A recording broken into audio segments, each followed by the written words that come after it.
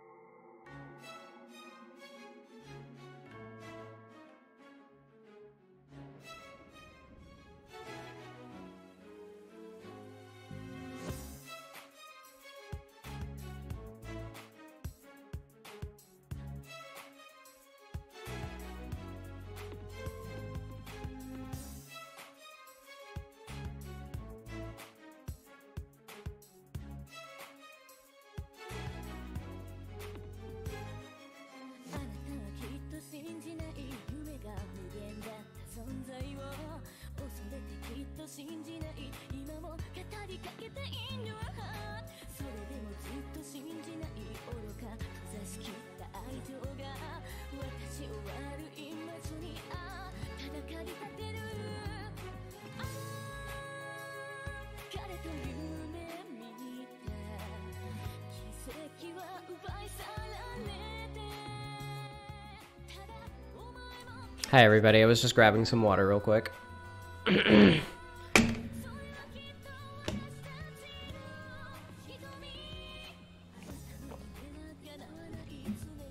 Uh, apologies if I at all sound a little stuffed or anything like that. I'm still on the tail end of recovering from sickness, so you know I might sound a little bit different. But uh, anywho, let's get into it. Uh, so let me go ahead and uh, sort of give everybody a expectation of what to expect. Okay, yes, uh, somebody already uh, asked a good question. Uh, no, I will not be openly discussing spoilers in this stream. Let me describe what this stream is for and what it like what it is and like the general plan. Okay, so this is something that I only kind of want to do like a, a little bit occasionally, just in my free time, uh, as opposed to like some of my other stream series type things. Um, so this is sort of uh, my plan is to stream. It, for those of you who don't know, Umineko is an eight episode series.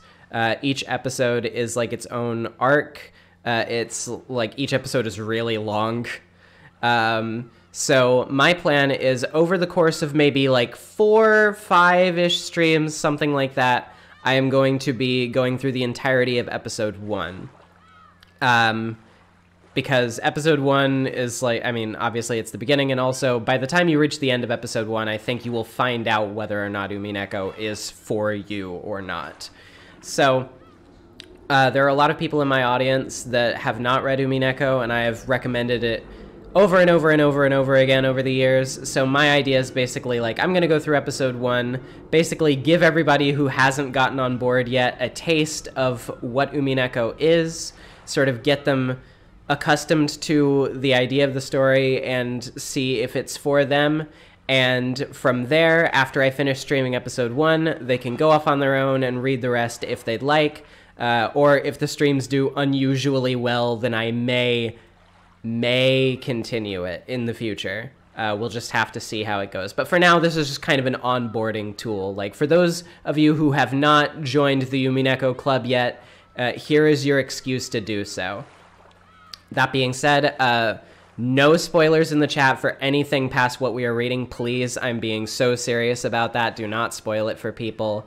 Um, I will be reading out the character voices myself, uh, as I usually do in my streams, so there's also that. And uh, lastly, uh, Umineko, for those of you who don't know anything about it, does have some pretty triggering content in it, some pretty sensitive content. In this episode in particular, we won't be getting into uh, some of the the worst stuff there is in the series, but uh, just be aware uh, going forward. I will warn for specific things when they appear, but uh, Umineko, particularly even in just like the early parts, does heavily feature uh, talk and depictions of abuse, uh, particularly with family members. Um, there's also just like some generally like eh kind of gross anime humor in the early parts of the story as well, though it does become far more infrequent as it goes, thankfully. But uh, there's your general warning for that stuff as well. Um, but yeah, I'll, I'll give more specific warnings when certain things come up, but just be aware that if you do badly with some of that stuff, you might want to skip out. And, uh, trying to think if there's anything else we need to get into before we start, but I don't think so.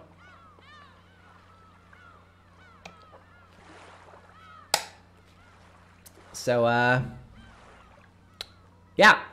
Um, all right. Uh, I think that's pretty much it. So let's go ahead and get started, shall we?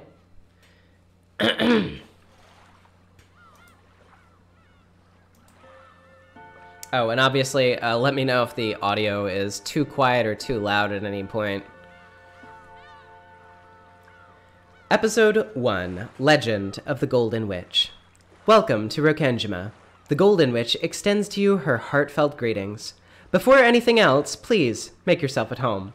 There is nothing to think too deeply about. Just be silent and take in the events in their entirety as they unfold. That is all that is asked of you. The difficulty level is standard. Let us at least begin on the trodden road.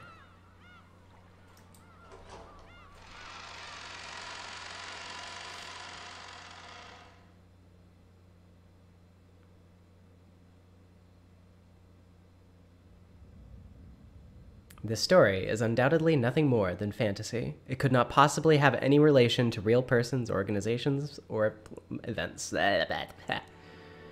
Uh, Dulsonic, wait, a visual novel has difficulty. Okay, so that's actually an interesting thing uh, that should be brought up about uh, the When They Cry novels. So, the When They Cry novels do not have branching choices. Um, it is not like a visual novel that you actually need to uh, play. The difficulty here is referring to the difficulty uh, in terms of like solving the mystery, basically. Um, in terms of like comprehending the story material, because these stories can get really complicated. So it's basically saying this is how hard it will be for you to wrap your head around this. Thoughts on the Zero Escape franchise? I have not played it, uh, but I will eventually. okay, let's go. You've been indulging in alcohol again, haven't you? The old physician let out a sigh as he removed the stethoscope. Two elderly men could be seen in the dimly lit study, which was filled with dust and a sickly sweet stench. In the corner of the room, which was much larger than what most people would call a study, there was an expensive looking bed, a man undergoing a medical examination, and the physician conducting it. There was also what appeared to be a servant watching over the whole scene. The bottle is my friend. It is no less a friend than you, and has stood by my side even longer than you have. No, there, there's not an English dub. It's just me. the man who had bared his chest for the stethoscope spoke unapologetically as he straightened out his clothes. Kinzo-san, your body only appears to be well thanks to the effect of the medicine. However, if you continue to drink such strong spirits, the treatment will become meaningless. Trust my judgment. Temper your drinking. I thank you, though only for the sentiment, my friend. Genji, another glass. Water it down slightly. That way Nanjo can save face. Are you quite sure? After eyeing both the master who demanded the alcohol and his doctor who forbade it, Genji, the old butler, silently gave a slight nod and carried out his master's orders faithfully. Nanjo, the man's personal doctor, let out a deep sigh once again as he watched the butler busy himself alongside the liquor cabinet. There was a smell filling up the room. The sweet, poisonous aroma felt as though it melted the heart, if not the soul itself. It was the smell of that venomous green drink that the man couldn't bring himself to part from. Nanjo, you are my close friend of many years. I'm deeply grateful for all that you've done to keep me alive this long. I've done nothing. After all, you never listened to my advice as your physician. and you never listen when I warn you about a mistaken chess move you're about to make. It seems we're even. My lord, thank you. I wouldn't die if I ran out of your medicine, but I would if I ran out of this. With one eye on Nanjo, who had his face set in a resigned expression, Kinzo took the glass that Genji was holding out to him. There are probably very few people who would associate the venomous color which filled the glass with an alcoholic beverage. Nanjo, be honest with me. How much time do I have left? Well, now, how short must I make it to get you to stop drinking? Nanjo once again let out a sigh of resignation. As he watched Kinzo down the glass, regardless, he spoke. You don't have much time. What precisely do you mean by that? Let us illustrate it with this chess game here. You're closing out the game quite well, but I do not ultimately see you cornering my king. Nanjo's gaze was directed at a side table with a stately chess set placed on top of it. Judging by the positioning of the pieces, the match was well into the endgame. The black rook and bishop were cutting deeply into the enemy lines.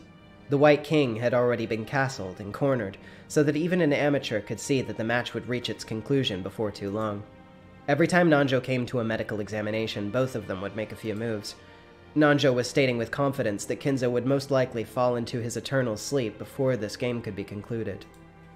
These were less the words of a physician than they were the words of an old friend. Were you a normal patient, I would recommend that you write a will at this point. And what is a will, Nanjo? Handwritten instructions to the vultures on how to devour and scatter my corpse? No, not at all. As the word suggests, it's a way for you to record your will for later generations. It's far more than just a means to divide up your inheritance. Oh. And apart from the division of the inheritance, what might I write of? Mm, there's your regrets, uh, matters you have left unfinished, uh, things you want to be passed down, and things you want to tell. Anything you want. Hmm. things I want to be passed down, and things I want to tell. Ridiculous.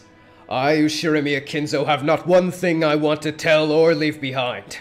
I was born with nothing. I will die with nothing. There is nothing I wish to leave to my foolish children. Even if the end were to come today, even if it were to come right now, I shall accept this fate of death without a trace of fear. Kinzo-san, I created everything. My fortune, my prestige, everything.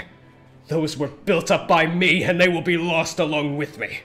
There is nothing I wish to leave behind. Nothing! After I'm gone, I care not if it all goes to waste. I desire no tomb, no coffin. Those were the terms of the contract I made with the witch. When I die, everything will be lost. That is the that has been part of the promise since the beginning, and that's why nothing will be left behind. There is nothing I can leave behind. After reaching a furious crescendo, Kinzo suddenly slumped over. His expression was limp and feeble, as though an evil spirit had possessed him and then left. However, I do have one regret. I have nothing to leave behind, but there is one thing I cannot leave undone. You would do well to write it down. Of course, it would be best if you could finish it before your time comes. However, even if the worst happens, those who come after you will carry it to completion. You must leave behind your regrets so that they can be resolved, even if you're unable to do so yourself. That is the purpose of a will. When Nanjo tried to gently pat Kinzo's shoulder, the dying man flew into a sudden rage and batted away Nanjo's hand. That is no good! No good! No good! It must be done while I still live! At the moment of my death, my soul will be devoured by the demons of the contract and wiped out of existence! For me, there will be no peace or another world after death. That's why everything must be done before I go. That's why a will has no meaning for me. And if I had the time to write such a thing, if I had such time to spare, I'd want to see it. I'd want to see it one more time. I want to see Beatrice's smiling face one more time. Beatrice, why do you resist me so? I would return everything you have. Blah. So, by the way, actually, let me interrupt myself real quick. Yes, this is how you pronounce her name. Uh, I know most people pronounce it Beatrice, uh, but it is the Italian pronunciation. So, th- there you go. That's just that's how I'm gonna say it. anyway, I would return everything you have given me right this very moment. I'm prepared to lose everything. So please, show me your smile what, just one more time. Beatrice, I beg of you, you must be able to hear this final plea. That's the kind of woman you are. I beg of you, show yourself to me. You're here, aren't you? You're standing there invisible, listening to every word I say, and even now you're mocking me from somewhere in this room, aren't you? Please, appear before me one more time and smile. Feel free to scold me, even if snatch away my life by your own hands if you wish. I don't want to die alone like this. I cannot let myself die until I've seen your smile just one last time. Beatrice. Beatrice. I offer up this life of mine. I offer it up to you. I'm begging you, Beatrice! and uh, I think this is the last line before the OP. So let me just go ahead and uh, get some of these things out of the way temporarily.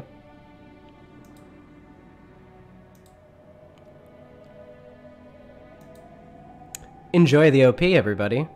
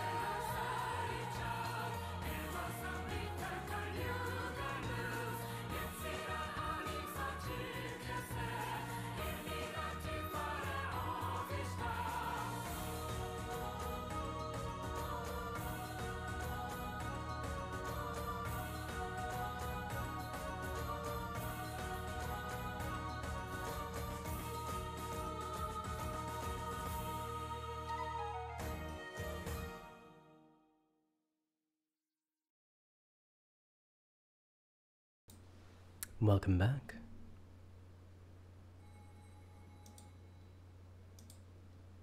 The first day, October 4th, 1986. Oh, I feel chills. Going back to this is so much. Uh, I love Umineko, dude.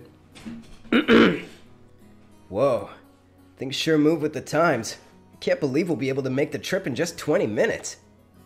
Uh, I don't know if it affects anything, but I know Joe, Joe Corono got copyright issues from the OP. They played the Steam version, though. Um, yeah, I couldn't see anybody getting strikes for this particular song, but if it does get a strike, then uh, on the VOD, I'll just cut it out, unfortunately. Uh, if that's what happens, if you're watching the VOD and there was like a skip there, then that's probably what happened, but whatever. I just wanted everybody to hear the OP. What am I going to do? Cut out such a banger? I couldn't help but scratch my head and marvel at how far things had come in recent years. We used to go by boat. Back then, we were all forced to endure nearly half a day of swaying back and forth over the sea before we reached Niijima. Things have gotten so much more convenient these days. Still, I've never been on a plane this small. I've flown in a huge jumbo jet before, but this'll be my first experience in such a tiny one. It's going to shake, isn't it? They say the smaller boats shake more, so I guess the same rule probably applies to planes. Just spare me. Don't worry, Battler-kun. It'll shake much less than the boat did. Yeah, is that you, George Aniki? Don't scare me like that. You just shaved three years off my life. Anyway, what's shaking got to do with anything? Um, by the way, if you're wondering about the green text, uh, it gives you a little glossary, I believe. Yes. Um, so if you didn't know, Aniki is a bro, older brother, and man senior to the speaker. So there you go. Uh, if anybody needs me to pull up those glossary terms whenever they come up, just let me know. You don't think I'm actually scared of the plane shaking or maybe falling out of the sky or something, right? Oh, of course not. My mistake. I'm sure that you've changed a lot since we last saw you.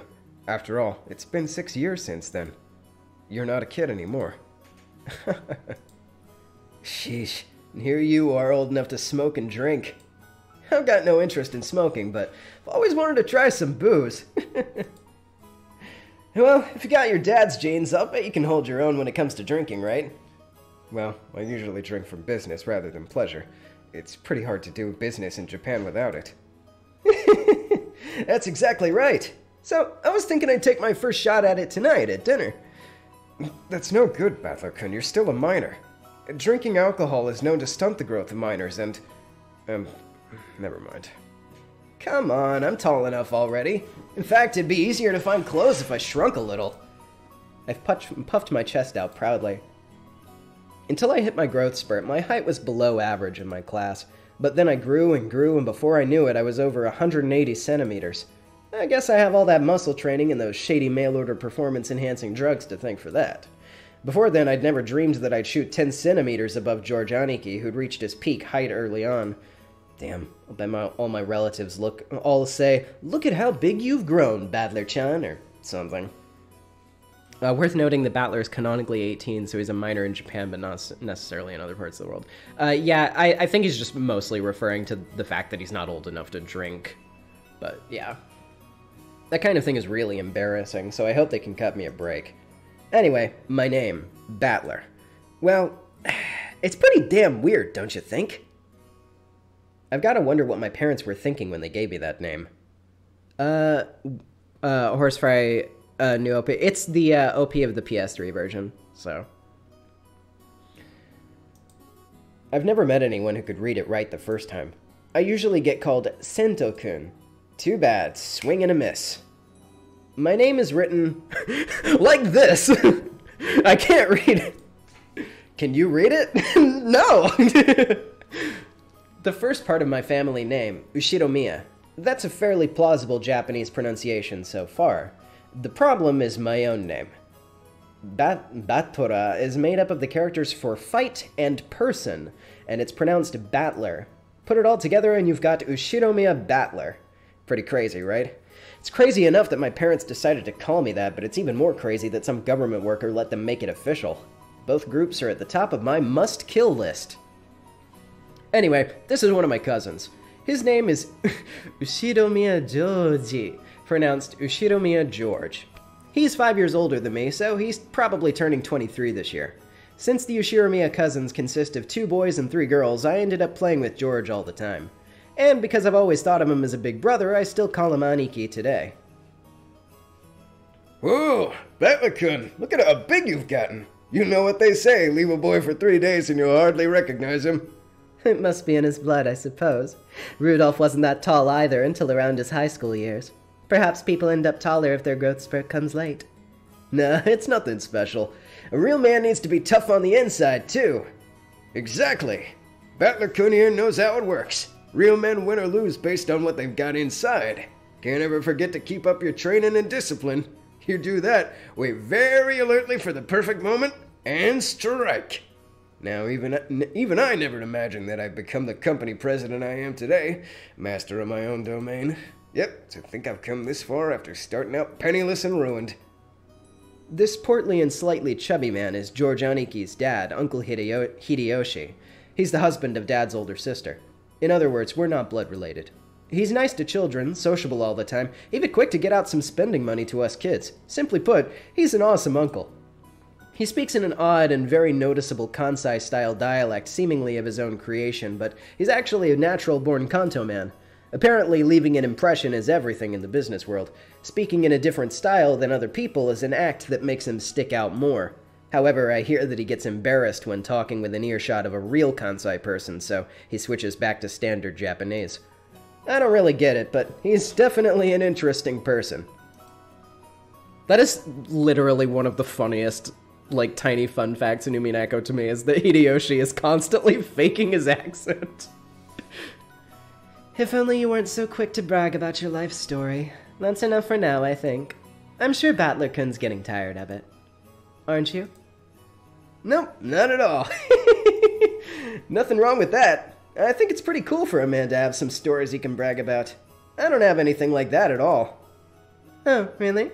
I'd imagine a man with your looks would leave girls crying left and right, so I have trouble believing that you have nothing at all to brag about. No, no, no, no, no, no, no. You're joking, right? Of course nothing weird like that's ever happened to me. In fact, if you know anyone, I'm all ears. Huh, I'm sure you do have some stories. you must tell your aunt all about it later. After all, George never comes to me with anything of the sort. this is my aunt and George Aniki's mother, Auntie Eva. She's my dad's older sister. She and Uncle Hideyoshi are a pair of jokers, and they've always teased me back as far as I can remember. This sometimes made them a bit hard to get along with when I was small. That said, I'm currently in the process of discovering that they're still hard to get along with. Even so, George Aniki's family is interesting and fun, and they seem to get along just fine. Sheesh, that's pretty much the total opposite of my family. Battler-kun, have you seen Rudolph-san? Huh? Uh, he headed off to the bathroom a while ago. Is he still not back? Maybe the poor geezer dropped dead. Num num num num. so, uh, yeah, we're gonna have to bring up the, uh, the, um, glossary for this one. So, uh, derived from Namu Amida Butsu, a Buddhist prayer meaning I follow the Amida Buddha. It is also known as the Nembutsu, often heard in contracted forms like Nanmaida or Namu Namu. It is recited to express mindfulness of the Buddha. After the passing of a relative, this sutra is often chanted to express thankfulness and knowledge that the dead have been allowed into, into Amida's Pure Land paradise. Most Japanese funerals are conducted as Buddhist ceremonies, and Japanese culture in general is full of rituals and religious customs, but it's common to participate in these traditions regardless of one's own personal religious belief. The country is largely secular. So, uh, Lerf, Kyrie so hot for what? True. True. Why is she so hot? It's unfair. anyway. That's no way to talk about your own father. Still, this isn't the first time he's taken so long in the bathroom. Yeah, the guy's always been that way. Does he really have to take a magazine with him every time he needs to take a dump? Oh, what on earth might he be doing with those? oh, you don't need to worry about that at all. As long as we're together, I won't let him do that on his own. oh, I'll have to get the juicy details later. Sounds like Dad's got his balls in an iron grip. You know exactly what would happen with that man if I didn't keep a tight grip, don't you? Oh, no kidding. You're the only one capable of reining in that old bastard. As his son, I'm more than happy to let you take over. Yes, leave it all to me. After all, that's my specialty. This woman is my dad's wife. Her name is Ushiromiya Kirie. As you can probably tell from our conversation, she's not my real mother. She's basically my stepmother. My real mom died six years ago. Kirie-san is the woman dad married afterward. I mean, I'm not a kid anymore. It's way too late for me to start calling his second wife mom. And I doubt she feels like using the word son on this massive kid who's no relation to her at all. We aren't little kids. We know there's nothing to be gained by fighting. So we decided that we wouldn't force ourselves to pretend that we were family. I've decided to act a bit more frank with her, as though she's a friendly neighbor instead. It's much easier to just keep a little distance instead of forcing ourselves to act all close and making each other uncomfortable. Kirie-san has been very open about all of this, and thanks to that, we've been able to get along pretty well. As we were capitalizing on Dad being away in the bathroom to badmouth him, the man himself came back, wiping his hands with a handkerchief. Ugh. Battler. Hey, what's up, Dad? Don't pinch my ear, gah! So, you've been talking trash about me with Mom again, haven't you? What makes it so hard to show a little respect for your father, huh? Damn it, that hurts, you old bastard! Ah, stretch my ear all you want, I'm not gonna be able to fly! Ow! Come on now. Upwards, upwards, sideways, sideways, round in a circle, back the other way, multiplier maxed out, with an extra times two on top. Now say, Father, please forgive me for being so rude. Like hell I will. Go find yourself some members only store if you want it that much. Yeah, let go! This old bastard is my dad. I think I'm pretty tall, but dad's about the same height. It's probably no surprise that Auntie Eva started talking about dad's blood when she saw my height. By the way, my height isn't the only thing I got from him. It seems having weird names runs in the family. Dad's full name is written like that.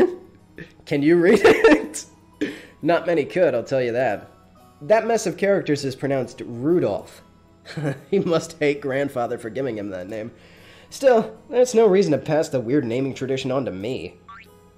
As the old bastard twisted my ear all over the place, Auntie Eva snuck up behind him and grabbed his ear. Hey, Rudolph, don't take your frustrations out on your kid. that hurts, Aneki. The scene before me was a perfect realization of the trope of the older sister who deals out punishment to her prankster younger brother despite his size. Uh, what translation are you using, Umi Project or MangaGamer? I am using the Umineko Project translation. Yep. I think that's good enough for now, Eva-nee-san. I'll make sure to stretch out his other ear later on. My apologies. I must leave some pulling for you to do, Kirie-san. Rudolph, make sure Kirie-san gives you lots and lots of punishment later on, alright? You're one to talk, Aneki, bullying your little brother like that. Hideyoshi Nii-san, I'd like to thank you very much for picking her up. if you hadn't been so generous, she'd still be unsold in the store. Fuck you, dude! That's such a terrible thing to say about your own sister!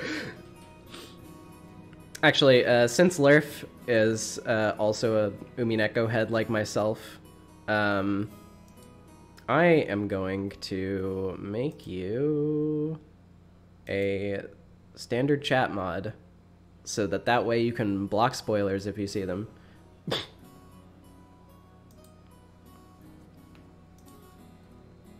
You have my gratitude and apologies. Hmm? Who are you calling unsold? After taking two or three steps back, Auntie Eva unleashed one of her beautiful high reverse roundhouse kicks, kicks, which stopped just a centimeter away from the tip of Dad's nose. After starting out with Tai Chi Chuan for her figure, Auntie Eva had then developed an interest in the Chinese martial arts. I'm pretty sure I probably butchered that pronunciation, forgive me. After that, she went through karate, taekwondo, capoeira, and what's it lear- she's learning now again? Well, anyway, they say a woman's weapons are in her lower body, and that's literally true for Auntie Eva. Rudolph, did you know that a single direct blow to the side of the head like that would knock you unconscious? Not so long ago, I accidentally connected in a practice match and my opponent was out cold. Sheesh. What a pain. Guess I have to apologize for a tendency to lash out with their feet, too. Dad, completely unfazed, shrugged and smiled ironically at Uncle Hideyoshi. Never had a brother or sister myself, so when I see you two bickering with each other, it makes me feel all warm and fuzzy inside. It sure is nice to have a big family and siblings. Huh, then why not consider making a little brother for George-kun? He's already a fine adult who's about to go off on his own, so it might be a good time to have another child. Hey, have a little sympathy for the new kid and all the pain and suffering he'd have to live through. I'm surprised even George couldn't turned out as well as he did after being born from this sinister sister of mine. And what an awesome kid he is. Please share that with some of our blockhead of a son someday, will you? That's not how it worked. It's thanks to Eva Nee-san's proper rearing that George-kun became the good, gentle kid he is now. Isn't that right, Nee-san? Oh, come now. Oh, come now. you think so? Our George still has a long way to go. Uh, by the way, how's your little sister Ange-chan doing? Is, I heard she was vomiting? Oh, that's right. And I was hoping to finally see her face after such a long time. Is she alright? She often catches a cold when the season changes. She's very frail. I did want to bring her along, but we decided to have my family look after her this time. I think that's a wise move. She'll be on the mend faster if she's not exposed to that toxic head house. A child's health is always more important than an adult's convenience, don't you think? I know some great medicine for vomiting colds like that. When we get back home, I'll send it over right away, so be sure to give her some. Thank you very much, Hideyoshi Nii-san. I'm always in your debt. And once the conversation suddenly veered off in that direction, we kids didn't have any chance of butting in. For now, I'm just happy that Auntie Eva gave Dad just desserts for tugging on my ear. Looks like we're still waiting for the weather report. George Aniki pointed at the counter. The pending weather clearance sign was still stuck next to the scheduled departure time for the flight we were scheduled to board. According to Aniki, smaller planes are more subject to winds and other effects of the weather, and it's not at all uncommon for flights to be delayed because of that. Wait a sec. It isn't really going to shake, is it? From down here on the ground, it looks just cloudy, not windy. Well, I guess it's different up when up there when plane up where the planes fly. Bleh. The weather's a bit uncertain today. Auntie was looking at a TV in the lounge. The weather forecast was being broadcast, informing us that a typhoon was approaching the Kanto region. Typhoon again? Guess we're doomed to these with a family conference being October every year. Couldn't he choose a better season? I agree. I've always hoped we could have it sometime around the Obon Festival in mid-August. In that case, why don't you suggest that to Father and Nii-san during the conference? Very funny. Why don't you do it yourself? My brother would never listen to anything I suggested. No way. It doesn't really bother me that, that much to have it in October. The one who you were the one who complained about the typhoon, so I said ask them to change it then. That's all. I only said that typhoons always come around this time of year. You're the one who said you wanted to move it nearer to Obon. Well, you said it too last year. Didn't you say that it would be easier to fit it into your schedule if we had it nearer Obon? I never said anything like that. Oh, yes, you did. I certainly wouldn't forget something like that. No, I didn't. You're the one that's saying that all the to- time. Are you aware? Stopping a kick just a hair's breadth away is a very high level technique. Sheesh, women your age should be more proper than that. Dad and Auntie Eva's argument looked no different from a couple of brats bickering. I expect that's because although they normally act as mothers and fathers, they turn right back into kids again when they meet their old siblings at these family conferences. You're the one who looks like a real adult analyzing it all calmly. Hope I never turn out like that old bastard. I'd much rather end up as an intellectual adult like you, Aniki. Like me? I still have a long way to go. I still have very little experience out there in the real world, and I need to work on becoming more bold and sociable. I think you far surpassed me on all those counts, Battler-kun. I'm sure you'll outstrip me fast enough when you become an adult. George Aniki scratched his head and laughed as though trying to hide his embarrassment. Of course, he was just being humble. Aniki entered a university and became an apprentice at Uncle Hideyoshi's company at the same time, studying both academics and how to become a business emperor in parallel. Then, right after graduating, he got into Uncle Hideyoshi's company as his father's aide, piling up a lot of real life experience as he devoted himself zealously to his work. He even had his, his, grand dreams of one day standing on his own and becoming lord of his own domain. Aniki is a real par- paragon of a man, sparing no effort as he strives towards his goal. How far am I going to read? Um, well, I I don't like if if you mean by tonight, like I'm not sure exactly how far I'm gonna read tonight. Uh, as for like in general, um, uh, I said at the beginning of the stream, uh, basically the plan is to read up to the end of episode one over the course of several streams. uh, to just you know get people in who haven't ever read Umineko before. And if for some reason these streams do really well, then I might do more. So there you go. It's no exaggeration to say that I really respect him. And then there's me. I'm nothing at all like Aniki. I'm living my happy-go-lucky idle high school life to the max. I've got no dreams for the future. I'd just like to sit back, stay cool, and let the money flow in, but of course that could never happen. When Aniki was my age, he had already formed an impressive objective and had started devoting himself towards studying for that goal, so I guess I can't compare at all. Uh, the end of episode one will naturally include the tea party and epilogues. Yes. Yep, it will. My dad just says, Sure, you can study at my company if you like cleaning toilets. Damn it, I'm not to be in the debt of that old bastard. I'll find my way myself. I guess that intensity is my one qualification towards adulthood. Should I go on those one of one of those self-searching journeys that are all the rage these days? Well, it's not like I could mooch off my parents for that kind of money. Hmm? Oh! Right then, Uncle Hideyoshi shouted out loudly. Uncle's a really nice person on the whole, but he does have a problem controlling the volume of his voice. When I looked over, I saw that he was greeting Auntie Rosa, who had come late. Ho ho! If it isn't Rosa-san! Maria-chan, long time no see! Long time no see. Ugh. Maria, shouldn't that be it's good to see you again? Greet your uncle properly. Hmm. It's good to see you again. There you go. Well said. How about some candy as a reward? Oh? Huh? Uh, where'd I put 'em? Rosa-san, it's good to see you again. It's good to see you too, Maria-chan. It's been too long, Kirie-ne-san, Hideyoshi-ne-san. And, oh my, Battler-kun? Look at how big you've gotten. Uh, what's my favorite character? Um, my favorite character is probably Ange, honestly. Um, but like a close second would probably be like, mm, maybe Eva.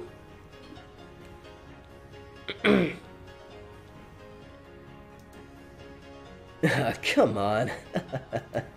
it's embarrassing hearing that from every person I meet. Hey, Rosa, you're late. If the plane was on time, you'd have barely made it. I'm sorry. We had some trouble making our connection. Our train connection. So we're waiting on the weather yet again? Oh, don't complain. Uh, I can't give thoughts on Erica right now because I, I don't want to spoil anything past episode one. Um, but I'll, I'll just say that I Erica, I like Erica. that's that's all I can say about her right now. But yeah, but please uh, no uh, big like spoilers for anything past episode one in the chat, everybody, because uh, I want this to remain spoiler safe for uh, people who have not read Umineko before. Oh, don't complain. I much prefer the 30 minute plane trip to spending six hours bouncing around on a boat. Even if we're kept here waiting for an hour, it's still much faster overall. Maria-chan's gotten huge too. So, how tall are you now? I have to keep stuff.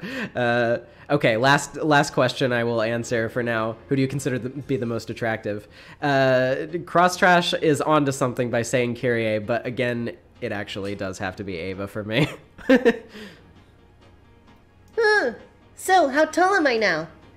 Maria parroted Uncle Hideyoshi's question, looking up at her mother. I guess she doesn't remember her own height. She's probably right in the middle of a growth spurt, so her height must change every month. In just a few more years, she'll probably start looking very feminine. Um, how tall were you the last time you got measured? She just keeps getting bigger and bigger. Hey, it's me with the 1999 pounds. Hey there, hope you're doing great. Wanted to give you this. Just wanted to say thank you. Thank you so much. I really appreciate it. Uh, I'm doing a little bit better. I'm uh, finally. I, I think within the next few days or so, I should probably be sickness free. But uh, we're we're making it. Don't you? Hmm. I think she's grown a lot since last year. Let's see, she turned nine years old this year, didn't she? Nine years old. Hmm. That's right, you're nine years old now. Glad to see you're doing well too, Maria-chan. Uh, you... Uh, I guess you've gotten a bit too heavy to play, play airplane with. George Aniki, what a rude thing to say to a lady. Here, I'll do it. Up you go. Uh, When I went to lift her up in Aniki's place, Maria stiffened defensively, staring suspiciously at my face. Ah, that's right. The last time I met Maria was six years ago, and she was only three years old. Of course, she doesn't remember my face. Maria chan, don't you remember? It's Battler kun. You used to play together, remember? Hmm. I doubt you'll have any luck. Last time she met Battler, she was only three. You don't keep memories at that age. She must know everyone's face apart from mine because she meets them every year, but I haven't had contact with the Ushiromiya family for about six years now. So it's no surprise that this nine year old girl doesn't have any memories of me. Even I can only just barely remember her being a three year old crybaby. Maria, this is Battler Onii-chan. Uncle Rudolph's son. Understand? Uncle's son is. Uh, uncle's. the son. Hmm? Ah. That ooh was probably the sound of her brain breaking, unable to understand the complicated explanation. I guess it was a bit too confusing for her. Maria chan, this is Battler kun. He's your cousin, like me. Like George Nii-chan? Battler? Cousin? Hmm. That's right. You got it. This part of Aniki is what makes me really look up to him. For someone who isn't married, he's just great at dealing with kids. I'm sure he'll be an indulgent father in the future. Battler Onii-chan? Maria looked straight at me with a questioning expression, as though asking whether it was all right to call me that.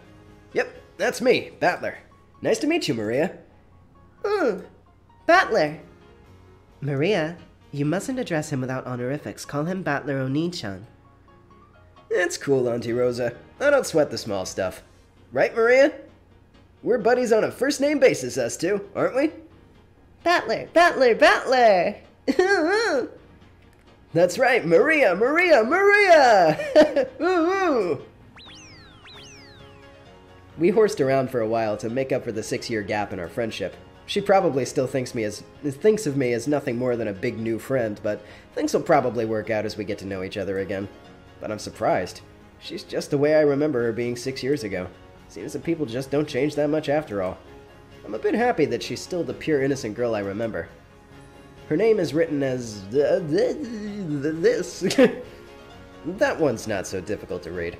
Of course, it says Maria. The third character looks like a cross, which is pretty cool. Her feelings don't usually show up on her face, so it can be difficult to know just what she's thinking, but that's just how she looks on the outside. On the inside, she's just a sweet, normal girl. Then there's Maria's mother, Auntie Rosa. She's my dad's younger sister. Rosa is written as. yeah. Here's a name that's totally not Japanese. Sorry to say it, but her name's almost as ridiculous as dad's. I've got to respect her for not ending up as screwed up as he is. We'll see about that, Battler. when I think about it, all the names in my family sound foreign. Just why is grandfather so obsessed with this? Because of him, even us grandchildren have to put up with this weird naming sense. It's even more annoying since grandfather's own name is perfectly normal. Anyway, there's one thing about Auntie Rosa that's a relief compared to the other family members. The old bastard and Auntie Eva have this annoying urge to tease and mock people all the time, but even though he share- she shares their blood, Auntie Rosa isn't like that at all. She has the most common sense among the siblings. Like Uncle Hideyoshi, she's a kind aunt who's always been on the kid's side. However, possibly because she's more strict as a parent, she's not liberal with handing out spending money like Uncle Hideyoshi is. So she's the worst. Zero out of ten, she doesn't give me money. That's the only reason. Alright. Now we have the entire group of family members who are going to board the plane. As though it had waited for us all to gather, an announcement rang out throughout the lobby. Our apologies for the wait. Boarding will now commence for Flight 201 to Niijima. We ask that the passengers please form two lines in front of the counter behind the white line. Rosa, you still haven't gone through boarding procedures, right? Hurry up. Oh no. Maria, come on. Uh. We had to go through a metal detector before going out onto the runway.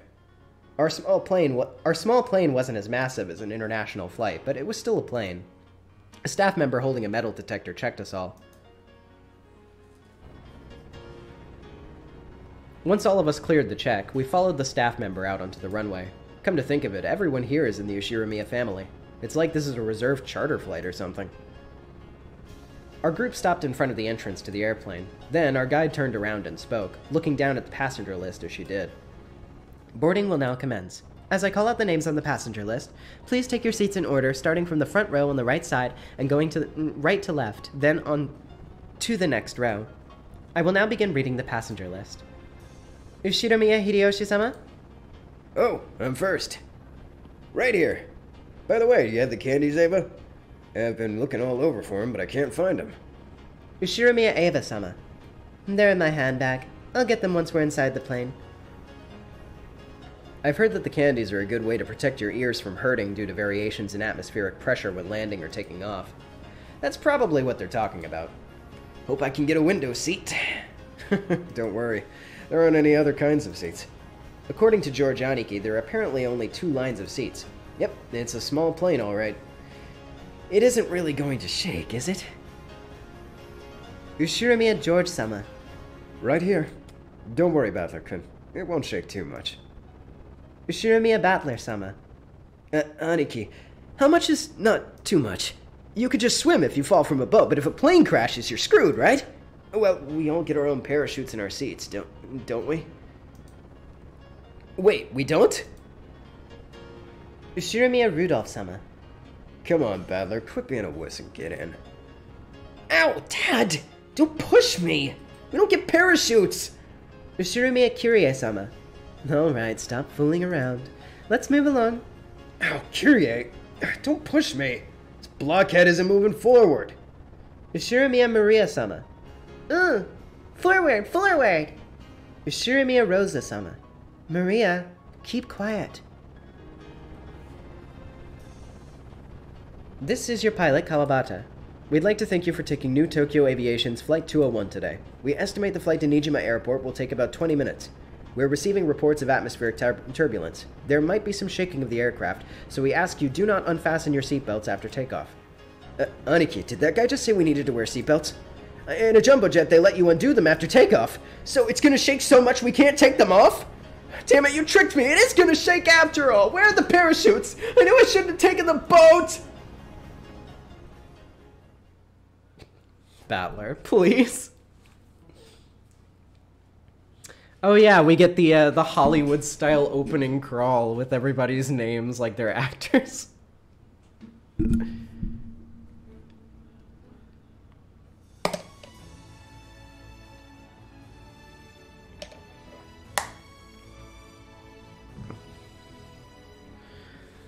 Uh,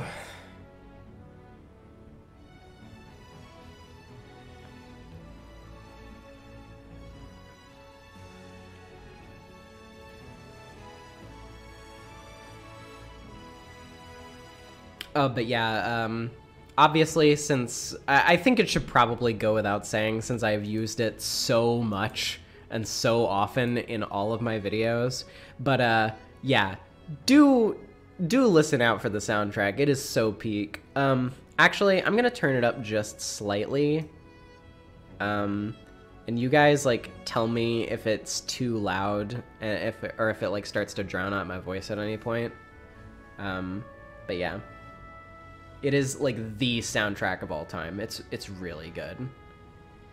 And you're just like hearing the like I mean, not that this stuff isn't good. It is. But like you're just hearing the beginning of it right now.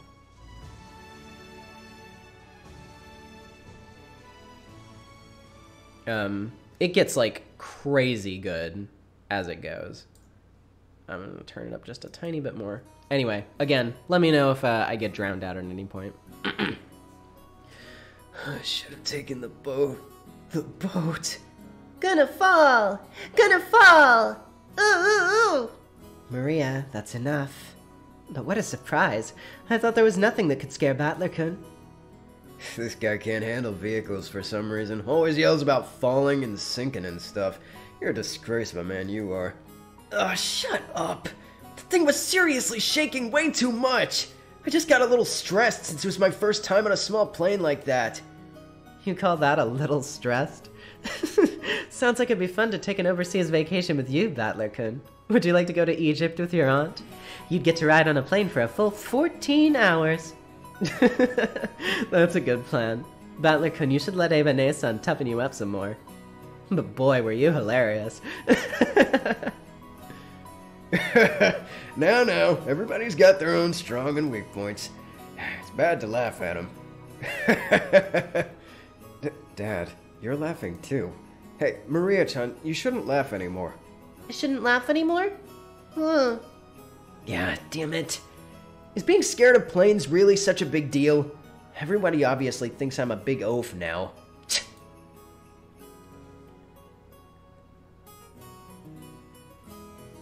Enforcing toxic masculinity, my favorite. Oh no, yeah, the Ushiromiya family is so screwed up. Like, just even in like the smallest incidental ways, they are so not normal.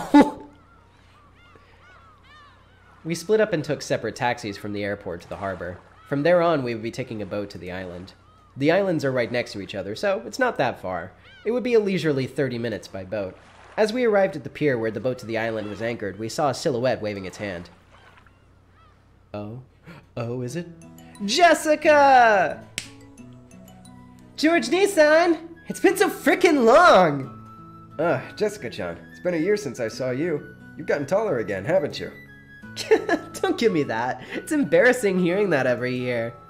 H- hey, Aniki, you gotta be kidding me. That's really Jessica? Wait a sec, George Nii-san. This massive beast is Battler? We both stared each other down. She definitely didn't look this grown up in my memories, but I do remember her crazy way of talking. Uh, yeah, so let's uh, go ahead and look at the, the thing about this real quick. So, uh, Jessica's way of speaking. In Japanese, men and women traditionally, or perhaps stereotypically, speak differently, and this difference is much larger than what you find in English. Jessica's speech is masculine, blunt, casual, and assertive. In Japanese, this is quite evident in a majority of her lines using assertive and traditionally male particles like ze and casual, slangy contradictions. Um, or contractions rather sorry. Um, the other thing about jessica uh, and like the whole ze thing i think is like it is also kind of a reference to marisa from Touhou which she is modeled after. There is a scene in episode 2 actually uh, the original version of episode 2 uh, not the console port, where she sings a Touhou fan song basically, and she's cosplaying Marisa. They had to replace it with something copyright friendly in the uh, in the ports, but uh, yeah. So that's also a funny thing.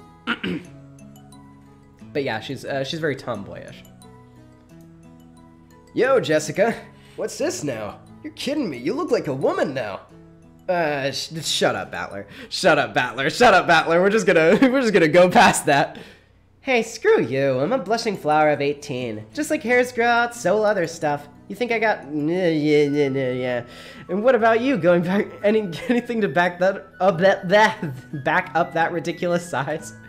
Did you remember to grow any actual muscle? You better believe it. I'll show you how much training I've piled up since back then. Oh, cram it. I'll beat you at your own game. This headstrong girl's name is Ushiromiya Japanese symbols. She wasn't born under the same unlucky star as me, sharing the same kind of weird name. Uh, have they read all of Umineko? How far in the Umineko did they get before? Oh, me? Um, no, yeah, I've read the entirety of Umineko. This stream is for the benefit of people in my audience who have not read it. No, no, Kelly, we're not gonna, we're not gonna do that. No, we're not, we're not gonna do that. No, please. No, please. You see, this is pronounced Jessica. She's Dad's older brother's daughter. That older brother happens to be the eldest son of the Ushiromiya family, so I guess that also technically makes Jessica a direct heir to the Ushiromiya family. Since Jessica and I are the same age and had that type of boy girl rivalry between us, we've always been used to fighting and joking around together whenever the relatives gathered. Jessica grew more quickly. Oh, you're asking if it was going to happen. Okay, yeah, yeah, yeah. No, no, no. It's just, it's just like squicky anime humor. Um, which is more common in the uh, first couple of episodes of Umineko than it is later on. It gradually kind of starts to disappear, thankfully.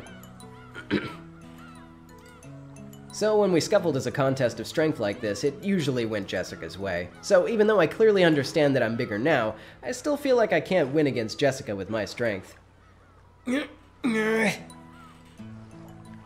Whoa! What, what are you getting all serious for? Ow, ow, ow! Hey, hey, hey, this is nothing. Jessica, you've gotten weak. Shut up. I'm a woman over here, believe it or not. No way I was always gonna be stronger than a man. Well, that's certainly true. The meat I put on all my arms went to your chest after all. Shut up, Battler. Looks like it'd be a pretty even test of strength between my. Shut up, Battler! I just, I can't with these two right now. Stop. Just. anyway. Honestly, I was so surprised at how feminine Jessica had become that I had to seriously horse around to hide it. Well, yeah, considering what a bossy brat she was six years ago, anyone would be surprised. And I guess she's just as surprised. She definitely wasn't expecting me to, to lose to me in a test of strength. After losing that easily, she must be shocked at how much I've grown in the past six years. Six years. Once again, I'm being shown what a huge gap of time that was. Crap. Total defeat. It's like I'm not a match for you anymore. That's not true. Even Battler-kun must have his weaknesses. Right, Maria-chan? Ooh, gonna fall, gonna fall! Uh, don't, Maria. Uh, let's keep that a secret, okay? Fall? What the hell is that? Sorry, but you won't be seeing that weakness of mine now. After all, the nightmare plane trip is already over and done with. Only thing left is the nice, quiet splashing of the boat trip. Never thought I'd become so fond of that piece of junk boat. huh? George Nii-san, is there something wrong with his head? Yes. You'll understand soon. That face! George, like. Chad, he doesn't know. Very soon. At the time, I didn't understand what Aniki meant by that big smile. What have we here? Oh, Battler-san, how big you've grown! Who is it this time? It's an old lady with an apron. Oh, oh, yeah, that takes me back. I remember now. Remember her, Battler-kun? You remember, she's Kumasawa-san, one of the servants. I could never forget Kumasawa Bachan. I mean, you haven't aged a bit in these past six years. Wait, you haven't gotten younger, have you? Lately, my skin's been getting smoother, all smooth and silky. And look, hasn't my chest gotten even bigger as well? What? Yeah, she's she's like screwing with him because he's been such a little shit. Uh, very funny. My, yeah, yeah, yeah, okay. Even, okay, okay. God, give me a break. Um, it's chicks I'm looking for, damn it, not grannies. The jokes I'd cracked about Jessica were being used against me. Come to think of it, she was always the type to tease people. Kumasawa-san, stop that for now. People with one foot in the coffin shouldn't jump around. To sport with the young is the best rejuvenation medicine. it's rare for you to come pick us up, Kumasawa-san. What curious turn of events is this? Normally, whenever you're entrusted with something to do, mm, something to do, your lumbago always kicks in.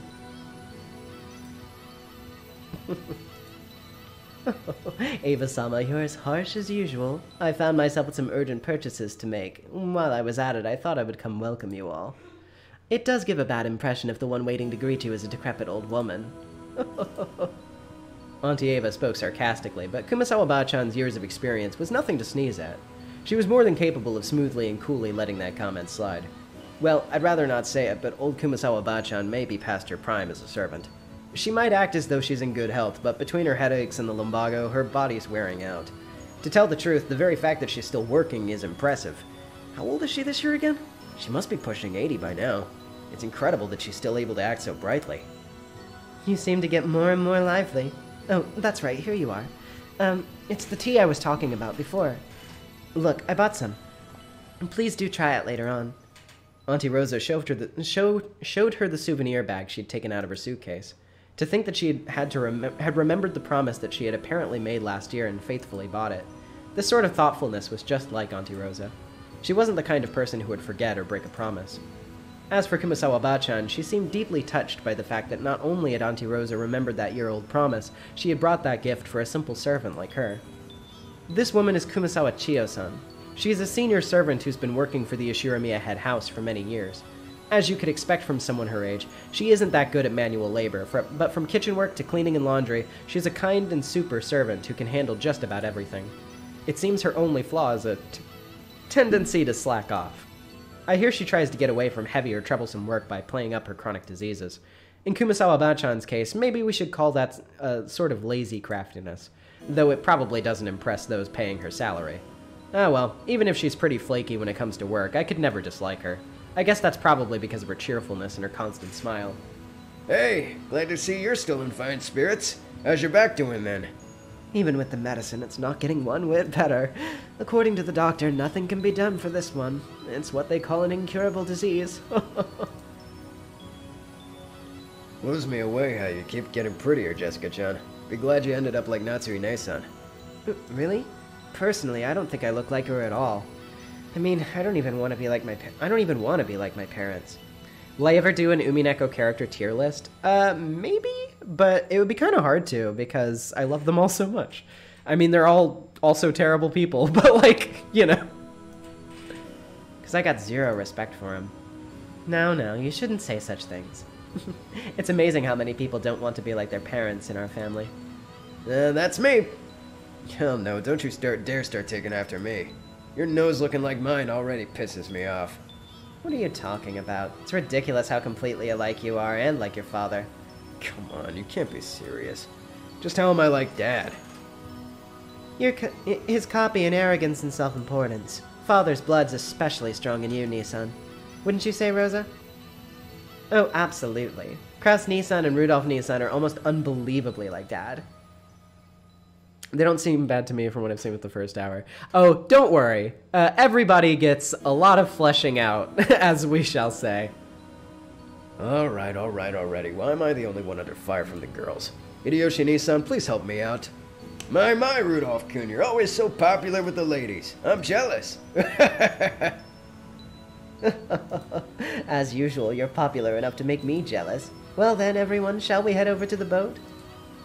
Come now, Maria-sama. Son, let's get on the boat together, alright? Get on the boat together. Ooh. Everyone gets on together. Hmm. Hell yeah, this time around I'm not gonna be scared. I'm used to being shaken by the waves. With that piece of junk fishing boat, I'm less afraid of the shaking than the engine breaking down and the boat drifting off. Oh yes, Battler-kun, I forgot to tell you. That fishing boat was completely decrepit, so it was taken out of use a few years ago. Now we get taken to the island in another boat. Oh, right. Battler's first, it's Battler's first time on the new boat. It's super comfy and freaking fast. It can go at crazy high speeds. Oh. That means less trip time, right? That sounds great. I mean, a boat might be better than an airplane, but if you're telling me we can spend a, little less time exposed to the danger of sinking, that's really just awesomely great. Hmm. Is Battler gonna fall? Gonna fall again? That's only on airplanes. Everything's fine now. You know, it's apparently a modded high-speed boat, the captain's pride and joy.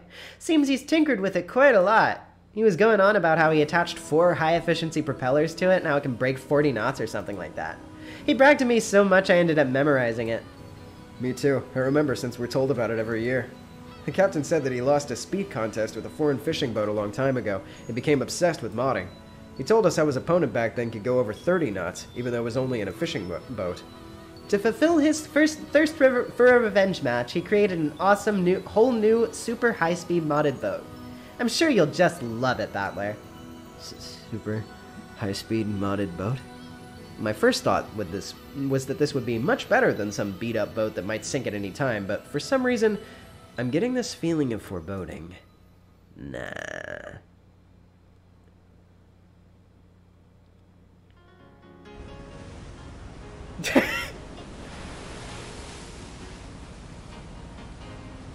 Hey, Battler, maybe you should just swim to the island. Battler-kun, you shouldn't lean over the railing too much. You might fall. Ooh, ooh. Gonna fall, gonna fall. Damn it! So this is why you were all grinning before! The super high speed boat, said to have been modded to hell and back by its captain as a personal hobby, was definitely nothing like the battered old fishing boat from six years ago. Whoa, it's shaking, it's shaking! I'm gonna fall, gonna fall, gonna fall! Ooh, ooh, ooh. Gonna fall, gonna fall, gonna fall. If I fall, I'll be in the sea. I'll drown, God damn it! Where's the parachute? No, wait, where's the buoy? Give me a life jacket! what the hell, Battler? What's that supposed to be? Jessica-chan, Maria-chan, it's not nice to tease. Battler-kun, if you're scared, then just don't come out on the deck. I think that if you stay inside the boat, you'll be a bit less afraid.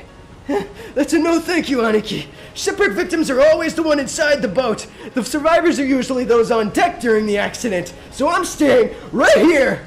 But it's shaking! I'm falling! Whoa! Jesus Christ. Shaking, falling. Ooh, ooh, ooh. Maria, I told you to behave yourself. But Battler-kun, it looks like you really can't handle it. I'll go tell the captain to slow down for you. Whoa, Auntie Rosa, thank you! Even on the sea, exercise safe driving, reduce speeds, point and call! Don't do that, Rosa. Ordeals are necessary for the young. Right, Battler-kun? You can conquer this much, no problem, right? Other- otherwise, you won't be able to go to Egypt with your aunt. Whoa, Auntie Eva, you're mean! Oh no, I'm gonna fall! Life jacket parachute! Whoa! God doing the like. No, no, it, turn it over and think that way. What's the enemy aiming for? He wants to make me afraid like this. If that's what he's aiming for, too bad! Like hell, I'll be scared! But stop it, I'm gonna fall!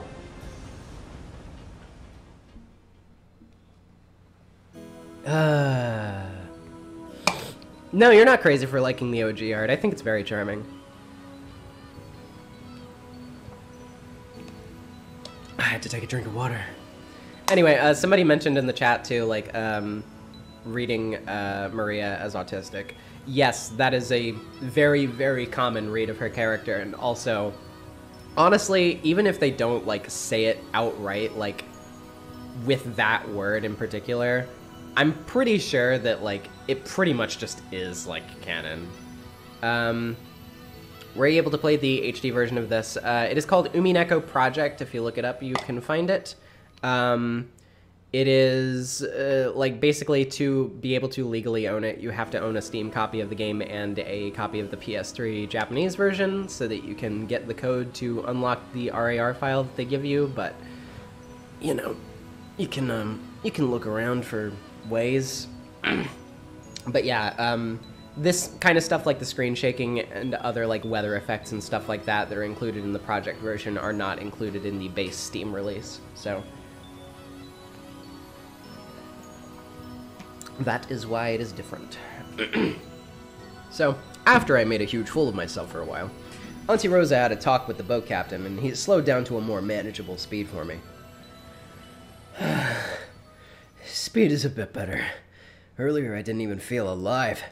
The new, s- the new speed, which I was capable of toler- tolerating, was apparently extremely slow, but that just now was completely insane. The whole boat was shaking, sliding and leaping on the ocean's surface. Felt like I was riding on the back of a flying fish. Jessica was still guffawing at me as I leaned over the railing, tired and disheartened. I lost in that strength contest earlier, but I'm glad to know that I got the edge where it really counts. But seriously, Damn it, go ahead and laugh. One of these days, I'm gonna find your weakness and I'll get back at you, and I'm not gonna read that line. we'll see about that if you ever do find it, okay? Hmm. Battler, all worn out. Yeah, Battler, all worn out. I wanna die on land, not in the ocean or the sky. Maria was patting my back, so I patted her head in return. Her expression was blank as usual, but I realized she wanted to console me. Battler-kun, the captain's throwing drinks in to make up for this. I don't know. Like, I really don't know why so many of those jokes are in episode one. I think it's just like the typical, like, oh, we have to have a bunch of anime humor to draw in, like, the people who, like, read, you know, um, like really skeevy dojins or whatever. But, like, again, thankfully it does lessen as time goes on. Um, and Battler gets a lot better, thankfully, as well. Uh, I like Battler, I just don't like his pervy anime jokes, but, you know, uh, disregarding that, I think he's okay. To calm yourself down. George Aniki and Kumasawa Bachan brought us each an ice cold drink with the drops of moisture on the can. Judging from Kumasawa san's big grin, our parents inside the boat were probably all rolling around laughing at my moment of pure terror. Damn it, I'm so embarrassed that I can't bear to face any of them. If I didn't change the subject somehow, I had the feeling I'd be the butt of everyone's jokes for the whole trip, so I tried to think of something harmless to talk about.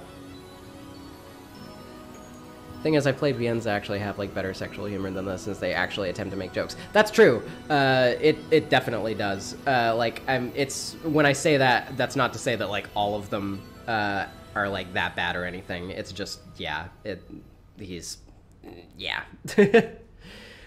Unfortunate, but, uh, you know, such as it is. Hey, Jessica. How are Uncle Krauss and Aunt Natsuhi doing? My old man and my mom? Unfortunately, they're fine. Though every other word of their, out of their mouths is steady, steady, steady, which pisses me off. I'm so jealous because it looks like Uncle Hideyoshi or Uncle Rudolph say that. Don't say it. Doesn't look like Uncle Hideyoshi or Uncle Rudolph say those kinds of things. oh no. When I was slacking off during exams, I was always getting told exams, exams. I thought it was annoying, but now I'm grateful. I knew it. George Aniki is as magnanimous as ever. As for me, I have to look after myself. No one says a thing to me. Well, it's not like I'd listen if they did. Battler-san, have you still not returned to your birth home? Well, I kinda go back now and then. I still have lots of clothes and stuff left at the previous house. Huh? Battler has two homes? Uh. Hmm. Uh, something like that. Why? Why do you have two homes? Hmm? Hmm? Only Maria, who couldn't really grasp the situation, voiced her naive question. However, the others just shot nervous glances at me, choosing not to respond even though they knew the answer. Maria, look, you can see the harbor now. Look over there. Can you see it? Oh, saw the harbor, saw the harbor. Apparently, Jessica was trying to be nice by changing the subject. Ah, well. I'd rather not talk about it if I can help it, but it's uncomfortable to have it treated like some kind of weird taboo. I don't mind that much myself anymore. I am an Ushiromiya, but the truth is that for the past six years I've been living with my grandparents on my late mother's side, and I've even been using her family name. When those grandparents passed away one after the other, I basically had no choice except to go back and live with the old bastard. Don't get me wrong, I didn't just run away from home or anything like that. The only one at fault here is my dad. I don't really blame Kirie-san. Being able to hold that old bastard's reins and write him out is no mean feat. But as for the betrayal that that old bastard inflicted on my mom, well, unfortunately, I still haven't fully gotten over that. we'll be getting there soon. George Aniki cleared his throat, trying to change the topic. Please forgive my indiscretion. It seems this old woman has said too much already. If I've hurt your feelings. I don't mind it. No one's feelings are hurt. Don't worry, Kumasawa-bachan. Kumasawa-san seemed to regret speaking out of turn, but I was far more concerned about being worried over for something like that, so I stood up and passed it off lightly. After that, I had a sip of my drink and headed over to Maria and Jessica, who were gazing at the silhouette of the island. Oh, Battler, saw the island, saw the island. There, there, there. Ooh, ooh, ooh. Where is it? Oh, I see it now. Even after six years, the island hasn't changed a bit. The small island silhouette in front of us had gotten pretty close. The island's name is Rokkenjima. It's a small island about 10 kilometers around, located in the Izu archipelago.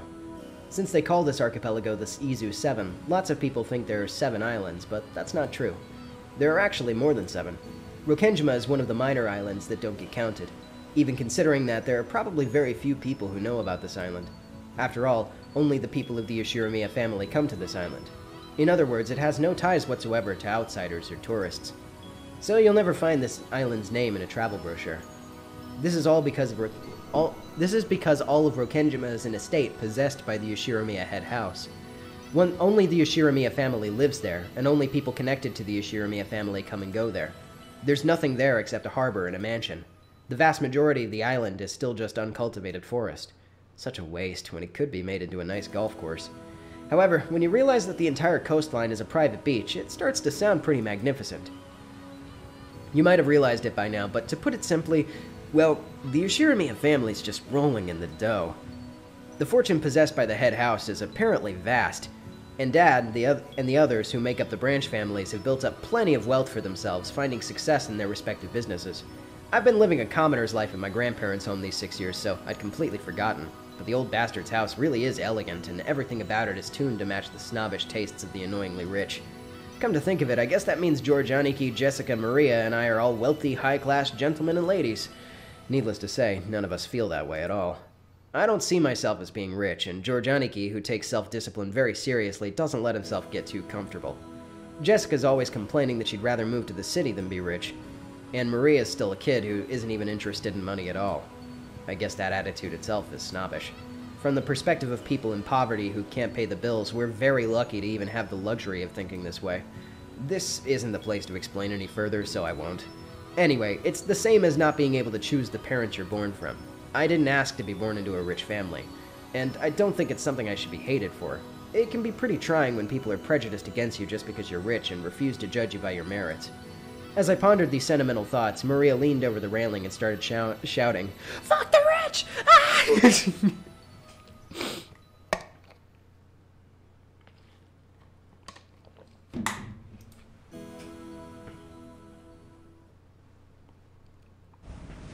Ah! Gone. What's wrong, Maria? Did you drop something? Hmm. Gone. Gone. Hmm. Maria kept yelling, Gone, gone. From her words alone, you would think she had perhaps dropped something, but she was actually pointing out over the ocean as she shouted. What's wrong? What's gone? I'll look for it too if you want. What is it? Hmm? If she dropped something, she would probably have looked down at the floor, but Maria was pointing over at the ocean. One would assume that she had seen something out over the ocean, but she kept saying that something was gone. Strange. How would I rate Umineko out of 10? Um, well, I mean, like, no piece of media is perfect. Every piece of media has problems, but I'd say it's like a strong 9. huh? If I remember correctly, wasn't there a Torii or something on the top of the small crag around here? Um, this one is a bit of an easier one to explain. Um, a Torii is a ceremonial entry gate to a Shinto shrine. It usually is red and has a very recognizable and prominent square shape. If you've seen that shape before, consisting of two vertical or slightly inward tilted pillars joined by two extended horizontal bars, one crowning the pillars and the others just below. Sometimes many Torii are used in series along a path. So, that's what they're referring to. Uh, yes, Maria is definitely super heavily autism coded, uh, and it is intentional. That's right. It was definitely there. I remember it well since it's a landmark. The first thing to greet you as you get closer to the island. Wow, you're amazing, Battler. Even though it's been six years, you remembered. It was here, wasn't it? I remember too. There used to be a shrine and a Torii like thing standing all alone on that crag. And now that you mention it, they are gone, aren't they? They definitely were there last year, I think. Gone. Gone. Maybe they were washed away by the waves or something? It was a small crag. It probably got brittle because of its exposure. I think so too. It actually disappeared during the summer. Apparently, A huge lightning bolt fell one evening and smashed the shrine, or some such. The fishermen whisper that it must undoubtedly be an ominous sign to have a thunderbolt fall upon our tutelary god. Lightning be gone, lightning be gone. Kumasawa-san smiled impishly as if teasing us, rubbing her hands together. However, Maria was apparently taking it seriously. And she started fixedly mm, she stared fixedly over to the ocean where the crag enshrining the local guardian deity was supposed to be. An ominous sign. Hmm. Enough, Kumasawa-san. Maria isn't old enough to understand this kind of joke. It's alright, Maria-chan. It's just a coincidence. Nothing scary is gonna happen. George Aniki put a hand on Maria's shoulder to calm her down, but Maria's sharp-eyed expression didn't budge. Ominous. Ominous. Maria muttered that word over and over. Apparently, repeating a single word over and over is a habit that Maria's had for a long time. However, since the word she was saying was quite literally ominous, it was a bit creepy. Hey now, Maria. Some disaster really will come if you say that word over and over, you know. I tapped Maria's other shoulder.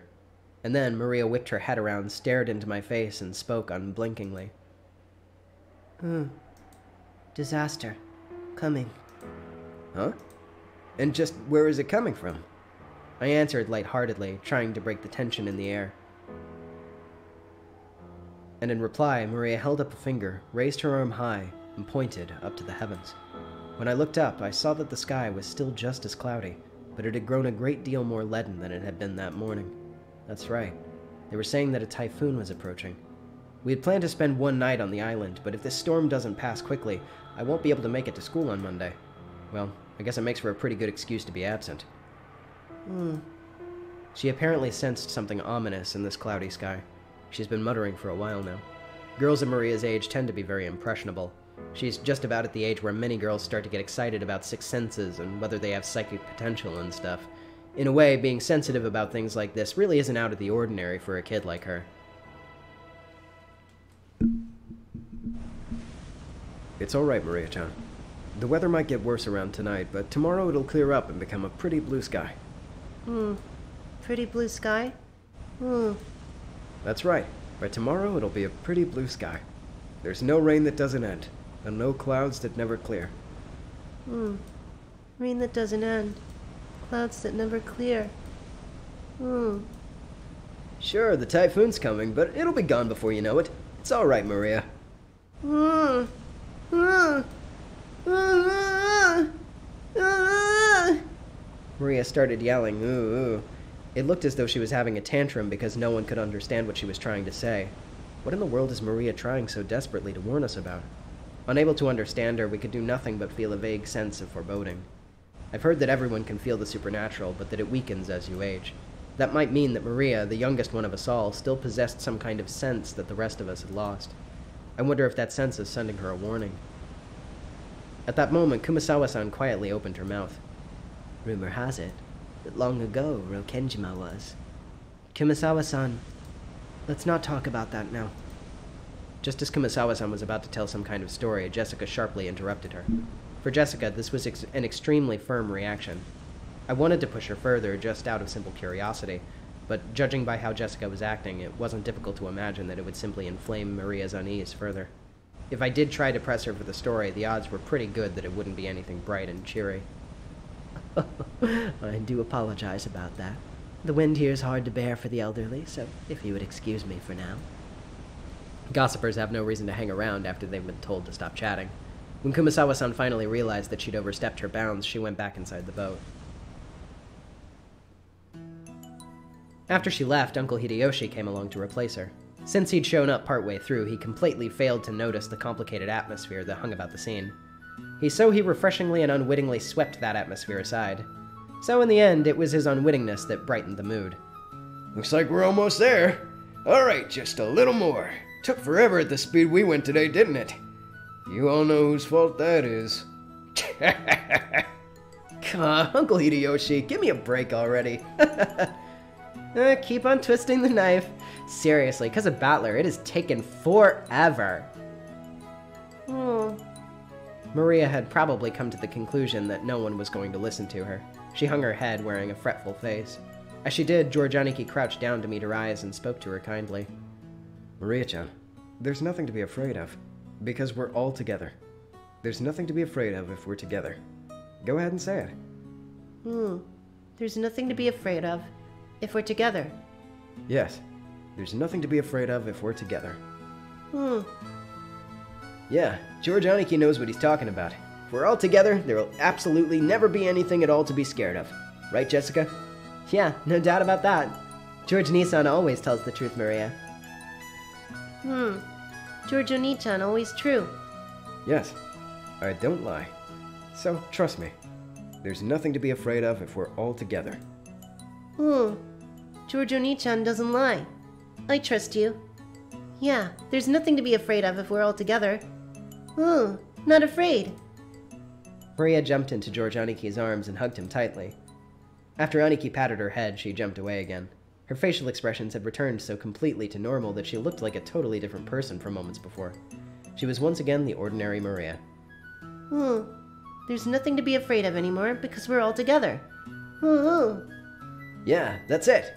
You all you look all better now. You're strong, Maria. Good girl. Hmm. I'm a good girl. Uh, what is the is it like her personal pronoun that they were trying to highlight? In Japanese, Maria oh, Maria uses her own name instead of the word I when talking about herself. This is called Illeism and is common among young Jap- Japanese children. It sounds childish and cute in Japanese and can be used by young adult women to achieve the same effect. Even the other characters have various ways of referring to themselves because Japanese has more than one word for I. Kinzo, Nanjo, Eva, Jessica, and a number of other characters use watashi, which is a neutral way of saying I. Battler says ore, which is a masculine, self-asserting, and very casual way of saying it. George uses boku, which has a youthful, boyish, casual, and humble feel. Hideyoshi uses washi, which goes along with his strange accent and makes him sound older. There are many others. However, you will not always hear these words being used, just as you will not always hear Maria using her using her own name, because Japanese is a pro-drop language. Think words like I, you, it, and so on are often simply left out when it's obvious who or what is being talked about. Yep. So uh, that's a that's a pretty cool bit of trivia for you. Hey now, what's going on here? Maria-chan didn't get seasick, did she? Hmm? well, something like that. We'll be arriving soon. The harbor was already drawing near.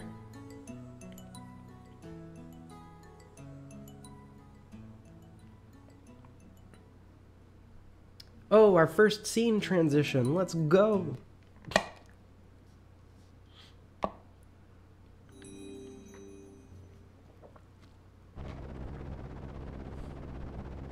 The boat gave a big shudder.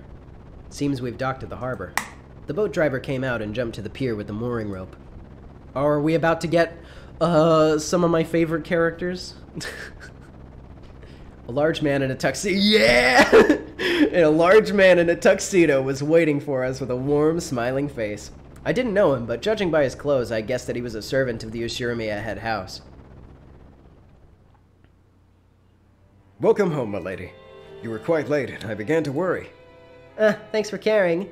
The boat had Battler scared shitless, so we had to slow down for him. Seriously, what a pain in the ass. Shut up! I'll remember this when the shoe's on the other foot someday. Ugh. At this rate, the word will spread around the entire family and I'll become the big conversation piece during dinner. Even without this, everybody'd be talking about me because of that six year gap, but now that I've provided them with an even juicier topic. Ah, damn it! Why does the Ushiromiya main family have to live on this isolated island? In the meantime, the boat had finished its mooring. A small plank was lowered so that we could get down. One by one, our parents came out of the boat. You must all be quite tired from your long trip. Madam, please allow me to assist you. Thanks. It's been a while, Goda-san. How are you? Thank you for your concern. It's always my pleasure to serve. Battler-kun, isn't this your first time meeting Goda-san? If I'm not mistaken, you weren't working here six years ago, right? Indeed. So please, allow me to greet him for the first time. It's an honor to meet you at last, Battler-sama. I'm pretty secure about my height, but you're huge.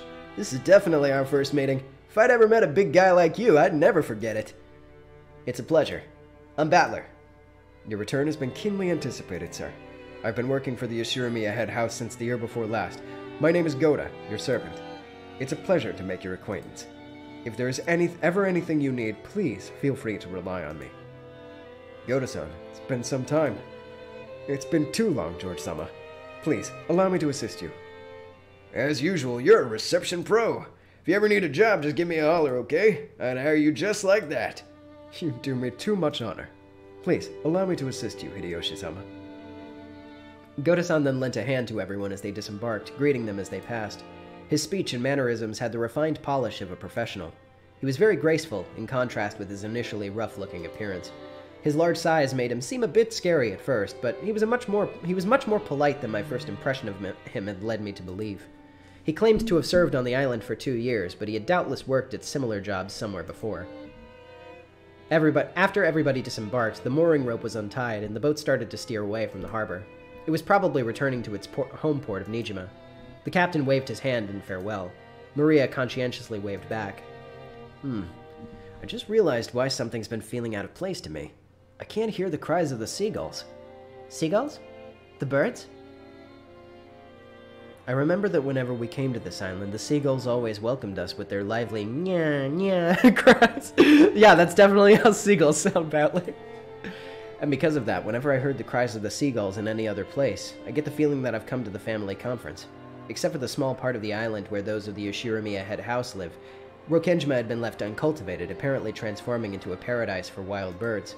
Seemingly, some cliff face or other had become a home to a huge seagull colony, and so this island was always full of them. Since those seagulls didn't come to greet us, I felt a bit lonely. What's wrong, Battler-kun? Oh, Auntie Rosa. Uh, nah, it's nothing really. I was just saying I can't hear the seagulls, so it kind of feels a bit lonely. Oh, you're right. They've always, they're always so lively, but I can't see hide nor hair of one today. Hmm? Why no seagulls? Mm, Maybe it's because the seagulls are having a gathering somewhere, too. Maria, did you want to see the seagulls? Oh, wanted to. What happened for them all to disappear? Maybe Jessica made all of them into shish kebabs and ate them. Huh? Uh, the hell? Don't say disturbing things like that. You'll get Maria all confused. Oh, oh, oh. Jessica Onee-chan made them into shish kebabs. Made them into shish kebabs. Oh. I did not, I did not. Why the hell would I do something like that? That's right, that's right. Jessica made them into shish kebabs. Skin and meatballs, liver and onion. Swimming meat dolls. Liver and onion. Ooh, ooh, ooh. As I made fun of Jessica, Maria tagged along looking like she was having fun. Oh, she really knows how to join in with things. Alright then, starting today, I'll make you my number one follower. As I smiled at her, she beamed back overjoyed, I guess happy for this little bit of solidarity. That's not it, Maria chan. I've heard that wild birds are attuned to changes in the weather and atmospheric pressure, and it looks like the weather will get worse around tonight. It's possible they hurried back to their nests. Ooh. Not kebabs? Jessica Onee-chan didn't make them into kebabs? I did not, I did not. I told you I wouldn't do stuff like that. All right, Battler, you admit right now that you lied. Battler-kun, Maria-chan's a naive girl, so she takes even jokes very seriously. You should choose your jokes more carefully. George Aniki gently scolded me. Even though I outstripped Aniki in height, he still commanded respect as my elder. No choice but to obediently apologize. Eh, Hey, my bad, my bad. Maria, that just now was a joke. It's just today the seagulls are all quiet in their nests. Battler lie? George Nii-chan true? I was having fun, but you were actually just tricking me? Her pure eyes seemed to accuse me. Maybe I went a little overboard with her after all. Yeah, that's right, that's right. What George Aniki said is true. The weather's bad, so they probably went home for today. It doesn't mean they're gone, does it? Right, Auntie? That's right. Tomorrow, when the weather gets better, I'm sure they'll come back and let you hear their meow meow cries. Hmm. I'll wait for the weather to get better so they come back. Wait for tomorrow. Wait for the weather to get better. Ooh, ooh. Maria's mood lightened, and when she started looking forward to and she started looking forward to tomorrow, when the seagulls would come back and fill the skies. Still, George Aniki really is amazing at taking care of kids. I think I remember Aniki taking good care of me as well when I was a brat six years ago. Aniki might have quite some talent for this kind of thing. George-kun, you're so amazing at taking care of kids. I think you could work in childcare. Yeah, it's like you were born to do that.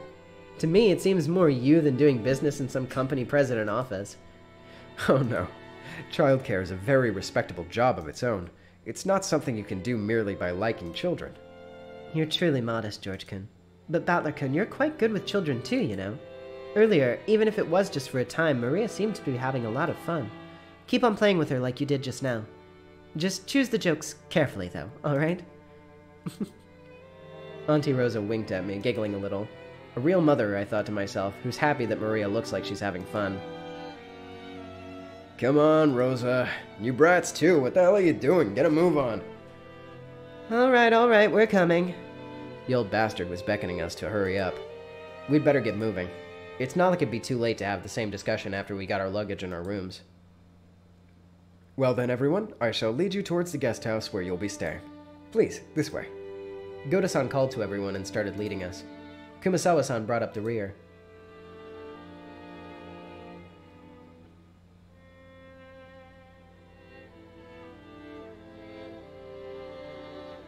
A serpentine twisting path led through a dim forest. It ran a bit uphill. I'd guess the path was made twisting so the slope wouldn't be felt too much. But personally, I'd have been happier if they'd been man enough to make some stairs in a straight line. No doubt they made the path twisting on purpose to put on airs of distance and importance. Before long, we saw garden-style stone steps. Ah, now I remember how it goes from here. Go up these and...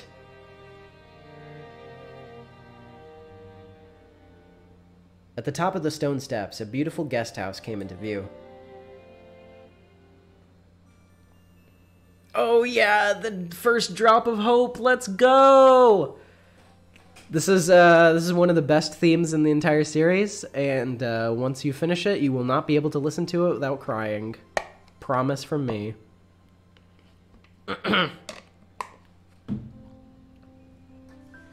its facade was lovely, of course, but even more than that, we couldn't help but have our hearts stolen away by the splendor of that beautiful rose garden that spread before it. Ah, It's as beautiful as ever this year. A real delight for the eyes. As they reached the top of the stone steps, the people welcomed in by the rose garden voiced their appreciation one after the other. Aren't the flowers less lively this year? It must be because the summer wasn't warm enough. I also believe that is so. When one compares with last year's blooming, it's a pity that this year's is somewhat inferior. Even so, it was a delightful rose garden. I remember that huge amounts of roses used to greet me every year, even over six years ago. This rose garden was the first thing that greeted the people who came to Rokkenjima. Even our parents, who came every year, couldn't help but let their wonder slip out. And moreover, it even looked like a powered up version of the garden from six years ago that was in my memories. This place is always so amazing. It would be wonderful to have a rose garden like this in my own home. Give it up. Who do you think would take care of it? Roses are a real pain with bugs and diseases to worry about. Yes, they are. In fact, I hear that Kirie Nee-san attends to her rose every day and makes sure that it doesn't get nibbled at without her knowing it. Huh? I haven't heard anything like that. What's this? Yes, I do. Though with him, it's the rose that goes off after the insect, so it's really more like some nasty carnivorous plant. Oh, so that's what you mean. Come on, Rosa. Can't you give that a rest just for today? I've put that sort of thing completely behind me. I wonder. After all, you're a womanizer on an almost genetic level. No need to worry, Rosa-san. If, if a rose gives me too much trouble, I just chop it off at the root. Such frightening talk this is. Guys who are popular with the ladies are always forced to live with danger at their side. I sure hope I turned out a bit prettier in my next life. Hideyoshi Nii-san, as I keep telling you, it isn't like that at all. And stop it. You're freaking us. You're freaking me out. You're making my rose wither. Hey, Maria-chan, look over here. These roses are especially magnificent. Roses are magnificent. Ooh, Mmm, smells pretty sweet. Look, this matches my elegance perfectly. Hey, cut it out! Maria's gonna imitate you and get hurt by the thorns. She yelled at me as I leaned in with an exaggerated gesture to smell the rose's scent. I thought she was overreacting, but when I turned around, I saw Maria imitating my every movement, and thereby putting a broad smile on George Aniki's face. Hey now, Maria-chan, be careful. Rose thorns can hurt. hmm? George Nii-chan, this one rose is strange. Hmm. Strange? What's wrong? Maria pointed to a single rose. I immediately understood why she found it odd. In the midst of all these magnificent roses, just one single rose was withering. There wasn't any particular reason. Some roses flourish and others wither. That's all there was to it, but Maria seemed very concerned about there being one un- only one unhealthy rose in a group of healthy ones. She must be feeling somehow like it's been left out. So, you feel sad for this rose because it's the only one that isn't healthy? Hmm. The others are all healthy, but this one's sad. Well, they all bloom and wither on their own. I'll bet the only reason that one withered now is because it bloomed earlier than any of the other roses. Yeah, that's right. It probably just bloomed all over the place, fulfilled its duty, and went to rest. You shouldn't get so worked up over it. Hmm. It seemed that Maria's pure sensitive nature was making her feel some emotional pain for the rose that had withered alone. Even though she understood the logic of it, it still felt lonely to her. Okay, Maria-chan, why don't you look after this rose until we leave then? Hmm? George Aniki straightened up and felt around in his pocket. He then took out the wrapping from the candy he'd eaten on the plane. He twisted it into a thin string and gently tied it to the rose as a sort of marker. Hey, that's pretty cute. Let's mark it with this. Later on, you can come and give it some water. I'm sure Mr. Rose will be happy. Hmm. Come to give it water. I think you should give Mr. Rose here a name. I'm sure that'll make it happy, and you'll get to know it a little better. Name? Name. Hmm. Though she still wore her usual sullen face, Maria crossed her arms and began to consider this intently. At the very least, she appeared to have been completely pulled out of her slump. Nice going, Aniki. George Nii-san's always been really understanding. Can't help but respect him. Yeah, I guess that's just his gift. We've got to learn some lessons from him. Was this garden as fancy as when you were. as this when you were a kid? It was only after I left the house that it became this grand. Though I was more fond of the previous rustic garden, Nii-san fiddled with it too much with a slightly questionable taste. It was much better the way it was before. Maybe you gotta think positive. No matter how it might have looked, its beauty now is something to be admired. You'll, you'll able, be able to relax a lot better if you look at it that way. I didn't mean it like that. I was just saying that I would have liked you to have seen the old, more wonderful, wonderful garden as well. Now then, everyone, if you please, I shall be guiding you to your rooms now. Goda-san called out to everyone to ask if we were ready. Our hearts had been completely stolen away by the rose garden after a year of absence, and we didn't lend him an ear. Since we weren't a travel group, it wasn't like we had a strict schedule to follow. Besides, for our parents, this was their fond old birth home that they had returned to, so they felt no obligation to be pressured by anyone. Understanding the situation, Goda-san continued to wait, with a wide smile, for our parents to lose interest in the roses and tell him to guide us to our rooms. My, hey, if it isn't Kanon-kun! It's been so long, how you doing? Uncle Hideyoshi suddenly shouted. The little scrungly guy of all time. The, the genderest little man the world has ever seen. In the direction he was waving, there was a slender boy. Meeting him right after a huge man like Goda probably emphasized his small stature. The boy was in the middle of transporting piled up gardening tools and the, the like in a wheelbarrow. When he realized he was being called to stop, he set down the wheelbarrow, took his hat off, and bowed his head. Good afternoon. I figured he was probably a bit older, um, probably a bit younger than me. I realized by the general atmosphere surrounding him that he was a servant, too. Though he did greet Uncle Hideyoshi back, he himself seemed like he might be unsociable. It was a greeting that lacked feeling. When Goda-san noticed that our interest had shifted over towards him, he went to the boy's side and introduced him to us. Battler-sama, I shall introduce you. He's one of the servants who serve at the Ushiromiya head house. Kanon-san, greet our guest. I'm pleased to meet you. this is the one that your ex showed you to try to convince you to read Umineko. That's really funny. I love Kanon. He is uh, so like muted, like depressed boy energy. Literally, yes, Mr. Sopping Wet Abandoned Kitten himself. He is so moody. I'm the servant, Kanon. Yep, my first impression wasn't wrong. He gave the feeling that he was unsociable, or maybe a bit of a poor speaker. In contrast with Goda-san, who was extraordinarily polished as a servant, it was impossible not to feel the immaturity you'd expect of someone his age. No, literally, uh, when you say Edgelord himself, um, Kanon is like... Kanon listens to Neutral Milk Hotel.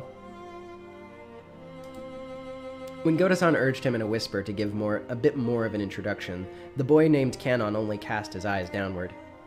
Kanon-san, could you perhaps give them a little more as a greeting? I can't. Because we are furniture. It seemed that he wasn't refusing to greet us out of spite, but rather he gave the, the impression that he didn't know what else to add to his greeting, and so could do nothing other than stay silent. Uh, um, Kanon-kun's a man of few words. He might not be that sociable, but deep down he's a really good person. Don't get him wrong. You've been working here for three years, was it? So yeah, you've been here long a year longer than Goda-san, right, Kanon-kun? Even though it's not like he made a super bad impression, Jessica hurriedly backed him up.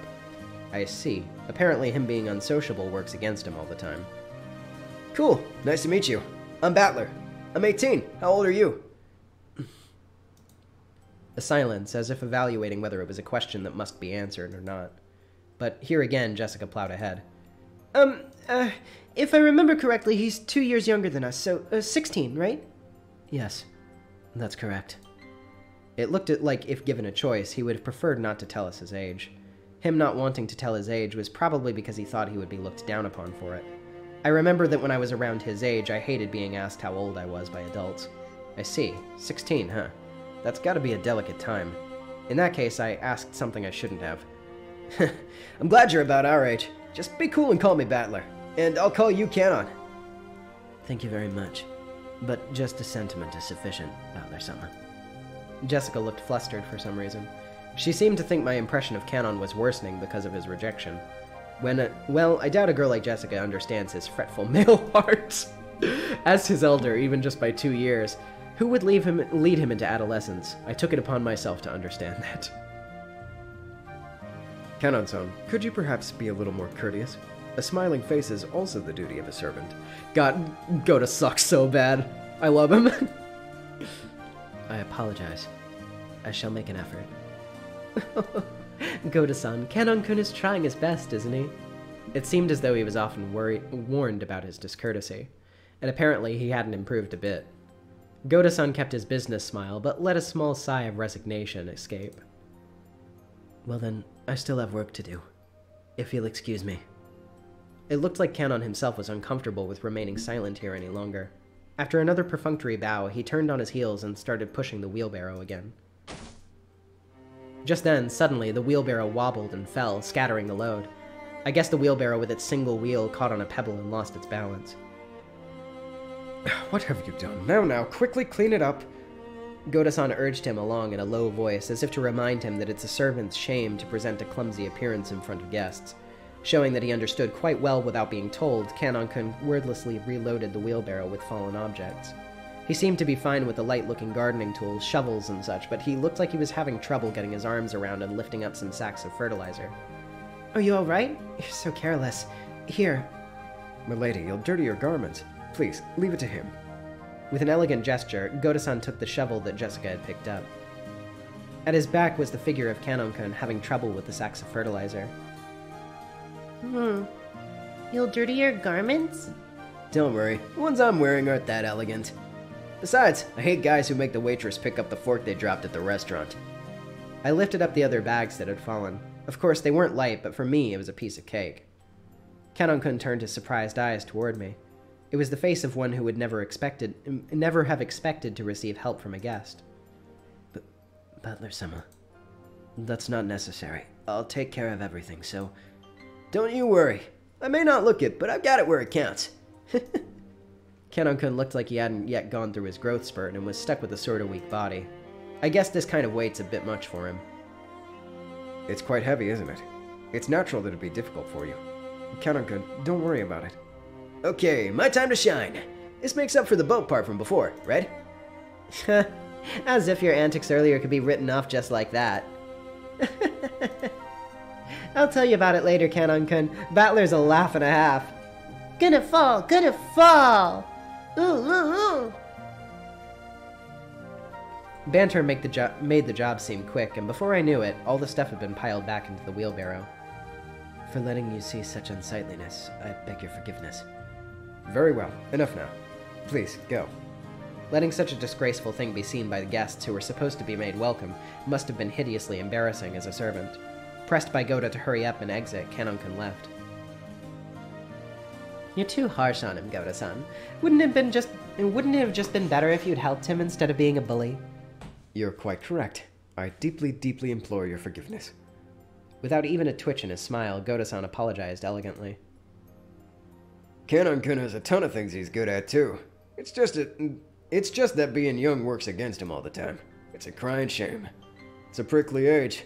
You be nice to him. Keeping a tight lip is just what you want in a servant. Right, Kumasawa-san? Rudolph-sama, you truly are harsh. There's no servant as silent as I, of course. Everyone smiled wryly at that shameless lie. Even she herself didn't believe that, not in her wildest dreams. She said that to loosen us all up. Yeah, that's the kind of character Kumasawa Baa-chan used to be. The mood had stiffened a little. The, the mood that had stiffened a little was clearing up in a twinkling, thanks to Kumasawa-san's cheerful smile. I'd like to put down the luggage soon. Goda-san, how are we to split up for our rooms? It shall be the same as last year. I shall guide you. Please, this way. We headed towards the trim and elegant guest house. This was going to be our temporary quarters for a night.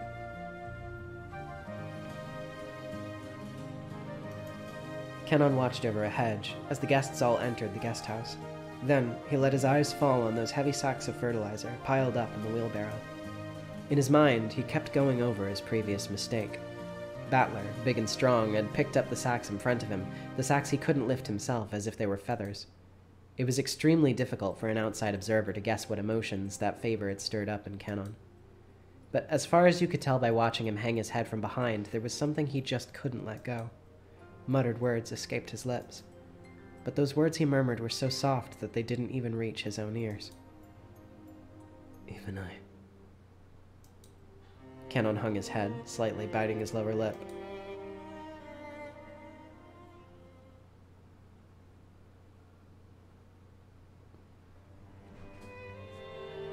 I remember the Rose Garden, but I don't remember this guest house at all. Was it built like recently? Tarayan, Visitor's Retreat, was written on a gatepost like thing, but since everyone called it the guest house, I followed their lead. The brand new Western style guest house that stood overlooking the Rose Garden had a magnificent design carefully done in harmony with the garden. Correct. It was built just the year before last. Since then, we've been having them they've we've been having them let us sleep over here. yeah, because people seem to like this place more than that junky old mansion we had forever. I wish my room was over here. Hmm. I want one too. Want one too. I guess you could call my house upper class as well, but I was reminded again how completely ordinary it was compared to the head house. It showed a shock- shocking display of wealth that they would build this kind of awesome guest house for guests who would come over like once a year. Eva-sama, Hideyoshi-sama, please do make use of this room. Rudolph-sama, Kirie-sama, please make use of this room here. Ah, yes, I do appreciate how elegant and pretty this place is. Western style truly is wonderful. I can handle the Western style for a few days, but any longer than that, you need the good old Japanese style. Japanese people just relax best on tatami mats. They've been fighting over making our new house Japanese style or Western style. Mother still holds a grudge about father having started the construction as Japanese style, and they bicker all the time about it. Your parents get along so well, George and Isan. I'm jealous as hell. Mine are so frosty, and yet they're right with each other when it comes to my grades. All the rooms seem to be two person. I was grateful because now I wasn't going to be forced to share the same room with the old bastard for some bullshit reason like being family. Because besides, I figured those two wouldn't be able to enjoy themselves with someone like me around. What's that creepy smile all about? You're thinking about something dirty, aren't you? Something dirty? Of Course not. Please enjoy your stay. Ow! That hurts, you old bastard! Once again, Dad pulled my ears from behind. Cut the crap. I'm getting a stomach ache and I'm not in the mood for this. You're the guest of honor this time around. You play as nice as possible with Dad and Aniki and the rest. At the very least, pay attention to what you say in front of Dad, got it? Because wisecracks go over like a lead balloon with him. Jessica chan, what's the mood of our family head been like lately? Hmm. Same as last year, I guess? Uh, considering they keep saying he's got three months left, he's as lively, grumpy, and irritable as ever. Meaning, he's in his usual bad mood again this year. And the only one who's able to take care of him is Genji san? Seems the master will only open his heart to Genji-san. What did they mean by this? Lately, us small people cannot, and cannot even get an audience. He'd shut himself up in the study again, probably doing nothing but that weird black magic of his. What he does for his hobby is his own damn business, but when he starts stinking up the place, it really gets on my nerves. He can just stay in that study and never come out again for all I care. You shouldn't talk like that about the elderly. We're all indebted to him since he rebuilt the Ushiromiya family. A little gratitude wouldn't hurt. Mm, well, sorry. After being rebuked by George Aniki, Jessica had no choice but to take back her thoughtless remark. The Ushiromiya family was wealthy beyond belief, but that of course meant that all of its members were eccentric people, completely at odds with the rest of society. The head of the family, standing at its peak, in other words, our grandfather, seemed to be a particularly eccentric and terrifying person, even for our family. Dad said he was uh, getting a stomach ache earlier, but I guess that was what all the adults who came here today were actually feeling. No doubt they were jealous of us, the grandchildren, just playing and laughing without a care. From the stories Dad told me, the head of the family was a violent man who rained blows on his sons with his own fists and even beat his daughters mercilessly with a wooden sword. If he was such a staunch traditionalist with his kids, why wasn't he the same with their names? Because of that, even us grandkids had to suffer. Well, I have absolutely no trouble believing that terrifying image they paint of him. I don't have many memories of meeting him over the years, but I do remember his face was full of menacing thunderclouds, always making the people around him shrink away with a sharp look. I remember that the room's atmosphere got so tense whenever he was around you couldn't even breathe. When my dad's what my dad said right now about me being the guest of honor now carries a little more oomph for me. Six years ago, I was in grade school, but I'm in a I'm a high schooler now, so there's no getting away from it. If I don't show him respect, Things will probably get serious. Whew, scary. He does look frightening, but he's not completely terrifying. He's definitely never unfair. He's just not a pretty talker, that's all. But George Nii-san, you've been the family darling since like forever because of your awesome grades, right? Grandfather treats us completely different. Like me, I've gotten slapped with a wooden sword. On my ass. My ass! On my maidenly, maidenly naked ass! Well, you're the heiress of the head house, Jessica-chan. Grandfather's giving you special attention. You have to realize that his strictness shows how much he's expecting of you. Shut up, George. Oh, come on. Seriously, I could just turn the succession over to you, George Nii-san. It's a bit of a heavy burden for me to carry. I think I already said it before, but Jessica's the daughter who will inherit the head house. The pressure on her shoulders must be different from us cousins of the branch families. Huh? Jessica Onee-chan, heavy? If I hold it, will it get lighter? Hmm? Thanks. It's alright. It's not gonna get pushed on you, Maria-chan. I'm gonna bear that cross until my grave. Don't worry. While grateful for Maria's innocent consideration, it seemed that Jessica could not easily rid herself of the anxiety for the future that remained visible on her face. I guess I'm no different. Any high schooler with exams looming ahead is bound to have an anxiety for the future they can't hide. Maria, come here. You'll be in this room with Mom. Battler-kun, apparently you're with me in this room here. Oh? This is a surprise. It's bigger than our parents' room. Wow! I figured us cousins are all probably gonna gather in one place anyway. So I went and told them to make it a biggish room. Oh, I like here best too. Here's better than being together with Mama. Ooh, ooh. Okay, you like it better here too, Maria. Alright, this room is George's and mine, but uh, we'll give you special permission to come in. Keep it a secret from your mom, alright? Ooh, secret. Her mother, Auntie Rosa, was right behind her, but Maria still answered, striking the air with her fists clenched tight. After our parents put the luggage in the rooms, they gathered again in the corridor. See? So, brats, what are you gonna do? You cousins just gonna stay here and chat? seemed they were heading to the mansion to announce their arrival. Normally, we would have to, have to follow them and greet everyone together. But in, if that had been the case, Dad would have just said, You guys come too, and had been done with it. He's telling us that it's alright if we don't come, so what'll we do? It's gonna be time for lunch soon anyway. Better let the kids unwind here. Besides, if worst comes to worst, this might be the last chance they get to play outdoors. Ooh, I'll go too. Maria, you house sit for Mama, okay? You behave yourself and wait here.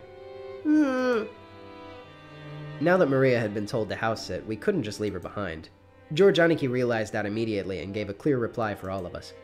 Well, we'll accept your offer and house it. We have lots of stories to tell each other after a year. That would be best. And Battler-kun has six years worth to tell, after all. Yeah, yeah. I'll take care of the house like a good little boy. Kumasawa-san, I'm gonna stay here too. We'll leave the rest to the adults and us kids will break rank.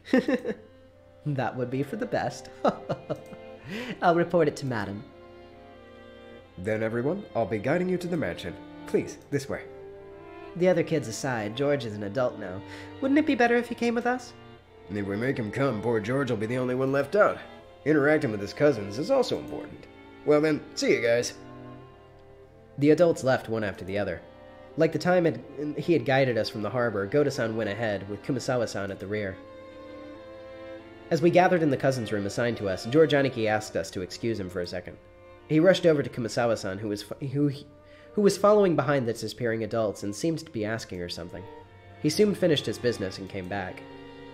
What's up, Aniki? Ah, nothing. Is she gonna show up soon? Am I remembering that right? Yes, I believe so. I believe that is coming up soon. Ooh, ask me too. Ask me too. Hmm? what could it be that George Nii-san asks Kumasawa-san and doesn't ask me, I wonder? Ah, I don't have a clue. Uh, no, y- you misunderstand. I'm not sure what you're misunderstanding, but Aniki was getting pretty tongue-tied. It's like he has something to hide and Jessica has the dirt on him. Whatever it is, something only Jessica knows and I don't is no fun at all. Hey, Maria, it's not fair that we're the only ones out of the loop, is it now? We want to hear what they're talking about, don't we? Hmm. Battler and me want to know too. Battler and me want to know too. Ooh, ooh, ooh, ooh. Both of them at the same time. I fooled around while ooh oohing together with Mar- Maria. No, I'm telling you, it's no big deal. Liar! You suck at lying. Now confess. Maria, you tickle his right side, I'll tickle his left. Hmm. Me on the right side, Battler on the left. Wait, wait a second. Wait, you two. Stop. George Aniki rolled around on the bed in an effort to get away, and Maria and I played around, chasing him. There's something in the back of my mind telling him, telling me that I'm a high schooler now and not a damn kitten, but in spite of that, I miss this kind of fun. A warm kind of fun. what George Nii-san was asking Kumasawa-san, see? Hmm? Well, you know how it is. It's been a year since he last came to the head house. Apparently, he's really dying to say hi to any servants that might have joined or quit in the meantime, see? Hmm? See hi? I'll say hi too. What the hell? That's not anything to feel guilty about, Aniki. Huh? That's not it, is it? Maria, don't be fooled. Aniki is still hiding something. Resume interrogation! Stop it, seriously. Maria-chan, you too, stop already. They're probably busy with cleaning lunch and cleaning her lunch arrangements. It's alright, we'll go and greet them properly afterwards. Basically, you wanted Shannon out there to greet you, not that Goda getting in the way, right? Shannon. Shannon. Ah. I remember that girl. She's still a servant now? How is she?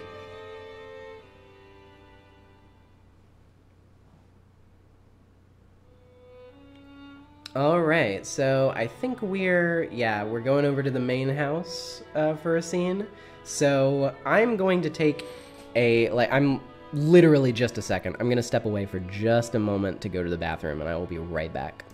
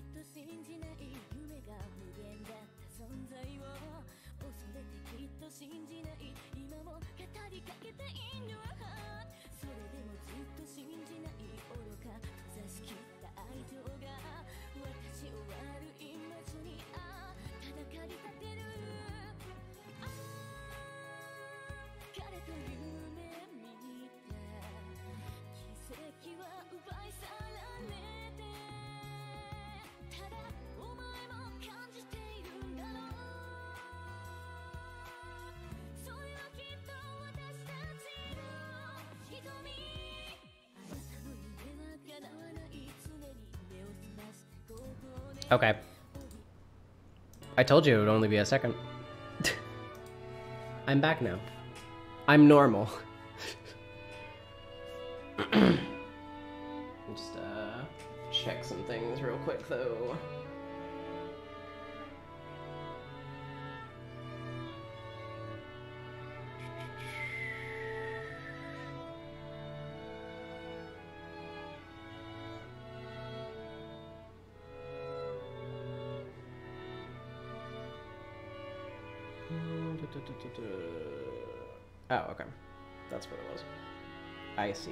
See. I see.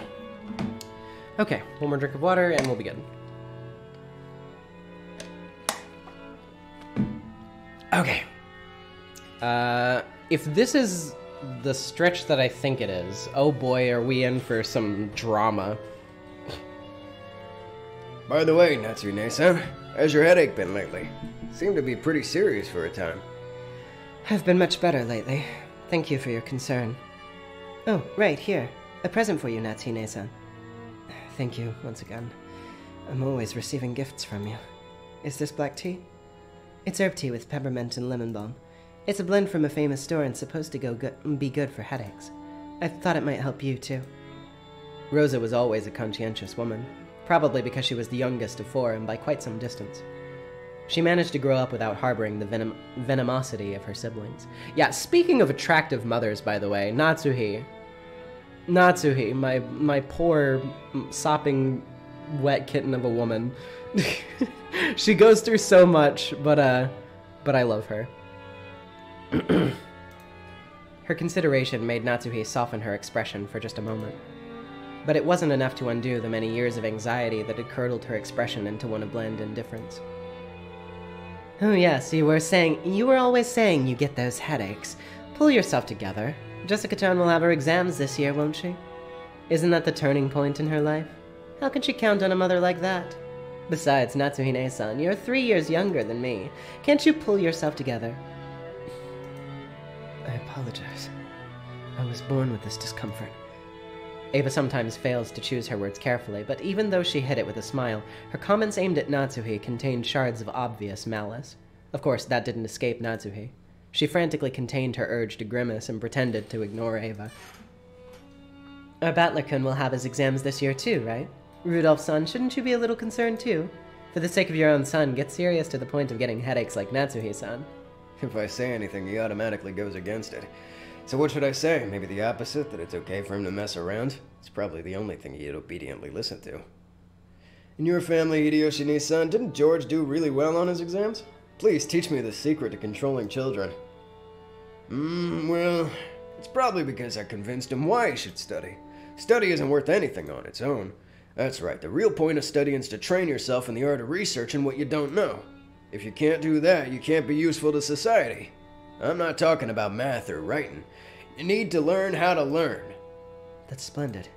It wouldn't be nice if our Jessica could understand that, though. I don't mean this too seriously, but as it is, as an heiress of the Ushiromiya family, she's. Do you really have to force her into becoming the successor? Women have to find their own happiness. Parents shouldn't be deciding that for their children, right? Hold your horses, Eva. Each family has its way to raise their children. You shouldn't be too pushy. I'm sorry. Natsuhi Nee-san, don't take it the wrong way. Though the light shining in through the window was quite warm despite the cloudy weather, there was a dark mood about the room, which probably caused headaches for other people besides Natsuhi. As if to brush away that mood, Kirie brightly made a suggestion to all present. Still, this black tea has a really lovely aroma. Let's drink it at once. I believe that in Japan you can't buy something like Leopold's black tea anywhere but Ginza, right? Uh, Psycho Dog gave the five dollars. Great voice acting. Thank you so much. I really appreciate that. Kirie Nee-san, how knowledgeable of you. Do I still have the alert box? Yeah, I do still have the alert box on. I guess it really is just late. I don't know why it's so late. It really was worth buying. Kyrie and Rosa stood up from their seats and made as if to prepare the black tea. Natsuhi forestalled them. Thank you both. Let us save that for later. One of our people will soon be coming to bring some tea, so please relax. Leave it for later, you two. Let them treat us to a welcome drink at least. Rudolph gave a subtle signal with his eyes for them to sit down again.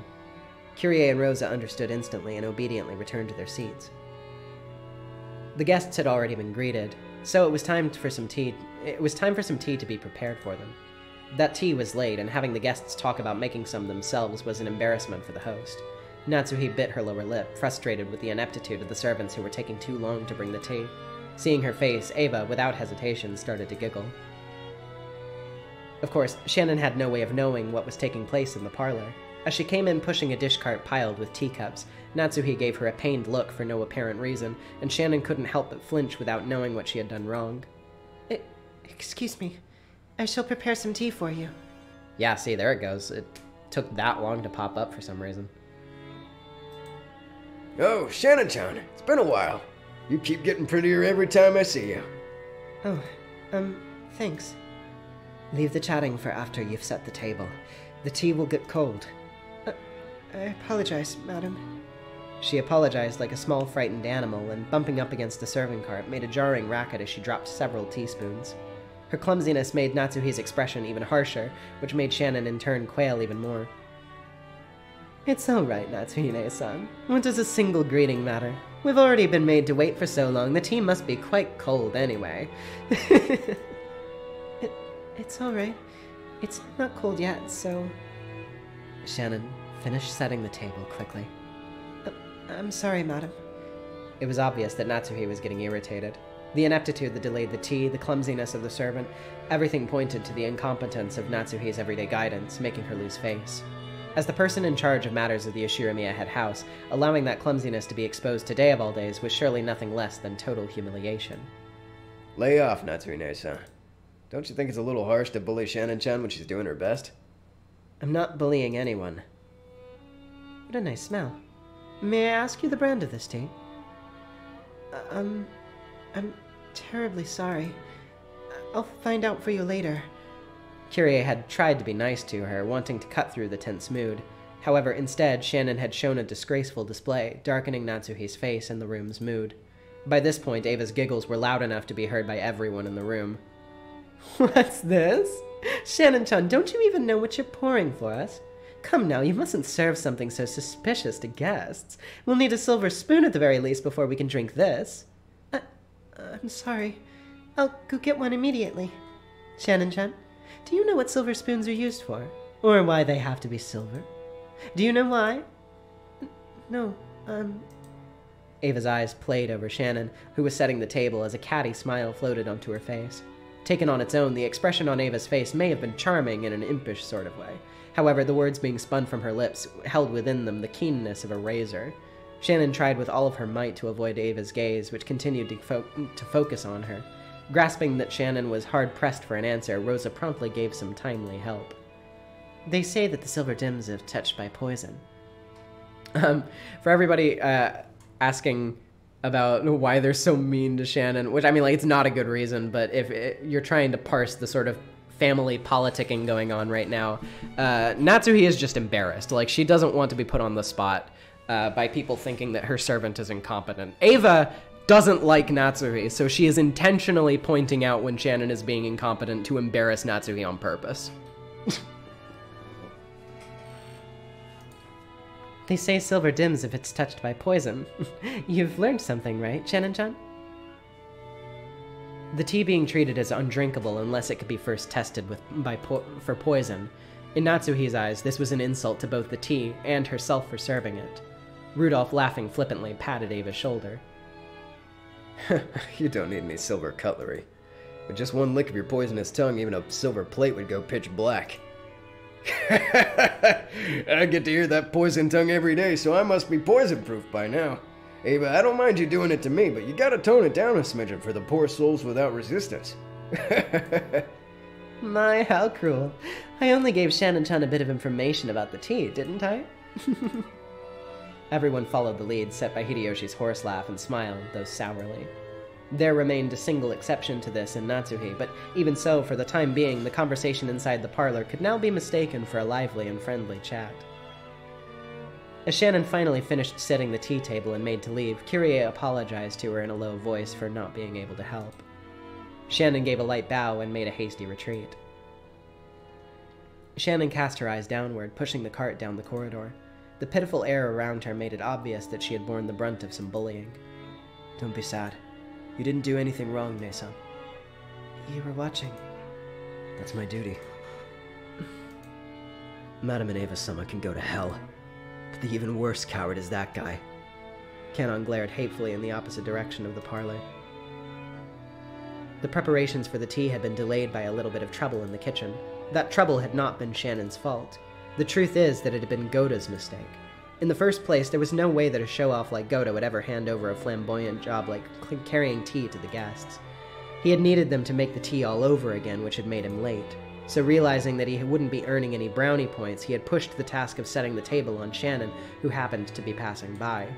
One tru- could truthfully call it being shrewd, and one could unquestionably call it cowardice. It's all right, Kanon-kun. Thank you. I really don't mind. Kanon's silence vividly showed that Shannon's words weren't coming from her heart. Thank you. Even if you're the only one who understands, I still feel a little better, I think. You bottle things up too much, Nee-san. You should be less hard on yourself for once. Yeah, thanks. Suddenly, they both felt someone's presence and whirled around. An elderly man stood there. It was Genji, the head servant. What are you doing here? Shannon, hurry back to the kitchen. Yes, if you'll excuse me. Shannon humbly obeyed and promptly made to push the cart and leave. However, Kanon appealed to Genji in silence, bearing something in his eyes that he could not express in words. What is it? Did something happen? Sh- Shannon didn't do anything wrong. But those. Stop it, Kanon-kun. If you'll excuse me, I'll return to work immediately. Kanon-kun, you too, go back to your post. Please. Uh, what is Kanon's and Shannon's relationship status? Uh, it gets explained a little bit later on, but basically, uh, they regard each other as siblings because they come from the same orphanage, but they are not technically related to each other. Uh, they just have a very sibling like relationship. If you say so, Nee-san. If there's nothing, then go. Yes. If you'll excuse me. From the shadows in the hallway, an old woman wearing an apron watched over them. It was Kumasawa. How heartrending. Shannon-san, Kanons, Kanon-san. There's no reason for you those two to be picked on, but it cannot be denied that they're disliked by Goda-san. Before Goda-san was taken in by the Ushiromiya head house, I heard he worked for a fabulous hotel somewhere. I do think the manner of work he learned there was quite something. It's just that Goda-san is the newest servant here. He must have a lot of pride accumulated from his previous posts. Because Shannon-san and Kanon-kun are his seniors here at the mansion, and yet are inexperienced and have gone through much less in life than he has, he picks on them at every chance he gets. And also, although it's terrible, they're hated by Madame Natsuhi too. Of course, in terms of experience, Madame has been in the family much longer. However, I must feel some sympathy for Madame as well in this case. The master is a truly cruel person. Why could he have not realized that his trifling whim would pass such an inferiority complex onto Madame? Naturally, deep inside, even Madame fully acknowledges that there's no reason to treat those two so harshly. However, the, the heart has reasons that reasons know not. Ah, how heartrending. I cannot do anything but watch over them from the shadows.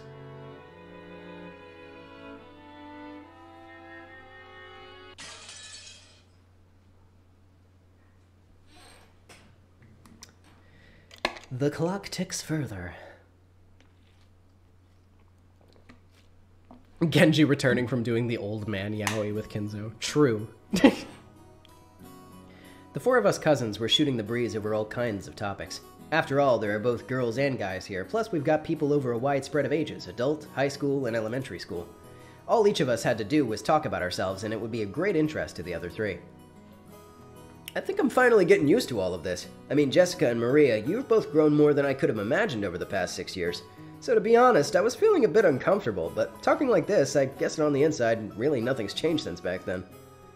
Right back at you. Even after six years, you haven't changed a bit. Although your body's gotten gigantic, you're still just a kid inside. Hmm, I'm a kid too. I'm a kid too. Well, you aren't gonna be a kid forever, are you, Maria? I mean, you're gonna grow from being a kid to a cute young lady, aren't you? And when that. Uh, yeah, okay, shut up, shut up, shut up, shut up, shut up. Shut up, shut up, shut up! We're just gonna skip past that line.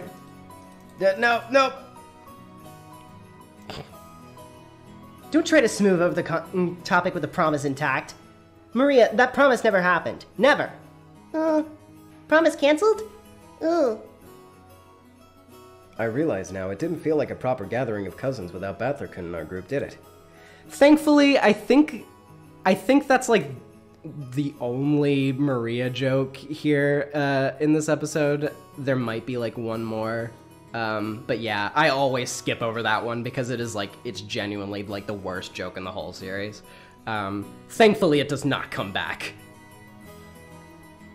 I realize now, it didn't feel like a proper gathering of cousins without Battler-kun in our group, did it? These six years have been kind of lonely. That's true. We weren't able to goof off like this. Still, we did have some pretty constructive conversations, don't you think? Stuff about preparing for our future, exam taking, or finding jobs. Ooh, ooh, I'm sorry. Now that I'm here, this, there's just a stupid babbling. But I'm having fun this year. Ooh, ooh. That's true. I agree, this year's the most fun. Maria's sincere words probably spoke for everyone. When George Aniki stroked Maria's head, she giggled like a happy kitten.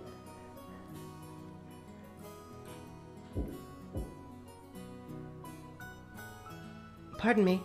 Your meal's prepared. Okay, so there, uh, there there is a slightly cringe joke with Shannon here too. Uh, it's still kind of bad, but it does actually give you kind of a, like a piece of information that you need to know. So we're gonna have to like stomach that a little bit. Jessica answered brightly. Shannon, come in. You remember Battler, don't you? Jessica stood up from the bed and opened the door. There stood a servant girl who was definitely about our age. It's been it's been quite some time since we last met, Battler-sama. It's nice to see you after six years. I'm Shannon. Noting my presence and trembling a little, she bowed deeply. Wow! Jessica had me surprised, but Shannon-chan, you've shocked me just as much. You've turned into a total beauty too, haven't you? Uh, Your words are too good for me. Seriously, the food on this island must be really nutritional, no? What are you eating? What are you training to get boobs that big? Yeah, yeah, yeah, okay, yeah. With both hands poised and yep, yeah, uh-huh. For the sake of my honor and justice, I'd like to point out that I don't suffer from some strange disease that make my lymph nodes itch until I scratch my neck open, which can only be prevented by doing that. It just my battler style way of communicating. Shut Uh, this is a, yeah, okay. So as as you see, he's planning to get hit. That means I don't I really do get to touch them in that 1 in 10 chance though, right? I'd never ask for that much though. By now, my hands were less than a centimeter away from Shannon-chan's chest, but the counter strike had yet to come. You'll you'll get it in just a second. It's coming. She understood what was going on, and she and she was blushing and had her head lowered in embarrassment. But she was just standing there with both hands politely joined in front of her, not even trying to resist or cover. Yeah. Whoa! I wasn't planning on this. Please hit me right now. At this rate, I'm seriously gonna touch them. Which is why I was glad that Jessica chose that time to drive her elbow into the back of my head. So yeah, uh, it uh, it is really kind of cringe, but the the bit of info that you're getting from this, uh, which is really like distressing, is that Shannon is way too like, just like, oh yeah, I'll just bow my head and like take whatever, you know, like. Unfortunately, that is just how like she as a servant behaves. She has like absolutely no like you know self-preservation in that sense. She's just like whatever you want to do to me, do to me. Um, so it kind of gives you a very clear impression right off the bat of like, oh, geez, the the servants here are not treated very well, are they? What the hell are you thinking? Why the hell are you thanking me? No, no, my bad, Shannon-chan. Looks like I got a little too absorbed in your hypnotic chest. No, more to the point, when someone gets that close, they've clearly got criminal intentions. Seriously, you've gotta resist. But but you're an exalted guest, Battler-sama. Now, look here, a crime's a crime whether I'm a guest or not. 10 centimeters around a girl's chest is like an air defense identification range. If someone trespasses within 2 centimeters, that's already an invasion of airspace, and you launch a slap to the face on high alert. I I couldn't do such a thing. We're that is furniture and Of course, she didn't want her. Yeah, you know. But if a guest so desired, she intended to sacrifice her own needs in an effort to accommodate them. A girl like this needs some urgent protection. In these days, to think there's such a dedicated and virtuous girl like this makes my head spin. But no, no, no, no! Uh, yeah, I come up with you a perverted face, you smack me down! No pervert! You gotta complete the joke or it doesn't work. Please, it's a polite request. Smack me! Like this! Smack! Like this! Smack! I cannot comply with polite requests because I'm furniture. But I will comply if it's in order because that's my duty. Then I'll make it an order. From now on, if Battler-kun tries to touch... Yeah, you are to counterattack with a slap. Alright?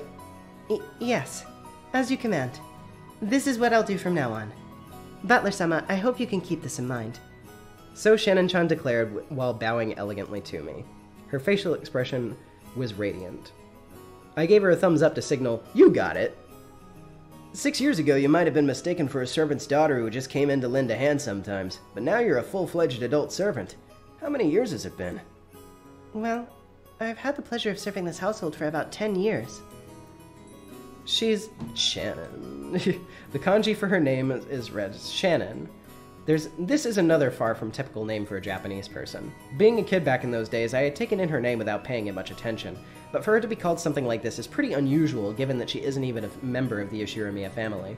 Maybe it's like a servant's professional name or something. If so, I can kind of understand why that, that Kanon-kun's name sounds the way it does too. She's a long-term servant who served here since she was six. Yeah, buddy, you, you're gonna you're gonna put that child to labor or what? Like, God, that sucks. How are you gonna make a six-year-old work a nine to five? Since her body had changed radically, she didn't match my memories, but we used to know each other six years ago. It looked like she was just as shy as she had been in the past, but I got the sense that she had become imbued with the charm befitting of a girl her age. Es- yeah, okay, shut up. That kid we met earlier, Kanon-kun, is her little brother. He's not exactly my little brother. Still, he loves me like a big sister. He didn't cause you any trouble, did he? He's the same as always. It's such a shame that he doesn't act just a bit more sociable. It seems Kanon-kun has caused trouble. I apologize. He didn't cause any trouble at all. As a fellow man, I understand how moody you can get at that age. It's no surprise that he's unsociable. Oh, I get called that all the time too. I get called unsociable. Like Kanon. Ugh. Maria-sama, you're not un- you're not unsociable at all. Hmm? It was nice to be like him. Hmm. Um, you said the meal was ready, right? Uh, yes. My apologies. The preparations for your meal have been carried out, so I shall be guiding you all to the mansion. Shannon bowed again formally and returned to her duty mode. We realized that if we made her stick around for any more light conversation, it would actually make it harder for her to do her job, so we got up off our butts to avoid interfering with her work any further. Shall we go to the mansion then? You're all probably starting to get hungry as well, right? Sure am. I always look forward to meals when Goda-san here is cooking. That guy seems he was a chef at this famous hotel, so he's super good at it. Oh ho! I'm looking forward to that. Let's go, Maria. We're gonna stuff ourselves like pigs. Huh. Stuff ourselves like pigs. No, no. You can't just take everything Battler-kun says seriously, okay? Because it's all jokes. Come on, let's go. Under Shannon-chan's guidance, we headed towards the mansion.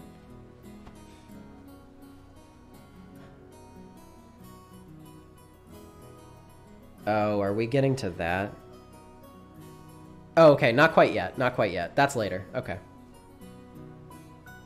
There's a there's another scene in the Rose Garden that's like Oh god. It's it's not like it's not the humor, don't worry about it. it it's it's just, you know, upsetting subject matter. Well, I'll warn for it when we get to it. Met once again by the magnanimous, magnificent Rose Garden, we continued onward as it came into view. Oh my god, I'm so stuffed up. Hold on just a second. I'm gonna mute myself.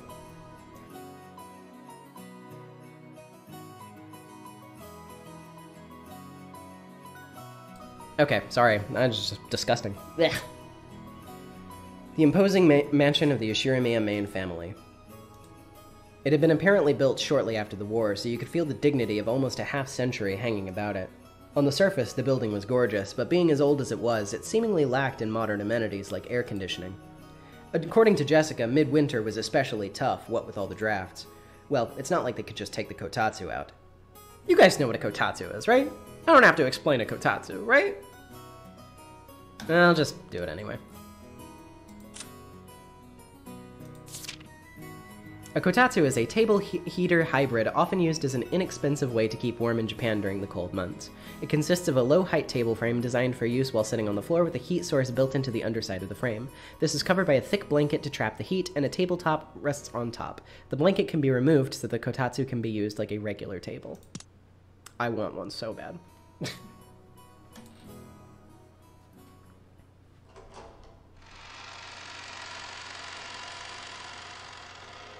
Genji jump scare. As we entered the entrance hall, an aged servant greeted us. Now, him I remembered. As the most senior member of the staff, Genji san served as the head of the servants. Battler sama, we've not met in a long time. As our eyes met, he saluted us with a composed voice. He didn't give us as quite a refined bow as Goda's, but it was a bow that had feeling, even if it wasn't polished to the same degree. Genji san, it's been absolute ages. You look well. Thank you. I've been quite well. And you, Battler-sama, I see you've become a splendid man yourself. I would even say you've grown to somewhat resemble the master during his youth. I'm looking like grandfather? I guess that means grandfather was pretty popular when he was young. Uh, word is that the Umineko anime is terrible. Yes, it is especially terrible. Like, just the the most terrible you could possibly imagine. Um, it is not even worth watching. Uh, they screw up one of the like fundamental uh, clues of the mystery as well, so it literally makes it functionally impossible to solve. Not even counting the fact that they didn't even finish it. They only got through episodes uh, one through four, and there are eight. So, yeah, you just have to either read the VN or the manga. Uh, the anime will not be a good experience. From here on, I shall take Shannon's place and accompany you. Please, come this way. Shannon-chan bowed deeply and saw us off. Leaving the entrance hall, we headed to the dining hall under Genji-san's guidance. Genji-san, just like Kumasawa-san, stood in stark contrast to us young people who had grown beyond recognition over the last six years. His figure was exactly the same as in my memories of six years ago. It seemed like time had stopped since we last met. Genji-san was a silent and diligent person. He was like grandfather's close aide or caregiver. In fact, you could even go as far as to say he was grandfather's right-hand man. Actually, it seemed that he was by grandfather's side more than my late grandmother was. What did they mean by this? According to Jessica, grandfather trusts him more than any of his blood relatives. But I wonder how long he's served. I've never asked for details, but I think I heard he's been here since the beginning, when this mansion was constructed. That is to say, he's dedicated over half his life to serving here. No wonder grandfather trusts him. As we cut through the open ceilinged hall behind Genji-san, I found something I had no memory of from six years ago. Oh boy, here we go!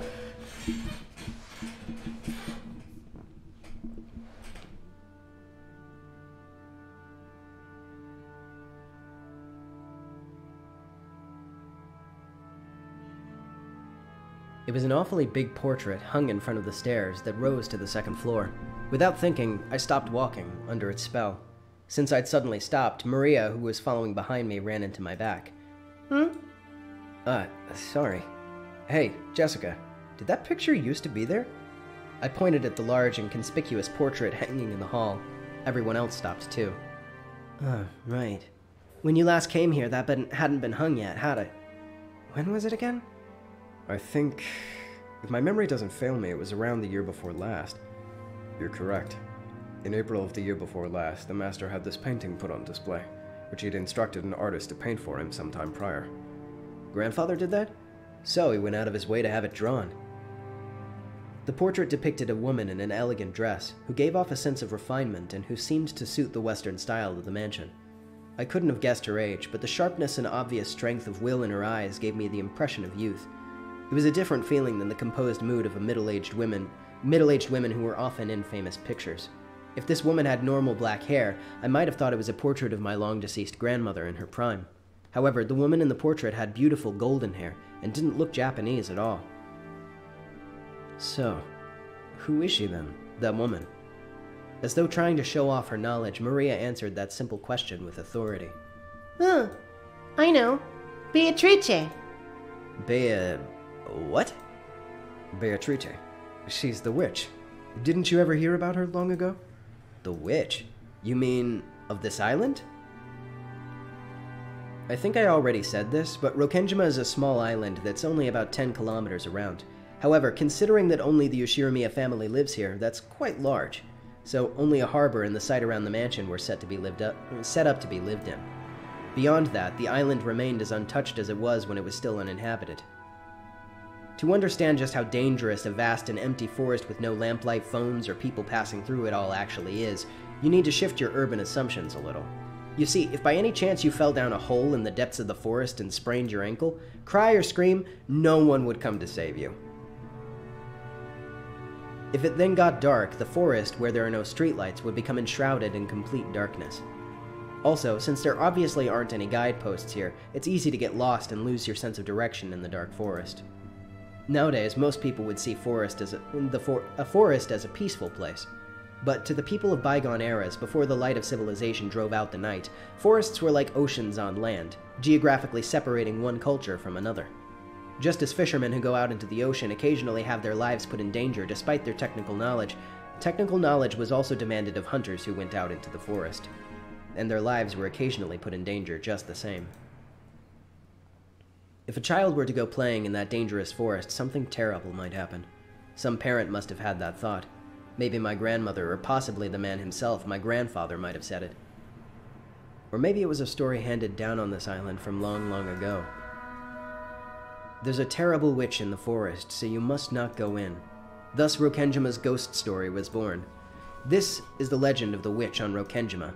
So when we say the witch on this island, we're referring to the master of the vast and savage forest.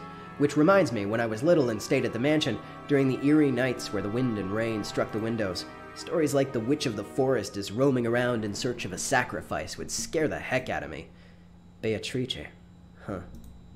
As I searched my memory prompted by Aniki, I did vaguely remember being told that was her name when I was very small. Right. Still, I completely forgot that the witch of that legend had an elegant name like Beatrice. God damn. Don't tell me grandfather went out of his way to have her depicted in this painting just because it, us grandchildren refused to believe him. It's that witch from the grand, grandfather's delusions. Ever since he had this picture hung up, he's been losing the distinction between fantasy and reality. To us, it's no more than a witch from his imagination, but to grandfather, she's a being who exists on this island. Exists. That's why he says he had that picture painted, so that we'd understand. Creeps the hell out of me. Milady, to the Master, this is an important portrait. I must request strongly that you not say such things in front of him. I know that. You couldn't get me to say it even if you begged me. Jessica turned away after glaring a second at the portrait. Let's go. We're making every, everyone wait in the dining hall. Hmm. Hungry. Only a small portion of this island is controlled by the Ushiromiya family. If all of the wild remainder was the witch Beatrice's domain, then one could say that she was the being who actually ruled over Rokkenjima. That unsettling, ominous feeling I had felt on the boat trip when I learned that the shrine had been struck by lightning revived within me just a bit. At that time, Kumasawa-san had been trying to tell an ominous story about Rokkenjima and had been stopped by Jessica. I didn't know what she had tried to tell us about this island, but there was one thing I did know. Rokkenjima's ruler was not the Ushiromiya family. It was the witch, Beatrice. Yes, because this was the witch's island. Battler! Ugh, slow! When I looked around, everyone was already heading towards the dining hall. I hurriedly chased after them.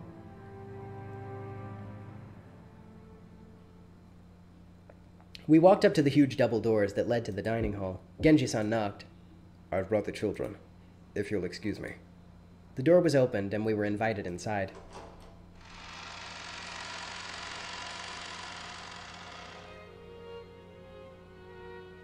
The dining hall, which screamed filthy rich, featured a super long table which was obviously designed with no other purpose than to make the guests conscious of their rank, and our parents were already seated at it in accordance with that ordering. You're late, brats. Hurry up and take your seats. That old bastard pressed us to sit. Only the places where we would sit were empty at the long table, which only made us feel our tardiness all the more. The seat at the very head of the table, which you might call the seat of honor, was for the most highly ranked and reserved for grandfather. It was still empty. He was probably planning to come in last to make himself look important. The seating order, as you faced the seat of honor, went from right to left, left to right in rows of two, with the ranking being lower the further you were from it. So on the left-hand side of the row closet closest to the seat of honor was the second-ranked seat, belonging to the eldest of the adult siblings, Uncle Krauss. It looked like he hadn't arrived yet e- either, so that seat was empty. And then opposite of him, on the right-hand side of the first row, sat the eldest daughter of the family, Auntie Eva, ranked at number three. The left handed side of the second row was for number four. There sat the old bastard Rudolf as the third of the siblings.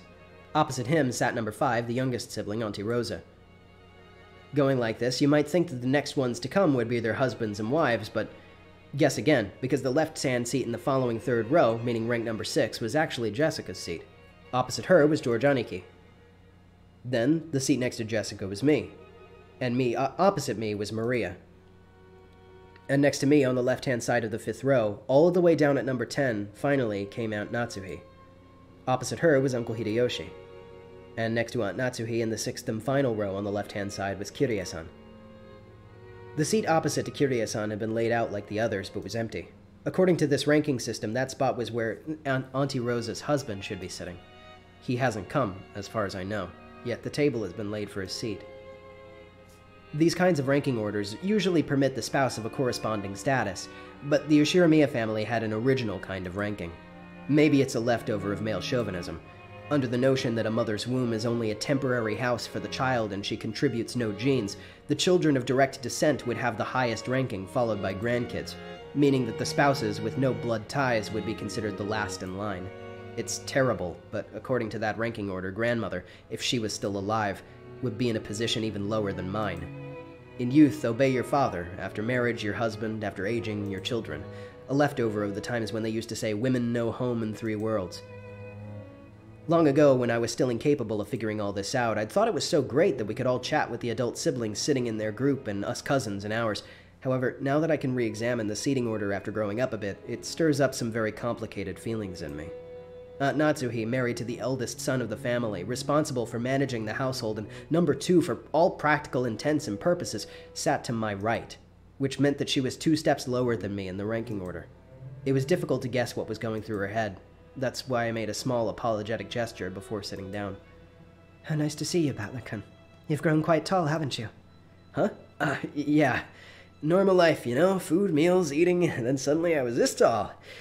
Boys do grow fast, don't they? How tall are you? I guess about 180 centimeters? No, wait, you missed your moment. You're supposed to jump in with, did you do anything besides eat? Huh? Um, I'm sorry. After a moment, she gave a small laugh, but it seemed she couldn't quite figure out what she was supposed to be laughing at. This woman is Aunt Natsuhi. She's the wife of the eldest son of the family, meaning she's my dad's older brother's wife. It's easier. Is it easier to get if I just call her Jessica's mother? It feels bad to say it like this, but not that I hated her, but I didn't particularly like her.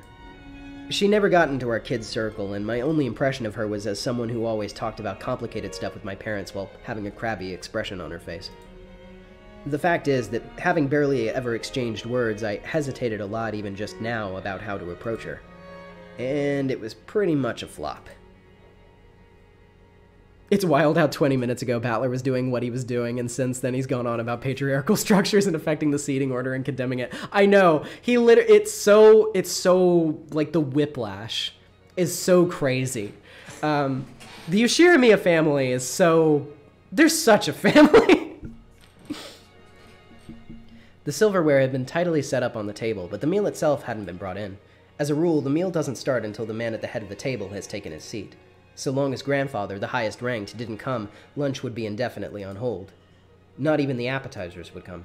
In other words, the silence in the dining hall was the sound of our parents as they withstood their hunger and waited on tenterhooks for father grandfather to come. Except the grandfather I remembered always showed up at the right time when we ate together like this. He wouldn't ever have been so late as to have everyone waiting on him. Grandfather's pretty late. As far as I can remember, he was always strict about staying on time. Well, maybe six years ago, yeah but not lately. Seriously, he's off in his own little world now. He doesn't even show up at family meals. I figured he'd at least stick around for today's meal, though. That said, if he doesn't turn up, I'll be a hell of a lot more relaxed and happier to boot. Jessica. After being scolded by her mother, Jessica faced the other way, sticking her tongue out. No way around it. Nothing to do but wait for the host to arrive. When I glanced at the clock, I saw that it was almost 20 minutes past 12.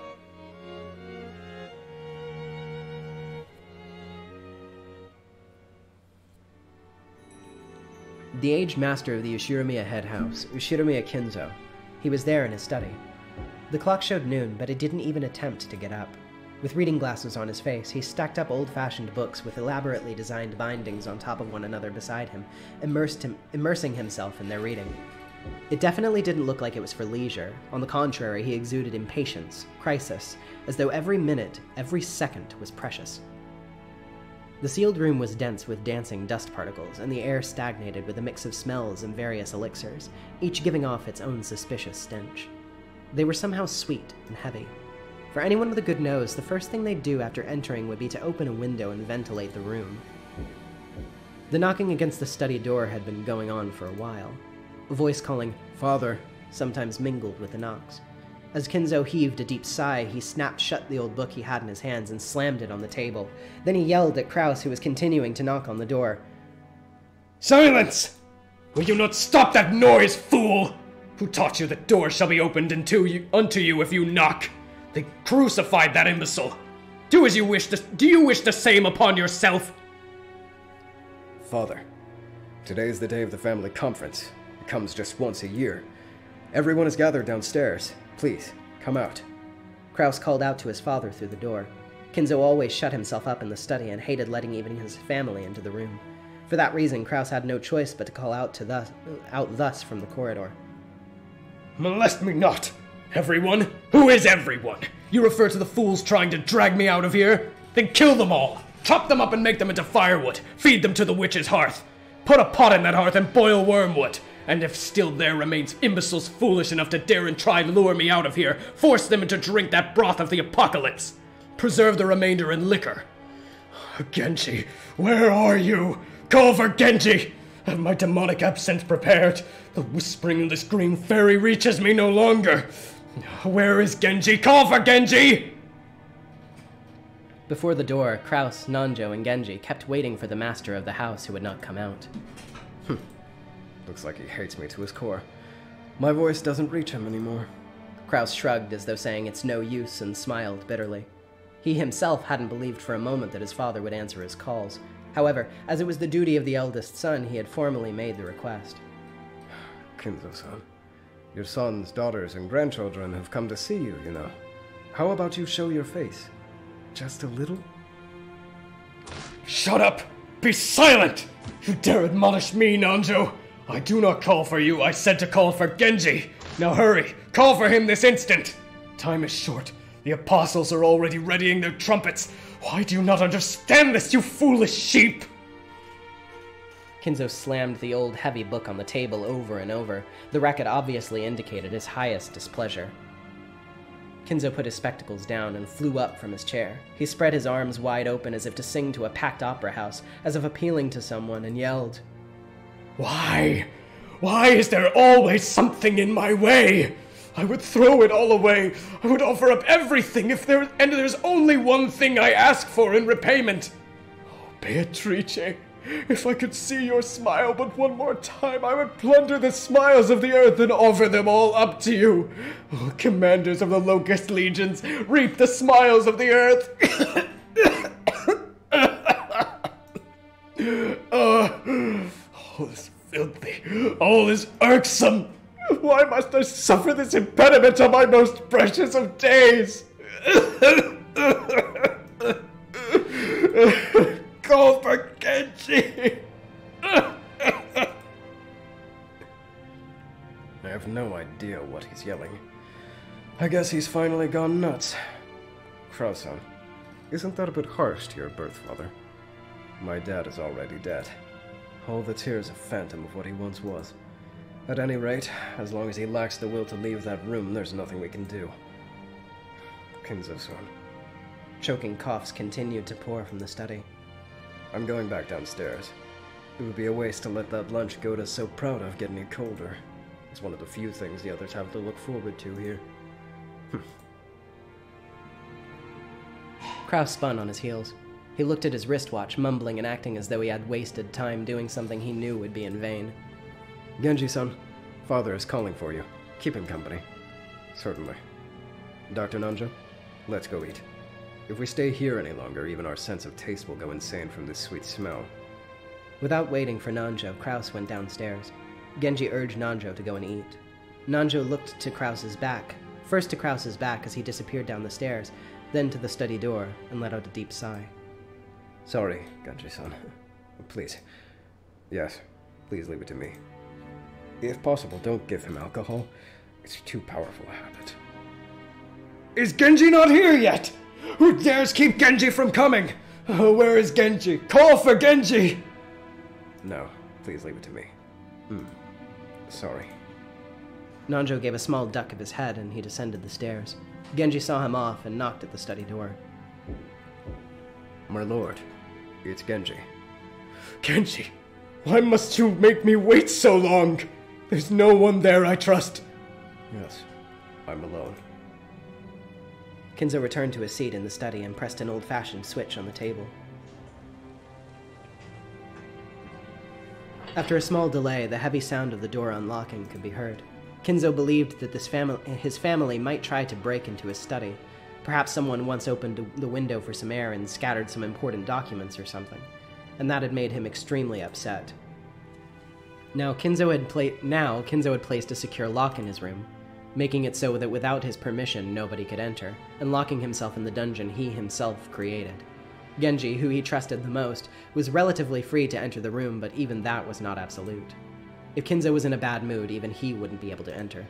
Anyone else would be limited to holding a conversation through the door, not even seeing his face. And most of the time, they wouldn't even get a real conversation. However, that didn't pose any particular problem for the family. That was because they had no reason to go out of their way to interfere with the retirement of the cantankerous and aged head. The fact that he was completely immersed in his odd research and always locked up his hideaway was something of a benefit. They made the most of his refusal to leave the study, entrusting him to the hands of the servants, while they themselves kept their distance. Genji, my usual. I'm busy. Yes, Genji headed into the corner of his study. There, suspicious-looking bottles boasted venomous boasting venomous colors about were on display. They were actually liquor, but considering that they were placed in this shady-looking room, you could almost suspect that they might be ghastly poisons. The insides of the study were filled with a mountainous library of outlandish books that Kinzo had amassed. They were bizarre old books, some banned, and each and every one of them either forbidden, cursed, or sealed. Of course, if one were to actually call them old books, Kinzo would fly into a rage and say something like this call them grimoires. There were candles which had melted in a suspicious looking fashion and taken on peculiar forms, and all manner of other strange objects, probably having something to do with black magic. The constellations covering the celestial globe would have caused anyone who knew the night sky well to raise an eyebrow.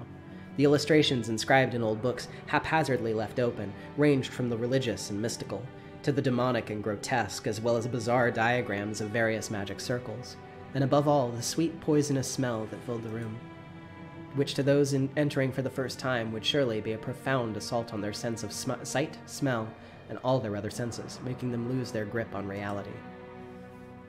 Inside that study, Genji, with his well trained hand, prepared Kinzo's usual drink. If you didn't know that the ghastly dark green liquid that filled the complexly designed bottle was liquor, you certainly wouldn't want to put it in your mouth. He poured a small quantity of the spirit into the glass, placed a cube of sugar in a strangely shaped spoon, and then poured water from a pitcher over it. Strangely, when the colorless water was poured into it, the dark green liquid turned a cloudy white. It created the small, the strange visual illusion that the water had caused a chemical reaction, which made it all the more difficult to perceive the concoction as liquor. To this, he added an original flavoring that Kinzo liked, and fine tuned the taste. There was no recipe.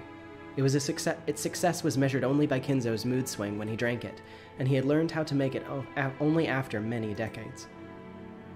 Genji placed the glass on the tray and made his way over to Kinzo. Kinzo was now gazing out the window. As you ask, my lord. Thank you. Kinzo had regained his composure so much that he was now unrecognizable as the man who had been shouting, screaming, and yelling just moments before. In that man's back dwelt a dignity and intelligence made plain simply by how he tilted his glass and gazed down at the scenery beyond the window. Genji, in order to allow Kinzo to set down his glass any time, motionlessly waited behind and to his left, as though he were a living sideboard. As he did, Kinzo stuck out just the glass, his gaze still directed at the world outside the window. There was just a mouthful remaining. It was not a gesture intended to set it upon the tray, as Genji expected, but was a motion to hand the glass over to Genji. Drink it, my friend. That is more than I deserve. No need for ceremony between us. Drink it, friend. Thank you.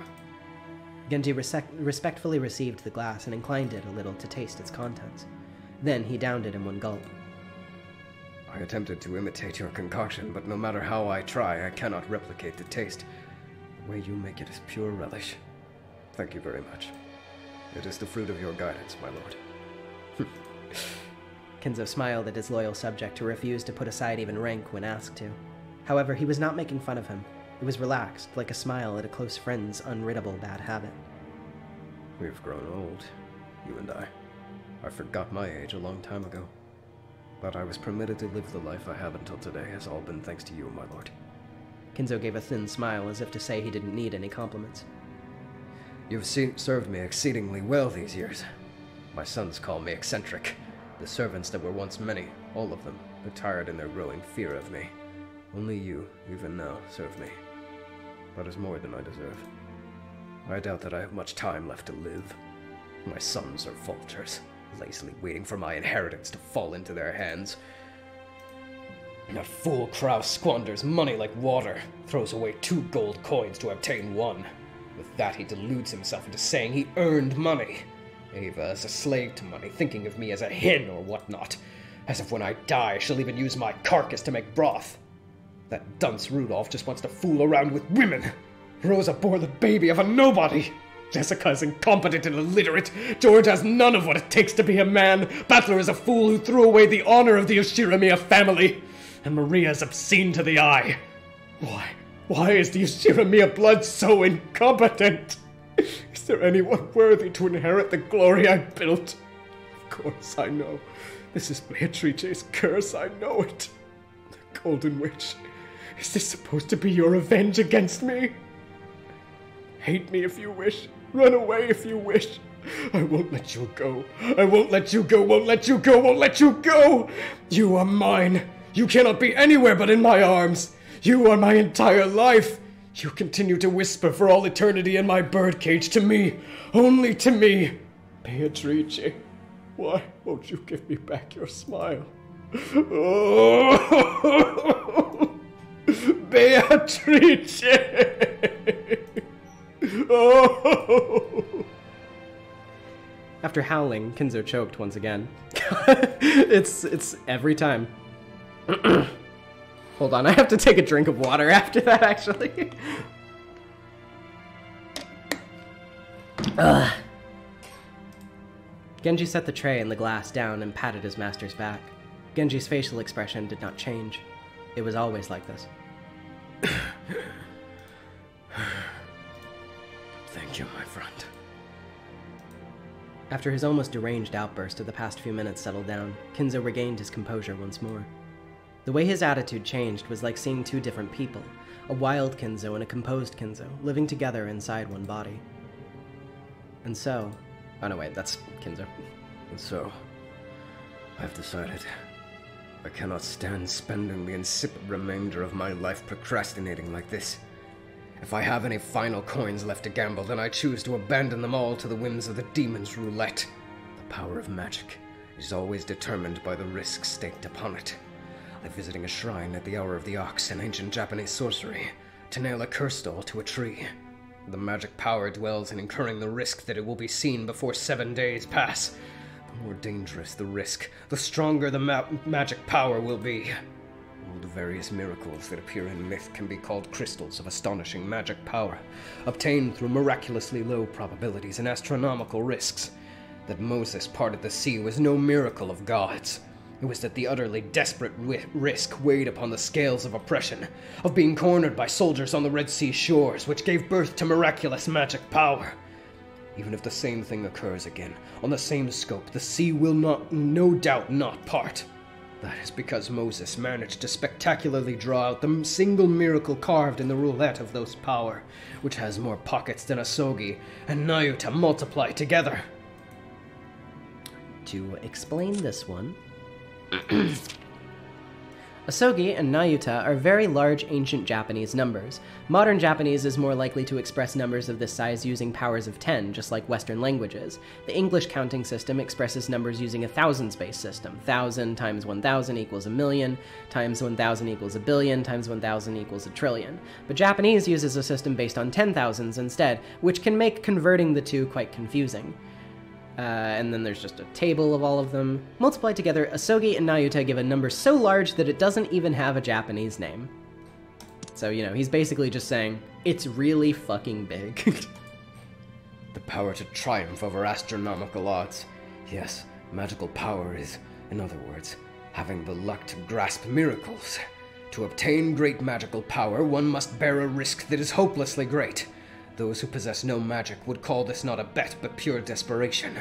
However, those who truly do possess magical power can grasp hold of that miracle and make the enigma come into being. And if that power exists within me, I will seize that miracle. I will be able to make the wish I devoted my life towards come true. Kinzo looked up to the sky outside the window. He spread his arms as if appealing to someone up in the skies. And if. And if I were to have what it takes to obtain that miracle. Beatrice. Beatrice. Show me your lovely smile once more. No matter how much time passes, your face does not vanish. I just want to see your smile, that is all. I'll return everything you granted me. I'll return all the glory I've gained since that day. I don't need fortune, prestige, gold. I'll return everything you granted to me. I just want to see your smile. I beg of you, Beatrice. Oh! His nonsensical yells segued into a scream, and then into a wail. Kinzo crumpled onto the floor and clawed at it with both hands. Genji had no choice but to wordlessly watch over his master's lament.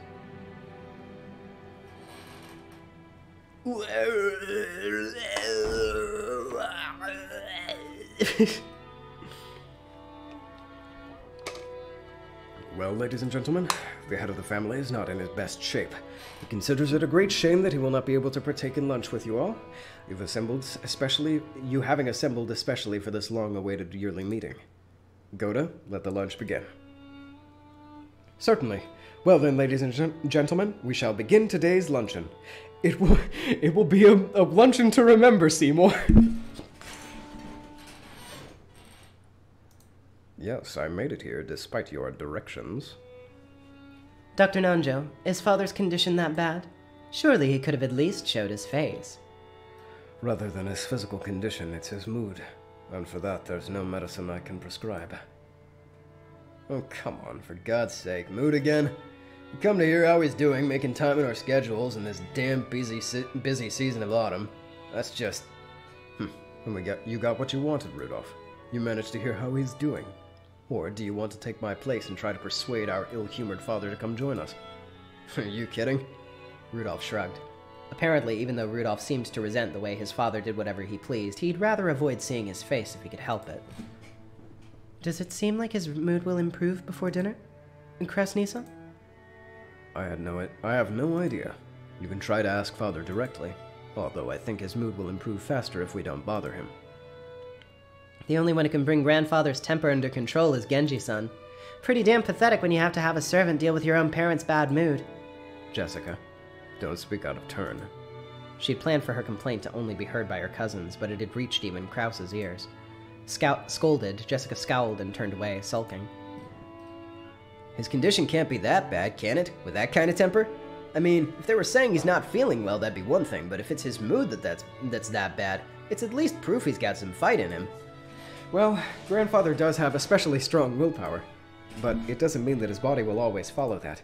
Since last year, they keep saying that he only has three months left. If the initial diagnosis was correct, grandfather has been prolonging his life by willpower alone. Alone. We have to be concerned for him.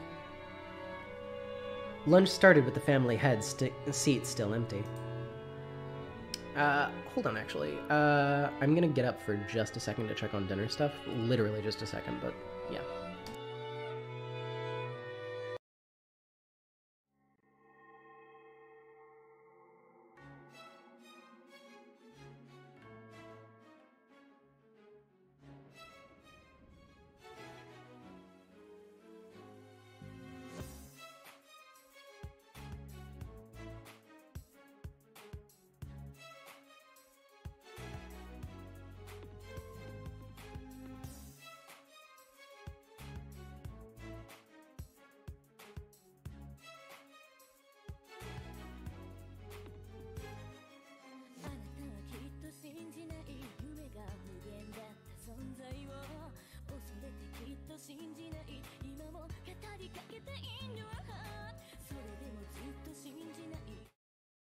Okay, we're good.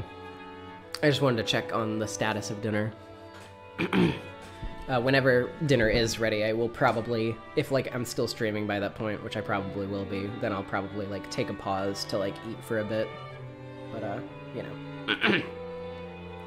the man who should have been sitting there was already old. And the brilliant glory which had rebuilt the Ushiromiya family in a single lifetime was slowly being forgotten.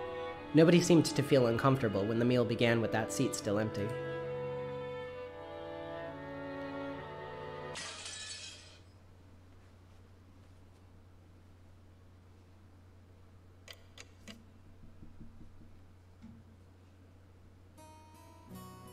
The Ushiromiya Family Conference was held once every year. It took place on the first weekend of October.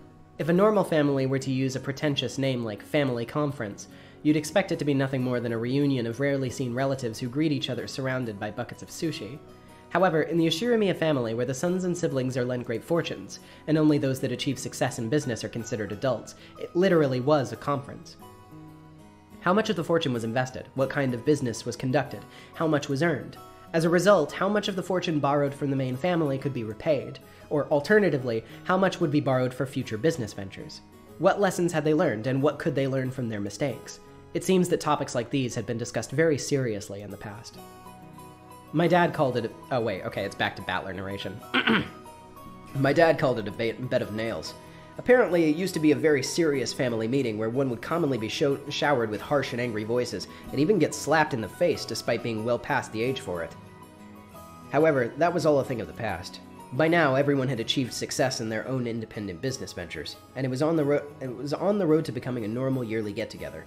Even so, being asked by grandfather about the current state of play was an extremely stress-inducing event. And while to us grandchildren it was nothing more than a simple meeting, to our parents it was a, still a real stomachache. The absence of a man responsible for all of this, whatever the the man responsible for all of this, whatever the reason behind it, must surely have made today's lunch even more delicious. The phrase "when the cat is away, the mice will play" comes to mind. Well then, let me introduce Jessica's father, whose face I haven't seen for six years. The man sitting to my dad's left is his older brother and the father of Jessica, Uncle Krauss. This name is sure is easy to read. Krauss. After so many weird names, it warps your sense of what's normal, and you start to think, hey, what's wrong with Krauss? Sounds pretty cool, actually. Just like without Natsuhi, I didn't have I don't have many memories of speaking with Uncle Krauss. He had never been one to talk to children, and I felt like he was always talking with the adults, just like Aunt Natsuhi. From the way my dad talked about him, it seems he used to be pretty a pretty spiteful and unreasonable person. If what dad said is true, he used to be very domineering as the oldest sibling, and was hated by Auntie Eva, Auntie Rosa, and the rest of our family. Odd, considering they're all having fun chatting together. Well, even if their relationship was bad when they were children, sometimes when people grow up and go their separate ways, their relationship changes. That's probably what this is. After all, they all have children of about the same age. Since they share similar family environments, they probably all profit by exchanging opinions. Maybe because of that, the parent circle has been deep in conversation for a while now about the exams Jessica and I are going to be taking. Jessica, in order to escape the discussion of exams with the old bastard sitting on her left, was purposefully facing to the right, firing off topic after topic so as not to give him an opening. Moving on, let's look at the end opposite from Uncle Krauss and the others. In the very last seat of the table, an old gentleman with a sturdy physique sat facing Kirie-san. This was my first time meeting him. I had only just been introduced to him, but it seemed that he's father's gran- person- grandfather's personal doctor, a man called Nanjo. Apparently, he used to own a huge clinic on the nearby Niijima Island, but he turned it over to his son and then began living a life of leisure in his old age. He's known grandfather since the very beginning when the mansion was first constructed on this island, and they have a history going back several decades.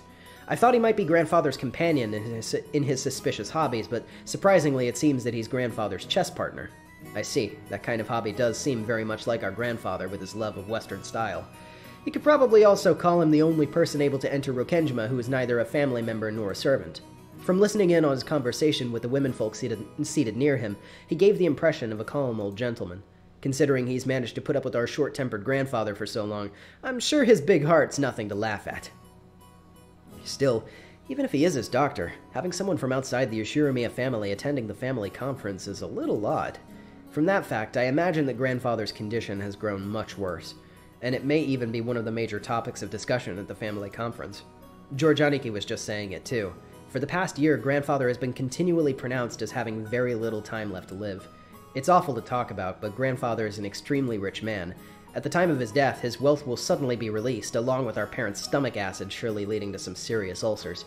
With this kind of thing, the greater, no- the greater the number of ways it must be split, the more trouble will be caused by splitting it. This kind of talk would probably also be included in the family conference. Oh well, it's not like it has anything to do with us children. Finally, even though he's absent, let me introduce our grandfather. The person who should be sitting in that seat is the se- in the seat of honor is Ushiromiya Kinzo. It really sucks. He gave everyone else in the family these weird names, but he himself uses one which is conservative as all hell. If only his name was written with those same characters for gold and vault, but he let us call him Goldsmith or something. That'd be totally awesome. As you can probably gather from all the talk about him, he's a frightening person with an extremely short temper. Because I'm just his grandkid and haven't met him since I was in elementary school six years ago, I don't remember ever having been beaten by him, but it seems that our parents were raised with an iron fist. That earlier conversation between my dad and Uncle Krauss about who should go try to convince grandfather to come out seems oddly funny if you take this into account. In order to tell grandfather's story, you have to take yourself all the way back before the Showa era to recount the tale of the Ushiromiya family. And of course, the Showa era, as helpfully pointed out here, is from 1926 to 1989. Until the Meiji, 1868 to 1912, and Taisho, 1912 to 1926, eras, the Ushiromiya family was great and prosperous.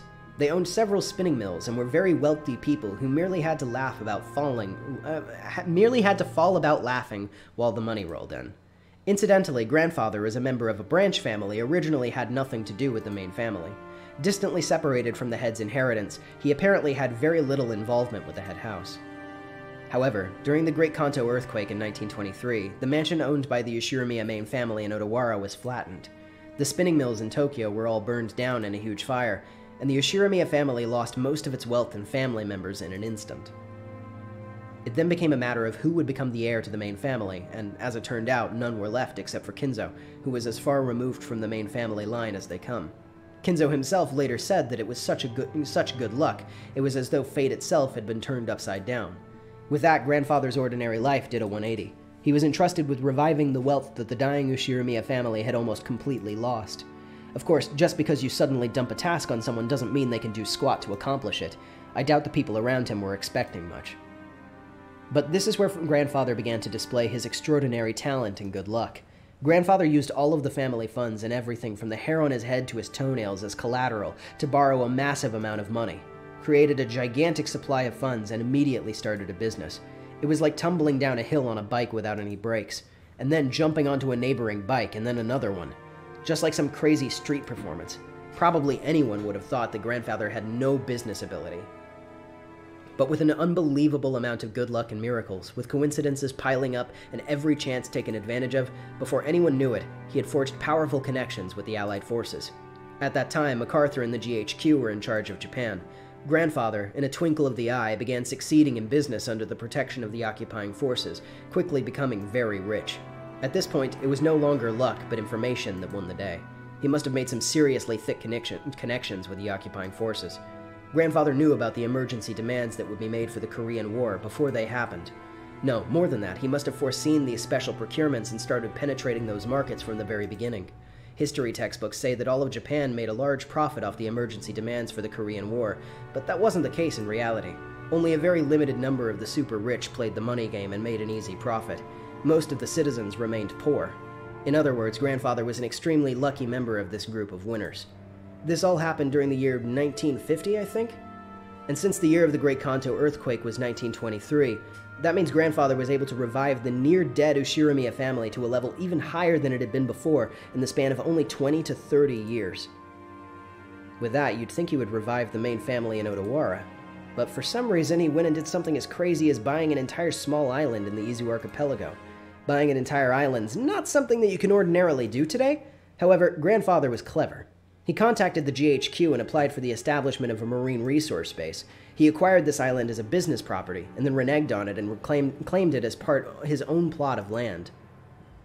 After the war, there were prevention measures against food shortages, and furthermore, he had the sponsorship of the GHQ, which meant that nobody could oppose him. It seems that Tokyo provided the land for next to no money at the time. Tokyo later made repeated complaints for the land to be returned, but not much could be done due to the involvement of the GHQ, even though they'd been pushed into it. No doubt he'd bribed everyone there was to bribe. In the end, the city gave up in frustration. Grandfather, with considerable skill and blessed with good luck, managed to weather the stormy seas of that period, obtaining a vast fortune in his own island. Of course, it wasn't all luck. He was skilled with English, and this was cultivated by his Western obsession.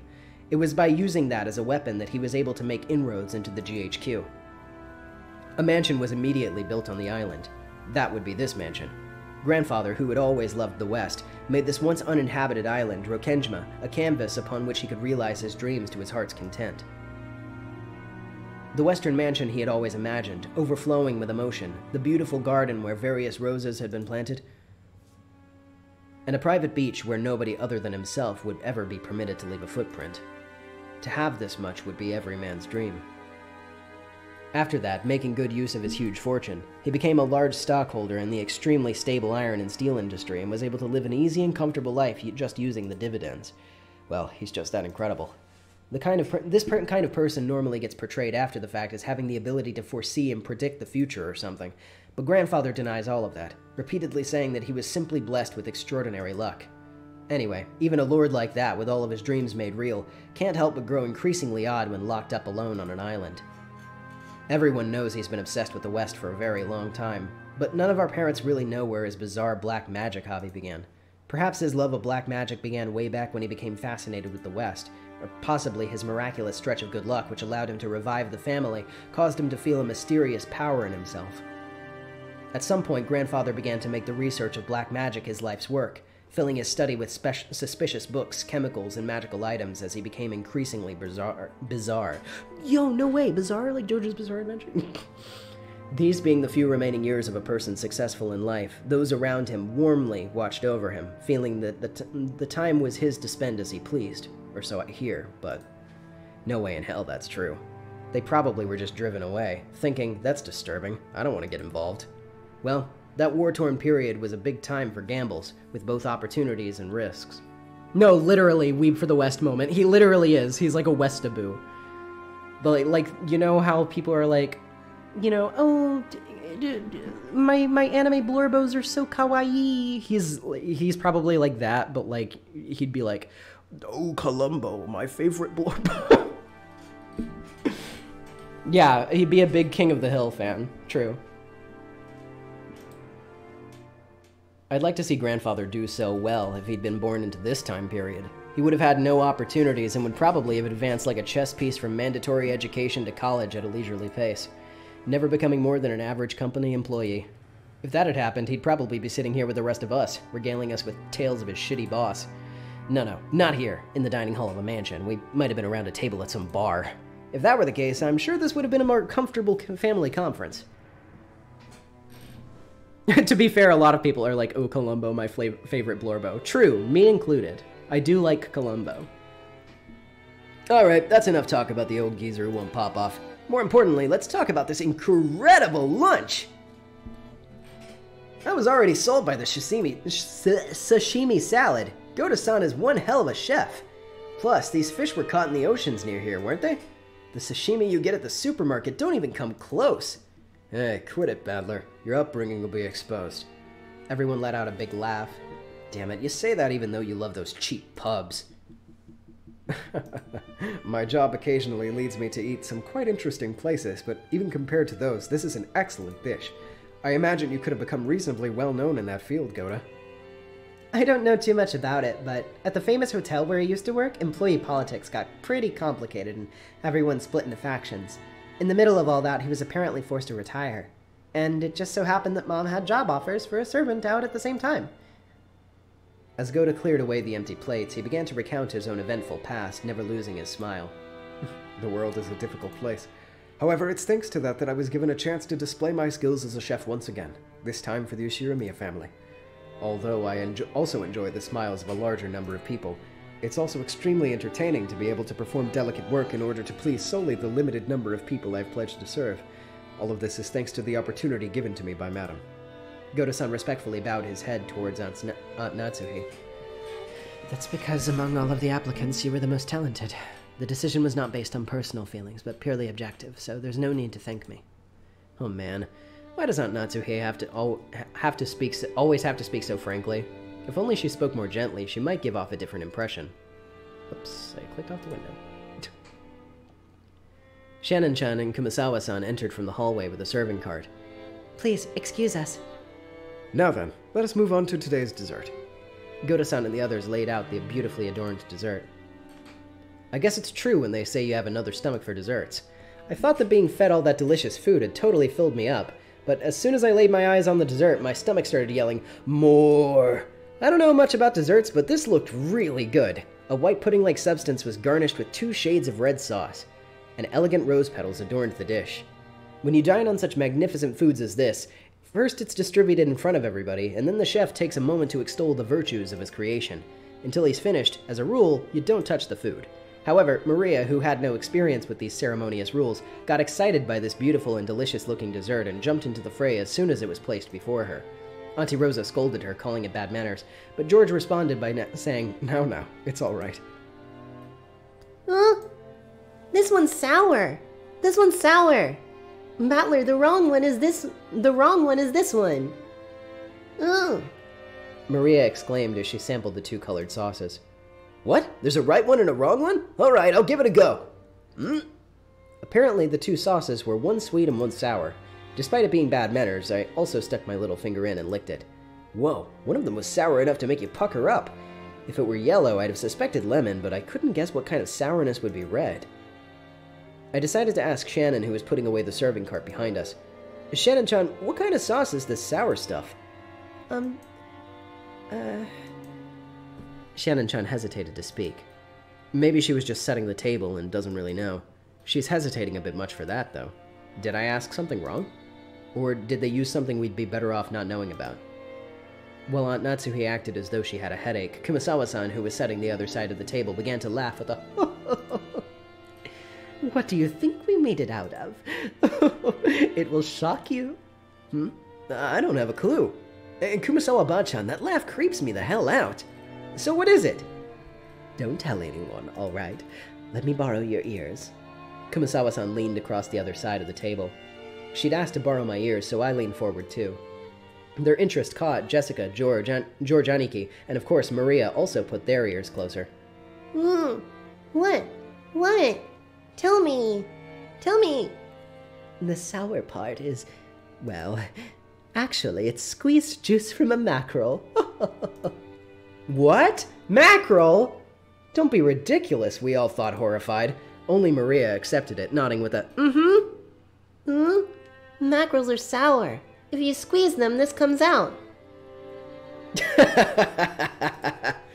when Maria started clamoring that mackerel were sour, the adults were unable to contain their laughter. You got it wrong. That's vinegared mackerel, Auntie Rosa said to Maria in a small voice while turning red. Now I remember it perfect. Oh no, wait, that's not Kumasawa. It's just Battler. Ah, now I remember it perfectly. Kumasawa-san always made was this kind of character, wasn't she? I think I remember her tricking me about all kinds of things when I was young as well. Amongst all of them, the most painful must have been that one. That flimsy black stuff you get in Chinese food. Kikurage mushrooms. She told me that it was penguin meat, and I went all around school like a smartass telling everyone, didn't I? Kumasawa Bachan, you sure haven't changed. You know Maria's gonna believe now, right? it's just a joke. Goda-san will tell you what the sauce is in just a moment. Goda-san looked a little put out from putting his, having his masterpiece laughed at in such a strange way. But after clearing his throat once, he introduced the dessert to us. Well then, allow me to describe tonight's dessert. Uh, based on the rose garden that everyone seemed to enjoy so much today, I finished this panna cotta in rose garden style. The rose petals scattered across were selected just now from the rose garden. For the sauces, I've prepared two different reds for you strawberry and rosehip. Please enjoy the strawberry sweetness and the rosehip sourness in, in turn. Finally, the rose petals are merely decoration, so please set them aside before eating. With that said, please enjoy. Man, I almost want to applaud before I've eaten, even eaten it. It's like when you take medicine, you know? How it seems to work better when you've read the instructions? Thanks to Goda-san elaborating on the details of this dessert, I feel like he's knocked it up another notch. Seriously, should you call him meticulous or just talented? The dessert was probably planned from the beginning, but he took a cue from our stopping in front of the rose garden earlier today and displayed an incredibly timely awareness of the season by adding just a few rose petals from the garden. This combination of sweet and sour was also exquisite. If it was just sweet, you'd get used to it and become bored halfway through, but by bringing in the sour sauce at that point, you get a really vivid taste. And then, once you return to the sweet sauce, all the sourness in your mouth is replaced with an enjoyable sweetness again. I'm sure everyone else felt the same way. Every time Goda-san passed one of the seats, someone praised the taste and his creation. How is it, madam? Splendid, as always. It's a worthy treat for our guests. I'm almost great. I'm most grateful for your words. Madam, did you know? I've heard that rosehip has the ability to cure headaches. I thought you'd especially appreciate it, so I had it specially prepared. Is that so? Thank you. See, didn't I tell you, Natsune-san? Rosehip works on headaches. So it seems. I can only hope it has some effect. Ah, Goda-san, I love ya! Hey, later whisper me how much compensation you're getting for this, would ya? If you're sworn to silence, you can stick up some fingers instead. Let me know your price. Having your talents monopolized by this small island's sacrilege to human humanity's cooking culture. Wouldn't you be willing to display your talent to all the customers at my company? Hideyoshi-san, are you trying to recruit our Goda? How troubling. We'd better make some improvements to his salary or he'll get, he'll get snatched away. Yes, you really should. If you don't, he'll be lured away and you'll be stuck with three meals a day of Kumasawa-san style mackerel cooking, won't you? That's indeed harsh. It seems someone's holding a grudge. Everyone let out a huge laugh. According to Jessica, Kumasawa-san's mackerel jokes were a type of running gag, and our parents had long since gotten used to it. Kumasawa-san often claimed that mackerel contained precious nutrients that could do things such as prevent aging and make people smarter. It seemed that while it couldn't stop the outward signs of aging, it helped prevent aging on the inside.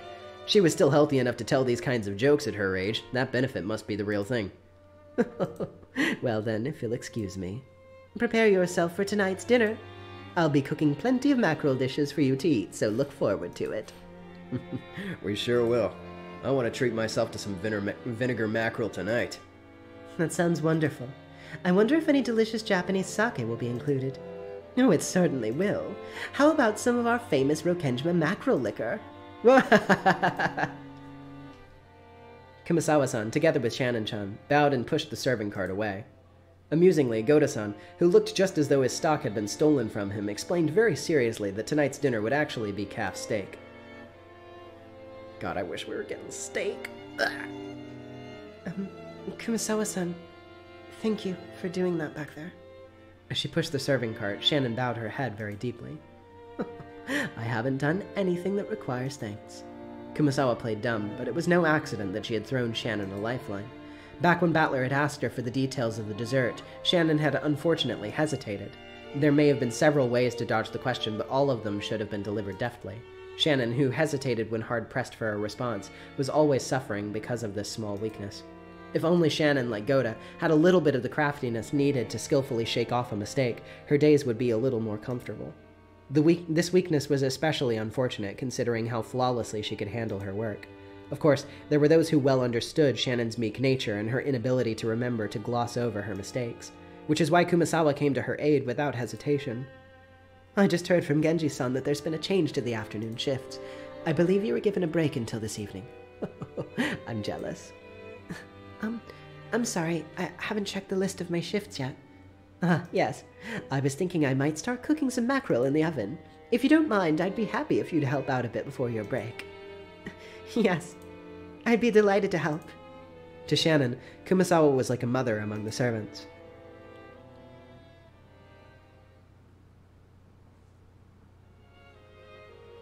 The dining hall needed to be cleaned up, so as so we were chased out. Instead, tea would be served in the parlor. It seemed that they would be preparing the black tea that Auntie Rosa had bought for Aunt Natsuhi. Maria insisted that she also wanted to drink the black tea, but was rejected by the old bastard, who told her and the rest of those kids to go play outside. Battler-kun, why don't we go for a walk outside? Go look at the roses or something, but keep a close eye on the weather. The sky is still clear, but the weather report kept on talking about rain. Oh, I want the beach. Want the beach. Isn't that a wonderful idea? Playing on a sandy beach isn't something that you get to do often, is it? I guess not. All right, let's go to the sandy beach then. Oh, let's go, let's go. Maria, be careful not to get your clothes wet. Your shoes, too. Hmm, won't get wet. so obedient and cute. Battler-kun, make sure you keep an eye out for Maria-chan, okay? Sure thing, leave it to me. Oh, you're pretty cute and obedient too when Kirie asks you something, huh? Why don't you try listening to me obediently for a change? Hell no! Let's go, everyone, come on! The children flew out of the parlor. They were replaced by Genji, who pushed a serving cart in and prepared the black tea. The parlor was filled with a sublime aroma which entertained everyone while they waited to appease their thirst. Actually, yeah, okay. So earlier I was thinking of the wrong scene when I said, like, oh, the adults are here. Maybe there's, like, if I'm remembering, it's drama time. Uh, I was thinking of the wrong scene. This is the scene that I was thinking of, I think. We're about to get so much catty shit from these people. Just, just witness the sheer, like, pettiness of the of the Ushiromiya family on full display. Rudolf, you and your family all seem to get along so well with each other. Good for you. No, please, you have us beat on that front. So true. Jessica-chan really has grown into an innocent little thing, hasn't she? It's all the fruit of your training, isn't it, Natsuhi Nee-san? Thank you. Natsuhi answered coldly. With that conversation, with that, the conversation halted, and the parlor became silent. Possibly because he couldn't stand it anymore, Hideyoshi broke the silence while performing an exaggerated gesture. Still, they sure do grow fast. Thought they'd be kids forever, but they've been getting huge right before my eyes. Before I knew it, they joined the ranks of us adults. Battler-kun, for once, beyond recognition. His body's gotten much bigger, but he's still a child. Well, my husband is still a child as well. I wonder where the border between a child and adult is. I still don't feel as though I've grown up. Hmm, isn't that pitiful? That's not something the mother of a child should say.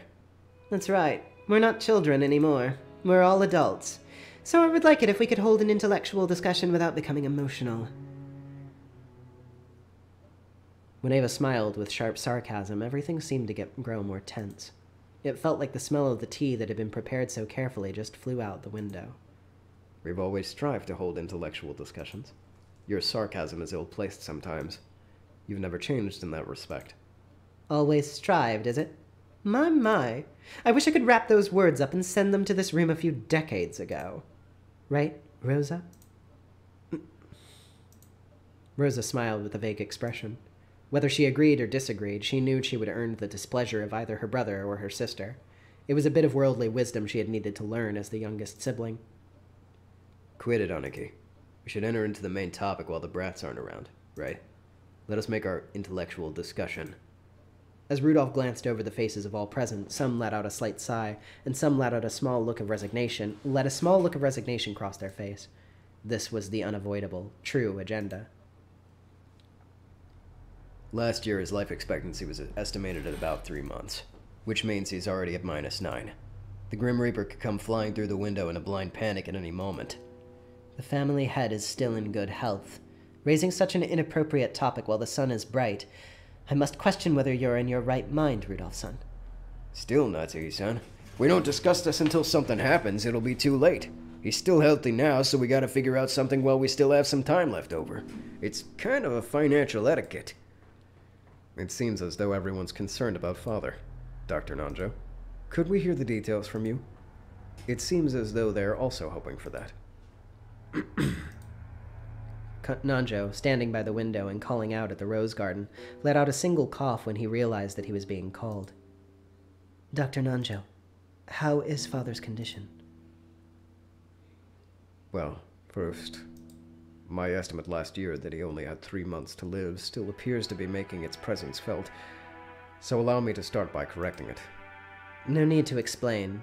You're saying that measuring remaining life is only a prediction, not a promise, right? That's correct. Because of that, I can offer no definitive answer to the question you all ask, so often ask of me, of when he'll pass away. Uh, yeah, so uh, as a as a little tip off, since somebody mentioned the music track in the uh, chat, uh, every time a new music track starts in this version of Umineko, you can see the track title listed in the top left corner of the screen. Uh, if you wonder why I do uh, track titles in the top left corner of the screen in all of my video essays, I got it from this. A human's life is supported by their body and mind. If the body is weak, the situation becomes more dangerous, but if the mind is strong enough to compensate for that weakness, it's possible to maintain a state of remission. So you're saying that even if his body is weak, his mind is firm and spirited? Kirie, sorry, but please stay quiet for a while. Sorry. That's correct. Kinzo-san's body has been ravaged by disease. With him continuing to partake of that kind of strong liquor on top of all of that, I really must think. So booze isn't the reason he's teetering on the edge. And booze is also the reason he's hanging on. Sounds like Dad, the heavy drinker. Well then, Doctor, I know you can't give any more, anything more than a prediction. But what do you think about Father's chances of living until this, this day next year? That is quite the rude question to ask about the head. Natsuhi jumped on Eva, unable to hide her astonished expression.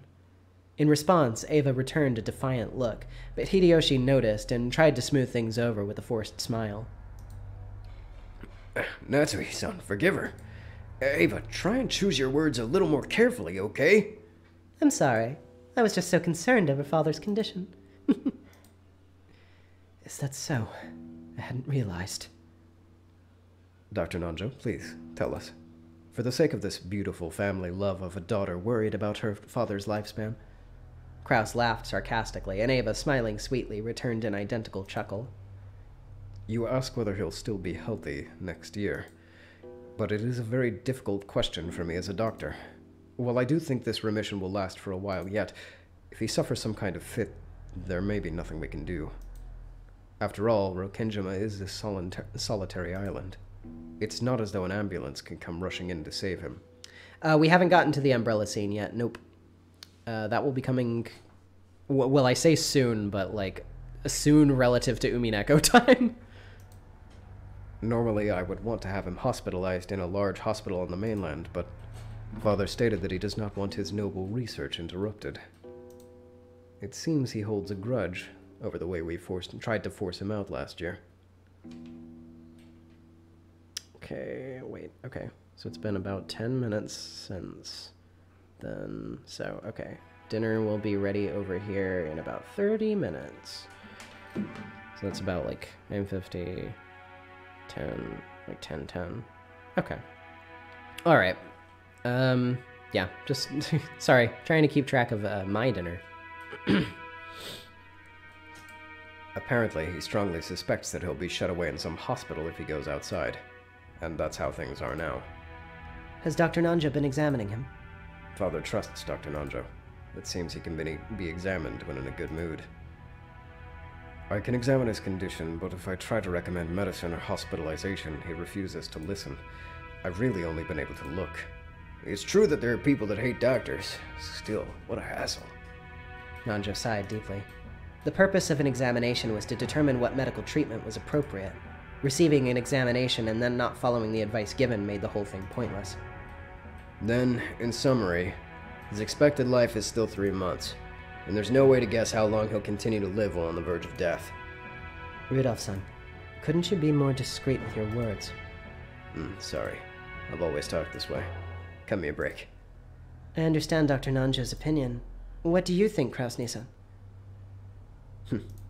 To be perfectly honest, I have to disagree with Dr. Nanjo. I find it truly difficult to think of father as a person so sick that he only has three months to live. His yell is as healthy as ever, and I still get the chills at the thought of his fists raining down on me. Punish, pushing the task of caring for dad solely on the shoulders of the eldest son is far from fair. In the next world, be born after me. Alright, let's return to the discussion. In that case, according to the impartial and neutral doctor's opinion, it wouldn't be odd for him to go any go any time. Sorry, Aniki, but I'd rather trust the opinion of a specialist. With that, I believe the discussion of Dad's fortune's no longer a premature topic. Father's personal funds probably reach into the tens of billions of yen, right? But that but it's not as though all of that is neatly gathered as ready cash. It's not as simple as neatly cutting a birthday cake with a knife. Interesting metaphor, Aneki. That's right, sometimes strawberries or chocolates are placed on top of the cake, making it hard to cleanly divide it into equal parts. Taking that into consideration, I think it's important to first discuss how best to stick the knife in, don't you? I truly don't understand you all. Even while the head is still alive, you're discussing the matter in loud voices as though he were already dead. Come now, don't you see how important this is? After all, when the time comes, the inheritance of his fortune must be carried out immediately, right? Moreover, the wealth of the glorious Ushiromiya house is vast. Don't you understand that a careful discussion is necessary beforehand? There's a huge difference between the assets of this family and your old one. How rude. The family I was born to has nothing to do with this. As Natsuhi resentfully responded in a low voice, the already dark atmosphere grew even more hostile. Give it a rest, Eva. Natsuhi-san, forgive us. Pardon her rudeness. Hideyoshi tried to smooth things over by glancing at both with a forced smile, but it only resulted in making the hostility between Eva and Natsuhi even more intense. It seems that I'll just be in the way if I stay any longer. Please excuse me. Nanjo, like, I gotta get out of here. I gotta get out of here. Nanjo rose from his seat and exited the parlor. This may well have been a normal act of courtesy expected of an outsider, but even so, his back was watched by several glances envious of his ability to escape. After all, the doctor had exited and his footsteps had disappeared into the distance, Krauss recrossed his legs. So let me see if I understand your point of view complete correctly. Father's remaining life is short. You want to quickly enter into a practical conference concerning the distribution of the inheritance. Why are you so eager, I wonder? Certainly, as you say, estimating and distrib- distributing the Ushiromiya family's wealth is no simple task. In that case, shouldn't we carefully and deliberately calculate? It seems to me that you're all impatient to split up the cake tonight. Isn't that's true, isn't it, Rosa? Is something making you impatient? It's not that we're impatient, but a decision between the siblings is essential. It doesn't matter when, but if father's condition is worsening and the day is drawing near, discussing the, discussing the matter beforehand isn't what I would call impatience. Rosa sneaked a glance at Eva and Rudolf. As the youngest daughter in the family, being cross-examined by the eldest was harsh. Yeah, if you've noticed, it's it's a very subtle thing, but if some of you who have never read Umineko before have noticed this, uh, the older siblings, whenever they are trying to like make a point and get one over on each other, frequently target Rosa because she is the youngest. Because she has the less like the least footing to stand on, they intend to like Im- intentionally embarrass her. Uh, it's it's super fucked up. Huh. Is that your true opinion? I didn't expect the most honest and pure hearted of the siblings would say something like that. I wonder if those two told you to say that. Quit it, Aniki. Rosa's a sibling just like the rest of us. She has a fair right to Dad's inheritance. It's obvious she would be interested, right? After all, Dad diff- de- will definitely die, and that's not something that'll happen in the distant future. On the contrary, Aniki, you're far too relaxed. It seems almost as though you would like nothing better than to turn the discussion away from the discussion of the inherit distribution of the inheritance. What do you mean by that? Or are you trying to accuse my husband of something? Calm down, Natsuhi-san. Listen to what we have to say. Nii-san, I hear these are very good times nowadays. That's right, since last year the yen has just been going up and up thanks to the unprecedented boom in, prosper- in prosperity. It seems that it's no longer a dream that the dollar will reach 100 yen. Also, the ruling party says that we'll establish a health resort maintenance law by next year.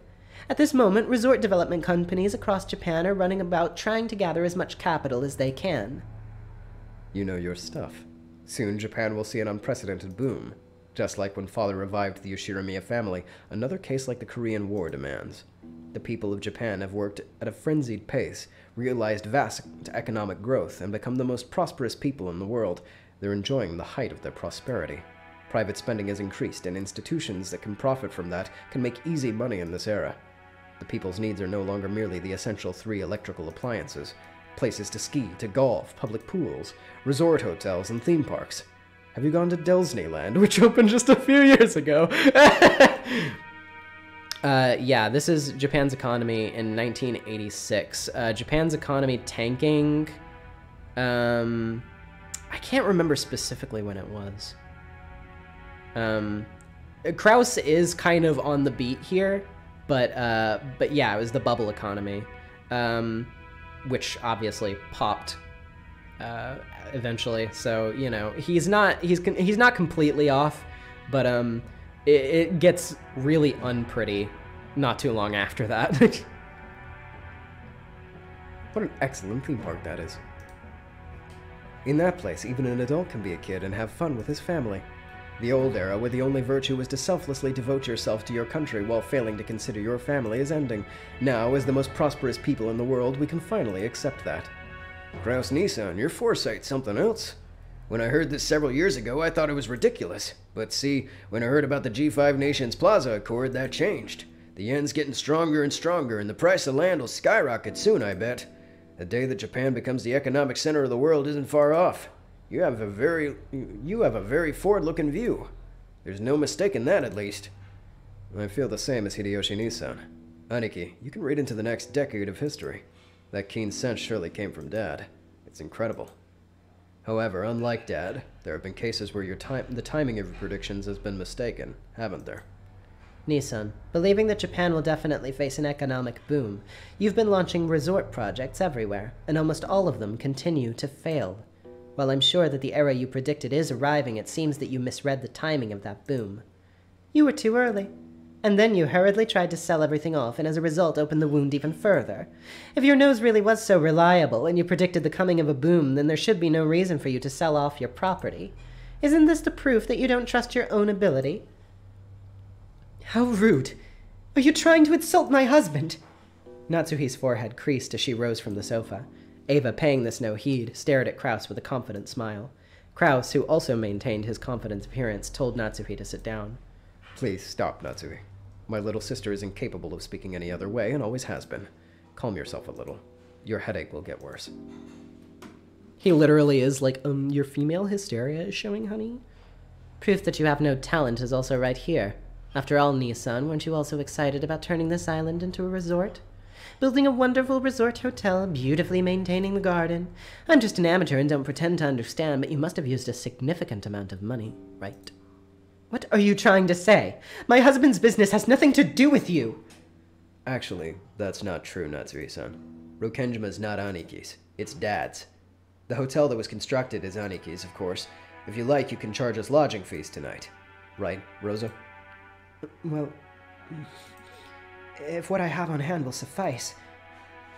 If I can make it into a resort, the island's financial worth will rise. It's true that expenses have piled up, but we can hope to have a large harvest in the future. Uh, are the kids listening in on this? No, they went to the beach. When that happens, it should prove to be beneficial to all of you as well. I understand that. If the value of the island rises, that will increase our shares when we distribute the inheritance. Of course, we won't ask you to physically divide the island mansion into four equal parts. We're quite happy to settle this with whatever you calculate its financial worth to be. If you understand that much, what about my business makes you so dissatisfied? We aren't dissatisfied, we're uneasy.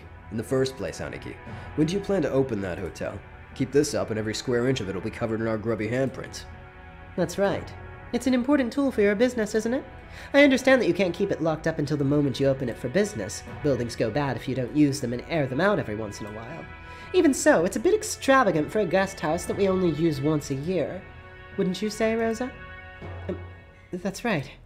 If it's that wonderful, I'm sure it will become quite popular once you open it. Hmm. The hotel you mentioned earlier was referring to the guest house. I see. Hell of a building, isn't it? Just as Rosa said, I'm sure it would become popular if he were to open it. The lodging they had been guided to had not been constructed with the intent of building a guest house.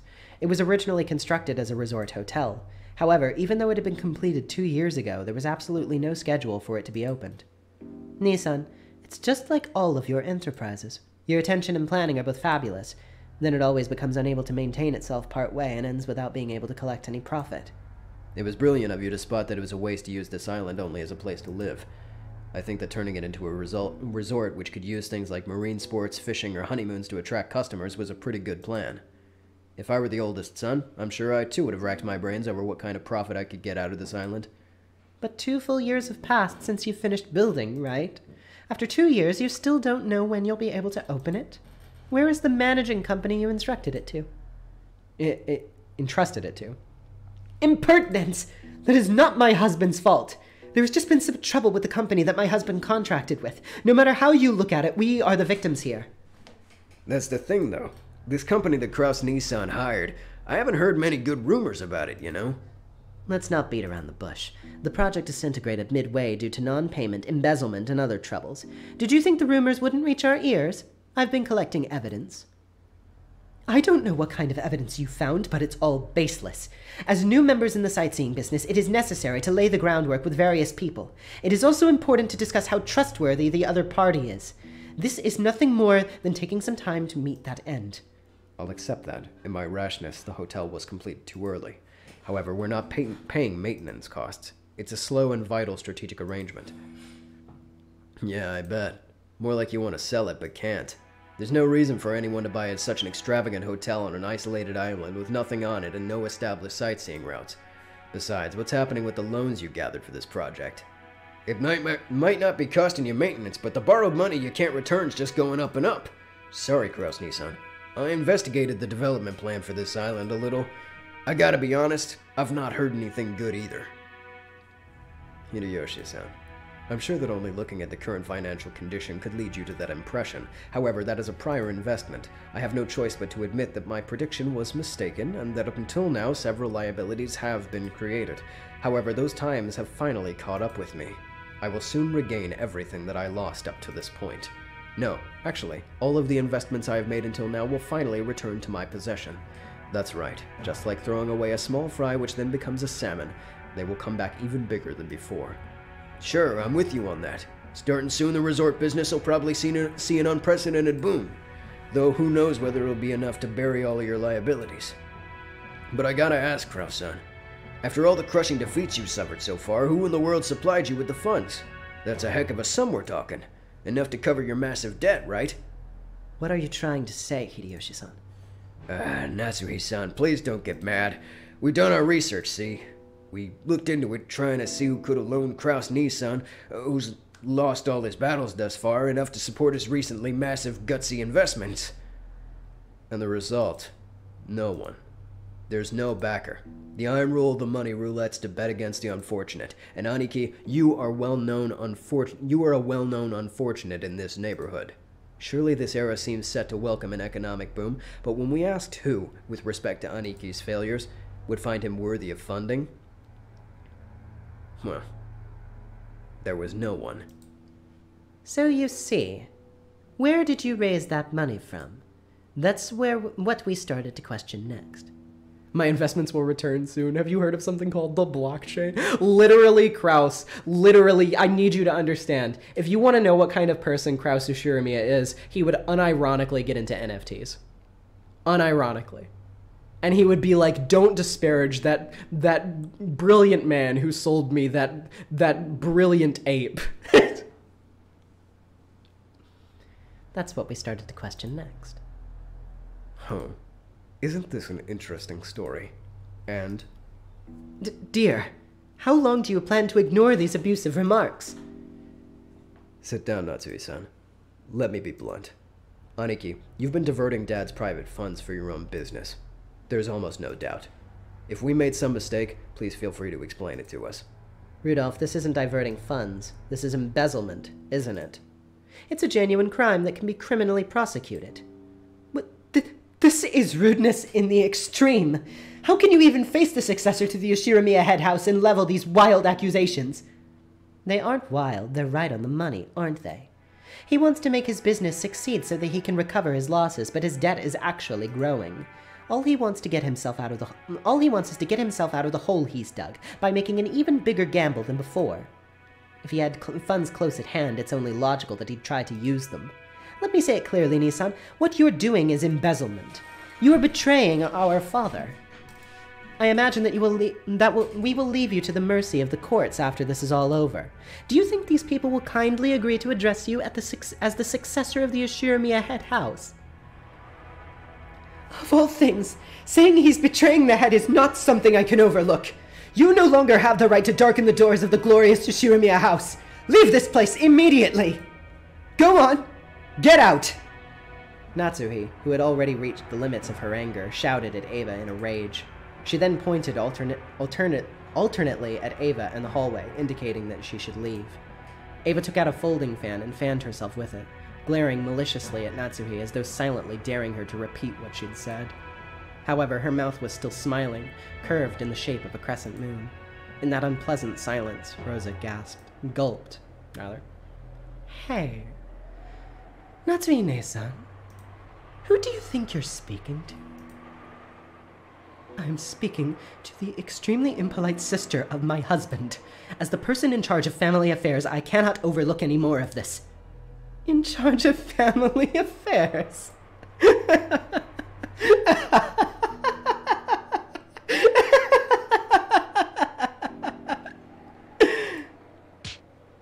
Shut up! You sorry excuse for a wife! Eva folded the fan with a snap and rose powerfully.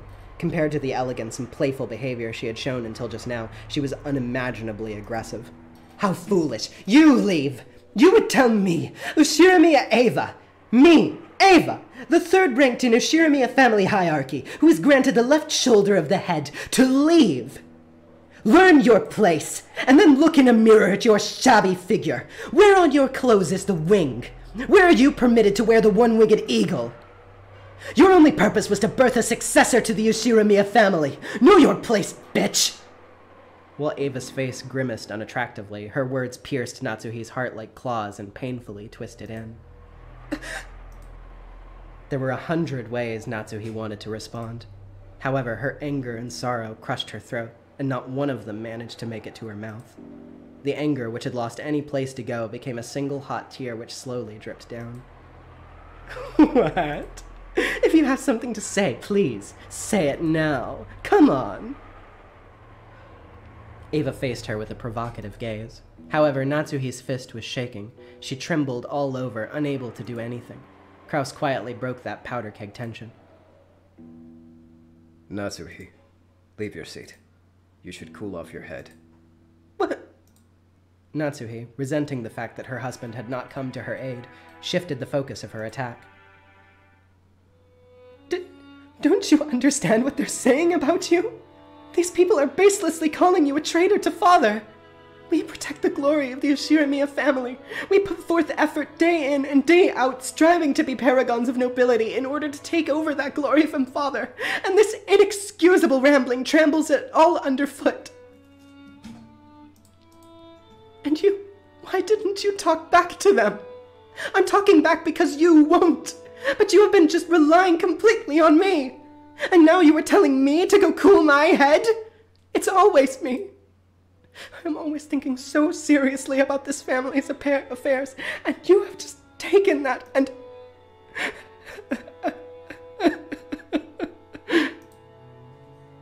Natsuhi could no longer hide her tears. She flew from the room in that state. After all, all that remained was a somewhat embarrassed mood about the parlor. When the sound of footsteps grew distant and silence returned, Krauss shrugged his shoulders slightly. I apologize for my wife. She's always been bad at controlling her emotions. I too have a hard time with her. If you've gotten someone like that running things, you must be on edge constantly as well. Ah, oh, man, this sucks. they treat her so bad, dude. I feel so bad for her. okay. oh, uh, I should point out, by the way, just one of the other like interesting observations that you can make about the social dynamic here. Eva, and you will learn this more as we go on, but Eva absolutely knows what it is like to be uh, on the receiving end of uh, misogyny. Uh, she has dealt with it through her family in, in direct response to her and her ambitions and uh, you know everything that she does. And so it is like particularly sinister in a lot of ways that like someone who knows how badly that can affect you is like yeah like i make the joke but like ava really is like feminism but only for me. Like she turns misogyny around on other women so sharply and so aggressively and like she knows exactly how to utilize it. Madam it's nothing. Leave me be. Natsuhi flew into her room and bent over the bed wailing. Those heart-wrenching sobs reached kumasawa in the hallway how heartrending, Mad- heartrending, Madam Natsuhi. There is a deep enmity between her and Eva Sama. Explaining their relationship is very draining for a woman such as myself. The Ushiromiya family holds its bloodline in high regard, but if a daughter marries into another family, they would normally be removed from the family hierarchy. So, under normal circumstances, Eva Sama should have been removed when she married Hideyoshi Sama. However, and this was not anyone's fault, Madam definitely bore no guilt. There's no way to say it other than calling it a whim of God. Krauss sama and Natsuhi sama were not blessed with children for some time, and of course, this was the patriarchal Ushiromiya family. A wife was just a tool to create an heir. If that wife could not fulfill her only duty, she would not be treated as human. It is painful to remember how much the master tortured Madam during that time. During that time, Eva sama and Hideyoshi sama's wedding was discussed. Eva-sama was sly. Taking advantage of Madam's inability to become pregnant, she gained the favor of the master. She inspired him to allow her to marry and gave birth to a successor herself, making sure to avoid transferring her name out of the Ushiromiya register. There was a vast difference in the Ushiromiya hierarchy between Madame, who married into the Ushiromiya family and was treated like an outsider, and Eva Sama, who was related to the family by blood and whose husband took on the Ushiromiya name. And beyond that, Eva Sama was the first to give birth, and what's more, to a boy. Perhaps you can now understand how much weaker Madame's position was compared to Eva Sama's. I'm sure Madame is tormented by the thought that if only she had gotten pregnant earlier, the Master wouldn't have accepted Eva Sama's request to keep her last name after marriage, and Eva Sama wouldn't have been permitted to act as arrogantly as she did today. However, that was not Madame's fault. All of the blame lies with God's whims, and the stork that delivered Jessica's son late. Even so, Madame wouldn't allow herself to see things this way. She probably can't help but cry bitter tears at her inability to carry out the duties expected of a wife. Ah, how heartrending. I cannot do anything but watch over her from the shadows.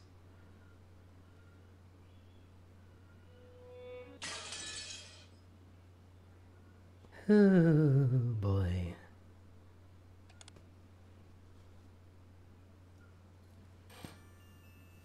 Anyway, on to more pleasant interactions. We crossed the hall again on our way to the entrance.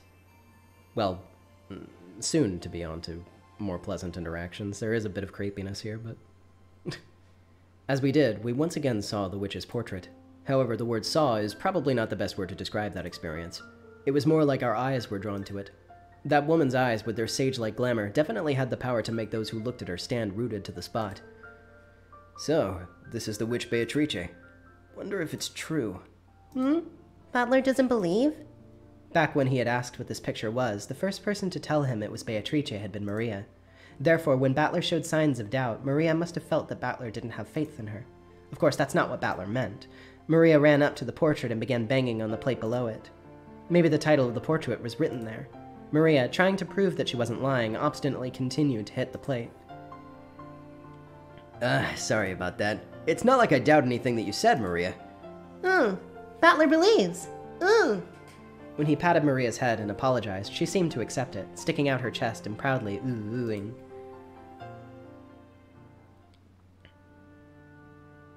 Let's see here. My beloved witch Beatrice, behold the Sweetfish River. Wait, what's with this weird long epitaph? The plate did have the title of the portrait written on it, but it was much too big to contain only that. Beneath the tile, title, what looked like a long epitaph was also written. As I skimmed over it, I was taken aback by the array of unnerving words that jumped out at me. Um, Maria's ooh thing gets explained way, way later on, like not in this episode. Um, but you can mostly chalk it up to like vocal stim autism, um, like you know, kind of thing. Incredible, isn't it? Grandfather had that written. Pretty deep, huh? Hmm. I know. It's the place where the gold is hidden. Wait, is that the story about the Ushiromiya family's hidden gold? There's an, there's another thing that takes me back. Wait, Aniki, is that for real? Grandfather had this written, but he refuses to say anything about this picture on the epitaph. Even so, amongst the family, it's often whispered that it points to the location of grandfather's hidden gold, and that he'll relinquish the family headship and gold to the person who solves the riddle. Hmm. I heard that too. I heard that too. Lots and lots of gold. Well, who knows, really? Ten tons of gold bars? Sounds a bit too fishy to me. Still, if you read this all the way through, it almost seems real. I think I already explained grandfather's upbringing, but let me also mention the Ushiromiya family's legend of the gold. Grandfather succeeded the Ushiromiya family after it had almost been totally destroyed in the Great Kanto earthquake, but by successfully riding the stormy seas after the war, managed to accumulate great wealth. That much of a story everyone knows. However, this is where the strange part of the story begins. Part of it closely, closely tied to grandfather's black magic hobby, so its credibility is extremely low, but, well, wait until the end before you doubt or make fun of it. After the war, grandfather successfully predicted what the future would hold. His big gamble paid off, and he accumulated a vast store of wealth. Uh, yeah, the dinner is probably about ready. Oh. Um, I thought I heard something. I'm listening out. but there's a mysterious legend about how he gained the funds in the first place. Grandfather came from a branch family and had no connections in the business world or the financial world. Even though he later built connections with the occupying forces, in the beginning he was supposedly a nameless person who had not yet gained anyone's trust. Money can only be gathered based on trust. There's no way anyone would lend money to an untrustworthy person.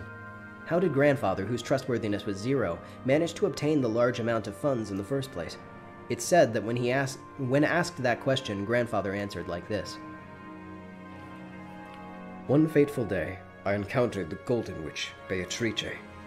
He then went on and on about how he continued to research alchemy and techniques for summoning demons in order to become a great mage. And the entity summoned as the result of this demon calling ritual was the Golden Witch, Beatrice. He then said that he could make a contract where, in exchange for his own soul, he would receive fortune and honor. The witch then granted grandfather 10 tons of gold. Grandfather used his gold as collateral to prepare a vast quantity of funds, and then used that to multiply his wealth by several times and revive the Ushiromiya family. It seems that this story is so old that our parents had already been told it when they were children. So our parents, when they were little, explored this island in various ways, believing that the gold that grandfather had received from the witch might be hidden somewhere.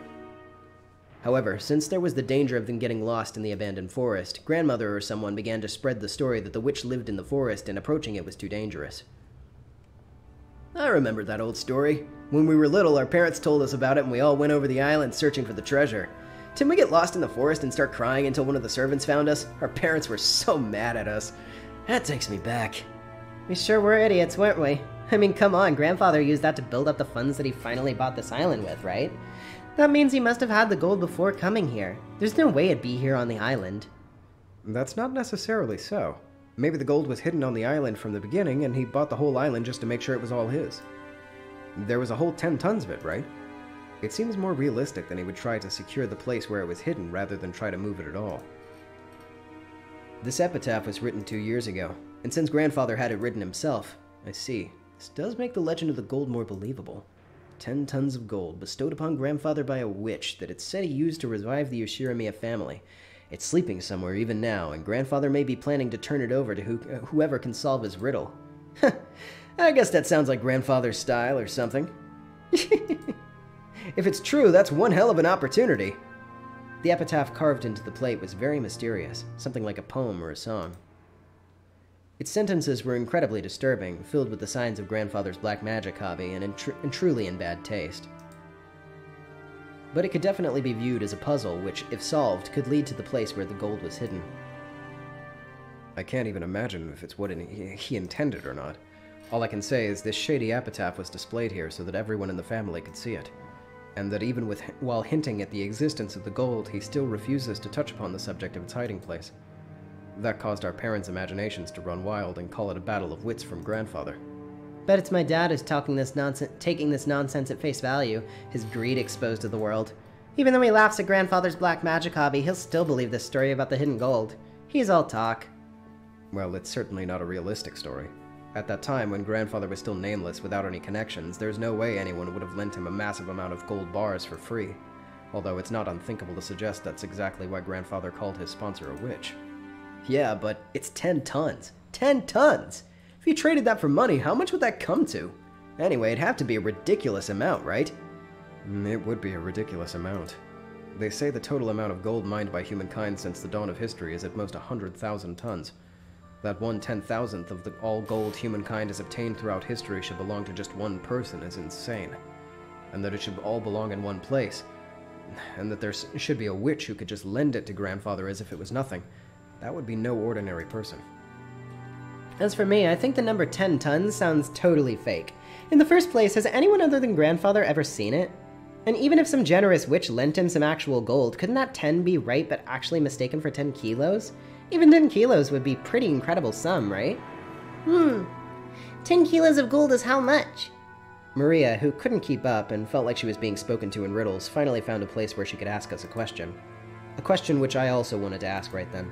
When I heard 10 kilos or 10 tons, I know that it's an incredible amount, but I couldn't put a number on exactly how incredible. George Aniki folded his arms and tried to remember the market price of gold. there it is, that, that iconic quote. Well, Gold is affected by speculation, and its price can also change depending on its purity and the trustworthiness of the foundry. You would also need to pay a commission to turn it into money. Still, it is definitely a precious metal, and some people estimate that if gold mining continues at its current rate, within half a century we'll, we will have mined all of it. Just guessing haphazardly. For one kilo, I think maybe a price of 2 million yen? Whoa. I know that I just plucked that 10 kilos thick figure out of air, thin air, but even that would be worth 20 million yen? I weigh 28 kilograms. Which means that if we had Maria Chan's weight in gold, we could estimate it's worth at over 50 million yen. That's just mind boggling. How much would 10 tons be then? It's 20 million for 10 kilos, times a thousand, so, um, that's it. 20 billion yen? What the hell? How much is 20 bin- billion yen actually worth? We would have to measure it by putting it in terms we could understand. I mean, they say that wages over a lifetime are 200 million yen. You grow up and work like crazy, sacrificing your life for your company, and as you approach old age, are finally freed. And all that together, including the retirement money, comes out at 200 million yen.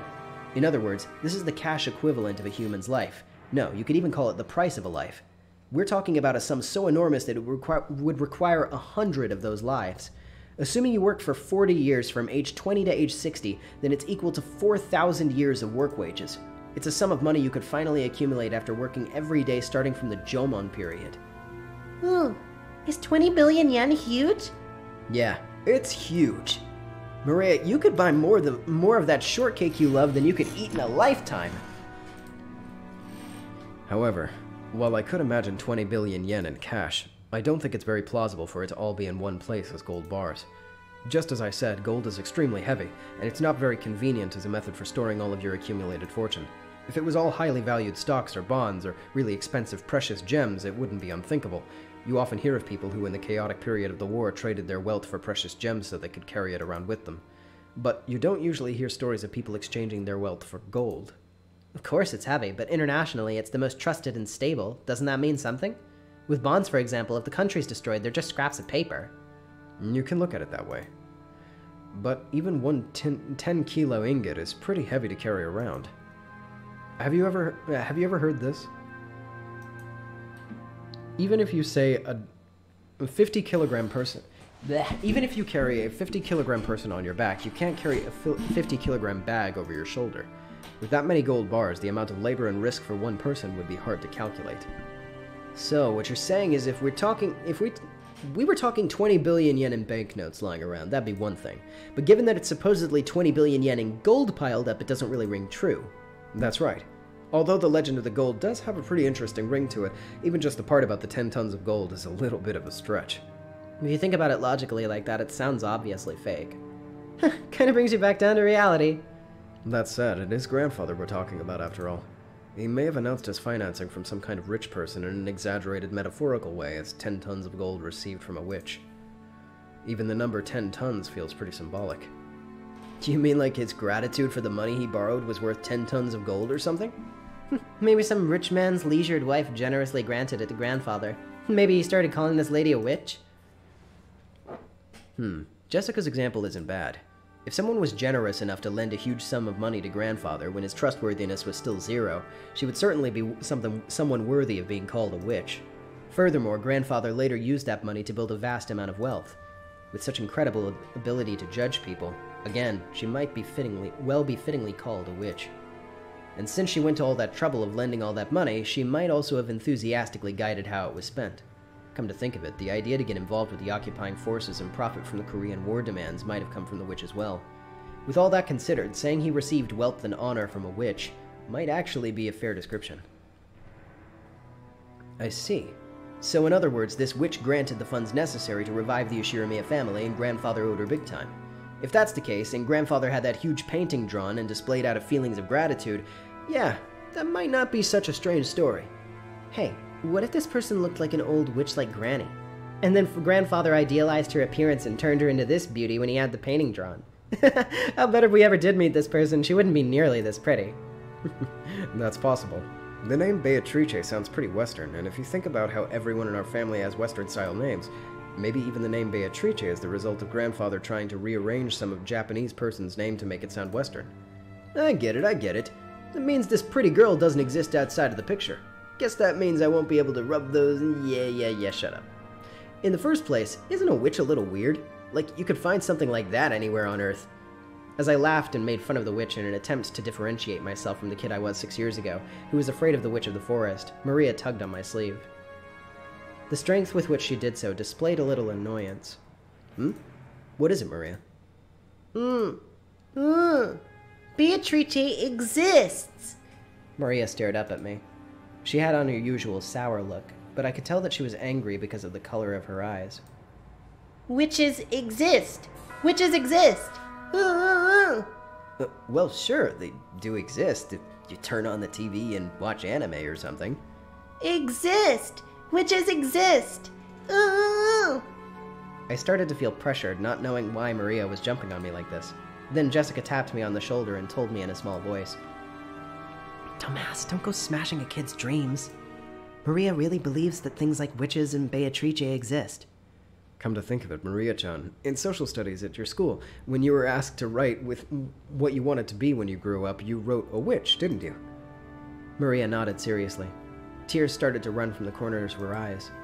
I see. To a girl who wanted to become a witch in the future, this Beatrice is proof that witches do exist in this world. And is also someone who she admires and strives to be like. Exist! Exist! Witches exist! But Battler doesn't believe. Oh.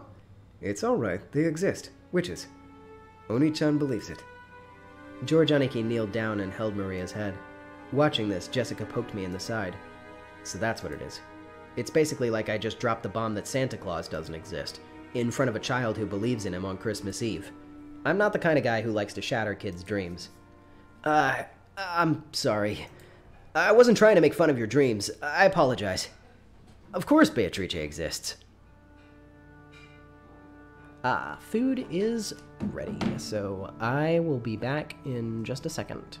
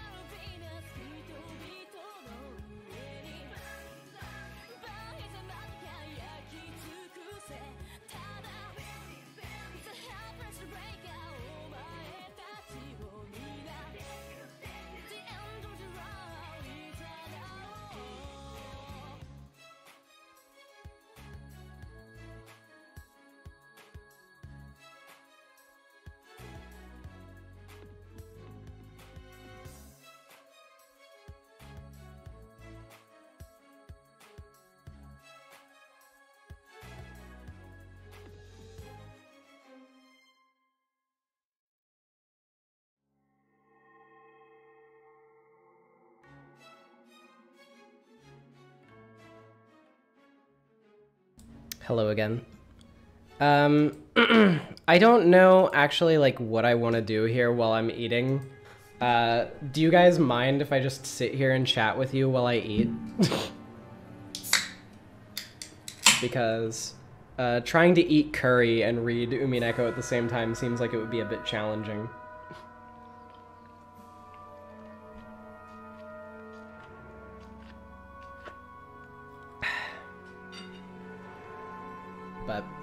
Anywho. So, uh. Oh god, that's hot.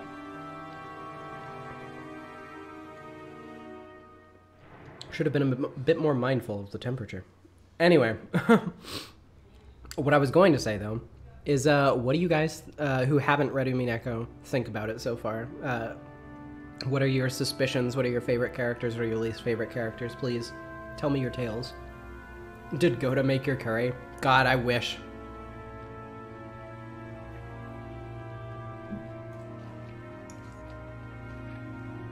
He is magical Goda chef after all.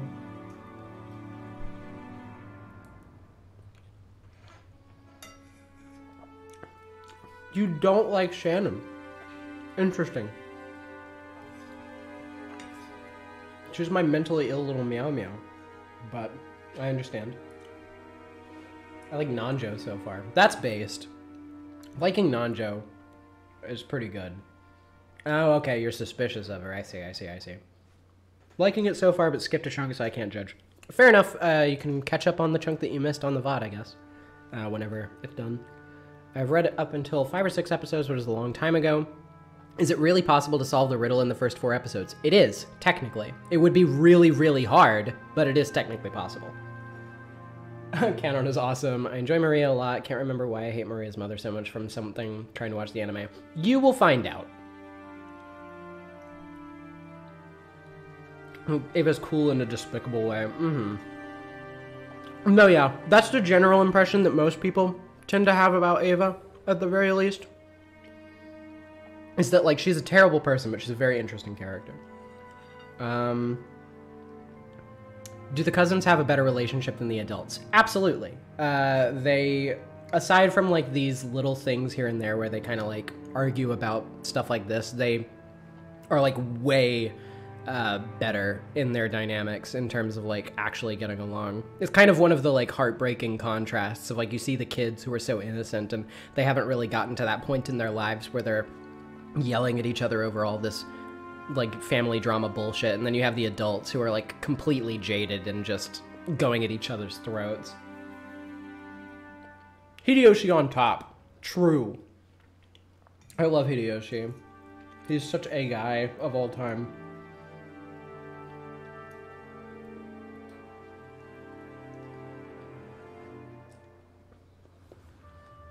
Yeah, and that's taking Battler's antics into account. True. Also true.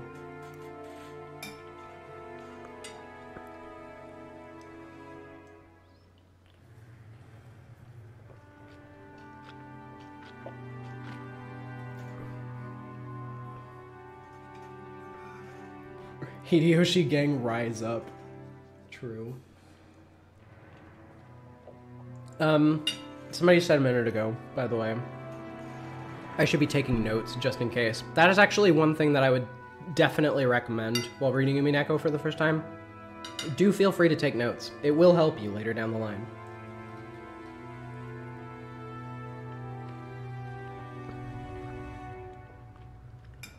Actually, while we're waiting also on me, why don't I go to the characters menu since we haven't looked at it yet. It gives you a bit of a flow chart here um, to read character descriptions. So I will leave one up for a little bit and then move on to the next one after eating a bit and keep talking with you and all that kind of stuff. So people who want to read these can get them.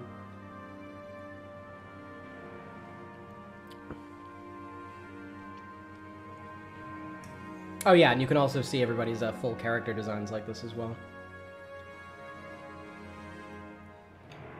Mm-hmm. Yeah, um, Eva wearing pants. It's a very deliberate thing. She's um, definitely wants to put forward that impression of like being in charge and not like you know being looked down on because she's a woman.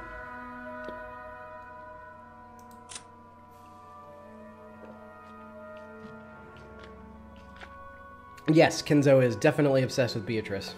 Or Beatrice. Why did I say Beatrice? That was the first time I've ever said it in my godforsaken life. Beatrice.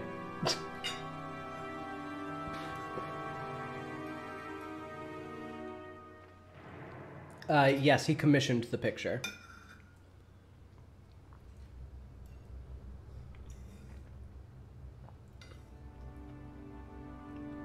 Will I ever do a Sonic IDW retrospective? Maybe. It depends on how long the comic runs for, and like if it's just like a thing where it's like I want to reflect on a specific arc, or if it's just like if it ends, like do the whole thing, something like that.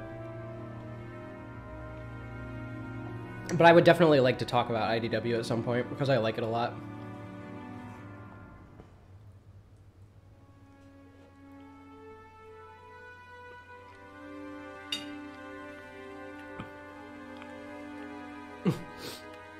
Can't get over how much Krauss looks like Saul Goodman. True. No, yeah, this guy this guy is Jessica's dad. Uh, and we will be moving on to his wife.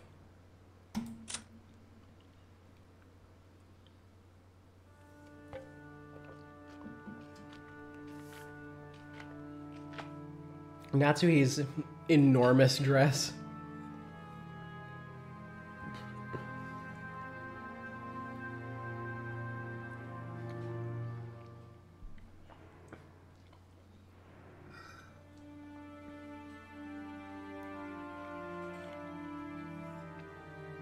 Natsuhi the goat.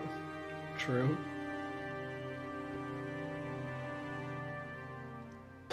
Saul Goodman jump scared.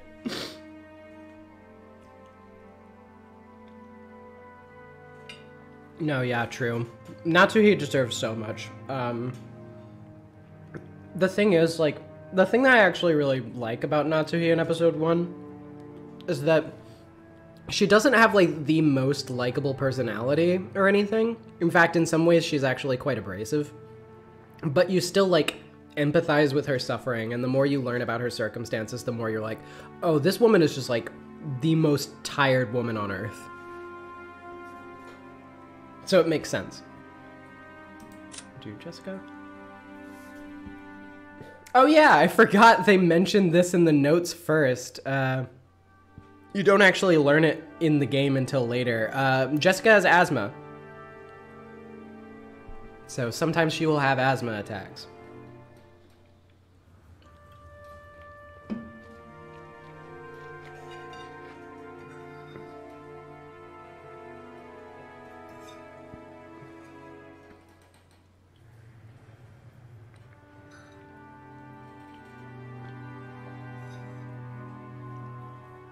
Just like Nenten for real. Um, and we got Eva. With her little fan.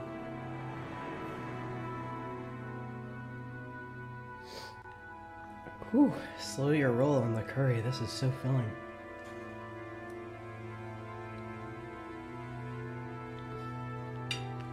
Can probably afford to go a little faster with these. We have Hideyoshi.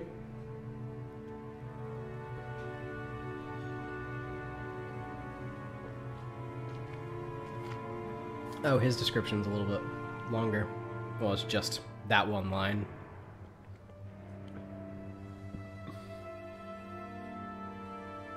I already said this one to correct my wording. Have you played Raincode? And if not, do you intend to? Uh, I have not played Raincode. I do intend to.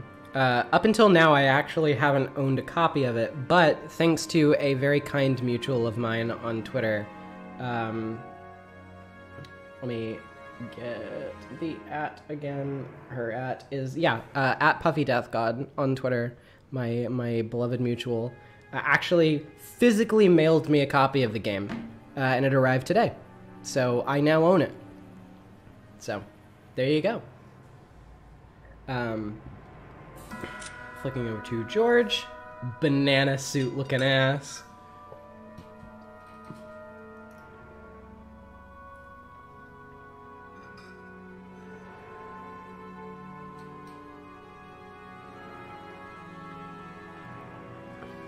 Everybody boo for George right now. Who's my favorite Sonic IDW character? Uh, probably Surge. Probably Surge. Of the original IDW characters, that is. Um, a sec, like a close second would probably be Tangle, though.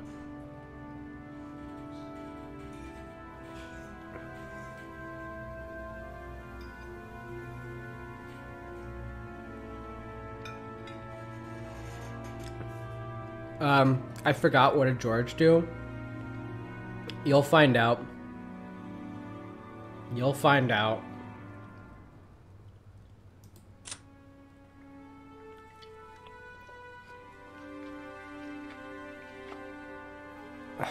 Rudolf, the mafia man.png.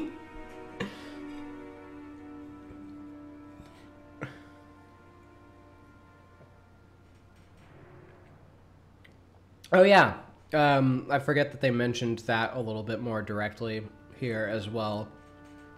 So yeah, um, he uh, Rudolf was formerly married to a woman named Asumu, who was uh, Battler's mother, uh, six years ago, and then married his current wife Kirie straight after that.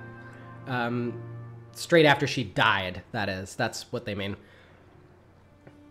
and uh, the implication being obviously that he was probably messing around with Kirie sometime before Asumu's death, which is why Battler was so mad at him and why he left the family for six years.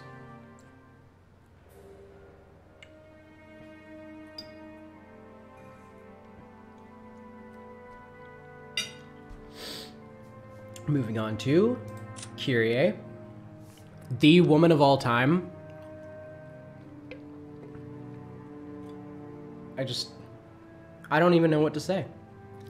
What what do you say about this woman?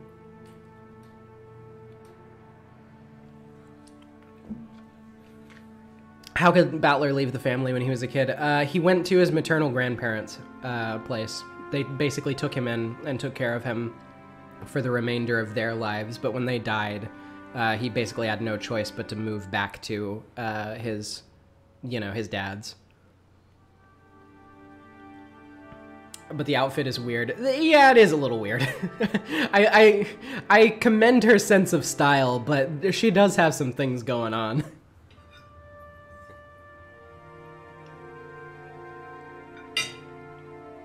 Um, they're not related to the Ushiromiyas. As in, like, Asumu was not part of the Ushiromiya family, Rudolf is.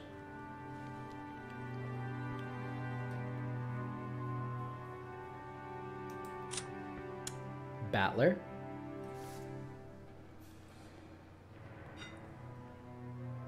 Ah, yes, and they clarify some of that here too.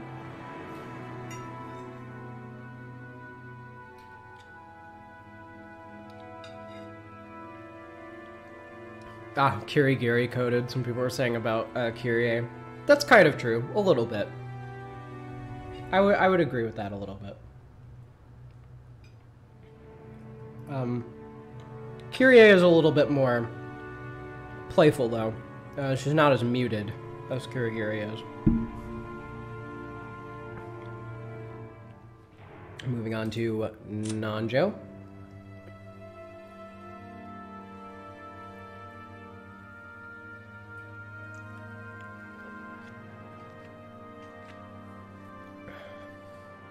Isn't this before Danganronpa though? No, yeah, we were like just not saying that they actually inspired each other, just that they have similarities. Umineko came out well before Danganronpa.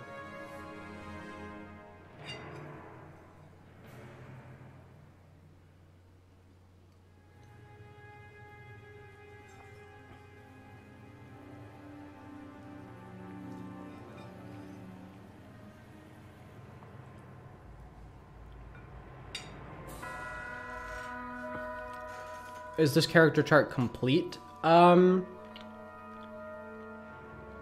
Mm, well, I'll just let you think about that. Rosa.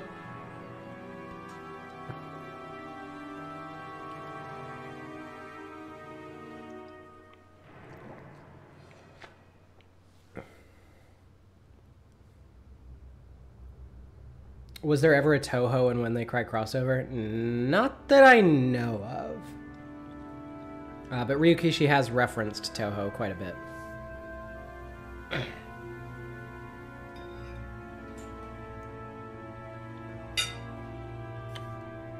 Maria? Yeah, let's move on from a character everybody hates to a character everybody loves.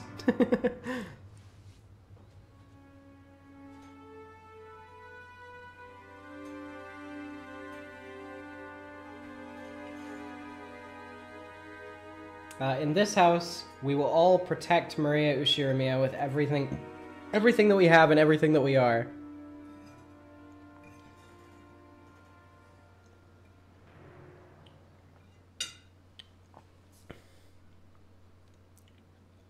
We have Genji. Give it up for Mr. Old Man Yaoi himself.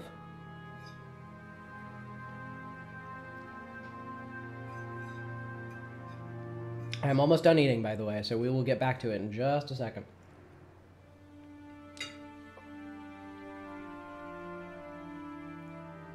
Shannon.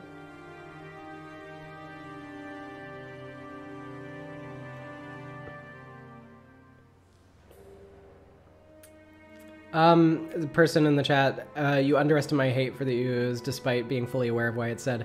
Um, well, uh, I would simply like her if I were you. Skill issue.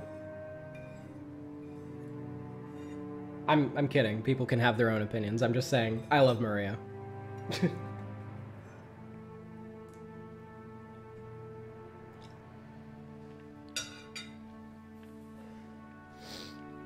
Kanon.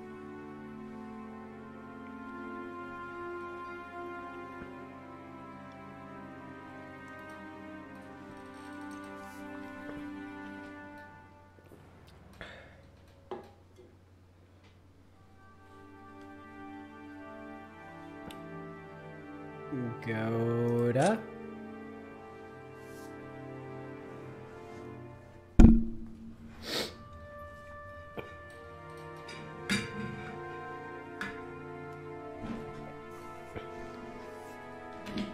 And Kumasawa.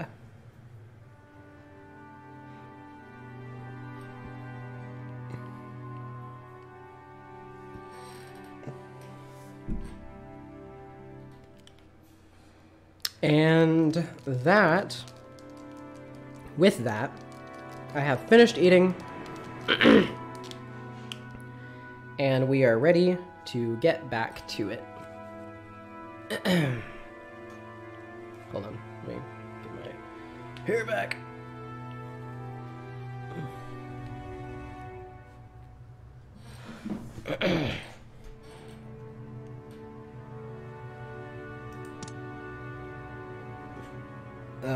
I'm sorry, I wasn't trying to make fun of your dreams. I apologize. Of course Beatrice exists. Even now, she's living in the forest and comes every night to the mansion to peek in and see what everyone's doing. That's that's why you shouldn't go into the forest. Oh, hey, uh, thank you, the Cat Lurking, for becoming a channel member. Really appreciate it. And at night, you mustn't stay up staring into the dark forest. You might be seen by the witch of the forest, Beatrice. After all, grandmother said so. Hmm. Really? Battler really believes? Yep, I believe. Sorry for doubting it. Come on, let's make up, okay?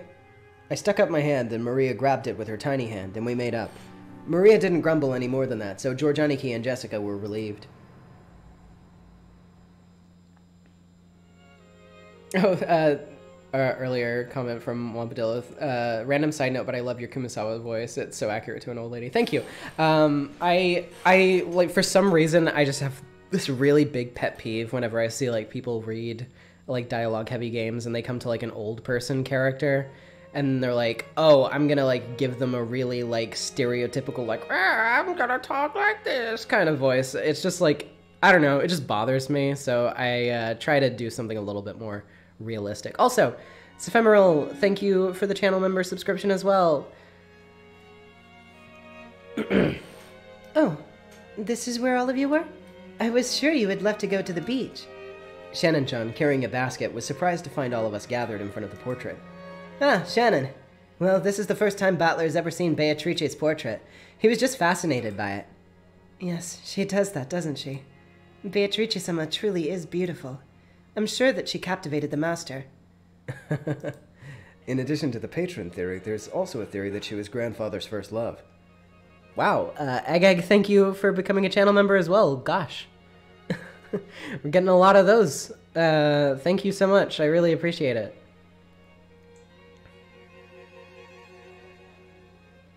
Uh, is it fine if I send you a Twitter DM? My DMs should be available to send.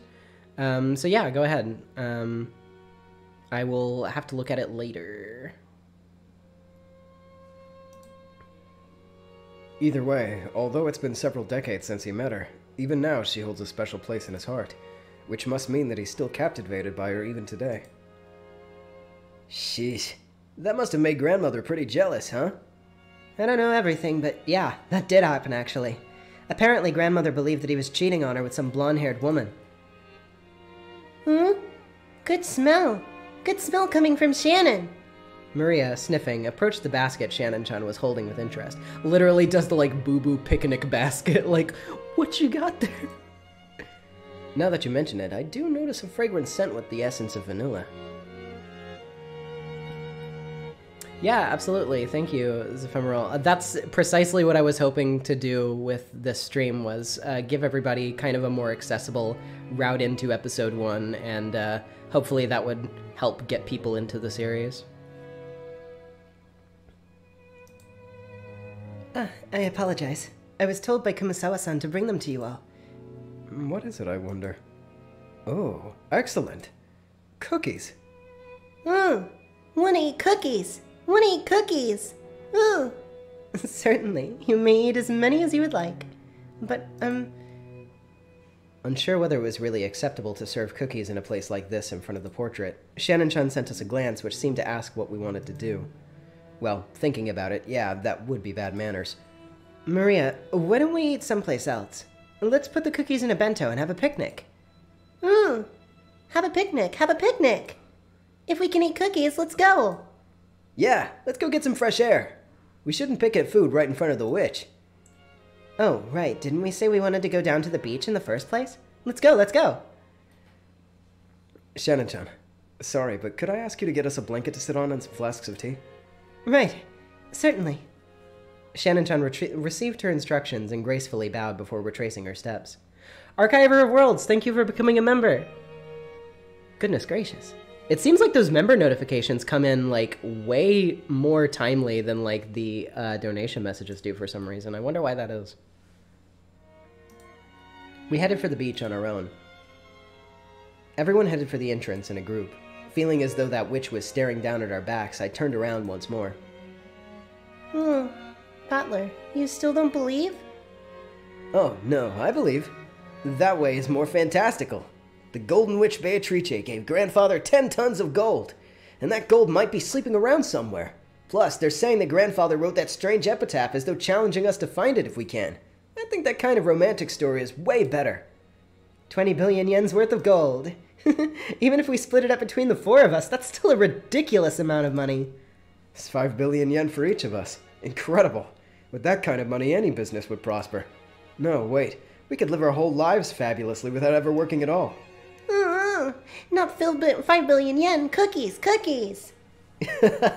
Maria would take cookies over money. Still, 5 billion yen, that's like a dream. God, the the contrast gets to me so much. You have the kids talking about like, oh, we could just break it amongst ourselves and we'd have like enough money to live forever. That'd be awesome. That would be great if we could just split that money amongst ourselves. And then you have the adults who are like, we want to get every cent that we can possibly wring out of you. And like just trying to like dominate each other in a discussion. God. Ridiculous. Is it truly possible that you all believe in Father's legends of gold? The story about a witch who gave him the gold and so forth, we obviously don't believe. However, there's no mistake about the gold. Multiple sources have confirmed the fact that Father was in possession of gold bars from an unknown source. We heard that before the Mar- before the Marisu Company president died, Father showed him a large amount of gold somewhere. Father stated clearly to him that there was ten tons worth. That's just the nonsense of a senile old man. Along with Father, he was just fabricating a story. You can't take it seriously. If that gold didn't exist, he wouldn't have been able to gather so much funding. Before the president died, he was a person whose sincere personality gathered a lot of respect from many in the business world. He wouldn't have been become partner to such a fraud. Aniki, the president of Marisu definitely saw it. Canada Kate. Oh, yeah. For some reason, your uh, channel member message didn't show up, uh, Canada Caden, but thank you so much. I really appreciate your joining as well. The president of Marisu definitely saw it. Ten tons of it, clearly with his own eyes. Even more, Dad let the president take one ingot at random and have it examined. The ex- results of the examination showed that the 10 kilogram ingot had a purity of four nines, 99.99. He said that the Ushiromiya family crest, the one-winged eagle, was carved into it. Almost instantly, the Ushiromiya legend of the gold spread amongst the fixers of the business world.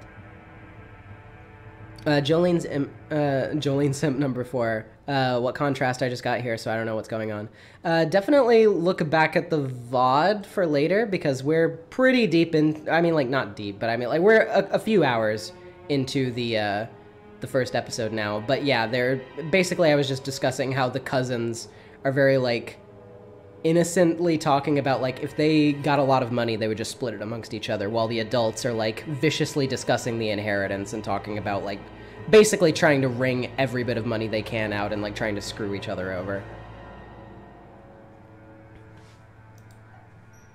Gold from an unknown foundry has a poor rate of conversion into money. Thinking that it was a chance for device, decisive profits they accepted it as collateral and as a result father was able to receive a giant loan This is the most ridiculous nonsense I've ever heard. How old are you people? Are you still taking that fairy tale you heard as kids at face value? Where's the proof that this 10 tons of gold even exists? Isn't it just the lies of father and those who are closest to him? Of course it's just a story. But still, Aniki, the amount of money that Dad raised required a suitable amount of collateral. Even if the gold was just a rumor, then he must have shown them a treasure of comparable worth as an unmistakable truth, don't you think? It was just a fiction of gold created by our penniless father. He made it seem that non existent gold actually existed and fooled his sponsors. It was probably the gamble of a lifetime. Fortunately, his use of those funds proved successful. If the Korean War demands hadn't come and the Ushiromiya family had not been restored, father would probably have been hounded after as a crook of the century. In that case, are you saying the gold never existed and that father made it all up? Of course.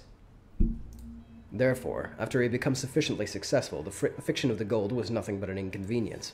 So father made up that absurd story about the witch and black magic and made the whole thing seem less believable. In other words, he revealed that the gold was a complete fiction. If he says that he received the gold from a witch, no one would believe that it exists at all, right?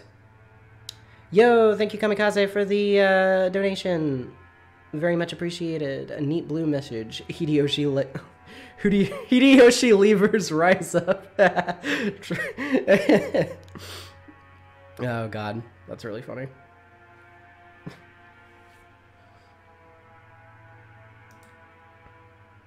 He may have even said it for all of your sakes.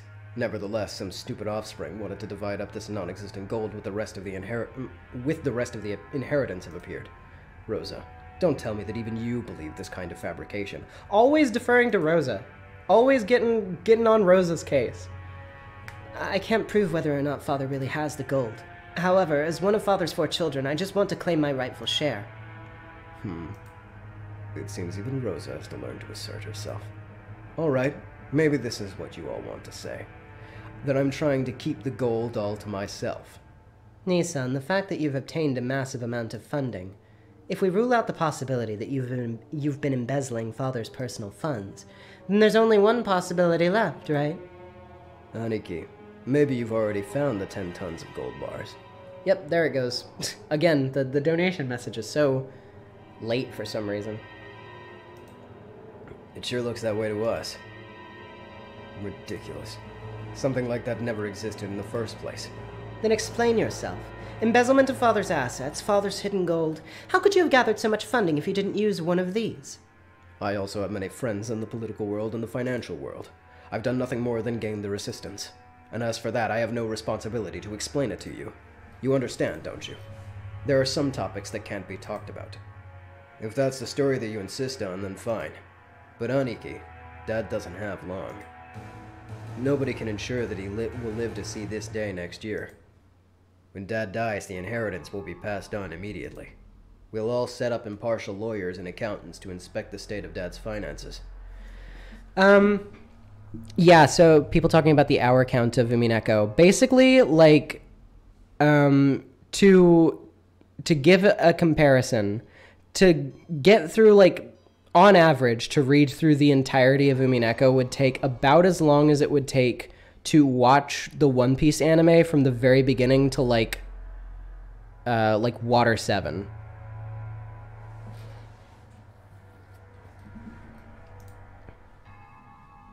If at that time the fact that our brother has unjustly interfered with father's money comes to light, you understand, right? I don't have a clue what you're talking about. You're starting to make me feel as indignant as my wife was. Father's gold's definitely one of Father's assets. I understand it's money you can't reveal openly. Even so, the four siblings should have an equal right to it.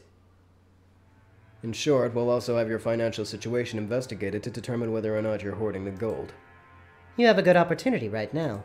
Prove the existence of this backup and friends from friends and acquaintances that you mentioned. Yeah, somebody mentioned uh, Red Bard made a video about Umineko's length. It's a good video. You should check it out. It will prove to you just how long the series is. And uh, also, shout out to Red Bard. Makes great videos. Uh, did uh, agreed to like do a little cameo in my Umineko video actually, and that was very nice.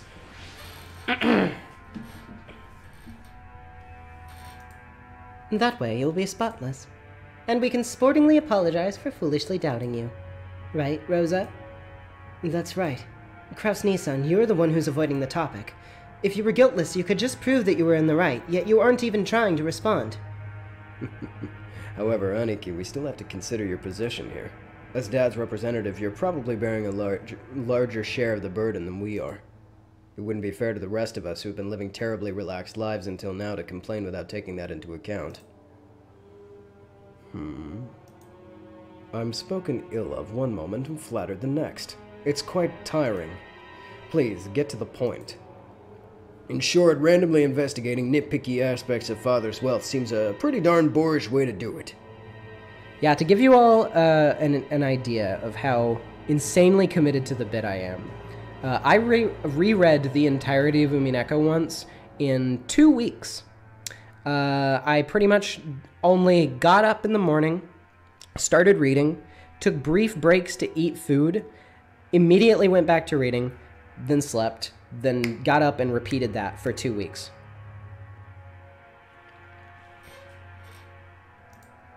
As you said, Krauss Nii-san, you probably got move- movements of money that are difficult to explain.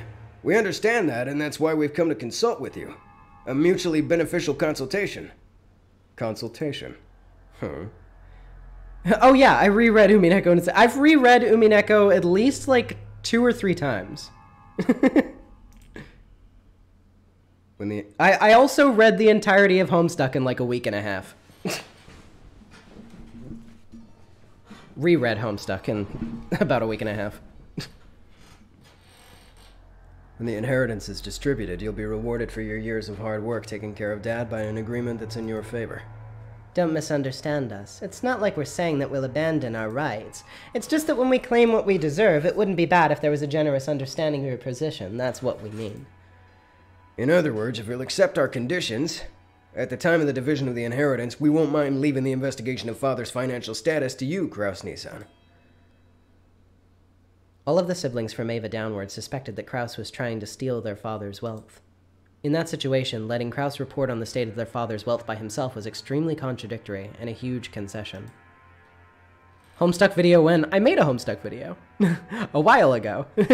I made one uh, the year the epilogues came out. Uh, 10th anniversary retrospective. It's kind of old now, but I'm still pretty proud of it. I think it's pretty good. Besides that, it would also be possible for him to control the distribution of the inheritance in a manner favorable to himself. Krauss also realized that this sounded too good to be true, couldn't help and couldn't help but feel doubt. He had to worry about what they would ask in return for such a compromise. Oh. After mistrusting me completely, you now say that you're willing to restore your confidence in me as the eldest sibling. And what you're and what are you asking for? Just what we deserve as siblings. You aren't the kind of person who would steal Dad's property. However, there's no patron financing you. Considering all that, there's a certain explanation that would satisfy the rest of us. Nii-san, you found the 10 tons of gold and used that as collateral to gather some funding. Yes, just like Father did in the past, right? If that's the case, there won't be any funny bits in Father's finances. You've always been a good son, looking after Father. Why would we mistrust a person like that? You've been you're being so roundabout I can barely understand you.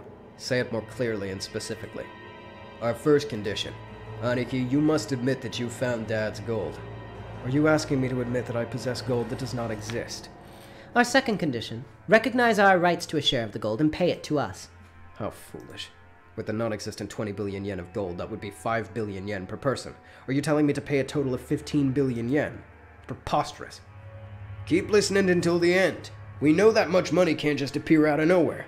We're not asking you to make an impossible deal. Of course, regarding the portions of the gold, we plan to reward you sufficiently for your hard work until now in our calculations. Our third condition the portion of the gold to be the one bearing the title of successor to the Ushiromiya man family will be 50%. The remainder will be split fairly between all the siblings. Of course, this also includes you, Krauss Nii-san. Of the 20 billion, 12.5 billion will go to Aniki. 2.5 billion will go to Eva Nee-san. 2.5 billion will go to me. And 2.5 will go to Rosa. A distribution that makes me so grateful that I could cry. So you're saying for the sake of the gold that doesn't exist, I must pay you 7.5 billion. What's wrong? Nii-san, your share is five times the size of ours. That's such a good condition. I'd be jumping with joy. Our fourth condition. The dividends will be paid out along with the distribution of the inheritance at the time of Dad's death. However, as a deposit, 10% of our portions will be paid to us promptly. The payment must be made before March of next year. What do you think? What do you think, Krauss Nii-san? This is an ideal chance for you to restore the trust you need to run Father's assets, isn't it? Of course, it might be impossible to get a whole 7.5 billion before Father dies. However, you can't say that you couldn't manage a deposit of 750 mil, right? Paying 700 million in half a year might be slightly bothersome, but someone like you, who has many friends in the political and business sphere, should be able to manage it. Normally, I'd hope to receive the 7.5 billion right now, all at once. But out of concern for your position, if you'll just show your sincerity by delivering 10% for the time being, it's alright to let the remaining 90% carry over until the distribution of the inheritance. Right? Surely even you can offer a mere 10% to show your sincerity. So, the right to investigate the status of Father's assets is being sold to me for 750 million. Isn't that great? You all sure have grown. I never thought you would all become capable of offering a deal to me. Nii-san, if you accept these, the rest of us siblings will leave the investigation of Father's assets to you. However, the results of the investigation will be subject to appeal. It's only natural, right? We'd be sad if you adjusted our portions downwards by 7.5 billion. As a general rule, we wouldn't complain. As long as you do it neatly, it's fine. As long as you don't do anything significantly obvious, we don't plan to aggravate anything. We want the inheritance quickly as much as you do. Um, yes and yes, closing time. Um, they are talking about money quite a lot, but it does actually set up some pretty important things. We don't want it to get all drawn out and led astray. In the case of an appeal, who would do the second investigation? That can be you as well. This will probably be the first and last opportunity to discuss this. I trust you not to let it come to that. Rosa, you really can talk sometimes. That Krauss was not to be not trusted whatsoever as the oldest sibling was by now so obvious that it required no explanation. The formerly tyrannical older brother would always abuse his privileges and infringe upon the other sibling's shares. In response to that, the other three, now adults, were now for the first time striking back at him by working together. I'm sorry, but there are further conditions. Our fifth condition. This decision must take precedence over Father's will. Later on, we don't some, want some will to appear and make this decision completely useless. I see that you're very cautious. Then let me ask you, if the gold really were found, what would you do? As long as you've settled this matter with a corresponding payment, then whether the gold really appears or not makes no difference to us. You can think of our share as an advance payment. Gives you something to live for. You plan to turn this island into a resort, right? During construction, you might stumble upon the gold by chance. Eva let out a high pitched laugh. Krauss watched without even flinching. Let me add a seventh condition before I accept. In the situation that any other sibling other than myself finds the gold, they will immediately turn it over to me. Yes, yes, of course, we'll guarantee you that. Insignificant details. The others, who were forcing Krauss to pay money for some non existent gold, would of course not ins- insure Krauss's portion if they actually found the gold. From the beginning, this deal had been nothing more than a threat directed at Krauss. While the truth might be different, the probability that Krauss was embezzling his father's assets was extremely high. When at least when at last Kinzo faced death and it came time for the inheritance to be distributed, surely some unpleasant facts would come to light. That situation would likely be a fatal wound to Krauss. They had latched onto that weak point and were threatening their brother under the veil of compromise, trying to wring out a huge sum of money. However, they had let one thing slip their minds. The three of them had forgotten that their oldest sibling, who they couldn't defeat unless they banded together, was a very nimble thinker when it came to being crafty. Krauss relaxedly let out a gloating laugh as he spoke to Eva, who could not hide her smile, so certain she was of her victory. This all sounds marvelous to me. I had a feeling that I had been feeling a deep pain in my heart at the estrangement from the rest of you. If by accepting these conditions I could make our sibling relationship friendly once again, I would be quite pleased. I'll gladly take you up on your offer. Be happy, Rosa. We have a deal. Rosa's expression dimmed. When her brother started talking like this, the conversation would never change for the better. Eva was also sensitive enough to realize this. Therefore, even though Krauss had obediently accepted the deal, she was unable to wipe away her feeling of insecurity. My, how obedient. That's not like you, Nii-san. That's harsh. You think I have an ulterior motive? Of course I don't. I'm just like all of you. I'm just like all of you. It felt as though only that part was emphasized. The color of Rudolf's face darkened. I have a plan, just like all of you. That's what it sounded like to him. That gave him a sense of urgency. Trying to bring this near finished discussion to a conclusion, he rushed to wrap it up. Then we're good. So, Aniki, would you mind signing here? Uh, This is a written contract containing the discussion we've been having. There's one for each person. Everyone will sign the same con- for the same contents. Rudolf took four written contracts out of his breast pocket that had the details of their deal written on them. Of course, we'll also add the seventh condition that you proposed straight away. Don't worry. Aniki, will use it. Will you use a pen? Rudolf took a fountain pen out of his breast pocket and offered it to Krauss. Krauss made as if to accept, but then, with a small laugh, drew his back his hand without taking it and spoke. Actually, in order to make sure this agreement is definitely effective, I'd like to propose a single amendment. When Krauss said that one sentence, all of the siblings felt at the same time as though something annoying was creeping up their backs. Th- that won't do. We've already decided, haven't we? Be quiet and sign it. Eva, why are you so impatient? Of course I'll sign. I promise you all your share 7.5 billion yen. I also promise that when father's inheritance is distributed, I will cleanly and neatly liquidate it. However, there is just one point on which I must ask you to compromise. What are you talking about? What point don't you like? The part about promptly paying 10% of each portion, 750 million yen. As you pointed out, my financial situation is not prosperous. Uh, while I'm guaranteed to definitely collect on various future investments, at this time I have no choice but to admit that I am very poor.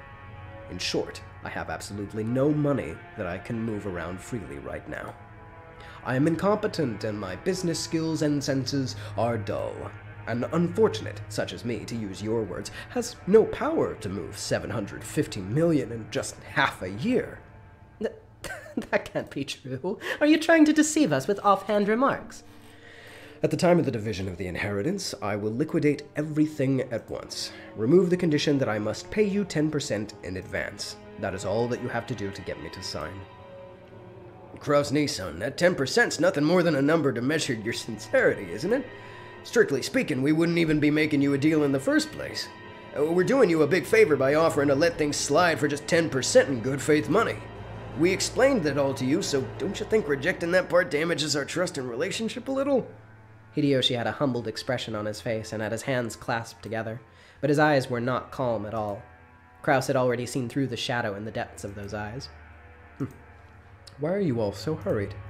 Or are you possibly afraid of something? Rosa, won't you at least tell me? Secretly, without telling the rest of the siblings. It. It's not like I. Quit it, Aniki. We're all, all we're asking you to do is if you're is whether you're going to sign or not. Just forget about it making any strange deals or anything suspicious. Oh? So I have no margin for negotiation. Do you claim that my position is so weak that we're not even in an even relationship? Shivers began to crawl up Rudolf's back. Ever since he was a child, he had never been able to overcome the height of the wall that separated him from his older brother, and now again he began to feel, him, feel himself getting sucked in by it, and the long shadow it cast. Shouldn't deals be made on even footing? To me, this deal is something to restore the long lost trust of my younger brother and sisters, and deepen the love between us siblings. It has been a cancer in my heart that I wish to resolve quickly. I'm very happy to resolve it all today. But you too would be very happy to see this deal quickly concluded, wouldn't you? Krauss stared at each of the siblings. They avoided his gaze with animal like instinct.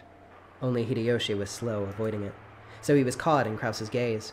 Hideyoshi Nii-san, I hear that your company's been going extremely well recently, hasn't it? You didn't hit any problems getting it listed as a stock, and both its performance and stock prices are constantly growing. I'm truly jealous.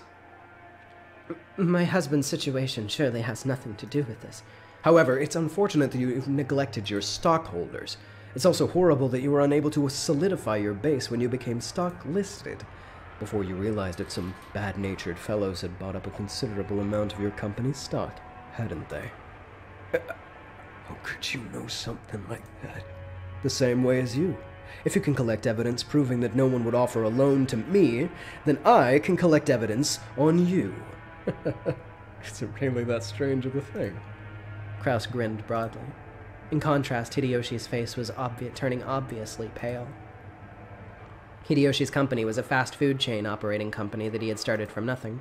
Though Hideyoshi's management efforts, performance of the business repeatedly rose and magnified, and ultimately it succeeded in becoming a stock listed company. The greatest advantage of being in the stockholding system is that by selling stock certificates, a large amount of financing can be gained. That amount is far greater than the actual profits from the business. This made it an extremely effective way to gather the massive funds needed to grow his company even further. However, in exchange for financing the company, the stockholders have certain rights. Namely, the right to observe and guide the company that they have financed, in order to raise its profits above their investment. That right is a guarantee to all stockholders, and they sometimes even use it to reorganize ineffectual management. It is the right to prevent the money they have spent financing the company from going to waste by watching the management of the company. However, if they use this right forcibly, they can eject the former management and take over the company. Because the general body of all stockholders has the power to dismiss the management and nominate new management, that right is exercised on a majority decision by the stockholders, and people who hold more stock get to cast more votes. In other words, if some person or group holds a majority of the stock, they can freely chase out the old management and make the president anyone they would like. If they want, it's even possible for them to make themselves president. Many companies, in order to prevent their stock from being bought up by malicious people and their position from being threatened, take some kind of defensive measures, such as having their own employees or people close to them buy a lot of stock certificates, in order to prevent a hostile group from securing the majority. However, since Hideyoshi's company had only recently become stock listed, they hadn't had the time to strengthen those defensive measures. No, maybe Hideyoshi himself was engrossed in the management of his company, so engrossed in the management of his company that he hadn't realized the dangers of being stock listed. It's hard to say whether he should be viewed as a kind hearted and skilled manager immersed in management, or a foolish manager who had his feet swept out from under him. But in any case, there were people out there who would not let him get away with that naivete unscathed. They rapidly bought up Hideyoshi's company's stock and inst- instantly gained a significant amount of power. They then sent anonymous documents to the stockholders and began to capture the majority. The documents read The current management continues to make pointless investments and is ignoring the needs of the stockholders. Let us force the current management to retire, cut the current wasted investments, and let this company be born again as one that gives more back to the stockholders. It is very difficult to make the actual state of a company's management known. They maliciously twisted the figures Hideyoshi had produced from a tiny amount of sleep and a constant concern for his company and made him lose the trust of his stockholders. Their efforts had almost collected a majority of the stock in the company. At that point, even Hideyoshi noticed and started to buy back the stocks, but the stockholders, who realized that the company was undergoing an acquisition maneuver, demanded a ridiculous price for the shares that Hideyoshi was trying to buy back. They continually tortured Hideyoshi, who had no leeway in the negotiation of the price. One of the certainties of capitalism is that value will rise when both parties vie for the same thing. And one of the certainties of democracy is that the majority controls everything. So in the end, whoever manages to buy up the most stock wins. So whoever has the most money wins. If Hideyoshi could obtain a large sum of money at this critical time, he would be able to avoid losing all of which he had built up. Therefore, more than anything else, he wanted a lot of money right now. he couldn't wait for the division of Kinzo's inheritance, which may not happen for some time. And you, Rudolf. You've been in a lot of trouble lately, haven't you? They say it's scary overseas, but it seems that's really true. American trials are settled quite emotionally. They won't give a generous judgment to a foreigner. Weren't you advised by your lawyer that making a settlement with the other party would be more economical in the end? What is he talking about? Uh, it's just troublesome work. It's no big deal. It'll be settled with money. Kirie quickly realized what Rudolf's complicated expression meant. Her husband had gotten wrapped up in some kind of trouble without her knowledge and had been suffering alone. That's right. In this world, anything can be settled with money. After all, it can even buy back the broken bonds between siblings. America is very fussy about the violation of rights, but with money, anything can be settled. Long live capitalism. Although rumors around that settlement money may reach several million dollars. God, that's such a line. Rudolf had been building a large amount of wealth for a certain type of niche market. However, a niche is a niche. It's definitely not a sunny job. An American corporate giant was trying to accuse Rudolf's company of violating their rights. For various reasons, it was thought that winning the trial was extremely unlikely, and Rudolf was being pressed to surrender outright. But even so, there was a way to resolve it with money. If he could only pay that money, though it might be painful, he could still pick himself back up. But if he didn't pay, he'd lose everything. Therefore, more than anything else, he wanted a lot of money right now. Rosa, you're a good and noble little sister. You wouldn't even touch a dangerous money game. However, your soft hearted nature was your ruin, wasn't it? I would think that one should agree to becoming a cosigner. So, wouldn't think one should agree to become a cosigner so lightly. Um. That has nothing to do with you, Krauss Nii-san. Rosa uncharacteristically lay her bo- emo- emotions bare and yelled, because she had thought she had kept it a secret. As Krauss watched, he let, let a muffled laugh slip. There was nothing to fear. Every one of them, more than anything else, wanted a lot of money right now. In other words, the situation had been reversed, because only Krauss, who they were threatening, had no urgent need for a large sum of money. Compared to that, the three who were threatening him wanted money quickly, no matter the cost. So the longer Krauss postponed this deal, the greater the advantage to him. Krauss was very sly. He had known of their Achilles' heel from the beginning. Even so, he had not been certain. Therefore, he had hidden that until the very end, and upon closely and completely examining their attitude, he had struck back. If I could, I would love to raise some money for my darling brothers and sisters in their time of need, but unfortunately, I have nothing on hand. If you have any sponsors in mind that can raise a whole 750 million, I su- su- suggest you try there first. Krauss's elated words were horribly blunt. The other siblings could do nothing more than listen, grinding their teeth. If they could think of a sponsor that convenient, they wouldn't have kept up this charade. They had entered this huge battle specifically because they had exhausted all other options. If you're still set on relying on your older brother, I could use my influence to find you sponsors. Oh, wait, you already said that I have no influence. Well then, I can't do anything, can I?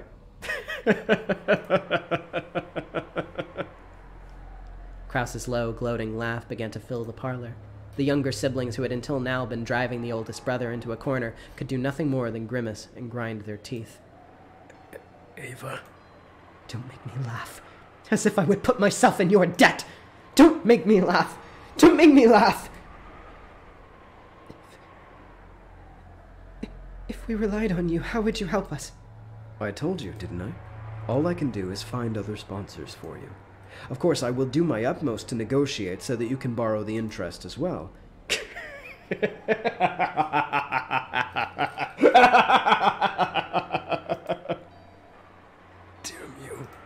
Taking advantage of us. Baby, please calm down. I am calm. I'm extremely cool. You bastard. Kirie gripped her husband's hand. But that action made him feel even more pitiful, so Rudolph shook it off. Krauss laughed as though seeing that made him extremely happy. If only we could truly find Father's hidden gold at a time like this. Then I could split it up into 2.5 billion yen portions for you right away. How sad, how sad, how very sad. How extremely, totally, truly, hopelessly sad. Tonight, let us drink together, as brothers and sisters, and discuss the whereabouts of Father's hidden gold. Solve the riddle of Beatrice's epitaph together, why don't we? With four friendly siblings all together, there's surely no puzzle that can't be solved.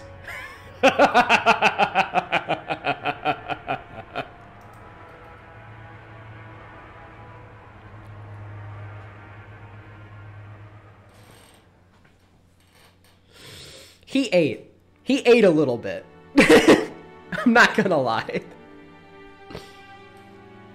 He is a scoundrel and a capitalist, and he does look like Saul Goodman, but he ate a little. anyway, back to a crazy old man. Hmm. How interesting. And what are the conditions that they attached? Certainly. Whether or not Krauss-sama actually discovered the gold, he would pay Eva-sama, Rudolf-sama, and Rosa-sama a total of 7.5 billion yen for their shares. However, 10% of that would be paid before March.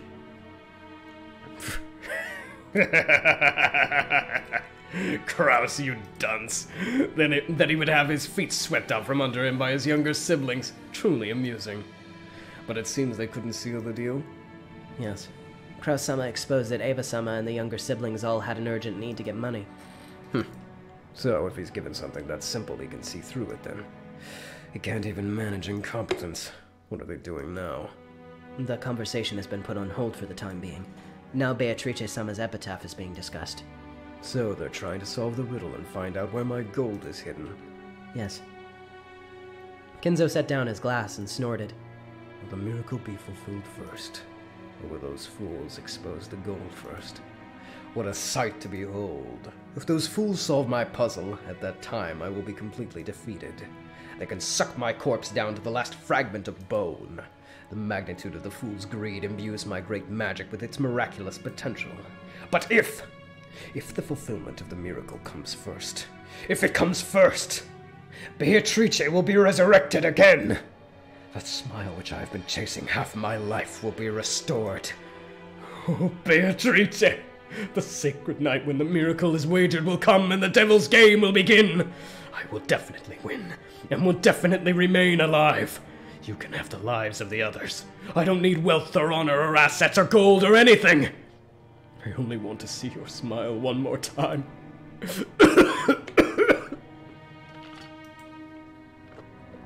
Water. Kinzo choked, apparently in great pain. Kanon got closer and tried to pat his master's back, but Kinzo signaled that he didn't need to.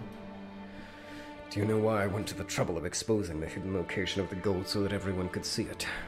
No. It is because magical power is determined by risk. The greater the number of people who try to discover Beatrice's gold, the greater the danger of that happening. Then, assuming that the bet is successful despite those long odds, the magical power will bring about an even grander miracle. In other words, magic is a game. It is not true that the most superior person will become the winner. The winner becomes superior because he is granted magic. Do you understand? Just as the miracle of life is granted precisely because of a victory against divine odds of several hundred to a million to one. Several hundred million to one.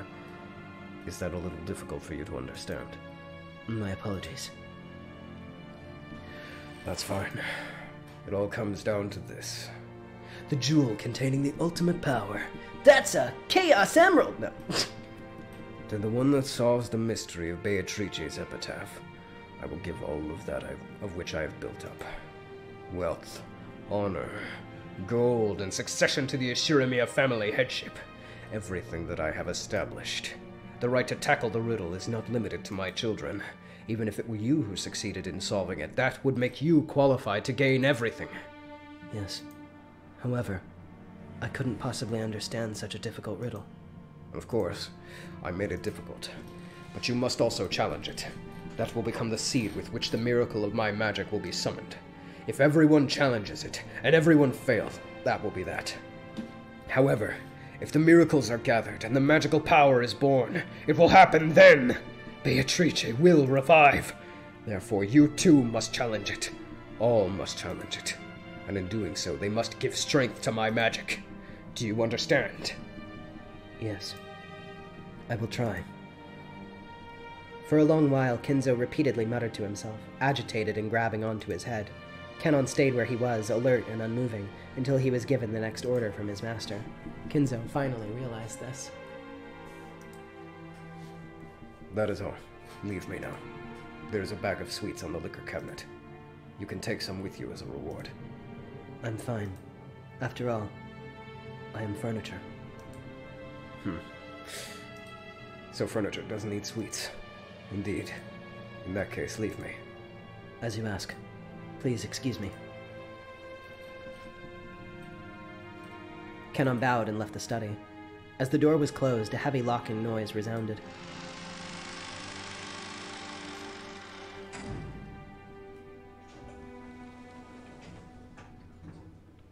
Faker, I think you're the one who needs a lot of money right now. you're comparing yourself to me? I'm not even financially insecure. But that was not the sound of Ken unlocking the door. It was the door locking automatically. No one could ever enter without Kinzo's permission, and once they left, they could not enter again. It was a mechanism that Kinzo, unable to trust his blood relatives, had created to lock himself up in his own study and to isolate himself from the outside world. The only ones he could trust now were not the sons who shared his blood, but those servants who called themselves furniture.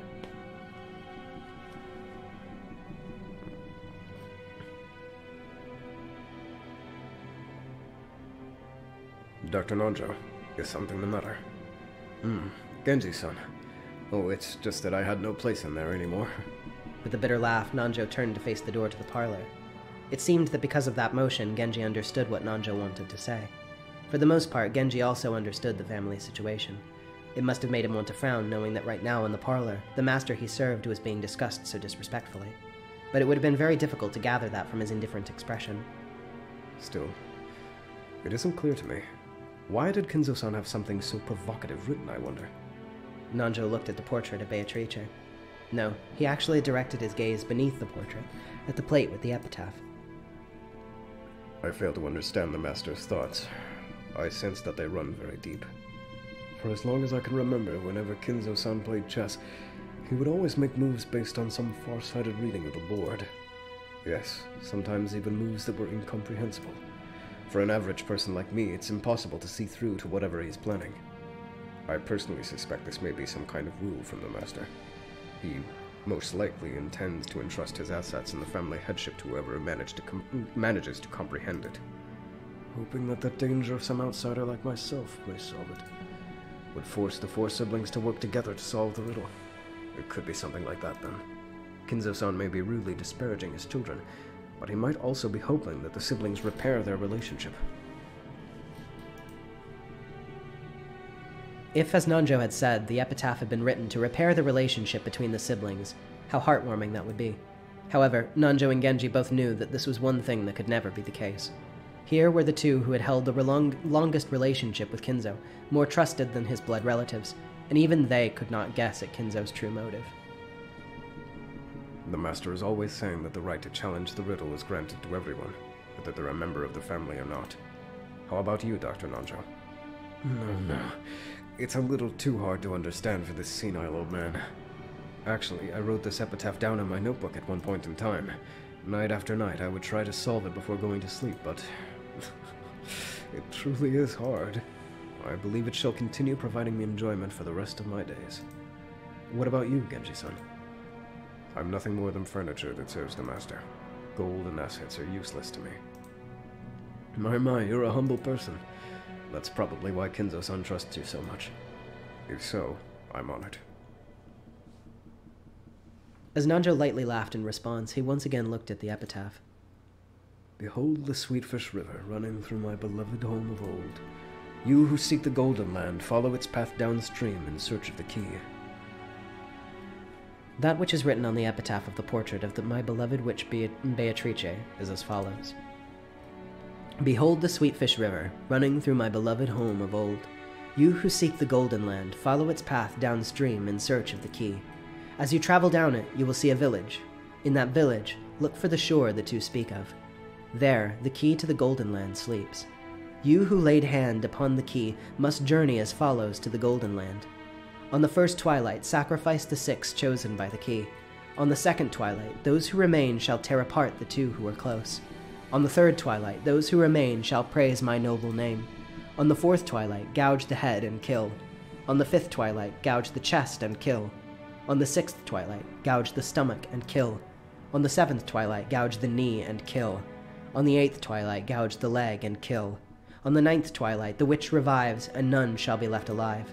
On the tenth twilight, the journey ends, and you shall reach the home of the gold. The witch shall praise the wise, and bestow four treasures. One shall be all of the Golden Land's gold. One resurrects all the dead people's souls. One even revives all the love they possessed. And one for the witch to eternally rest. Rest in peace, my beloved witch, Beatrice.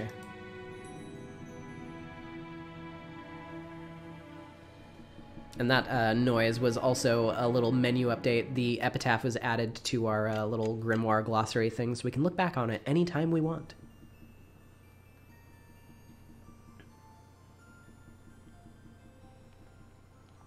To the beach. So, on the tenth twilight the journey shall end, and you shall reach the Golden Land. You really are diligent, Maria. You did a good job taking notes on all this. Hmm. I forget a lot, so I write things down. Write things down like Mama said. There was a notebook inside the handbag Maria was always carrying around, and Beatrice's epitaph was copied onto it.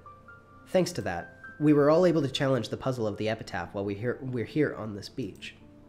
For Jessica and the others, this was a puzzle that they had already tried to solve several times, and had already gotten bored with.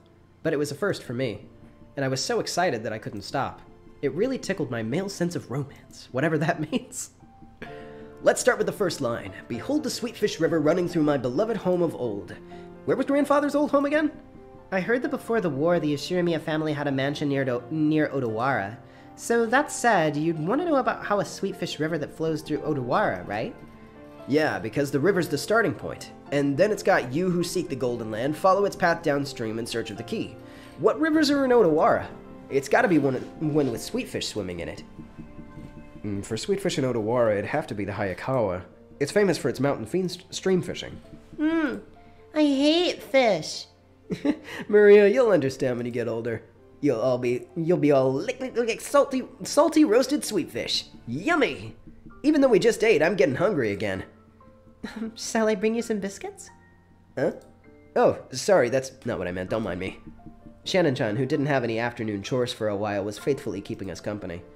I would have thought that as a servant, accompanying us would force her to take care of us and tire her out, but it seemed that wasn't so in her case.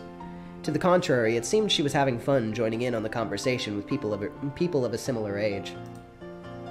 When I asked, she told me she was a live in worker, so normally the only person close in her age was Jessica. I get that. I get it. That must be pretty wearisome. Alright, so I get that the sweetfish filled river near Odawara is the Hayakawa. In that case, we have to go down it. Don't you find anything if you head down the Hayakawa? Um, if you follow it downstream, you'll arrive in the ocean. Of course, you reach the mouth of a river. And the third line of the epitaph was As you travel down it, you will see a village. By the way, since long ago the mouth of rivers have generally been key points for transportation and large cities tend to be built there, that'd be the next checkpoint. Hmm. That's a pretty good theory. Just like you imagined, in ancient times there was a very prosperous old city there. That's where Odawara Castle is. I think I might have gone to Odawara Castle on a field trip once. It really was a wonderful castle. Yeah, I went to Odawara Castle too. Even though I live in a Western style house, it sure is true the Japanese people feel calmer with Japanese style. Hmm. I think castles are boring. Theme parks are better. Uh, what? What? What? What? Uh, no, yeah. Uh, at Gentoki, yeah. This is not my first time reading through it. This is like my fourth or fifth time reading through it. Um, but this is for the benefit of people. I'm trying to get more people into Umineko, so no spoilers for anything in the chat, please. I see, I see. Alright, alright. If we find the gold, the Great Battler Sama will generously reserve a whole theme park for a day and let you play all you want. Still, Odawara Castle. What? Oh!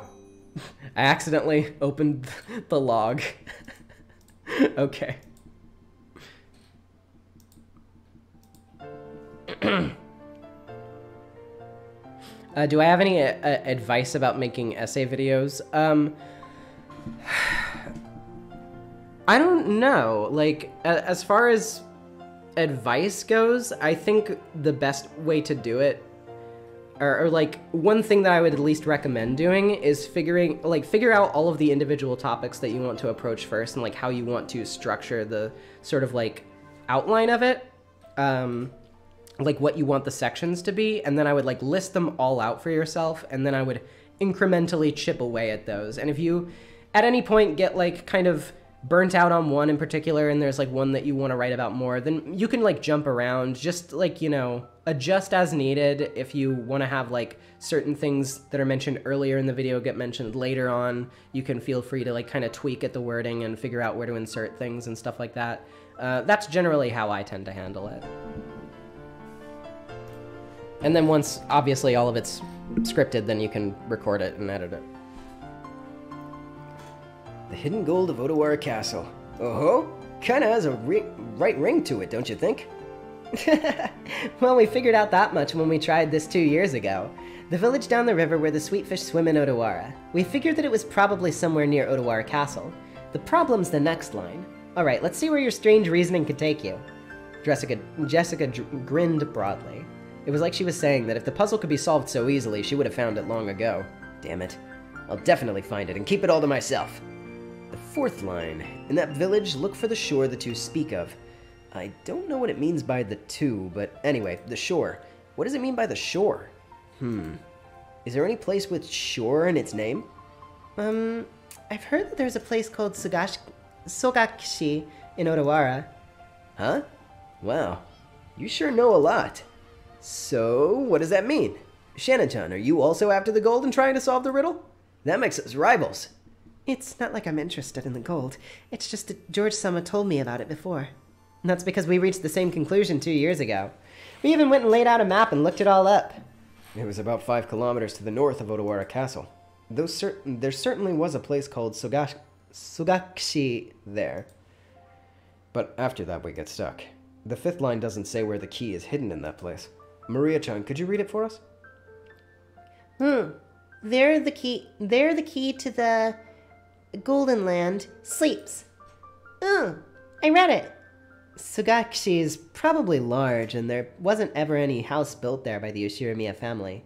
With no hint to where the key is hidden in that huge area, we pretty much have to throw it in, in throw in the towel. You're right. And without the key, we can't advance to the next line.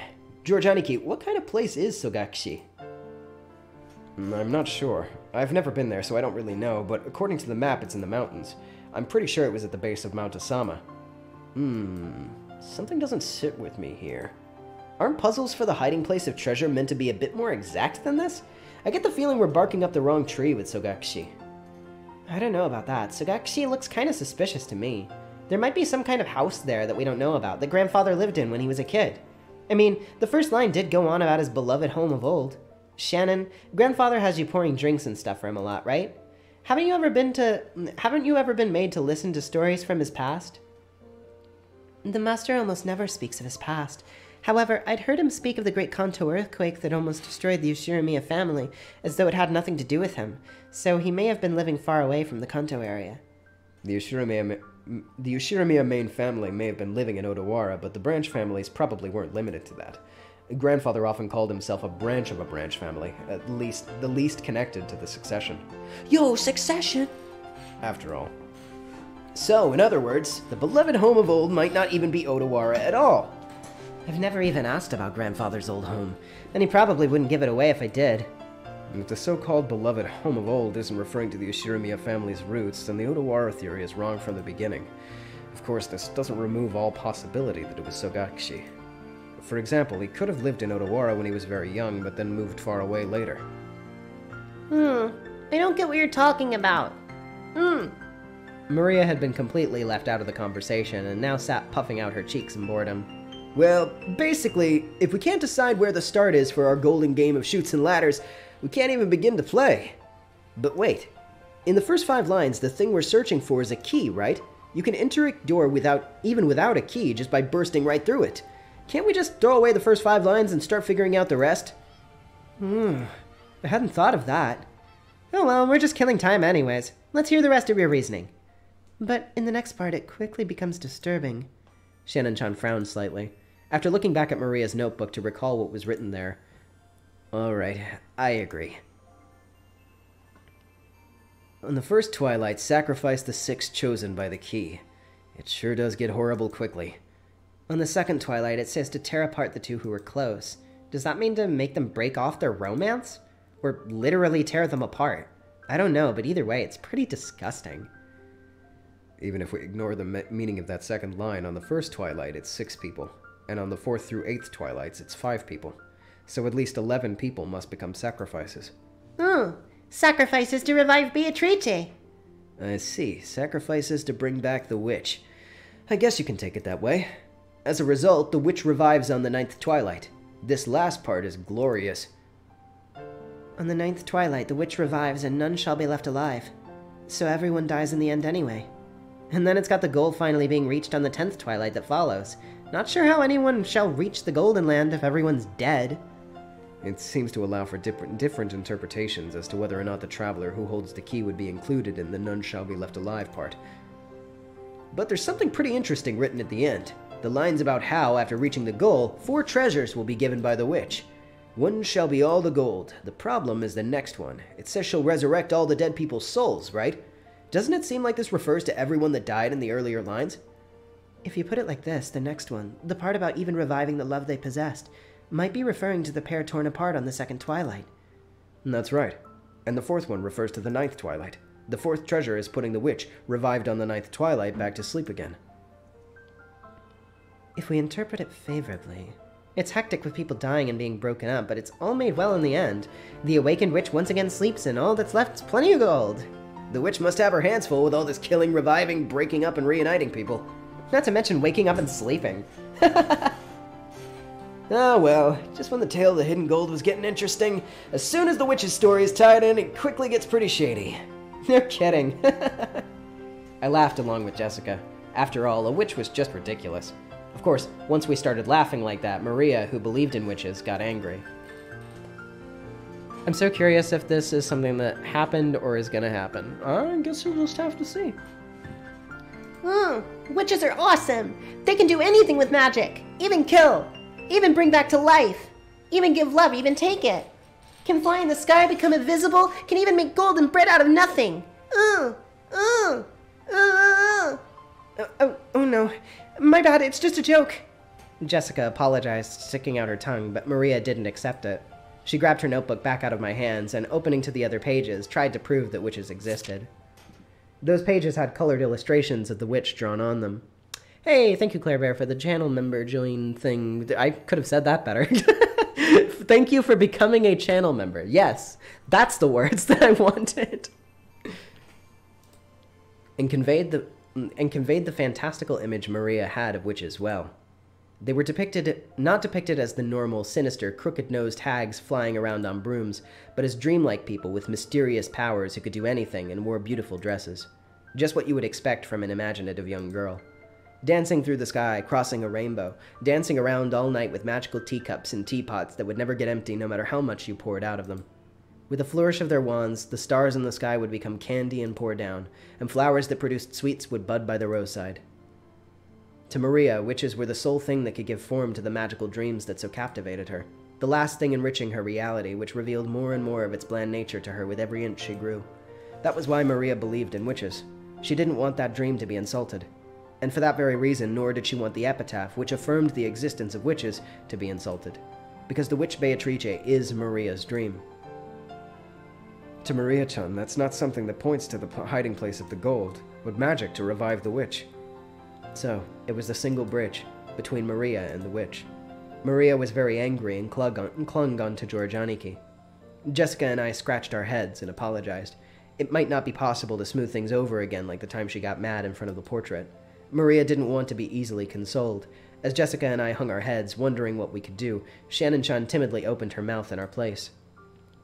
Um, Maria Sama, did you know? There's a ghost story about Beatrice Sama that's been passed down amongst the servants. Hmm? Uh, I, yeah, that's right. Uh, Shannon, tell us about it. I don't really know, but it's apparently pretty famous among the servants. What's this? Ghost story? Yes, it seems it's a story from before we were born. I've also heard it from my mother. Yes. It's been passed down since the mansion was built on this island. The servants of that time whispered that the mansion had two masters, one of the day and one of the night. The tale that Shannon told was just like a typical campfire ghost story. If there was a forest with a witch living inside it, then inevitably the witch was going to pay the mansion a visit. At some point, this ghost story naturally sprouted up between the servants. Doors and windows they were sure they'd shut or locked would be open when they came around to double check. Lights they definitely turned off would be on, and lights they definitely turned on would be off. Things would disappear from where they'd been placed, and things would appear where no one had any memory of putting them there. When any of these things happened, the old servants would say that the witch had visited the mansion, invisible, and had played pranks. Oh, see, she exists. Beatrice exists. Yeah, she exists. I remember often being unable to find my bag before heading to school. Maria puffed out her chest with an ooh, ooh as though this was the final proof that the witch existed. If she said it out loud, Maria would probably be hurt again. If I said if I said it out loud, Maria would probably be hurt again, so I didn't, but I mean, you hear that kind of story everywhere. Depending on the place, it might be blamed on fairies or something. It's just that on this island, they call it the witch. Of course, you would expect that walking around a vast, elegant mansion at night would be a little unsettling. It's an island devoid of people. Since the mansion is so drafty, walking around on the night of a thunderstorm would certainly be eerie. In addition, some servants have also seen will o' the wisps and glittering butterflies dancing around. Kanon Kun also said he saw something like that when he went patrolling one night. And recently, the servants have been talking about strange footsteps inside the mansion near midnight. We've whispered together that Beatrice Sama from the portrait sometimes makes herself invisible and walks through the mansion. It happened a long time ago, but I have also heard those kinds of footsteps while patrolling at night. Whew, that's scary. Uh, but there's nothing to be afraid of, you know. Beatrice Sama is another ruler of this mansion separate from the master, so she won't do anything bad as long as you respect her and don't act oddly afraid. However, she's fearsome if you don't respect her, right? Yes. I heard that someone who quit just before I began working, after falling down the stairs and receiving a large injury to their back, had been speaking badly of Beatrice Sama. Because of that, there was a rumor between the servants that Beatrice Sama's anger had been brought down upon this person. Hmm. Anger will definitely be brought down on Battler and Jessica. Hmm. Uh, I'm sorry. I don't want her anger brought down upon me. I apologize, Maria. Oh, of course, I also apologize to the witch. I'm sorry, Beatrice Sama. Please, forgive an outsider's nonsense. I'll apologize as well. I'm sorry, Beatrice Sama. Will the witch be able to forgive us now? Hmm. Don't know. Witches are fickle, so they may forgive when they forgive and don't when they don't. Hmm. That's no good. Maria chan, isn't there some kind of charm that could prevent Battler Kun and Jessica chan from having Beatrice Sama's anger brought down upon them? Maybe something to ward off magic? By relying on Maria, who was proud of knowing the most about witches, George was trying to revive her self esteem. I was once again forced to admire his ability to comfort children. After crossing her arms and pondering seriously as to whether there was some charm capable of protecting Jessica and myself from the witch's wrath, Maria began flipping through the pages of her handbook. I had thought it was just a simple scribbled diary, but it turned out that there were also many pages that looked like they had come from the book on black magic. She was intently comparing several such pages, onto which had been copied what looked like magic circles. It looked like the black magic hobby wasn't limited to grandfather alone. Perhaps she had finished her research. She vigorously closed the notebook with a snap, threw it into her handbag, and began fishing through that bag's contents. It seemed that various jumbled up things were in there. For a while, she continued to take out various pieces of junk, although they were probably important magical items to her, and repeatedly threw them back in, saying they were wrong. She looked a little humorous, almost like Santa Claus deliberating over which present to give. Finally, it seemed that she had excavated what she was looking for. With a face unimaginably brighter than the difficult expression she had worn until now, she stuck them out to Jessica and me. Huh. As I reached out to grab it, I noticed that it was a very cheap looking charm. It looked like a bracelet made from a plastic rosary, with a scorpion motif metal attached. I mean, you often find cheap accessories that correspond to the constellations. It felt like a gift you might win in a crane game in an arcade. It literally looked something like that. There were two, probably one for me and one for Jessica. However, considering the odd fact that there were two of them, they looked like cheap manufactured goods, and it was quite hard to think of them as magical items. You're giving these to me and Battler? Hmm. With these charms, even Beatrice is no problem. Uh, there is the sound of seagulls in this uh, music track, yes. Because the scorpion has the power to block magic. Huh? Really? Didn't think scorpions could do that.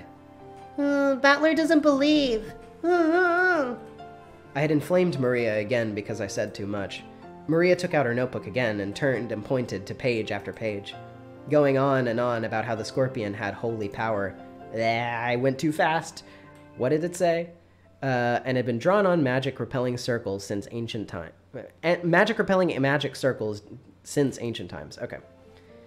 Uh, I've heard about that from some of the other young servants. Something about how a scorpion is drawn as a magic repelling symbol in sorcery. Huh, really? Huh. The scorpion protects against bad magic and disasters. An emerald brings peace to the heart. So it has double the effect. Oh, It's true. The scorpion's wrapping around an emerald, protecting it. I see. That seems very useful. I really want to make fun of this worthless looking charm. But as I watched Maria explaining the charm with all of her heart, and realized that she had prepared them out of consideration for us, it felt as though, even if it were just a prize from a game center, it would still be beneficial. Material quality isn't what's important about charms, it's the strength of the feelings behind them. I'd like to think that I have enough respect for myself not to make fun of those. Okay, thank you. I apologize to Beatrice sama, but even in the worst case where I'm cursed, I'll be safe now thanks to your char- charm. Right, Jessica? Yeah, that's right. Thank you, Maria. hmm. Wear it on your arm when you want a peaceful heart. If you put it in your wallet, your money won't go down. If you hang it from a doorknob, bad things can't get in. A really useful charm. What an incredible effect. It's a charm that Maria Sama can recommend with. If it is a charm that Maria Sama can recommend with confidence, I'm sure it will be reliable. As Shannon Chan tapped her arms together lightly, Maria stuck out her chest. She was completely cheered up again. It would keep if it would keep her in this good of a mood, it would probably be worth it to let Maria lead the discussion for a while longer. When you think about it, she hadn't shared in our excitement when we talked about the gold's hidden location, so I think she had gotten a little bored. While eating the cookies Kumasawa-san had baked, Jessica and I asked Maria to think uh, this and that about black magic. Maria happily chatted away in response to our questions. For each one, George Aniki and Shannon-chan would act surprised and agree with everything she said.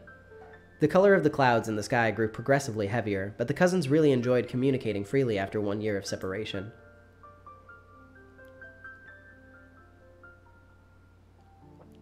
Hmm.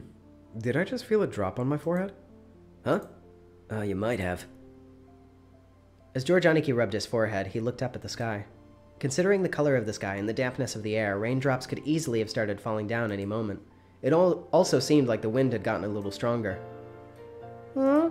I didn't feel a drop. I'm the only one. Hmm. Calm down, neither did I. Anyway, I'm sure that it'll rain so much tonight that everyone will get the same amount of raindrops. That's right. Maybe we should head back soon? Shannon Chan looked down at her watch. It may already be well into the evening. Time to get back to work already? Yes. I enjoyed this time I spent together with you all. I s- thank you very much. Tell Kumasawa-san thanks for the cookies. I wish the VNs were on Switch. They are, but only in Japan. because no licensing company will uh, pay the amount of money it would take to translate such huge visual novels in English, unfortunately. Alright, everyone, help out with the cleanup? Shannon Chan declined our help, saying that this was a servant's job, but picking up a dropped fork before the waitress has to is like the, my purpose in life. We folded up the blanket, gathered up the trash, and helped clean everything up. Uh, yeah, I actually do uh, own copies of both the Higurashi and Umineko Switch ports. uh, as well as the PS2 version of Higurashi for my collection, just for display. Uh, for the Switch ones, though, if you have a, um, shall we say, Switch that was produced before a certain point and is susceptible to a certain amount of tinkering, you can find uh, fan made English patches for the Switch versions that actually work if you have them uh, put on there and have a physical copy of the game. So I'm actually able to play both of those games in English on my Switch because I did that. Ugh, the trash is getting away. Ugh, ugh, Oh no, it isn't. I'll grab it before you. ugh. I'm going to get it. Ugh, ugh. Maria, don't get your shoes wet. You'll get in trouble. To Maria, chasing after some trash that the strong winds had sent flying was just like an extension of our playtime. By the time we finished cleaning up, the wind had started blowing very strongly. It looked like a good chance to head back. You all really helped me out. Thank you very much. It really looks like you're out of time. It's alright if you head back first. George Aniki perceived from her hurried appearance that very little of her free time was left. Genji-san's very rigorous about time. If you aren't at the right place at the right time, he can be very strict. We'll see you later. Do your best with your work. Yes. Then, if you'll excuse me. After making a respectful bow, Shannon-chan hurried off in the direction of the rose garden. Okay, let's head back to the guest house. We can watch TV or something rela- and relax a little. Ugh. Watch TV. Watch TV. Ugh. Then it's decided. Let's all head back and watch TV together. Even Maria, who was still not tired of playing, agreed what she thought when watching TV. We headed up the gentle stairs and returned to the rose garden. Oh boy. Okay, yeah. We're uh we're getting to that part. Okay. so um yeah. I'm gonna have to warn you guys ahead of time for this. So, in a moment, uh, Rosa is going to show up. Content warning for uh, verbal and physical child abuse. Pretty bad. Like, genuinely pretty bad. Uh, if you are sensitive to that kind of thing, then yeah, please, please be cautious.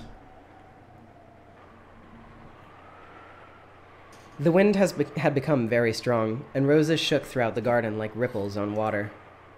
This might be our last chance to see those beautiful roses. Tonight's typhoon is sure to ruin them. These roses might be done in by tonight's winds. Yeah, I'd say they were lucky, though. After all, they got to welcome all of you before the typhoon. A flower will always lose its petals at some point. However, because of that, we can admire them even more when they're in bloom. That's right. Maria, burn this image into your eyes. At this moment, they're the best roses of the year. Hmm. Burned into ice. Right then, Maria suddenly clapped her hands. It looked like she had remembered something. My rose. The typhoon will send it flying. Ugh. Oh, you mean that unhealthy rose George Aniki marked with a ribbon? It seemed that Maria remembered where the rose was. She ran at full speed. The rest of us followed her. Hmm? Ugh. Where was that again? I'm sure it was somewhere around here. We searched everywhere around the area, but after all, it was only a single flower amongst all of these roses. Even though we knew it was somewhere close by, it wasn't proving easy to find. The winds that made up the front lines of the typhoon were making the roses throughout the garden undulate. It was almost like teasing us by making the location of Ro- Maria's rose impossible to find. Maybe it isn't here. Let's try spreading our spreading a bit, spreading out a bit in our search. Sounds good. Let's go for strength in numbers. Hmm? What's up, Maria? As we made to split up and search, Maria tugged on my jacket with an unhappy face. It felt like her intention was to stop us from going to another place. What is it? What happened? Hmm. My rose is here. It's here. But it's actually not, is it? Uh, maybe it was on the other side of the flower bed. If we all look, we'll find it fast, right? Ugh. It's here. My rose is here. Look for it. Look for it. Ugh. Maria stomped her feet in irritation. She was pointing at the spot, saying it was definitely there, yet it actually wasn't. And yet, if we went to go search elsewhere, she got mad. We were at a loss for what to do. For a while, we would have to stay with Maria and pretend to search through this rose thicket. Ugh. Ugh. Not here. Not here! Not here! Ugh.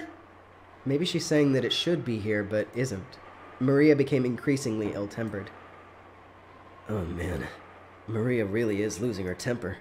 Maria sometimes starts to really care about really pointless things.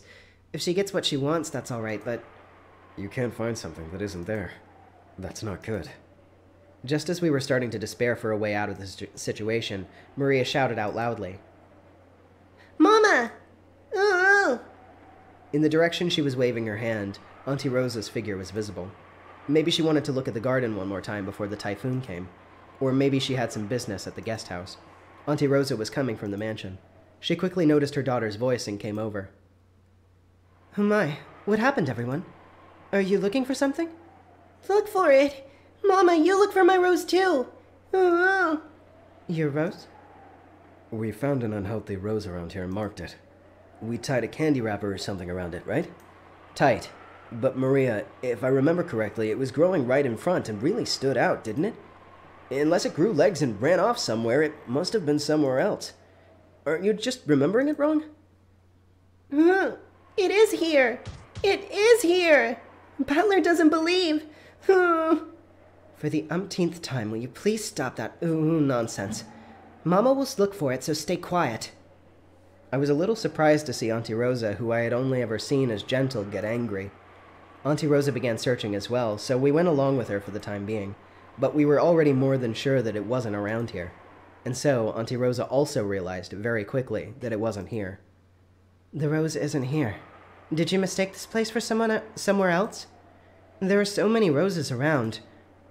Ooh. Ooh. That's wrong! It is here! Mama doesn't believe! Ooh. I do believe you, that's why I'm searching. But it isn't here. Ooh. But it is here! It is here, but it isn't! Ooh. Then someone must have ripped it out. Just stop whining like that. Ooh. Who ripped out my rose? Who? Give it back! Give it back! Ooh. Ooh. How should I know? Stop it! Stop that whining! And, yep, there it is. Sorry. Yep. Last warning. We're getting into it. Auntie Rosa slapped Maria's left cheek with her palm. For that instant, Maria was shocked into silence. Ferris, welcome to channel members. That was such timing. Thank you. I appreciate it. Of course, it was only for an instant. When Maria realized that her wish was being rejected before it could be fulfilled, she started yelling with an increasingly louder voice. my rose! My rose! Didn't I tell you to stop that weird habit? That's why all of the kids in your class make fun of you. Cut it out! Once again, her palm slapped Maria's cheek. This time, she didn't go silent. She choked as she started crying and began to bawl in an increasingly louder voice. Auntie Rosa was clearly irritated and lifted her hand once more to try and shut her daughter up. "Uh, Auntie Rosa, no, no, she's just a little kid. There's no reason to get so serious. I attempted to intervene with a forced smile and my hands clasped together, but the deadly serious look I was thrown by Auntie Rosa taught me quickly that I shouldn't butt in. I'm sorry. Would you all return to your room for a little while? Your auntie needs to have a little talk with Maria. Nobody believes in my rose, even though it was here. Look for it. Look for it. Here, it was here. But it's not here. Then you must be confusing it with somewhere else, mustn't you? it is here. It's definitely here. then it has disappeared. Give it up. Why? Why did my rose disappear? Why? Why?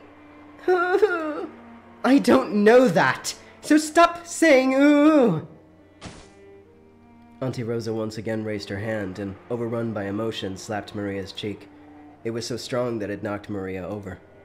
Uh, hey, uh, Auntie Rosa, even if she is your daughter, you shouldn't be violent like that. I stepped between them to protect Maria, who was still on the ground, crying ooh-hoo. I know that the problems between parent and child are none of my business as an outsider, but I wasn't brought up just to silently observe something like this. Don't you think it's weird, Battler-kun? Do you have any girls at your school that mutter ooh, ooh, Uh, well, I am in high school, but for an elementary schooler, I think saying ooh's pretty cute. Cute. Saying ooh ooh is cute. Cute! It seemed that my reckless words had brought Auntie Rosa's wrath down upon me. She grabbed my collar with a terrifying expression. Don't say such nonsense! Do you know how old Maria is? She's nine years old! She's a fourth grader, you know! She's not a kindergartner! And even so, she says ooh during class! Do you understand? This kid, do you know what they say about her when they bully her? Thanks to this weird habit, she still hasn't made a single friend. Don't turn your eyes from reality and recklessly call Maria cute! Think much more seriously about this kid's future. I told you stop saying ooh! Didn't I tell you to stop it? Auntie Rosa struck Maria's quivering head from which an increasingly unsatisfied voice was rising. I tried to stop her, but she thrust me away. My back collided with George Aniki. A long time ago, Auntie Rosa also thought of it as nothing more than one of Maria Chan's baby words. But now she's midway through elementary school, so the fact that it hasn't been fixed has bothered her a lot recently. It's not like it matters what kind of words she uses. You can't become a proper member of society like that. So even though it's not a pleasant scene to watch, this is a problem between mother and child. Fuck you, George. Well, my mom's always giving me hell about how I speak too. If you look at it that way, maybe an outsider shouldn't interfere with this, even though it's painful to watch. Battlerkun, didn't you ever have any bad habits as a kid that you couldn't fix and got you into trouble? Well, one or two. On Parents' Day, I got a huge telling off in front of everyone, and it was so embarrassing I couldn't stand it. Well, then you can understand Maria Chan's feelings right now. I'm sure she doesn't want to be here now. Do you understand as well, Jessica Chan? I don't think anyone likes to be seen when they're being punished. Let's go. Let's return to the guest house.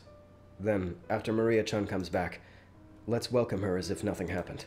That's probably for the best, isn't it? We thought that George Aniki's point was probably correct, and if we could use that correct sounding reasoning to justify our retreat from this painful scene, that was probably enough for us. Jessica and I nodded at George Aniki, and we all left. We called towards Maria that we were going to head to the guest house, but since it didn't seem to reach her ears, we felt guilty and shameless even saying it. In that case, look by yourself as much as you want. Mama doesn't care. look for it. I'll look for it by myself.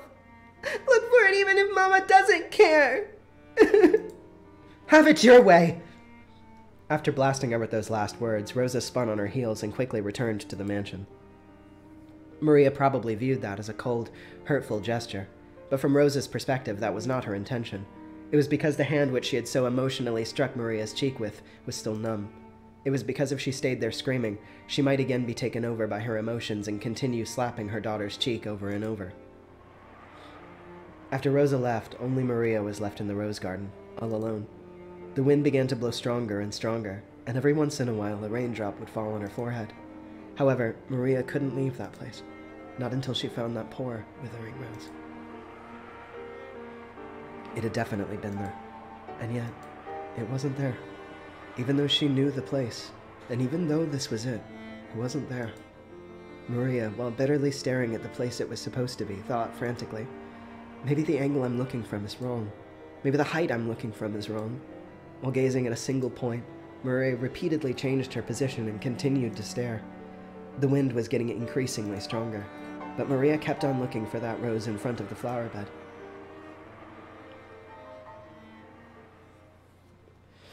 Ugh, God. Okay. Yeah, so the scene's over. So don't worry, that, that that part's over now. But uh, God, that really it always gets to me. Oh man. And yeah, that was that was my first moment of being like, ah, George, dude, like what the hell, man?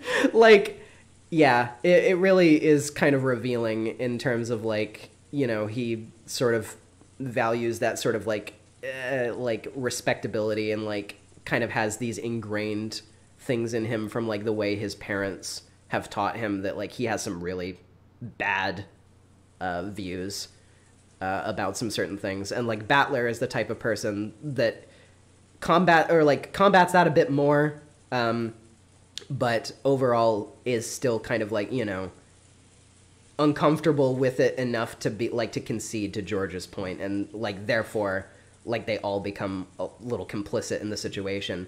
Not that, you know, there's a whole lot they could do uh against Rosa. Like if they tried to escalate the situation with her, I don't think it probably would end well for any of them. But it is just like a shitty situation all around and George is like definitely not helping. Uh, George is the, the guy with the glasses in the the banana colored suit. Kinzo noticed the sound of raindrops beating on the window. Uh, I believe Ryukishi based some of this on his experience as a social worker, no? Yes. Um, Ryukishi, before he wrote Higurashi and before he wrote Umineko, worked as a social worker in Japan, so he has frequently worked with, like, abused children and stuff like that. He very, very realistically depicts situations like that in, like, an almost uncomfortably realistic way, but he does so for a purpose because he's trying to make a point about, like, how complicity, uh, can be like you know can be bred in like even the most banal circumstances. Like people can just let these things fly without even really thinking about it because it's an uncomfortable thing to bear and they don't want to talk about it. Um, yeah he just he, he does a pretty good job with that sort of stuff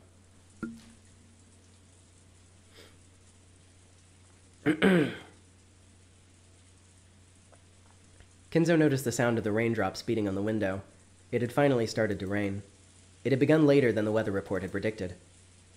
Kinzo, as if being summoned by the sound of the rain, approached the window. The sound of the rain is a sound of silence. That fa- sound feels quieter than any silence, and makes humans remember that in the end, they're alone from when they are born to when they die. You're late, Beatrice. Were those words directed at the rainy sky? No one could see the direction of Kinzo's gaze. Be seen in the direction of Kinzo's gaze. So, shall we begin our banquet of miracles? In this very moment, this island has been cut off from the world. Now there are none who can interrupt my ritual. There are many fitting sacrifices for you. Four of my children, three of their companions, four of my grandchildren, me and my guests and my servants. You may eat up as many as you please. The key of fate will select the sacrifices in accordance with the demon's roulette. If that roulette chooses me, even I will become your sacrifice. However, because of that, because I will bet on that madness, I will definitely create a grand miracle. No, yeah, uh, absolutely, Wambadilla. Like, uh, I agree. Um, that's the that's the response that everybody should have to a situation like that. I, um, it's just like you know, um, I think George is in probably and this. To be clear, uh, I think he is being totally shitty. So I'm not like saying this as an excuse or anything for him because there is no excuse for it. Um, but I think he's like basically the type of person who is internalized that like these kinds of things are just something a parent does to a child. It's implied that he himself has also received, you know, sort of like beatings and stuff like that as a kid. So he basically just kind of views it as like, well, you know, it may be excessive, but like, uh, you know, she's, she, you know, it's just a part of growing up or whatever. And it's like, it's, yeah, it's bad. It's really bad. They all have very antiquated views on certain things like that. And yeah, yeah, I, I, I figured I was just wanted to, you know, kind of chip that in. Um, but yeah, um, that's what I, I, one of the things that I find really fascinating about this story is like how a lot of these people have like fundamental flaws in their understanding of things and it's just very tragic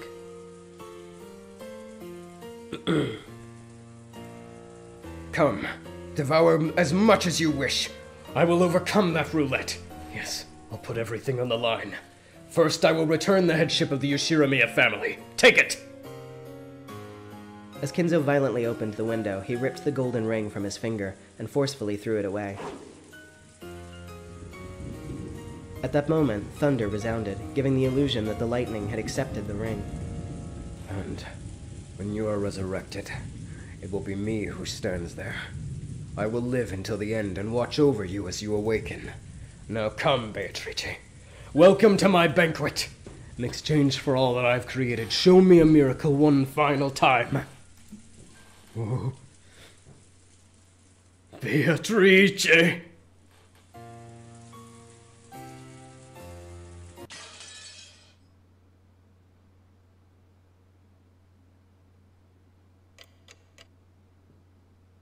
Oh. Oh boy. Oh boy. Oh, we are getting to it. Some things are gonna start happening soon. Some things are gonna start happening soon. um, I have been streaming for a very long time at this point, but there's a particular point that I really want to get to before we stop. Um, and you guys in the chat who have read Umineko before, you know what that point is. Um, to get there will probably take, at minimum, another like hour and a half, something like that. I I wouldn't be able to tell you completely 100% for sure how long it will take. Maybe longer than that, probably but we're that's what I'm gonna try. I'm gonna try to get to that. So give me just a second to go to the bathroom real quick, and I will be right back. We will we will be getting to this.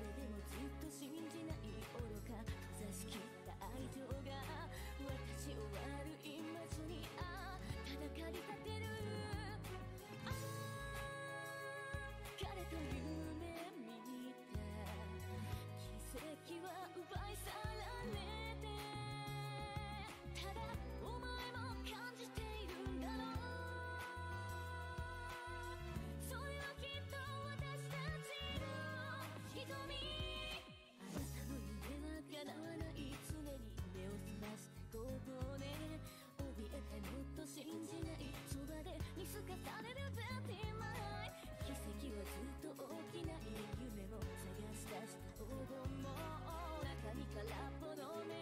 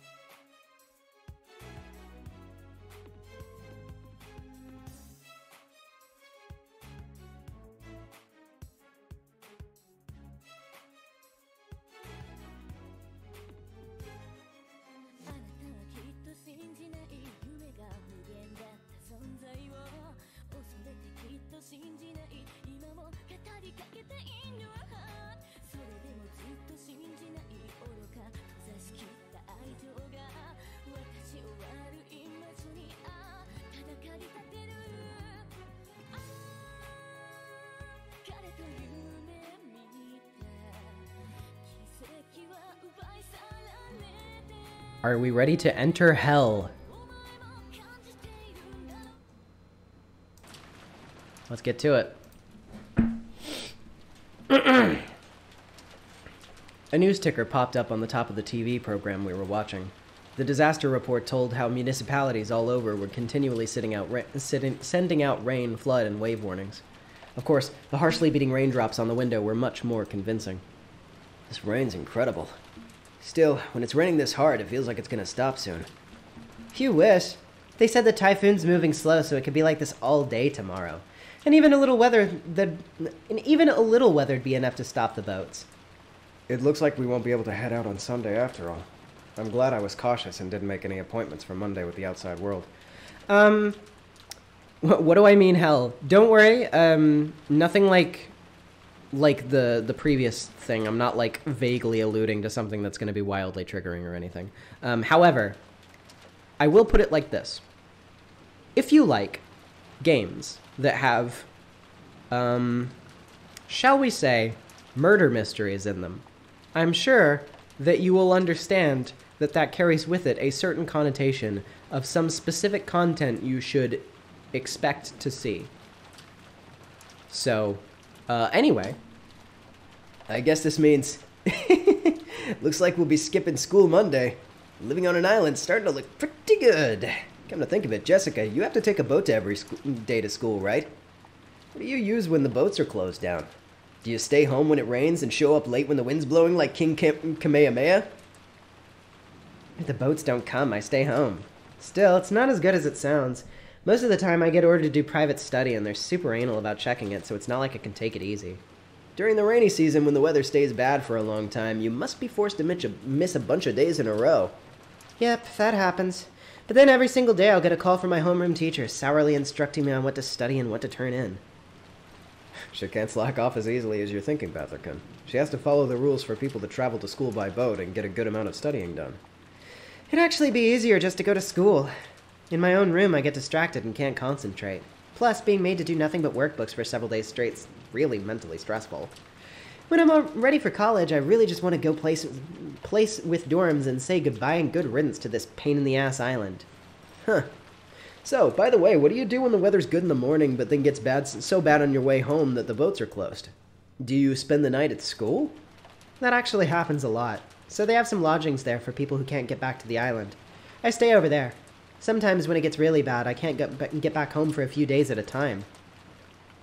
If you look at it from the perspective of those people who have to go to school every day on a train packed to over 200% capacity, it's easy it's easy to irresponsibly think that going to school on a boat seems interesting and fun. But it's actually hard work in a lot of ways. Inconsiderate tourists say that kind of thing all the time. I've had enough of island life. I want to finish high school quick and leave this island behind. There must have been a full boarding school you could have gone to. Why did you go and choose the school on Niijima? Mm, That's where what I wanted from the very beginning. It's mom. She's always going on about how I need to learn manners and discipline and successor to the head. In the end, I got stuck with the high school close to home. Man, I hate this island. I just want to go live in a city. A city where it doesn't matter if rain or even spears fall from the sky, because as long as you stick some casual clothes and sandals on, you can still get to a shop in less than five minutes. Hold out just a bit more. It's only a little longer until you graduate high school, right? I can't wait a little longer. Jessica stretched out and reclined on the sofa. Maybe now, because now was a bad time slot, there weren't any interesting programs on. We had nothing to do but languidly kill time until we were called for dinner. In the end, Maria had not returned to the cousin's room. She had probably been brought back to the mansion by Auntie Rosa. It had to be pretty boring for Maria all by herself while the adults are having a confusing conversation. We thought we might head over to the mansion to see her, but after all, there was this lousy weather, and there wasn't much time until dinner, so we stayed where we were. At that time, we heard the sound of a humble knock. Jessica answered. Hello? The preparations for dinner are complete. Please come to the mansion. It was Kanon-kun's voice. He went to all the trouble of coming to the, from the mansion in this rain just to call us over. Couldn't he have just called us on the telephone? Oh, well, maybe sometimes a part of a servant's duty is to go against common sense. Just when I was getting hungry. Let's go. George Aniki turned off the television and stood up. My stomach's been growling for ages. Main, fam- main family dinners were always fancy as hell, every time. And didn't Gohda san say it was calf steak or something? Oh, I can't wait. They get even more fabulous on the day of the family conference. Even I'm looking forward to it. Let's go, let's go!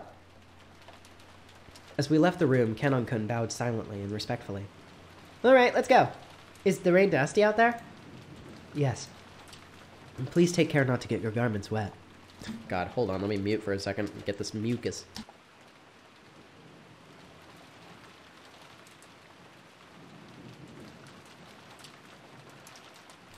Oh, trust me, you did not want to hear that. After seeing the three of us out, Kanon kun peered into the empty room.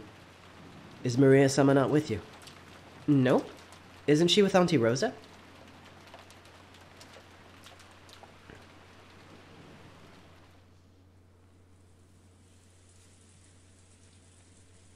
Rosa, lying on a sofa in the empty parlor, had fallen asleep at some point. She was bearing a burden on her shoulders that the children could never even imagine. Therefore, when she let herself relax, that exhaustion quickly led her into the world of sleep. Realizing this, Genji brought a blanket over to her. When he tried to spread it over her, her eyes snapped open as though she had received an electric shock. oh, it's you, Genji-san. Thank you. When she realized that the thing that had touched her was just a blanket, and that Genji had been considerately giving it to her, she let out a sigh of relief. Did I wake you? My sincere apologies. No, it's okay. I hadn't planned on sleeping in the first place. What time is it now? Asked for the time, Genji checked a pocket watch that he took out of his chest pocket. It's slightly after six o'clock.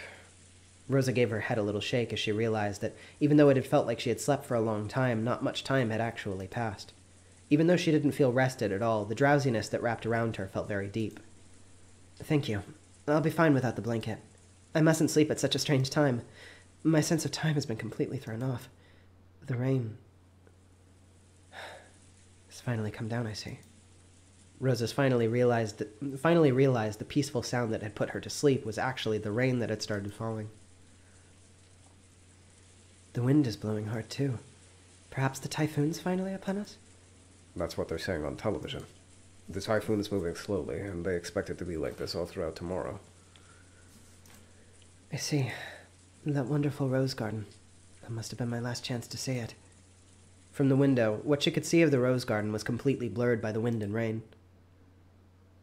Maria. That's right. Uh, where is Maria? I've not seen her. I would not. Th- I would think she had returned to the guest house. Rosa knew her daughter's nature well, and a chill ran up her back. Maria was stupidly straightforward, to the point that stupidly could be repeated seven times, and if she was ordered to find something that didn't exist, she would look forever and ever. Even if rain was pouring down. No. The cousins left earlier, so Maria was alone. Unless someone told her to stop, she would stay there even if spears fell down from the skies, without even opening an umbrella. What have I done, losing control of my emotions? As her mother, she had known that Mar- about Maria's foolish straightforwardness better than anyone, yet she had once again lost control of her emotions and had done such a horrible thing. Maria! Rosa pushed Genji away and ran down the hallway.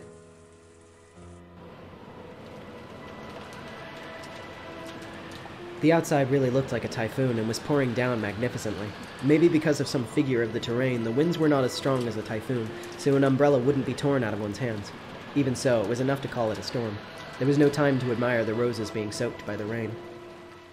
Anyway, I'm getting pretty worried about Maria. You don't think she's still rebelliously searching for that rose alone, do you? I'd wonder. Surely not with this much rain. Is what I'd like to think, but Maria chan is sometimes really stubborn and foolishly simple. We hadn't worried much, thinking that Auntie Rosa had taken her back to the mansion. However, it was concerning that Kanon-kun had thought Maria was here when he came from the mansion to call us. I did not see her in the mansion, so I'd assumed that she was here. Since Rosa-sama was taking a nap. You didn't see her on your way over here? My apologies. I opened my umbrella and ran as fast as I could, so I did not pay much attention. If he had cut through the rose garden on the shortest line between the mansion and the guest house, then he would have missed the place where Maria had been looking for her rose by a little.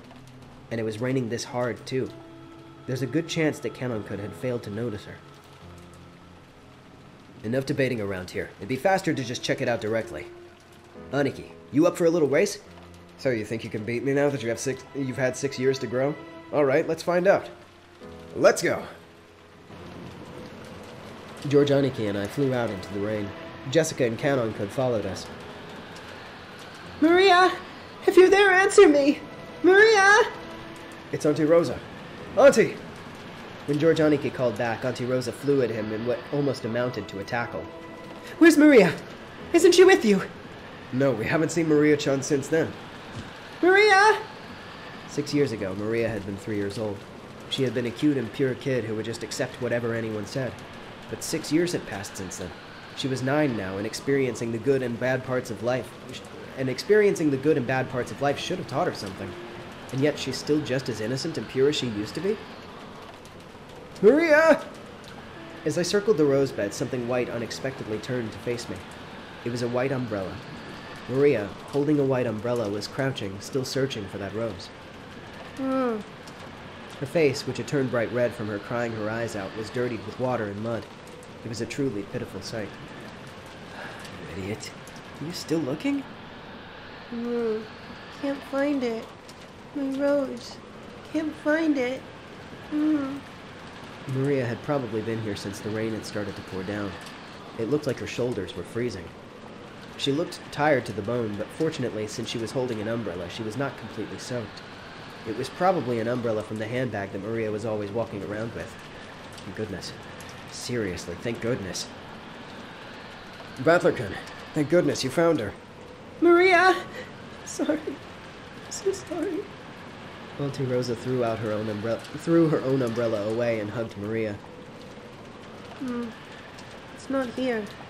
My rose isn't here. Oh. We'll look, we'll look with for it with you later. Okay? So just let it go for today. Okay? Hmm. Let it go for today. It looked like Maria still wasn't able to accept it, but she no longer had enough energy to resist. Jessica and Kanon-kun caught up with us. I'll have a towel ready in the mansion immediately. Maria, were you here the whole time? I'm sorry. I'm sorry for being such a bad mother. Auntie Rosa, why don't we head back to the mansion for the time being? Maria-chan will catch a cold like this. You're right. Maria, let's go. If we don't get you cleaned up, Grandfather will get mad at you. Hmm. I'm hungry. It's already time to eat. You did a good job searching. Once the weather gets better, we'll all go search together.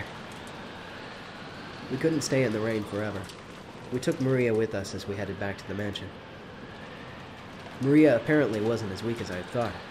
When she remembered the dinner was calf steak, she started chanting, I'm hungry, hungry, ooh, ooh, and returned to her usual norm- healthy self. Auntie Rosa didn't chide Maria or her ooh, ooh. So that's it. You had an umbrella. You sure are good at packing the right stuff. Oh, I didn't bring an umbrella. Oh, What? Then how'd you get the white umbrella you're holding? oh, borrowed it. It seemed that some caring person had brought her an umbrella.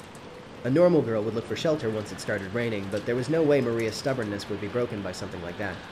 So maybe that person gave up recommending that she find shelter and at least brought an umbrella for her. Really? I'll have to thank them. Who was it? Oh, Beatrice. The name Maria mentioned very happily was that of the island's witch. Rosa took a deep breath and asked again, trying to avoid hurting Maria's feelings now that she was happy. Really? That's nice. So, who was it? The person who brought you the umbrella. Oh, that Beatrice. Oh, Maria, who quickly picked up that her mother didn't believe her, made an angry face once again. So Rosa stopped pursuing the subject. It looked like it would be faster to ask the person who had lent Maria the umbrella during dinner rather than ask Maria herself.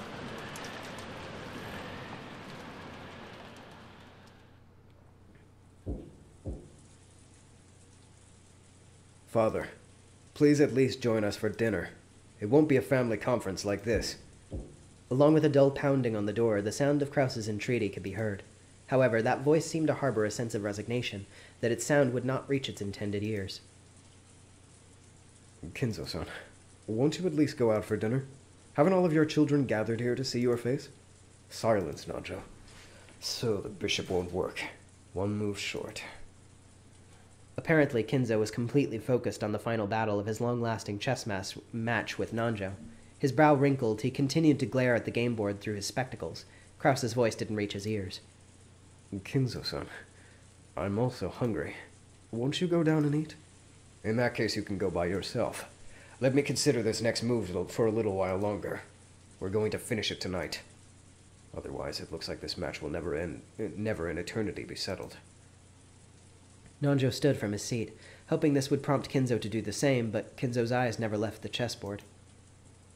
He knew well that Kinzo always displayed a blind concentration when it came to chess. But he had never seen Kinzo as, he, as focused as he was now. Oh, uh, talking about uh, Rosa's problem, I assume, close in time. Um, I get the general impression that basically, because this takes place in 86. Um, and uh, definitely, like, Japan um, in particular uh, has had a, definitely, like, a bit of a, like, hard track record with, in, like, getting people to recognize mental illness and stuff like that. So basically, Maria is very visibly autistic in a way that Rosa is embarrassed of and can't explain, and she is like, she doesn't really understand it, so she's not empathetic to it. And so she doesn't view it as like something that she should learn and, you know, understand about her child. She views it as a source of embarrassment that needs to be fixed.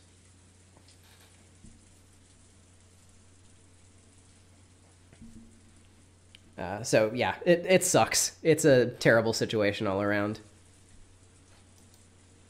He was almost acting as though, just as he had said, if the game wasn't finished tonight, there would never be another chance for them to continue their contest. Further attempts to persistently call him would surely not reach his heart. Nanjo gave up and headed to the door that Krauss was still banging on. The door to the study opened. Krauss took a step back. Surely Kinzo hadn't actually come out. But it was Nanjo who stood at the door. Krauss breathed a sigh of relief. Dr. Nanjo, is father. I'm sorry I couldn't be of service. Kinzo san's world is nothing but this room now. Nanjo shook his head with a completely defeated expression. Krauss raised his fist once more and banged on the door, shouting, Father, can you hear me? We're heading down now, but at any time, if you feel like it, please join us. All of your children are waiting for you. The voice was very loud, and the door was being noisily pounded on. There was no way it wouldn't reach Kinzo's ears. It was reaching him. However, he was ignoring it anyway. However, unlike the time he was being called down for lunch, he did not get into a rage. Kinzo was now simply calm at heart, and it was almost as though he had attained peace by turning himself over to fate. I'm not interested in dinner, nor in my son's faces. I will only leave here when Beatrice is resurrected or when I am chosen as a sacrifice for the key. The demon's roulette has already started spinning. What meaning does dinner have at this point? As though the painfully loud banging on the door had completely failed to enter his hearing, Kinzo, in a state of total peace, silently thought about his next chess move. Just as always, Kinzo was the only one missing from the dining hall. Krauss, wearing a bitter smile, returned with Nanjo. Just as always, father is not feeling well. He truly regrets missing this once in a year opportunity to sit together with his gathered relatives. Eva and Rudolf snickered. Judging by Kinzo's character, he didn't regret it at all, and none of his relatives regretted that he hadn't appeared either. Then why don't we start dinner? Gohda, get it started. Certainly. Well then, ladies and gentlemen, we shall begin. Upon finally being told to begin the family conference dinner, his highlight scene for the whole year, Gohda nodded, grinning broadly. Um, I was wondering, who was it that lent Maria an umbrella? When Rosa timidly cut through the silence of the dining hall, everyone there turned their attention to her at once. Umbrella? What's this about? Um, it started raining when Maria was in the rose garden a short while back. It seems she borrowed a white umbrella from someone, and I wanted to thank them. Hmm, it wasn't one of us. After you went out, Rosa, we changed rooms and continued our friendly chat the whole rest of the time. That's right. Even after that, us siblings kept on with our friendly chat. The word friendly fell awkwardly from Hideyoshi's lips. So that even those who hadn't been there realized it hadn't been a pleasant conversation. At the very least, it certainly couldn't have been me, Eva, Rudolf, or even Hideyoshi-san and Kir- or Kirie-san. We were together the, the whole time, even after Natsuhi Nee-san and Rosa-san left. The whole time until the meal started. Nii-san went up to the study with Genji-san to call father. At that time, the rest of us went to straight to the dining hall. She, so it wasn't one of us. For, considera- for a consideration like lending an umbrella, wouldn't it be one of the servants? And so, Gohda-san? I've been in the kitchen the whole time preparing. My sincere apologies. Gohda looked slightly disappointed about missing this chance to show off. At that time, Shannon and Kumasawa appeared, pushing a serving cart loaded with hors d'oeuvres. Uh, then perhaps it was Kumasawa-san or Shannon-san. Chan. I'm sorry? Uh, have I made some kind of mistake?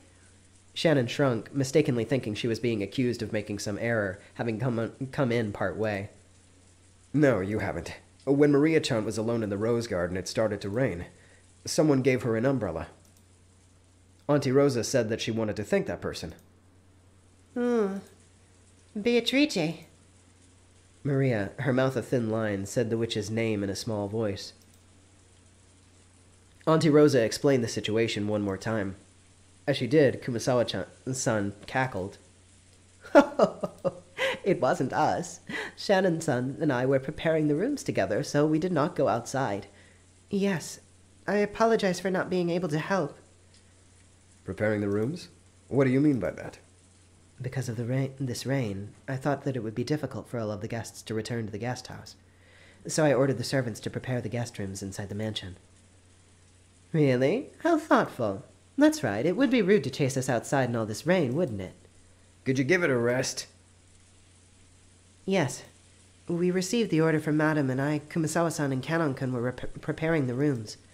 Then it became time for dinner, and since we had received an order from Genji-sama to go to the guest house and call the children, Kanon-kun left on our behalf. Yes.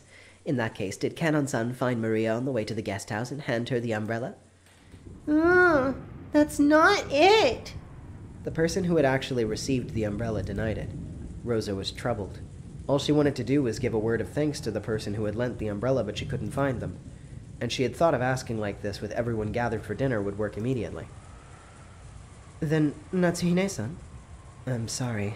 After my friendly conversation with everyone, my headache was so bad that I've been resting in my room.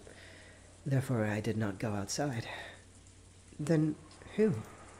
George-kun and the kids? That can't be right. No, it wasn't us. We were watching television in the guest house the whole time.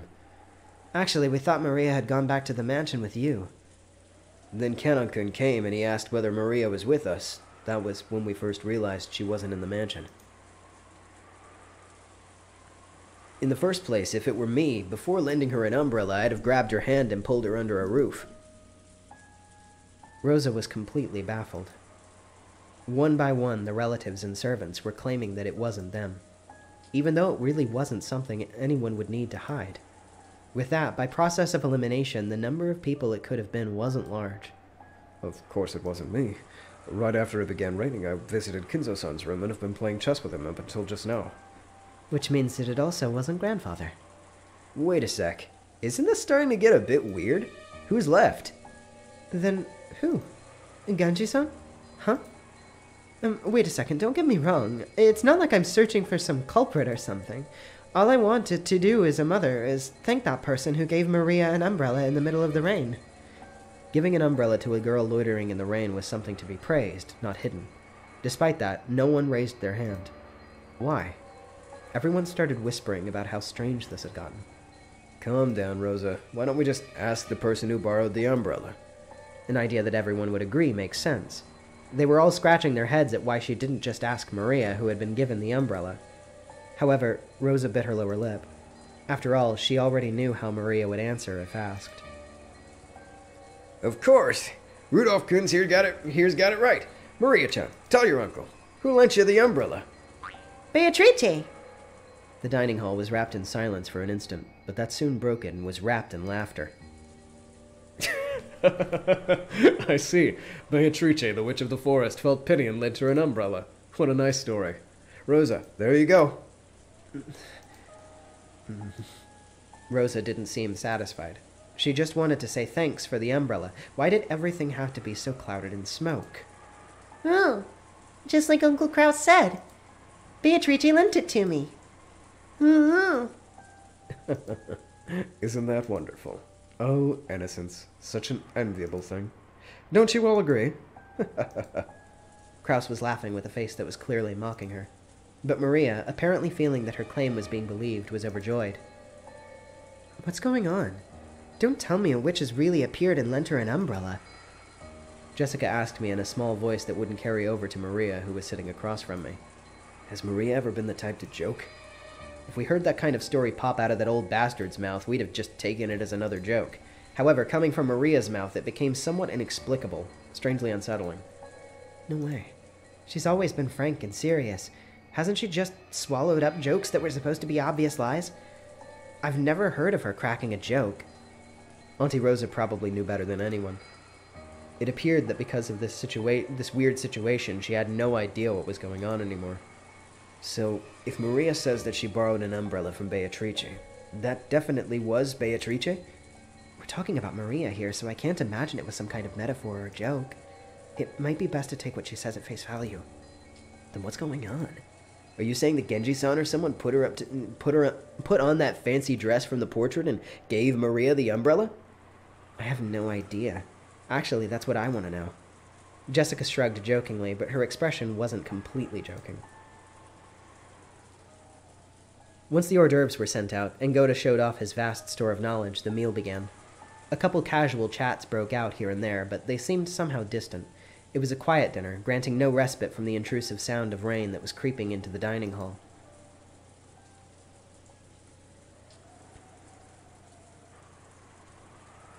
Kumasawa and Shannon, pushing the serving cart, ran into Genji and Kanon on their way to the kitchen.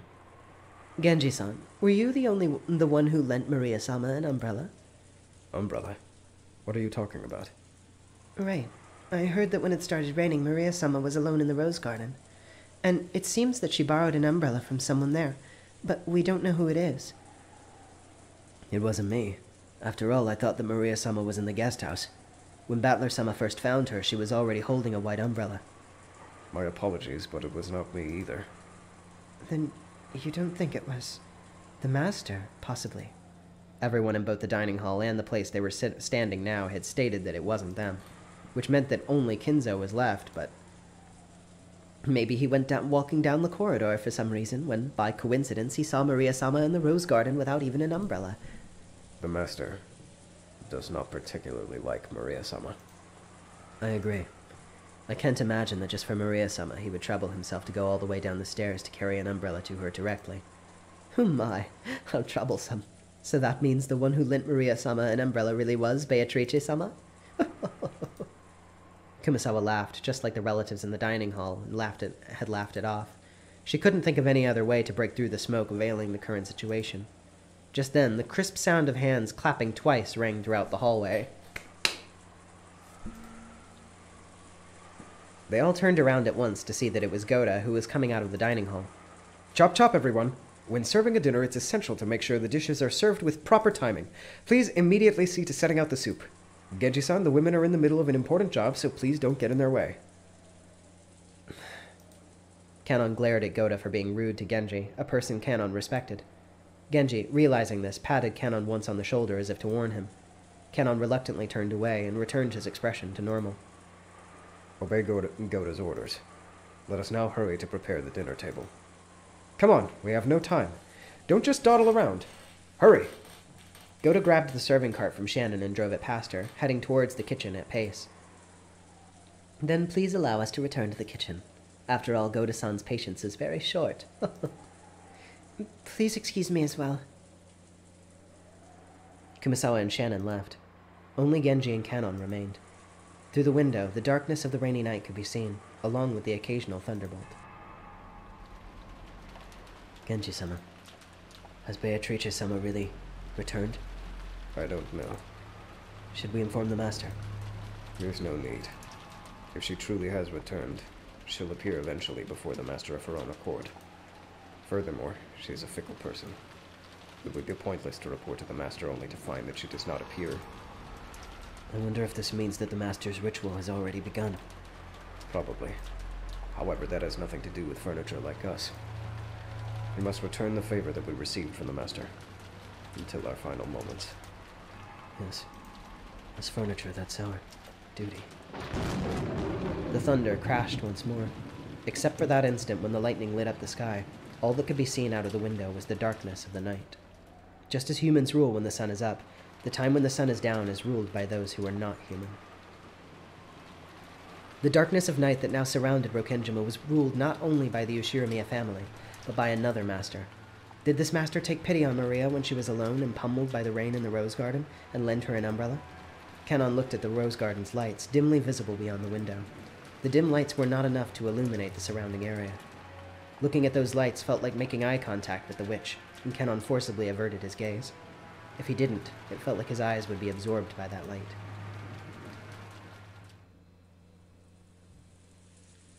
Perhaps the weather was also a factor.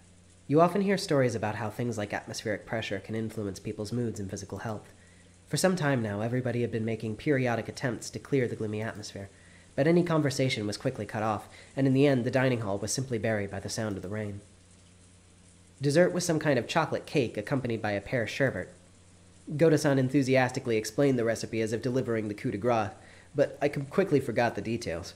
The guest of honor, grandfather, was absent, but the weather was horrible, and the person who had lent Maria the umbrella was still a mystery. When dinner ended, no one even felt a bit refreshed. It was too late now, but I realized painfully that taste wasn't the only important part of a meal. The whole atmosphere was also critical. Gohda-san, the supposed conductor of this performance called dinner, did his best to enliven the place, dropping little jokes left and right, but it seemed they didn't quite get there. After taking orders for after dinner coffee, tea, and orange juice, he left for the kitchen. As soon as he disappeared, Uncle Krauss spoke. my, my. How truly irksome that this dinner, which Gohda worked so hard to create, has been so poorly received. Yes, seriously. Feels like nothing would taste good today. It's just that kind of mood. Hmm. I would love to hear why you feel that way. Sometime later, allow me as your older brother to help cheer you up. Auntie Eva grimaced slightly. I had already heard that she was not on good terms with Uncle Krauss, but now I could clearly feel it. When I looked around, I noticed that my dad and Auntie Rosa were also grimacing. Anyhow, it looked like there was something besides the weather that was troubling all of them. Auntie Eva and my dad.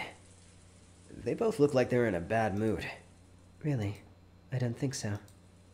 I asked Aunt Natsuhi, who was sitting on my right, but it looked like she was also in a bad mood. She snapped back as though she was absolutely not interested. Well, our adult conversation got a little complicated. It's not something kids like you need to worry about, Battler-kun. right, Natsuhi-san? Krauss-san? Uncle Hideyoshi laughed as he spoke, but without his usual brightness. So I could vaguely imagine just how complicated their adult conversation had actually become. On top of that, even Aunt Natsuhi and Krauss-san, the people he had directed his comment to, ignored him as though they hadn't heard anything. I didn't know what kind of conversation they had been having while we kids were away, but it reminded me of how Dad had said that he had stomach cramps when we arrived at the mansion. The family conference might have been a playful reunion to us kids, but it was definitely different for the adults. After Uncle Hideyoshi was ignored by the other adults, an awkward silence fell over the room. Kirie-san spoke up. We were talking about how the kids' careers would turn out. What will you do in the future, Battler-kun? Just drift on to college? Wouldn't that be a little disheartening as a starting line for the long race of life? Hey, wait a sec. Kirie-san, if you start talking about something like that in the middle of a meal, it won't digest well and we'll all get constipated, right? that's right, that's right. We were talking about Battler-kun and Jessica-chan's careers. You can take, can't take the future too seriously. Hideyoshi heartily agreed, as if they really had been talking about that, but they probably hadn't. Kirie-san had obviously been trying to avoid talking about something. However, if Kirie-san had determined that this was the best course of action for now, she was probably right. Taking this into account, I decided to cast aside my suspicions as to the cause behind Auntie Eva and Dad's bad moods. At long last, the serving cart returned, filled with coffee and tea. Kumasawa-san and Shannon-chan served it to everyone. Gohda-san then explained that this, with this, tonight's dinner was over. If I had been able to eat more in a more cheerful mood, it might have been the best dinner of my life. It was a shame that this greatest of dinners couldn't have been under the greatest of certain conditions. Oh, George Nii-chan, is dinner over now? Over? Yes, we're all done now. That's not ladylike. Stay in your seat and calmly drink up. Oh. Maria looked like she was really excited about the occasionally crashing thunder. Maybe she wanted to quickly finish eating and run over to the window. She had been fidgeting for a while, waiting for the meal to end. Some people were afraid of thunder, while others found it interesting, and Maria was apparently one of the latter. So when she heard from George Aniki that dinner was over, a huge smile broke across her face. She then stood from her seat, took out her handbag, which she had set under her seat, never having left it even while she was eating, and began fishing around inside it. No one seemed particularly concerned with this behavior. What's that? Where did you get it? George was the first to notice it. As he spoke, Battler also noticed. When they looked, they noticed that Maria was now holding a beautiful Western style envelope. On the front of the envelope, the Ushiromiya family crest, the one winged eagle, was done in gold leaf. Furthermore, it was sealed with a dark red wax, imbuing a level of class upon it that made it clear that it was not something that Maria should be carrying around for fun. Maria chan, what is that? It seemed that Natsuhi had also noticed the strangeness of the envelope that Maria was holding. Because her voice sounded too serious to be admonishing a small child, the other relatives around her finally noticed. What's up, Natsuhi Nee-san? What is that? Maria, where did you pick that up? That envelope has Kinzo-san's. As Nanjo muttered that, even us kids could understand why everyone seemed to be frozen solid. The envelope the Maria held was one of the Ushiromiya family head's custom-made envelopes for private use. In other words, it could only mean one thing. This envelope contained a message from Kinzo. Hmm. What is an envelope like that doing here? It looks like something interesting has jumped out at us. J- just let me have a peek. Oh, no, I'm reading it. I was told to read it to everyone. Uncle Hideyoshi tried to snatch the envelope from Maria's hands, but she protected it as though hugging it and didn't let go. Hideyoshi Nii-san, you shouldn't take something from a child by brute force. Maria chan, where did you get this envelope? Oh, got it from Beatrice when she gave me the umbrella. She told me to read it to everyone after the meal was over. I'm the witch's mess. mess. Uh, messenger. Oh, Messenger? the Witch of the Island sure is like to mess around. Battler tried to joke around about it, but no one went along with him. I. I wonder what's written inside of it, Maria chan. oh, reading. Oh, Maria casually opened the envelope. It was sealed only with wax, so she just had to remove the sealing wax to open it. That sealing wax fell onto the desk. Hideyoshi hastily picked it up and stared fixedly at it. He then set it at the center of the table, where Natsuhi, Kirie, and Nanjo glared at it. Imprinted there in the sealing wax was the one-winged eagle, which was the Ushiromiya family crest, and also Kinzo's personal crest. This is the family head's personal crest. I know because I've received letters from Kinzo-san before. Without a doubt, this is Kinzo-san's wax seal. But in this mansion, couldn't there be several identical seals? For example, if there was some kind of stamp for wax seals, couldn't someone other than Kinzo-san have sealed it? No. Kinzo-san would always use a ring on his finger, his proof of the Ushiromiya family headship when he sealed the wax. The shape and complex design is definitely Kinzo-san's seal. That's not necessarily so. Uh, no, uh, this is a part, but the part that I was talking about earlier is something that does happen a little bit later.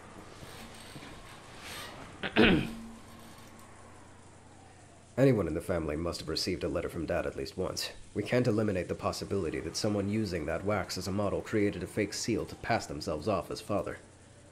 I agree with Aniki. Aniki. No matter how the seal resembles Dad's, we can't prove that it isn't the real thing. That it is the real thing. Therefore, it doesn't prove that this envelope came from Dad. I feel the same way. I cannot approve of arbitrarily deciding that this is father's letter only by the seal in the wax. Dr. Nanjo, would you mind refraining from such speaking such vague words? I apologize. I said too much. One after another, all of the siblings from Krauss on downwards rejected Nanjo's statement, saying that the envelope that Maria was holding had not necessarily been sent by Kinzo. They were afraid. Kinzo's intentions were written in there, and they feared from the bottom of their hearts that it might be something decidedly unfav- some decidedly unfavorable announcement regarding the inheritance. Maria, the person who gave you the envelope was the same person who lent you the umbrella, right? hmm. I don't know what who means. Is it true? Oh, yes. Oh, So, in other words, the witch, Beatrice, gave you that envelope along with this umbrella? oh, Maria nodded forcefully. I agree with my husband. It's a dubious letter handed over by some suspicious person. It's it's not even worth reading. Oh, go on. What's the worst that could happen, right? Battler said it to Jessica in a small voice, pretending to stir things up, but Natsuhi heard him clearly and glared at him with threatening eyes. And then. Um. Beatrice told you to read it after the meal was over, right? Hmm. Why not, everyone? This isn't grandfather's envelope, it's Beatrice's. Who cares who read it? Can't we just hear what's inside before passing judgment? Uh, that's right. Even if Father didn't necessarily write it, I'm still concerned about its contents. Maria chan, I'm sorry I tried to take it from you by force earlier. I apologize, so will you read it out loud in front of everyone? Maria, read it. Hmm. As all of the relatives stared fiercely at Maria, she spread the letter open with a rustle. Do you really think it is Dad's letter? Impossible. Whenever Father has announced something to us in the past, if he didn't do it directly, he would always send Genji-san, right? I can't believe that he would use such a joke-like approach. That's right. Maria, a messenger? That's seriously not his style. Rosa, this must be Maria chan trying to surprise us with some kind of hidden talent, right? I. Maria's not a kid capable of something so clever. Reading. Hmm. The words came out of Maria's mouth, but for some reason it felt like her voice was different than usual. Everyone went suddenly silent. Welcome to Rokkenjima, ladies and gentlemen of the Ushiromiya family. I am Beatrice, the alchemist for this family, under the employ of Kinzo-sama. How absurd! Quiet. I have served him for many years in accordance with our contract, but today, Kinzo-sama has announced the termination of that contract. Therefore, I ask that you acknowledge my resignation from the position of family alchemist as of today. How foolish. What nonsense. I can't stand to listen to it. And there, now, is and now there is one part of the contract that I must explain to you all. Beatrice, I, Beatrice, lent Kinzo-sama a vast quantity of gold under certain terms. One of these terms specifies that all the gold is to be returned to me upon the termination of the contract. Furthermore, I am to receive everything of the Ushiromiya family as interest. Ridiculous! It's been ridiculous from the very beginning. So, it's basically one of those things, right? Just like one of those contracts with the devil you always hear about. And the contract is expired, so she's come to collect the interest. Is she trying to grab some retirement money for her old age or something? What a cheeky witch. Battler-kun, now is not the time to joke around. Battler made a face as if to ask, If I can't make fun of this, what can I make fun of? At the same time, some of the adults' faces were pale, while others looked completely shocked. After hearing this, you may feel as though Kinzo-sama has been savagely ruthless. However, Kinzo-sama did append a special clause to the contract so that you would have a chance to preserve your wealth and honor. If only if and only if that special clause is fulfilled, I will lose my rights to the gold and the interest for all eternity. A special clause. Wh- what is it? Special clause. Beatrice has the right to collect the gold and accumulated interest upon the termination of the contract. However, if someone is able to discover the hidden gold of this contract, Beatrice must abandon the rights for all time. The collection of the interest will proceed shortly, but if any one of you fulfills the terms of this special clause, I shall return everything, including the portion that has already been collected. Furthermore, as the first step in this collection of Kinzo-sama's debt, I have taken possession of the Ushiromiya family's head ring, head's ring, which signifies the passage of the Ushiromiya family headship from one individual to another. I ask that you confirm this for yourselves by examining the imprint on the wax seal. You want me to accept this as real? That Dad would relinquish his ring is unthinkable! Krauss was staring at the sealing wax as though he was trying to burn a hole through it. Eva and Rudolf were doing the same over his shoulder. I, I did have the odd feeling that something was missing from Kinzo-san's finger when we were playing chess. Dr. Nanjo, don't say something so careless just because of a vague memory. We can't prove its authenticity here. The questions of whether Father really has handed over his ring and whether this letter tells the truth, we can determine simply by asking him directly. That's right. It's just as curious, Curious-on says. Well, now I wonder. Will Kinzo-san answer you? After all, that person's thoughts are sometimes impossible to predict using common sense. In any event, this does not leave the realm of nonsense.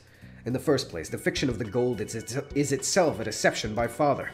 If you want to talk about non existent gold, leave me out of it. But you heard what the witch is saying, right? about how the headship and all of the assets would be handed over to the one who finds the gold. So could this mean that Beatrice Sama is father's legal advisor or maybe in charge of his funds? We can't possibly trust the kind that kind of strange person who would entrust such a suspicious paper to a child. Aniki, time for you to open up. Is it possible that some someone you don't know is actually handling Dad's assets? No, that's impossible. As the agent to the head, I have total knowledge of all of Father's assets. There shouldn't be anyone who can manipulate them without me knowing it. Then there must be some kind of assets that you do not have full knowledge of. Mustn't there, Krauss-san, Nii-san? Absurd, there's no such thing. Oh, yes, there is. One asset of Father's that you know nothing about. There is no way that something like that exists. No, it does. That'd be Father's. No, Beatrice's hidden gold. Let's put things in order. In short, Dad is some trusted confidant that not even Aniki knows about. Furthermore, this person has always been in charge of watching and managing the gold. It's possible this person is a di- dilettante of a very rich family who provided his financing in the first place through a mock devil's contract. Could it be that this confidant, this Beatrice-san, is trying to test which one of the sons and daughters is the most fitting to be financed by her gold? What Kirie said was something that all of the siblings wanted clarified. Upon reflection, they realized that during the time Kinzo's strange epitaph had been displayed in the hall beneath the portrait of the witch, they had always whispered that the one who solved the puzzle would receive everything, yet no one had ever clearly stated it. It was just something that they'd hoped might be true. That had here, right now, right here, right now, been ex- clearly expressed by Beatrice's letter. It clearly specified that everything of the Ushiromiya family would be given to the one who found the gold. Kinzo sama has already publicly displayed the location of the hidden gold within my epitaph under my portrait.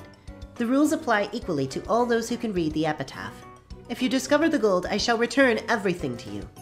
Tonight, I ask that you enjoy your battle of wits with Kinzo sama to the fullest. I sincerely pray that this night will be both intellectual and elegant. Beatrice the Golden.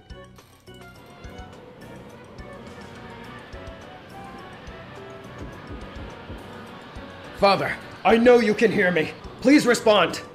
The door to Kinzo's study was being violently, violently beaten against over and over again like a percussion instrument. The screams coming from the other side were Krauss's, Rudolf's, and sometimes Eva's voices. It was the siblings who were trying to intrude upon Kinzo's study to question him about the truth of that mysterious letter. Oh, I, I just realized, by the way, since we basically just passed that point. So, the point at which, um, like, they, if I remember correctly, the point at which they discover that Maria has the umbrella in the rose garden. Imagine literally everything from the beginning of this stream, like through to the beginning of the stream, up until that point where they find the umbrella. That is what they co- cover in the first 25 minute episode of the anime. That will give you a good idea of how bad that anime is. Kinzo was eating. An elegant tablecloth was set over the desk, and the fabulous dinner that had colored the table down in the dining hall was once again laid out. Kinzo continued his meal in silence. Shannon, taking away an empty plate, looked uncomfortably between the door being beaten on and Kinzo's face. Everyone is calling for you, but. But what would you like me to do? Leave it. I was in the first minutes of the second episode. Yep, yep, yep. God values silence, and so do I during dinner. Should I silence them? There's no need. It does not even reach my ears. Kinzo coolly tasted his food. Genji quietly lowered his head and took a single step back. As he did, Kanon, who stood in reserve like a shadow behind and to the side of Genji, opened his mouth. Maria-sama seems to have received a letter from Beatrice-sama, so I assume they want to, want to verify its authenticity. That daredevil, she's started already. Come, Beatrice. There's nothing lacking in the coins that have been wagered. Shall we enjoy this night to the fullest? I have no intentions of losing. Your smile is mine for all eternity. If I could see it one more time, I wouldn't regret losing my wealth, my honor, or even my life. Well then, the roulette has begun to spun, spin. Which pocket will the ball fall into? Noir? Rouge? Or Rogue? Ah, I, I don't know. or house takes all. Come, you may begin, Beatrice. I'll show you the power of miracles once more.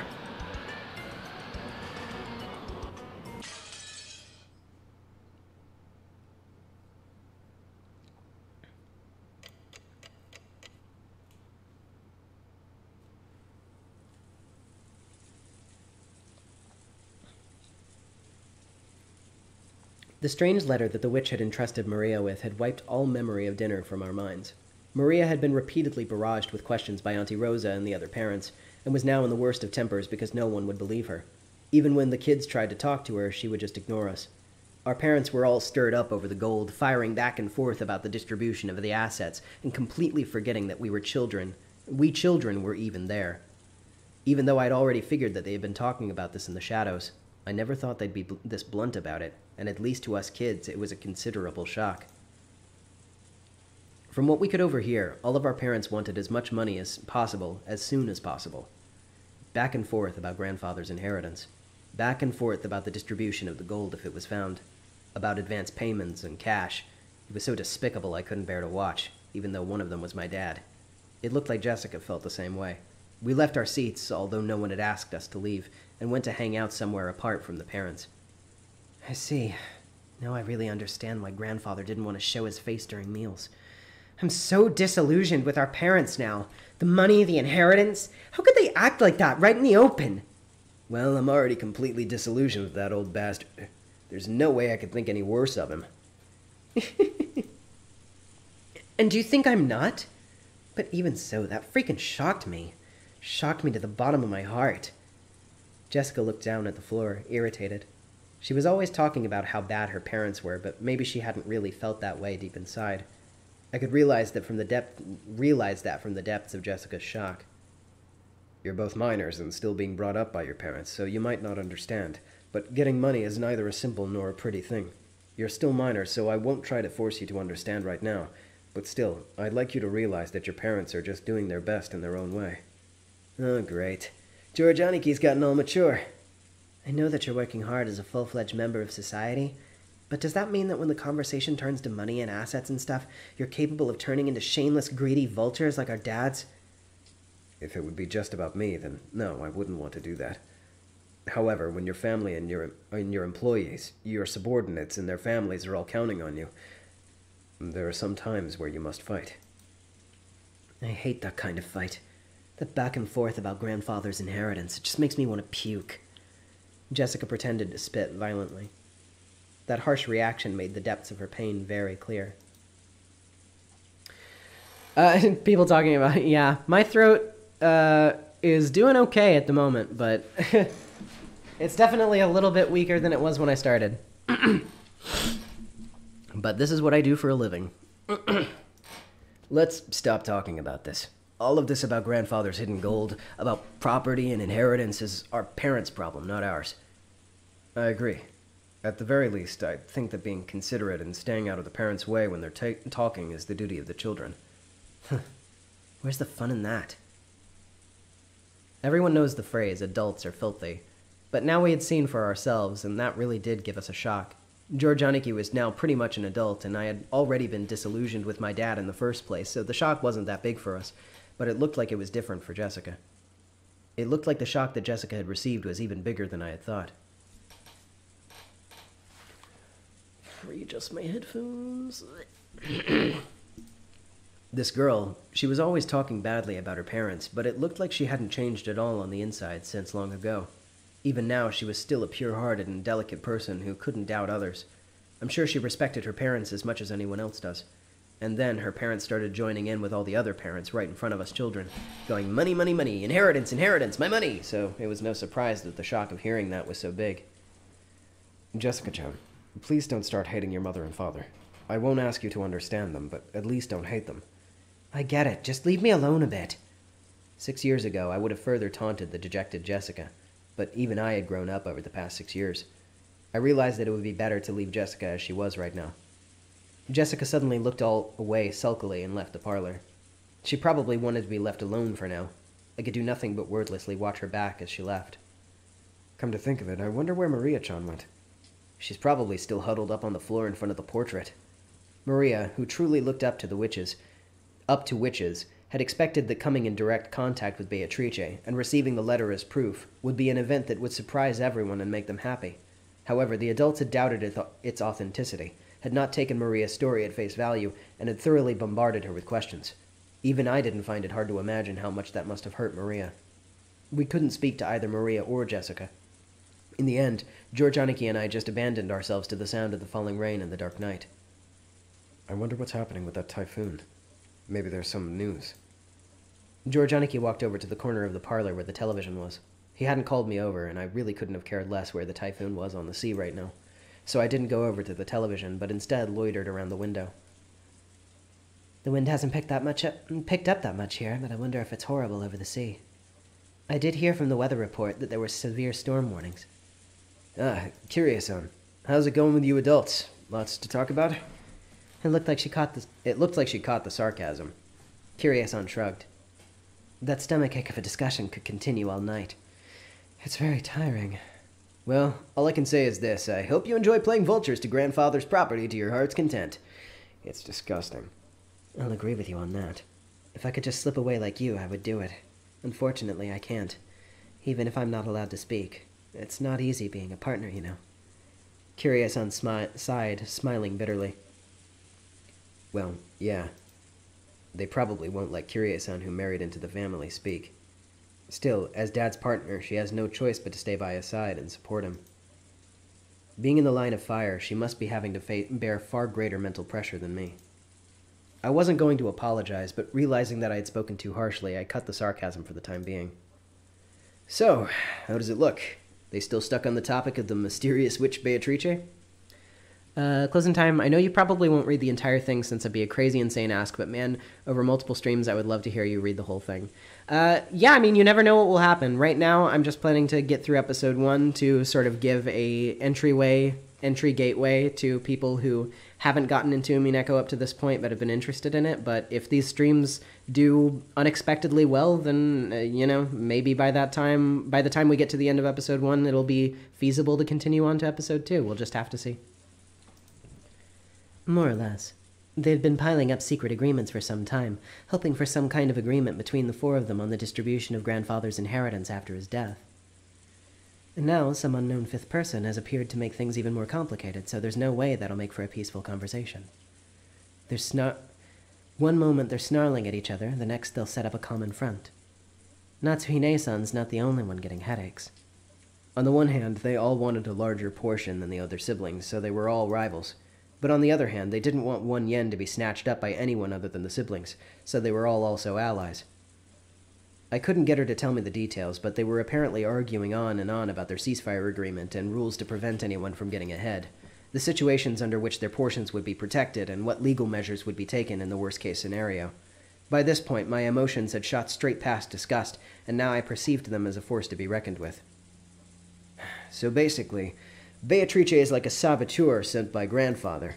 He probably wanted to scare the hell out of his children for just talking about the distribution of the inheritance without him. Who is this Beatrice, I wonder? If she is who she says she is, then she's a mystery that no one knew about until today, and she also knows about the existence of grandfather's hidden gold. Furthermore, she was even entrusted with the head's ring. She must truly have been trusted by him. Well, obviously, I don't think she's a witch riding around on a broom. But she's surely a myster- person mysterious enough to merit being called a witch. I just hope Maria chan will go into more detail about that. Even though she's just a little girl, everyone has been chewing her up over this. They really scared her, and now we can't even ask her for things she might have answered. I wonder if those people have ever read The North Wind and the Sun. What is it for certain that Maria. Re- What's for certain is that Maria received a letter from the person who took the name Beatrice, entrusting Maria with the letter and hiding away even now when she could have just appeared and talked to us directly. She sure is shy for a mystery person. Hey, Battler-kun, do you think that someone called Beatrice actually exists? Who knows? Probably just a false name, right? Like she's grandfather's representative, so she was permitted to take the name of the witch from his delusions? No, that's not what I meant. Right now, there are a total of 18 people here on Rokkenjima. Do you think that there's a 19th person? Are there really a whole 18 people on this island? Wondering about that, I began counting on my fingers, and it really did come out to 18 people. Do I think that a 19th person exists, you say? What exactly do you mean? Just what I said. It looks like the person who lent Maria that umbrella was not one of us 18.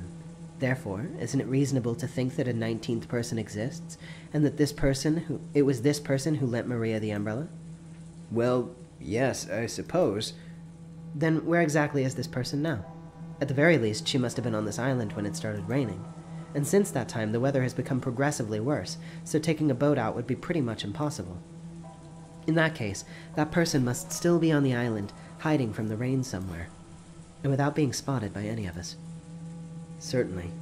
Uh, certainly, all of us have been randomly prowling around all over the mansion and guest house, but no one has bumped into a 19th person. Even so, this island is huge. There might be other places to hide from the rain outside the mansion and the guest house. At about this time, I began to realize what direction Kirie-san's doubts were taking us in. Kiryu-san was denying that a 19th person existed. Beatrice was one of us 18. In other words, she thought that someone we knew well was using her name. If Beatrice really was as she described herself, this person would definitely be the most honored of guests, the most honored of confidants, trusted by grandfather. There's no way the grandfather wouldn't give that kind of person a warm reception. She would surely have been ushered into the mansion. However, we haven't seen anyone. Wait a second. Isn't this line of reasoning a bit, little bit too hasty? Yes, no one spotted them, but that doesn't mean that you can deny the possibility to the 19th person exists, right? Maybe for some reason they landed on the island stealthily and have been hiding ever since. It's what they call the devil's proof. It's easy to prove that something exists. If this Beatrice appears in front of all of us and says hi, then everything's resolved. But it's impossible to prove that there is no 19th person. Yes. Battler-kun, your way of reasoning isn't bad. In the current situation, there's not enough information to either accept that a per- s- n- 19th person exists or deny it. But if you flip over the chessboard and think of it that way, we can be nearly sure that the existence of a 19th person is impossible. Flip over the chessboard was one of Kirie-san's favorite phrases. I had also been influenced by those words and used them myself from time to time. When you get stuck trying to find a move in chess or shogi, by flipping the board over and looking at everything from your opponent's standpoint, you can often see a strategy that would give you the upper hand. Derived from this, it means to think by putting yourself in your opponent's shoes. Okay. Let's say that a 19th person called Beatrice actually exists. That person must have managed, without being seen by anyone, to stealthily arrive on this island and remain hidden ever since. They had some reason for this, yes?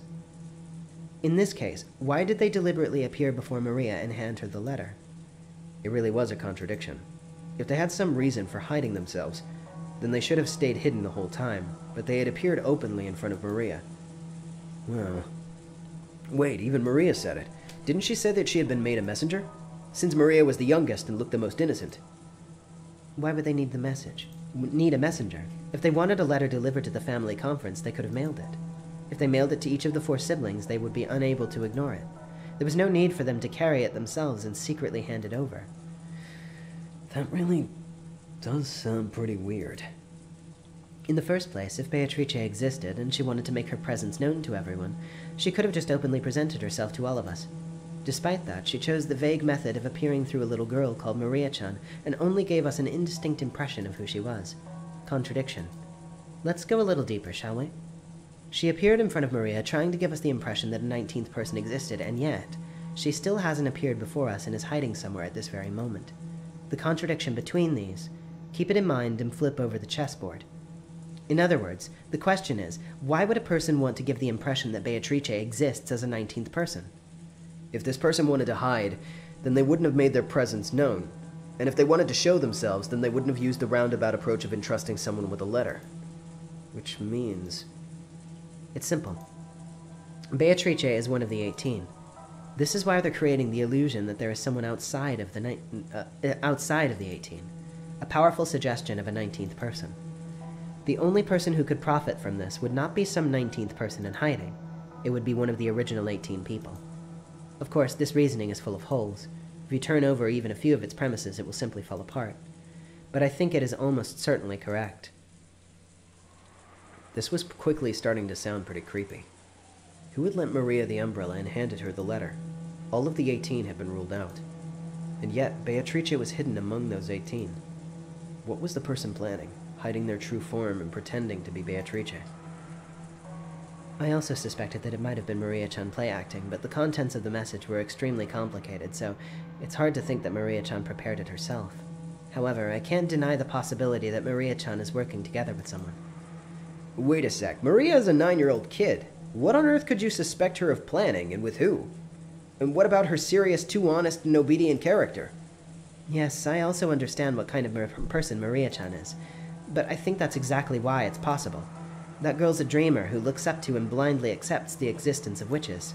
So if a person appeared in front of her and said they were the witch Beatrice, Maria Chan would be so happy that she would just swallow it up, I think. So you're saying that if someone disguised themselves by wearing that fancy dress from the portrait, tricking Maria wouldn't be that hard? Of course, with that reasoning, all of us women would become the primary suspects. Anywho, what? Anyway, what? Who did Maria Chan encounter? Asking her the details of that would be our best and closest key to solving this riddle. But that key has been obstinately locked up inside of her heart. Everyone denied the existence of the witch without listening to her and barraged her with too many questions about who Beatrice actually was. Maria Chan probably won't open her heart to the adults now. In the dim hall, in front of the portrait of Beatrice, Maria was sobbing. No one believes I met you.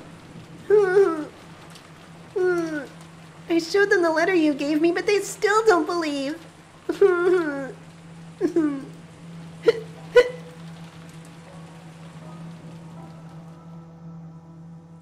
Anyway, Maria Chan is holding the key. The key to whether Beatrice is one of the 18 people or a 19th person.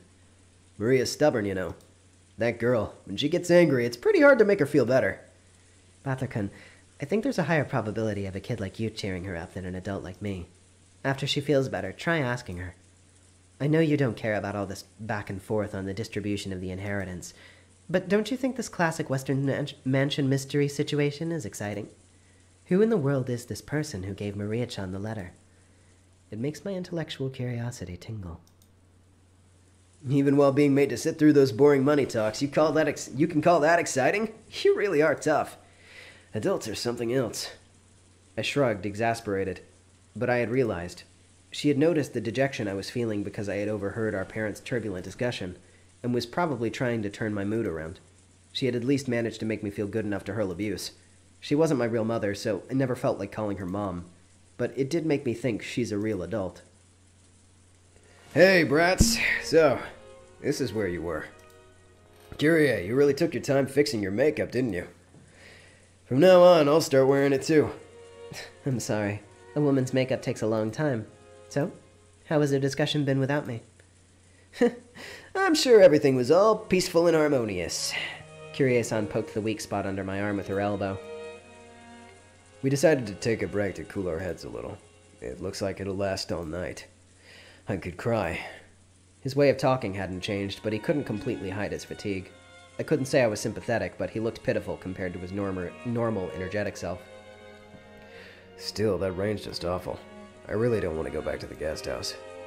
Looks like Natsuhi Nee-san made preparations for us to spend the night here in the mansion. What'll we do? We don't need to think about that until you're done, right? If you run out of enough energy to head back to our room, then we can let them take care of us. You're right. We can think about it later. What about you, Battler? If I stayed, I'd just get in the way. I'll be nice and go back over there. Okay. Will you go back soon? I don't know. It'd be lonely to head back by myself. I'll head back with the rest of the kids as a group. Yeah, that'd be good. So, Battler, you won't just be going to sleep that easily, right? Yeah, I'll probably be talking with the cousins. It feels like we might be up all night. Is there a problem with that? Okay. If when the adults' discussion is over you're still awake, I want to have a little talk as a family.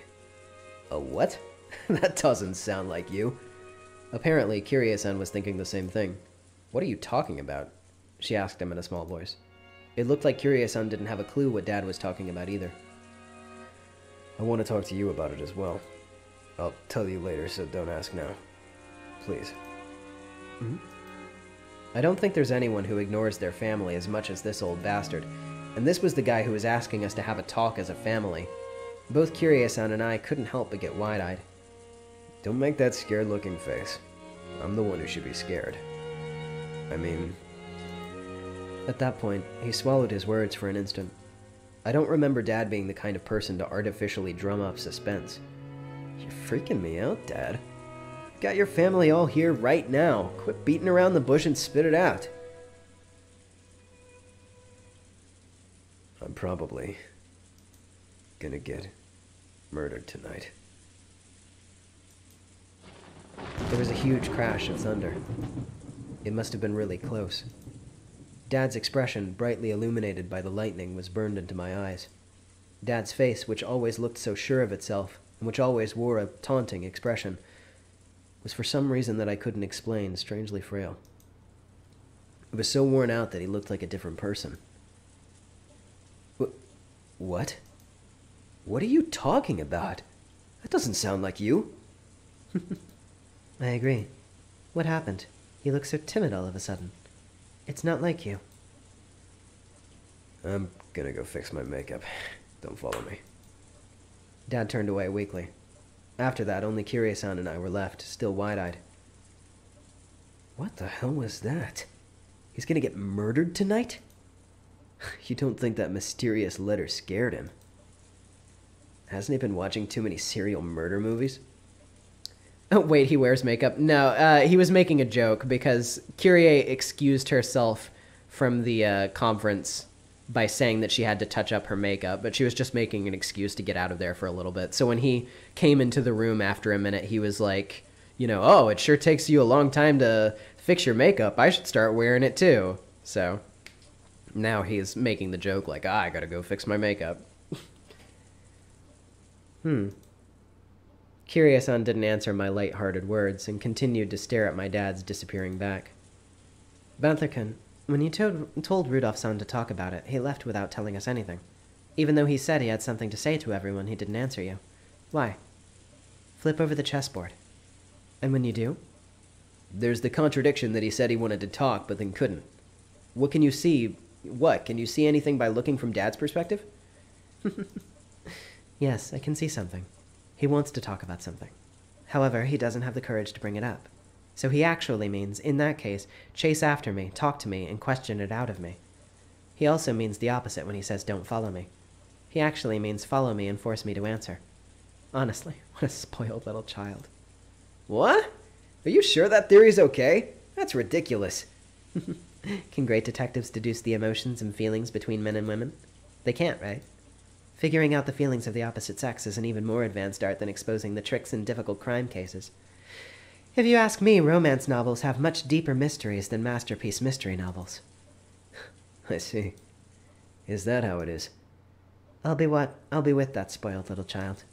He normally loves to act tough, but tonight he's completely tired out from that heated discussion. He probably wants someone to lean on at the moment. And responding to that needs the duty of his partner. Sounds passionate. Then I'll leave the old bastard in your hands. Yes, leave it to me. As Kirie-san departed, I called out to her. Hmm? What? Um, I wanted to say thanks. Thanks to you, my gloomy mood's cleared up a lot. That's good. Communication is important. After answering with a wink, Kirie-san followed after Dad.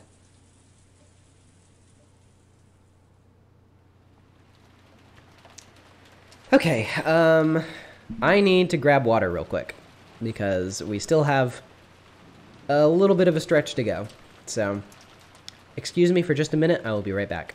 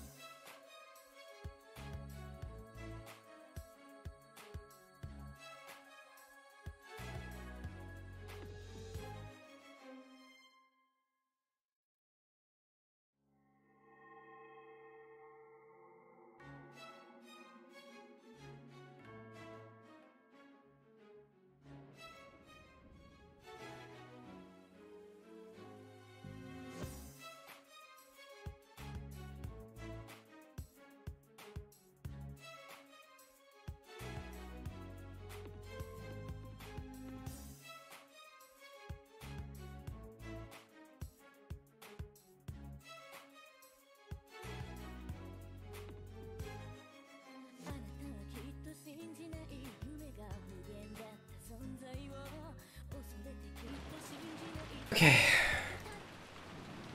Let's go for it.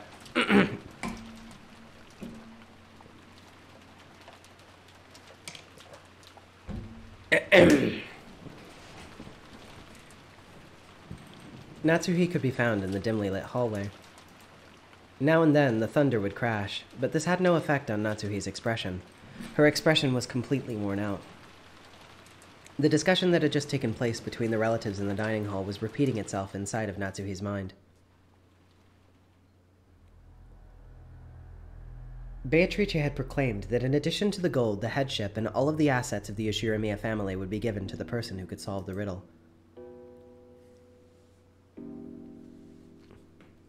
Uh, what? Hold on. I'm on the Danganronpa side of Twitter, so I keep seeing people said about that one Danganronpa 3 video, and I'm just, yeah. um, yeah.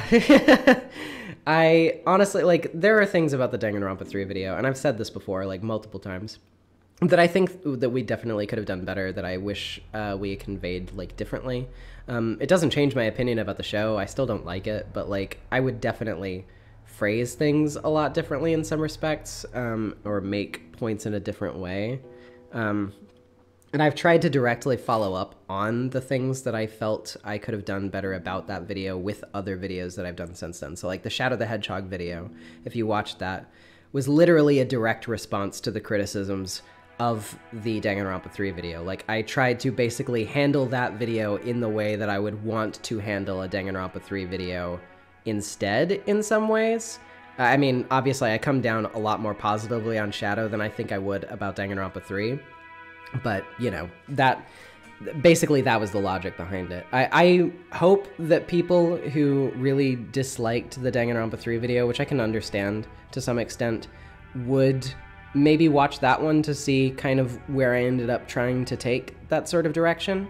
Um, but I understand that a lot of those people probably just don't like me, which is unfortunate. Um, I, I I hate that because you know I wish that I could like you know uh, communicate that um, I wanted to do things differently, but like, unfortunately, uh, as much as I would like to just like do a different thing or like something like that, YouTube punishes you for um, like getting rid of videos or privating videos or replacing that with something else. Um, and I mean, that was a lot of work too, so I definitely wouldn't want to do that, but you know. Um, either way, you know, not to ramble, it's just like it's one of those things that like can't really. There, there's nothing that I can really do about it at this point. Um, but you know, um, it does it does bother me a little bit sometimes because I, um, yeah, I don't know. I I do wish that I could kind of redirect in some ways, but it's just kind of too late to do that now. So all I can really do is try to adjust my direction and hope that people notice the effort being put in to do that.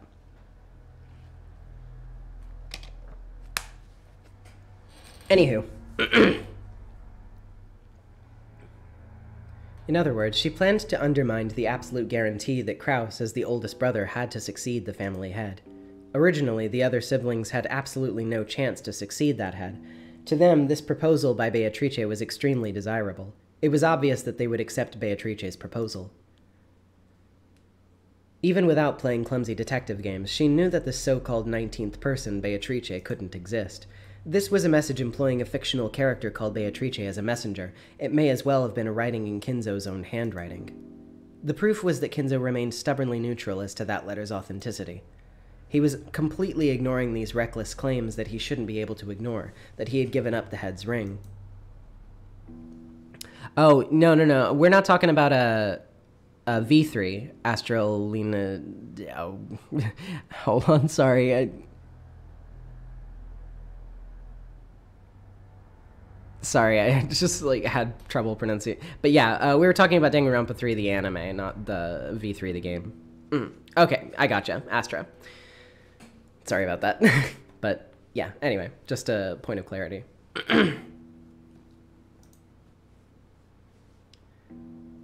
Most likely, one of, the, one of the servants had given Maria the letter. Kinzo had probably worked out an elaborate plan where dre- the dress from the portrait would be prepared, and someone, probably Shannon, would be made to wear it and deliver the letter and the umbrella. By doing that, he could make it seem like the witch from the portrait actually existed. No, if anything, that's why you could be certain that Kinzo was behind all of this. In that case, it was just as if Kinzo had butted in on the siblings' private discussion, and by announcing that he would give, ev- give everything to the person who could solve the riddle, Kinzo had weakened Krauss's overwhelming advantage. Now it was certain. Kinzo had listened in on the siblings' discussion in the parlor earlier that day. So he had known how Krauss had staved off the attack by the other three. And to make the scales of the battle go back into balance, he had sent out this strange letter which benefited the other three. Eva and Rudolf had dragged Rosa in, who had a weak position among the siblings because of her age, and they were trying once again to overwhelm Krauss three on one and push through their crazy reasoning. And so, they had resumed what once had been a nearly decided conflict and were repeatedly pressing Krauss to make them pay a large amount of money. Talk about the talk about the advance payment, which had been denied once already, which was being brought was being brought up again under the terms that all of the siblings would guarantee Krauss the succession to the family head. Mm, mm-hmm. Okay, I see what you mean. Of course, even without a story about the hidden gold, the Ushiromiya family's store of wealth was vast. Just that the, that store was worth more than enough by itself. Even if the hidden gold was buried forever along with Kinzo's death, there would be more than enough to satisfy. Therefore, even if they had no interest in the gold itself, there would be a lifelong fear that on the off chance that someone found, finally found the gold, that person would be granted the position of family head. And this kind of Achilles heel would definitely be taken advantage of by someone sooner or later. The only person with this fatal weakness was the successor to the head, Krauss.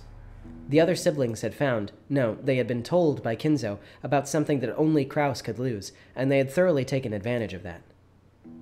Natsuhi, as Krauss's only ally in his painful position, and as his wife, had believed she was fighting alongside him.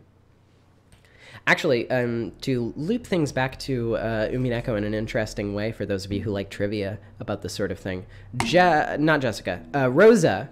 Uh, Rosa's Japanese voice in Umineko is shared with that of Ibuki from Super Danganronpa 2.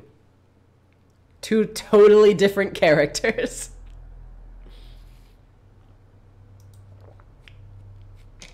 She kept trying to point out to him that the existence of the gold itself was a farce, and that there was no need for him to compromise. Krauss had always told Natsuhi. He had told all of the siblings. He had always, always said that the hidden gold was nothing more than a fiction created by Kinzo. Therefore, Natsuhi had believed that as his wife, and on the foundation that on, had believed that as his wife, and on the foundation on that foundation had supported her husband. Uh, for those who also know of any of the later characters in the in Umineko, um, I won't spoil anything about her. But uh, if you know of uh, Knox, Dlanor Knox, that shows up later in Umineko, she also shares a voice actress with uh, Fukawa, Toko Fukawa from Danganronpa One. So that's fun. Yet her words would not reach him. Even though she was fighting so hard and lending all of her strength, he continued to fight by himself and was trying to compromise with the other three siblings. Wondering why she could not be of use to him, Natsuhi felt sorrow, shame, and then anger. It had happened when everyone decided to take a short break to cool their heads. Natsuhi had flared up against Krauss. Enraged, she had asked why she could not be useful to him. The one that always gets me is Eva's VA being Taiga from Fate Stay Night. Yeah, yep. he had told her that she wanted to talk about something and had invited her into one of his private rooms, which she normally was not allowed to enter. The room had been sealed with a heavy looking padlock, and just looking at it had given her an uncomfortable feeling. Oh, yeah, um, I guess as long as we're bringing up notable VAs, by the way, um, Battler is voiced by uh, Daisuke Ono, who has voiced many notable roles, but uh, one of the ones that is the funniest in this context is that he voices Jotaro Kujo from part three of JoJo's Bizarre Adventure and onward. But yeah. and they, he does really different voices for both of them.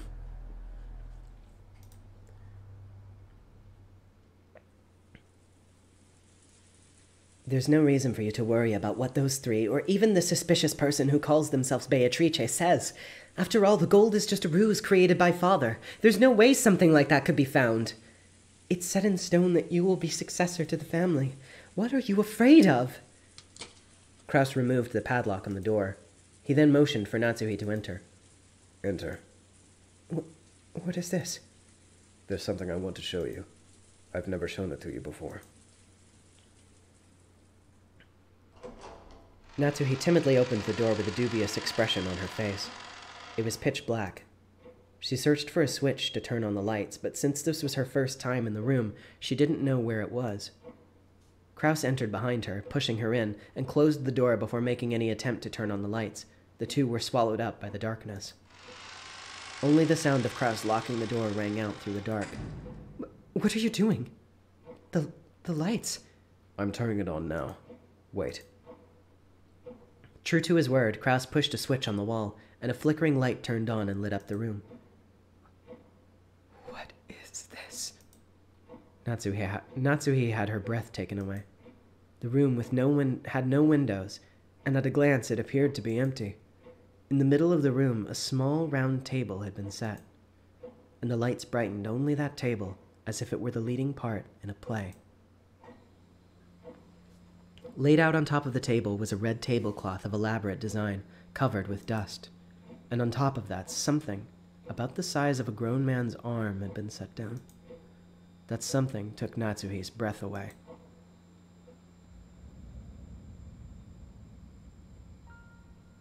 It's a gold ingot of incredible purity. Without this, no one would have believed in the legend of the gold.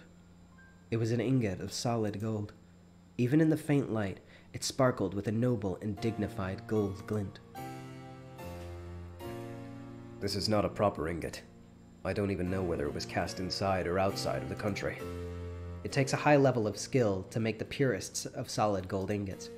And in order to verify that purity, it is standard to have the original foundry and the name of the bank that guaranteed it imprinted on the gold.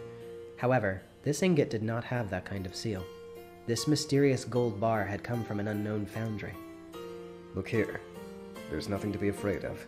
It's just a bar of gold. Natsuhi, following Krauss's words, timidly approached the ingot. Right there. Krauss pointed at the surface of the ingot. Natsuhi concentrated on that section. Right there was the thin imprint of the one winged eagle crest. Natsuhi's breath was taken away once again. That's right. This is the legendary ingot that Dad said he received from the witch, that the president of Marusu witnessed and was allowed to select at random to take back with him. That gained the trust of the fixers in the business world. Uninspired name, we're still going. Yes, yes, we are, because I want to reach a very specific point to leave this first stream off on, and it's a little bit away, so we're still going until I get to that point, and then I will be able to rest.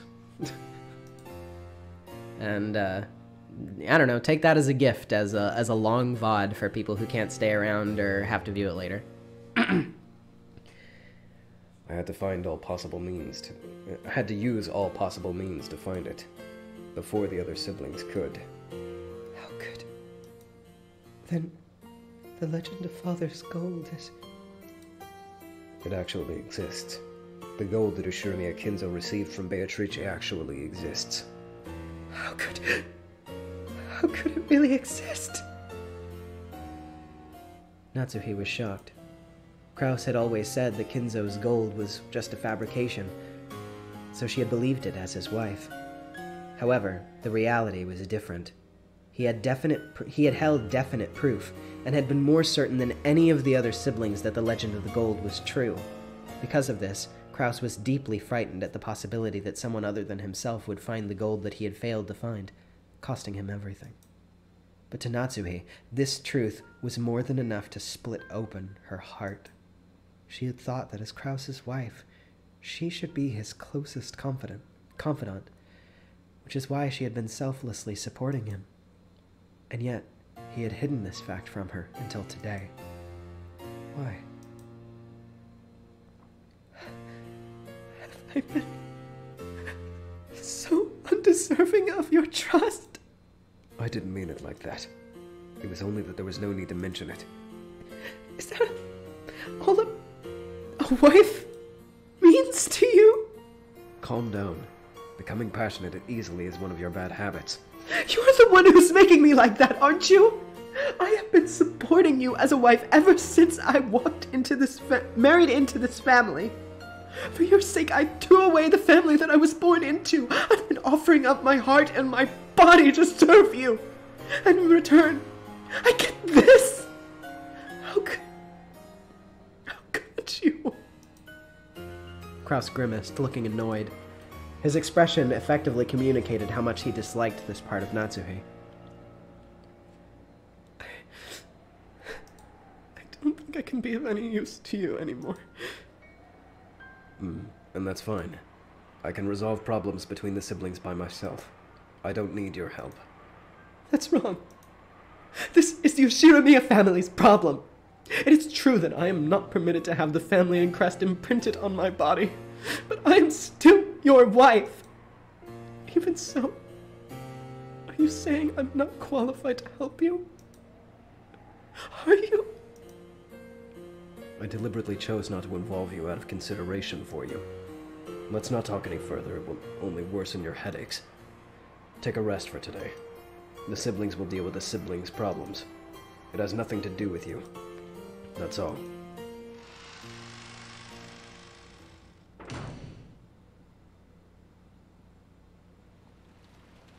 A dull headache tormented Natsuhi.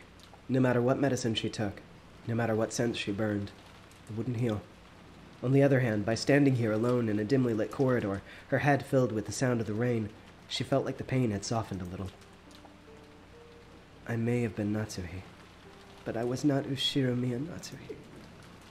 Denigrated as being a sorry excuse for a wife, verbally abused for not even being able to take care of that. Even so, I tried to properly perform the duties of a wife, but have been rejected even by my husband.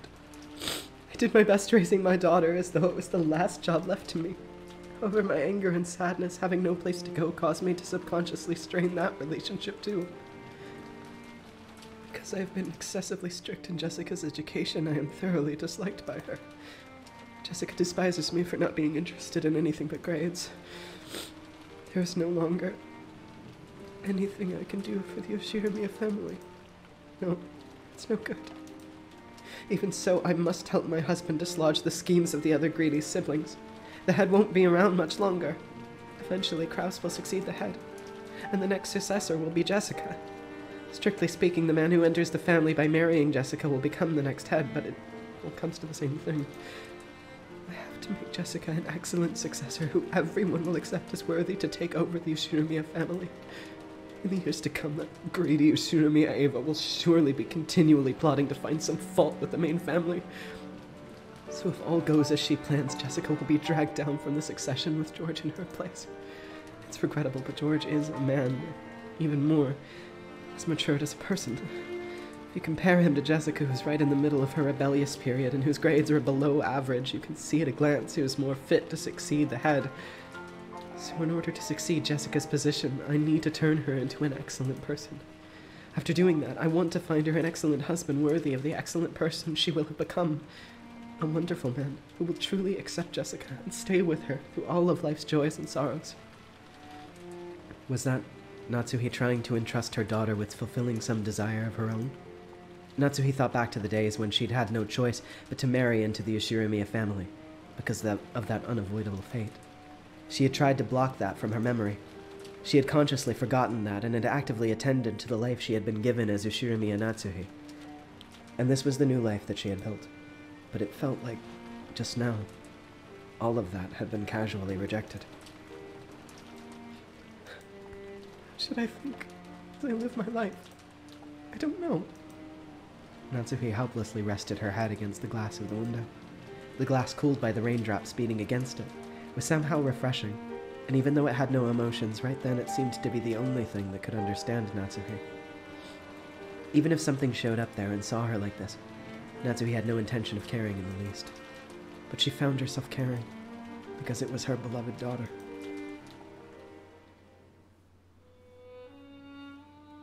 Oh, it's you, Mom. What the heck are you doing here? Thought you were a ghost. Just like always, her words were rough, not at all like a girl's. Instinctively, words of rebuke rose to Natsuhi's throat.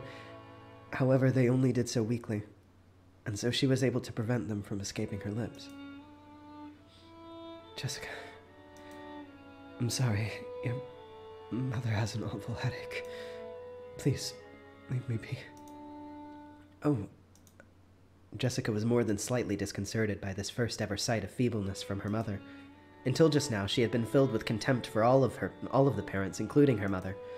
But now, not the slightest bit of that feeling remained. All of it had been wiped out by her mother's completely exhausted face. In its place, the words that George had told her floated back up in her mind. The parents are doing their best in their own way. They're supporting their family, so they can't afford to keep everything pleasant and have a heavy responsibility to fight. Couldn't her mother have been standing around in this dimly lit hallway because no one had tried to understand that? Jessica didn't like her mother. She had no instinct to give her mother's words of kindness just because she looked a little frail. Therefore, in order to give those words regardless, she had to clench both her fists and wrench the words out from the depths of her heart. It. It looks like you really have your hands full with that discussion. It has nothing to do with you. Please, go somewhere else. Is your headache bad? Should. should I go get some medicine? You don't have to trouble yourself. Please, leave me by myself. Natsuhi was not being cold to her. She just wanted to get her daughter far away from her so that she could avoid subjecting her to her short temper. But there was no chance that her intentions would reach Jessica. Okay. Jessica hung her head, looking sad. Looking at that expression, Natsuhi realized that Jessica was trying to muster up the strength to be kind to her mother. She gave her head a small shake to drive away her own unkind feelings. Then I'll leave. I'll be with the other cousins so I don't get in the way of the adults. See you. Wait. She called Jessica, about to make her desolate exit to a stop. What?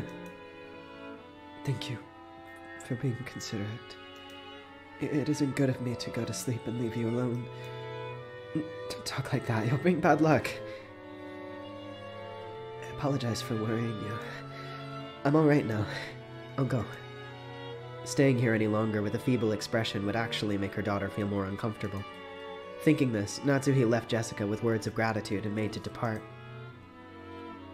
This time it was Jessica who called out to her mother's back. Natsuhi stopped, turned around, and asked what she wanted. But Jessica herself didn't know what, why she had stopped her mother. And for a while she muttered to herself with a slightly forced smile as she hesitated over what to say. She was poking around in her pocket when her hand touched something, and she took it out. Um. Hey, Mom. I, um. was given a charm today. Uh, what was it? Um. A charm against magic? Um. I'm pretty sure that you were supposed to hang it from your doorknob, was it? I forgot. There's no reason for me to have it, so I'm giving it to you. It was the scorpion charm that Maria had given her at, uh, at by the beach that day. Although she had heard of its various effects from Maria right now, Jessica's mind was blank, and it was all she could do to say even that much. Thinking that her mother probably wouldn't accept the charm anyway, Jessica had immediately drawn back the hand offering it to her. So when Natsuhi came back and took hold of that hand, she was extremely surprised. What is this? Some kind of giveaway. Well, I think it's something like that. I guess you can't expect any benefits from a charm that looked like a toy. But her mother took the scorpion charm from her grip. Thank you. I'll take good care of it. Sometime soon, in exchange, I'll give you a charm that was important to me when I was a child. It, it's not like that's why I gave it to you. But, well, if you really say so, then I'll rest for now. My headache is awful. Try not to stay up too late. Sure. Natsuhi put the charm in her pocket and turned away. She then disappeared into the dark hall. I was performing crying for that. However, some of it, a little bit, was genuine. You won't be able to tell which. Thank you. It looks like the weather will be like this all day tomorrow. After all. Damn, it's hard to believe it's dry out earlier. George Aniki and I were killing time in front of the parlor television. At that point, Jessica returned. Her face was still blank, but it looked like she had calmed down a little since she had left. Is Maria is Maria still in front of the portrait? Nope. She just came back and she's sleeping over there on the sofa. It's getting pretty late for her. Looking at the clock, it was a little past 10 p.m. Even if we were going to stay up all night, it was about time to head back to our room. How did I become a voice actor? Um, persistence. it, it would just like um, when I was about, I want to say around like nine to ten years old, maybe a little bit younger than that. I um, I just kind of became conscious of the fact that like while I was playing video games that I liked, that you know it was somebody's job to do the voices that I was hearing in my favorite video games, and um, around that time I you know was also like discovering people's like fan dubs online and stuff like that, and I was just kind of like, oh, I I think I could do that. I want to do that. Um, I had always like even as a kid too like kind of wanted to be a screen actor a little bit too because I just watched so many movies that I was like, "Oh, I want to be in that movie. That would be cool. It'd be cool if I was in Home Alone or like, you know, something like that." So, um, I just kind of like I don't know, practiced around for fun and then whenever I discovered fan dubs and stuff, I was like, "Oh, I could audition for something." And like I did a couple of amateur projects as a little kid and then I just kept doing it because I like doing it as a hobby and I kept doing it and kept doing it and kept doing it and then um, that's how I got to the point that I'm at today and like why in the last several years I've actually done like paid work and stuff so um, I mean obviously there's a lot more to it uh, as far as like you know um, making industry connections and stuff like that. Some of that has to do with the fact that I started doing YouTube and then people found my YouTube and then they saw me voice acting on my YouTube. So it was like, you know, then that opened doors for me a little bit. But um, yeah, it's just kind of been pretty much just me doing it because I want to and uh, stacking practice upon practice for like since I was little. so there you go.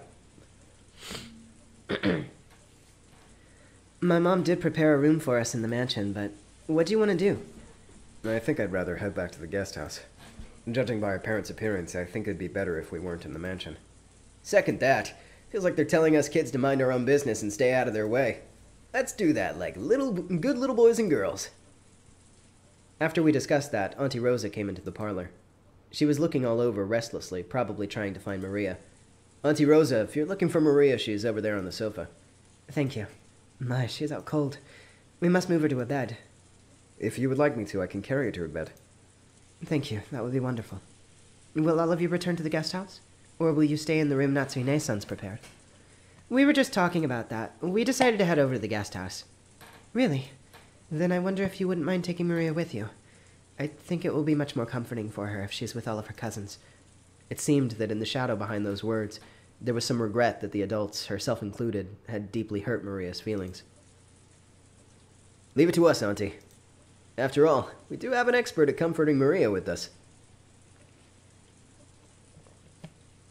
Uh, if I remember who was my favorite at this point in my first playthrough, Um, that's a good question. Um, I don't know, honestly. I think like by I guess by this point, then it it would have probably been like somebody like either Battler or like Natsuhi, maybe. Um, yeah, I don't know. That's a that's a good question. I don't really remember super well. It's it's been a long time since I first read Umineko. Are you talking about me? I couldn't do it by myself. We'll need everyone together. That's right. Battler, weren't you the one who hit it off with Maria when you were messing around earlier? As we said this, Auntie Rosa smiled, looking truly happy. Thank you, everyone. It looks like our meeting was will last until very late. So I'm sorry for the burden, but I'll have to leave Maria in your hands. Hey, Maria, you awake? We're going back to the guest guest house. Maria muttered something indistinct as if answering, but then rolled over and fell back asleep. It looked like she was sleeping deeply. She's really out cold. It'd be bad to wake her.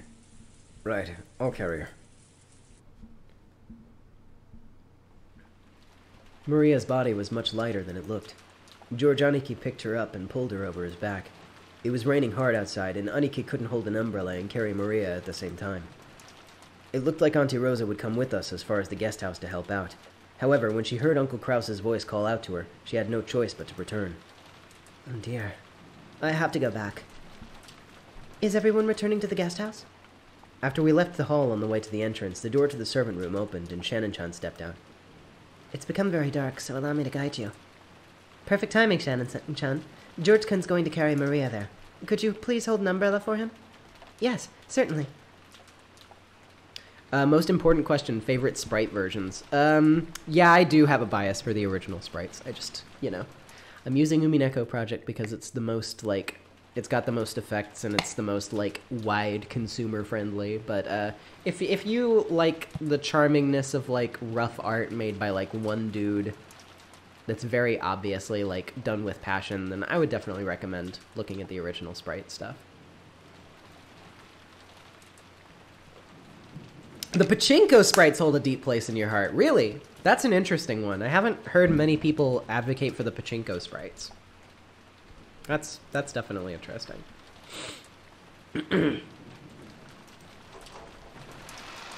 As we opened the front door, the downpour was quite terrific. It looked like we wouldn't have had any spare time to take a pleasant walk and enjoy the nighttime rose garden.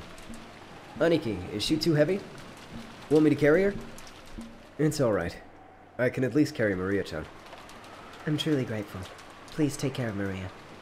Right, we understand. In that case, good night, Auntie. Then I'll see them over there and return here. Yes, please. Auntie Rosa saw us off. Maria, I'm sorry for everything. Mar- Rosa's mumbling voice didn't reach the person in question, nor anyone else, but disappeared beneath the sound of the rain. Uh, so to answer your question in closing time, um, there are three sets of sprites that Umineko has. One is the original set of sprites, which Ryukishi 07, the author himself, drew. Ryukishi is not much of an artist, so it's a little amateurish, but it has its charms. Um, that was used for the original release of the visual novel before it was ever ported to uh, any consoles. Then you have the console sprites, which were done by Alchemist. Those are the ones that we're looking at right now. So this is the art that was used in the console ports of Umineko. And then you have the Pachinko sprites. Uh, the Pachinko sprites are redrawn sprites done by one of the artists of the Umineko manga, which was used for the official English Steam release. Unfortunately, they're not very good, despite the fact that I really, really like that particular artist. Um, she does great work in the manga, I just do not gel with her sprites, unfortunately. After cutting through the rainy rose garden, we arrived at the guest house. Ah, if only I'd applied for the position of Maria carrier. Then I'd have gotten a ru- Yeah, okay, yeah, shut up. Uh, That's not on purpose. It's a misunderstanding. I-, I thought that if I didn't, George-sama would get all wet. Come on, quit babbling and go in. After being nudged by Jessica, Shannon folded up her umbrella and went into the guest house. Has anyone gotten their clothes wet? I can bring some towels if you'd like. You don't need to worry about us that much. Thanks, Shannon-chan. Oh, yes. We were saying earlier that we'd play some cards. Do you want to stay with us for a while? Huh? Who had the night shift on tonight's schedule? I believe there's a special schedule for the duration of the family conference. I think there were a few changes, so I'll go check. Wait if you ha- wait. If you have to go all the way back to the mansion to find out, you don't have to force yourself. It's all right. I can find out from the servant room in the guest house. Please, excuse me for a short while. Shannon-chan gave a quick bow and went to the guest house servant room. The rest of us headed for the cousin's room and put Maria in bed for the time being. Maria was sleeping very deeply, and there was absolutely no sign of her eyes opening. We got some drinks out of the room's refrigerator and spent some time playing cards while drinking.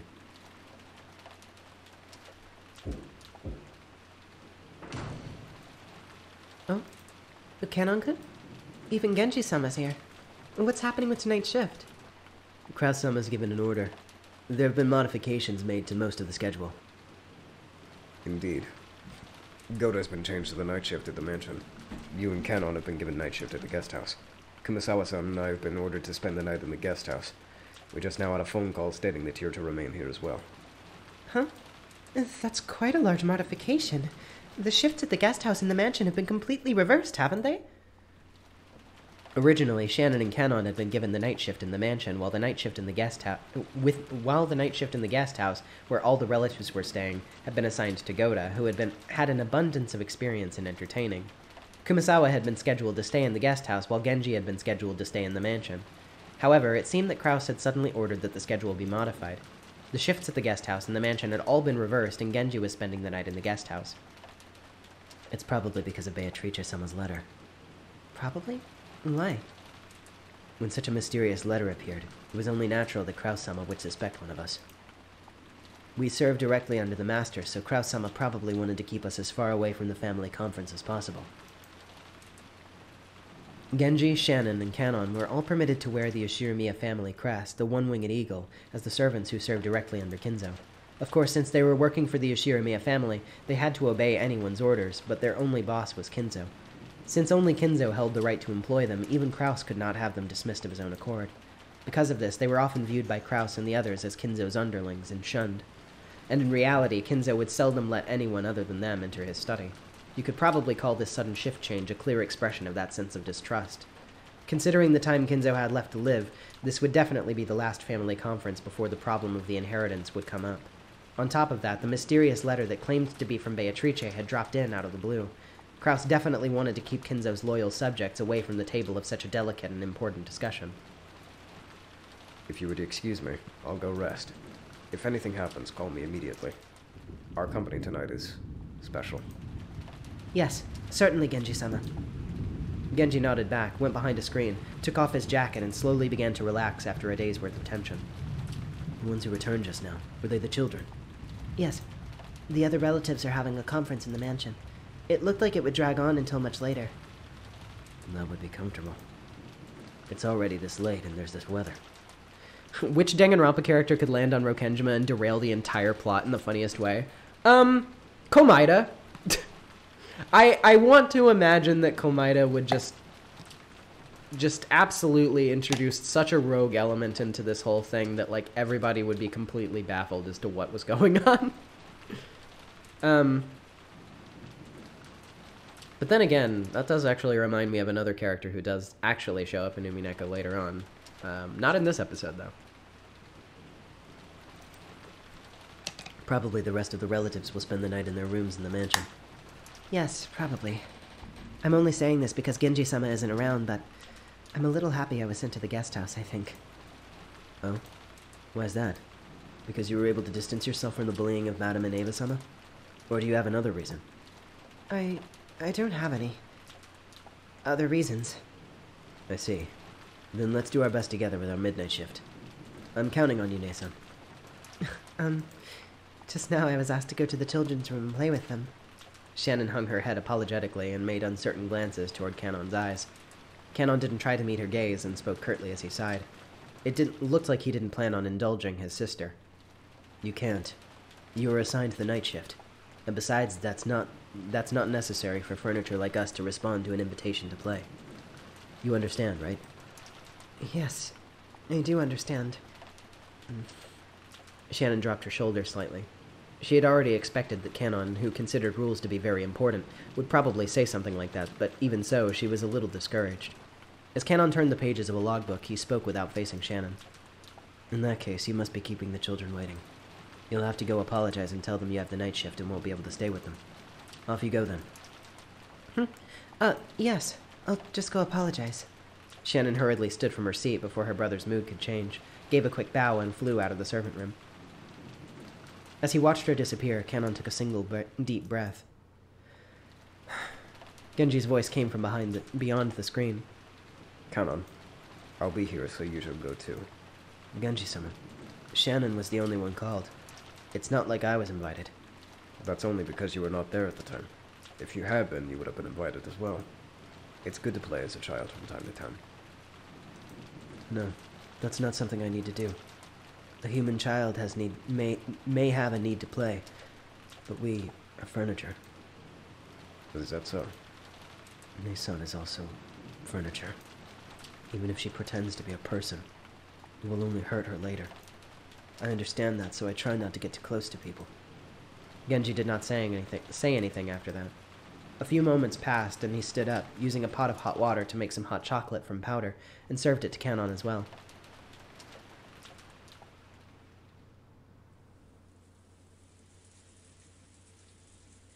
Holy crap, seriously? I did not know that! Keep it down, dumbass. You'll wake Maria up. Battler was so surprised that he yelled obnoxiously and scattered his cards everywhere. His voice caused Maria to turn over once, but she soon fell back into a deep sleep. Jessica gave him a jab, and he lowered his voice. No, but yeah, now that you said that, they really did have that kind of atmosphere, didn't they? Huh, now I see that George Aniki. George could not be seen anywhere in the room. A short while ago, when Shannon had come into the room, George had suddenly said he forgot he had forgotten something in the mansion and needed to go back to get it. Shannon said had said that she would guide him, just like she had on the way to the guest house, and the two of them had departed together. They've been showing signs of it for a long time, you know, asking what the other person liked, asking what their hobbies were. I always knew it was too much to be a passing interest. Come to think of it, I get the feeling that George Aniki has always been overly nice to Shannon Chan. Now I get it. Yeah. So, aside from the excusing Rosa's behavior, for those of you who have been waiting for the other reason why I don't like George, here it is.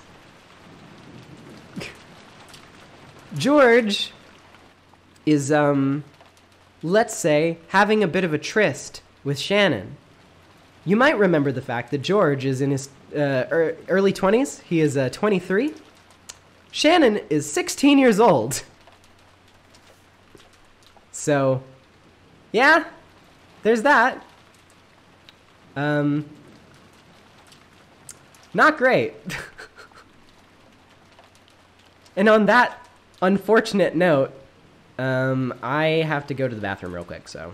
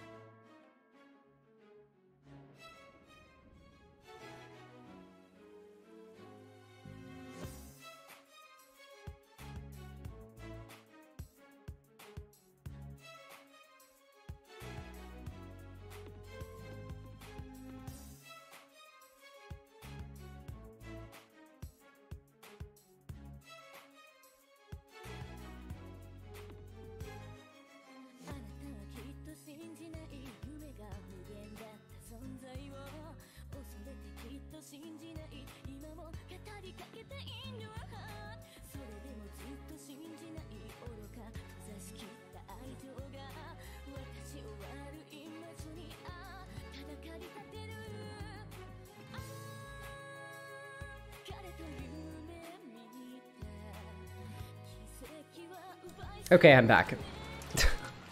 so yeah, um, it, I do think it is kind of a mixture of um, uh, things like you know. Let me be clear. I'm not saying this is a good thing. I just think the way it is played is probably a result of like the time and like the time period that it takes place in and also like cultural expectations and stuff like that. It is not good at all. I hate it. That's why I don't like George. Um, but yeah, that being said, uh, this gets even more complicated later on, and I can't tell you how. it sucks. I don't like it. It is uh, one of my lesser favorite parts of Umineko, for sure.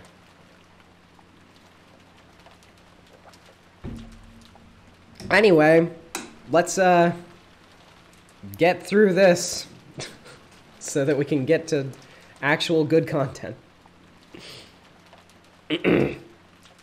According to the weather report, it looks like it'll be at its worst tonight. It also seems that it won't stop at all tomorrow, but it should get a little better. Really? Then the boat might not arrive until the day after tomorrow. I'm concerned that it might interfere with your work on Monday. I already knew that the typhoon would be coming beforehand. That being said, uh, let me interject just one last time. I do think that the fact that like there is a weird power dynamic here is something that is intentionally being honed in on by the narrative. Um, I don't think that like this is being done in a purely like, oh, I'm super ignorant of the implications here. Like again, it's one of those things where it's like the Ushiromiya family sucks. Um, so I do think that is definitely being pointed out by this. Um, some of George's lines here, in particular, are things that I do do not think that uh, somebody could write without being like aware of how that sounds. but yeah, the age gap does feel a little slept on, unfortunately. Or, well, slept on. But, like, you know what I mean. Like, I don't think he was thinking as much about that, unfortunately. Um, but the power dynamic definitely is, like, an intentional element. Just in case, I made sure that I didn't have any plans for Monday, so it's alright. I may not look like it, but I really am the type who can plan ahead in his schedule. George puffed out his chest, acting proud. Compared to the normally composed appearance that George always had as the oldest cousin, he now looked amusingly like a little kid. Shannon chuckled at this gap. It's no surprise that someone who will make his company soon make his company prosperous is so well prepared. Well, making a company prosperous really is a tough job. Money isn't the only thing that's important. I learned that well by studying from my father. Making a company prosperous is like having a castle and leading your subordinates. My father, true to his name of Hideyoshi, really loves reading about the great leaders of the Sengoku period. Most of his philosophical speeches on business management start with one of them. Did you know? Takeda Shingen, who was feared as the leader of the strongest cavalry corps in the Sengoku period, started out with his troops in complete disarray and didn't have the kind of strong leadership necessary to utilize them well. He's just like launching into this big long explanation. She's like, wow, damn, did not ask. Is that true? That's a little unexpected. In order to unite his troops, Shingen utilized several strategies. For example, when a soldier succeeded well in battle, he would immediately honor them with a medal. Normally, that kind of thing was put off until after the war and they were all awarded at once. By doing that regularly on the field of battle, he immediately showed his appreciation for his troops' military exploits, which motivated them in an extremely significant fashion. Furthermore, whenever one of his troops was brought down by an illness, he would be the first to rush up to them and care for them, things like that. Takeda Shingen wasn't just the man who led the strongest cavalry corps in the Sengoku period. He was the person who cared the most for his troops throughout the Sengoku period. That must be why all of his troops followed him. The truth was, Shannon had already heard this story several years ago. But when George started to tie his father in with one of these stories, he would always be beaming, looking like he was having a great time. So Shannon did not interrupt, but merely smiled to encourage him to continue.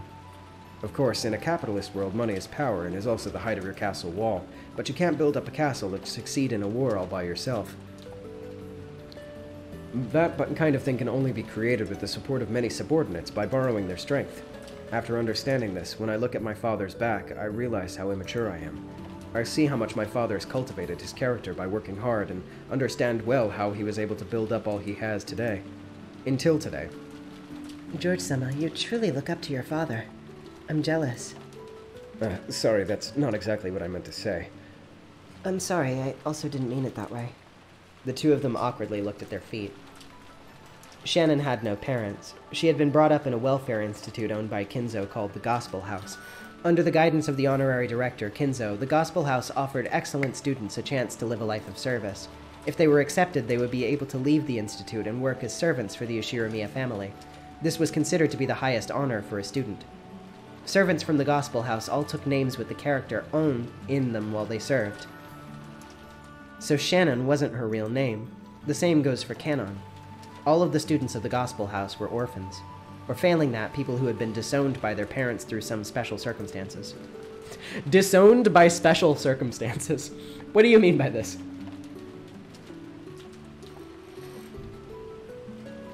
I love how they have absolutely no chemistry with each other. Yeah. Yep.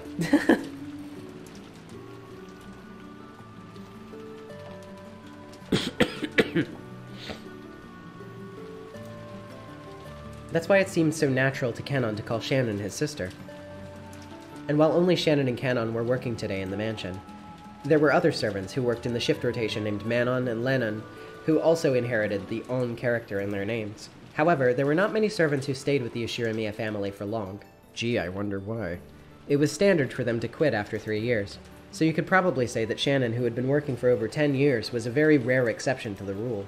Working as a servant for the Ushiromiya family was a heavy, bur- heavy burden to bear, but the pay wasn't bad at all. Working for a full three years would earn more than what was needed to enter mainstream society. That was why, even though the students realized what a harsh task working for the Ushiromiya family was, they still hoped to be accepted. But in Shannon's case, maybe the fact that she had managed to continue for more than 10 years should not be viewed as her having more willpower than any of the servants.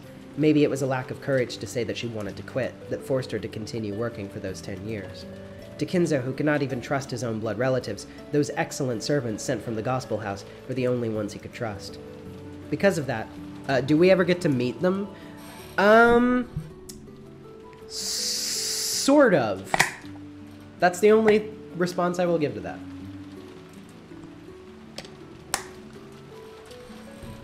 Because of that, Kinzo would sometimes allow them to wear the family crest as servants under his direct control and have them work close to him. Um, you've actually been working here about 10 years, was it? You've saved up a lot of money by now, right? I don't know, really.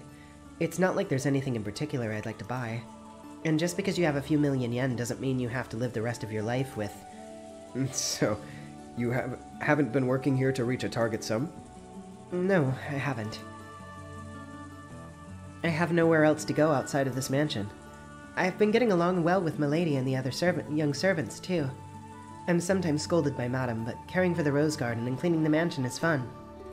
But that isn't your life, Sayo-chan. Um... Shannon cast her eyes downward when she heard her real name. She understood what George was trying to say and closed her mouth. Even after becoming an adult and a full-fledged member of society, I've been studying and I've learned something. A human's life is not as monotonous or as short as we once thought when we were kids. That horrifying thought that everyone has in their student years. Will the rest of my life be like a monotonous, boring, sleep-inducing after-school class where I endlessly, lazily walk away, walk away the time, eh, lazily while away the time until finally it ends without anything interesting ever happening? However, these thoughts only arise while a person is still an underage student. Compared to a human's life, the time they spend as a student is nothing more than the blink of an eye, just the period before they break out of their shells and cast off their immaturity. The inside of the shell might be a hot, suffocating, and boring world. But the world beyond that shell is vast and filled with limited, limitless possibilities. So far, your life has only been spent within a shell called Shannon. Aren't you making the mistake of thinking that your life will always continue like this? That is.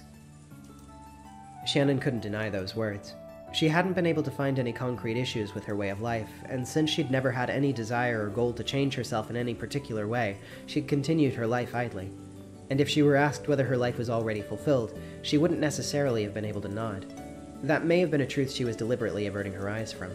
As long as George did not realize that truth, she would have continued pretending not to notice, as her real life slipped away, neglected bit by bit. George Sama, is it wrong for me to continue living this way? It's wrong.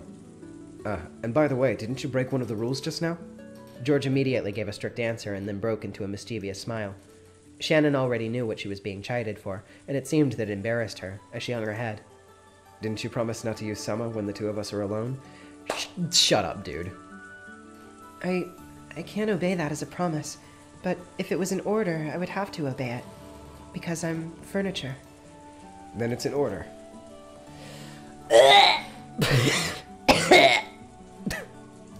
Yes, certainly, George san.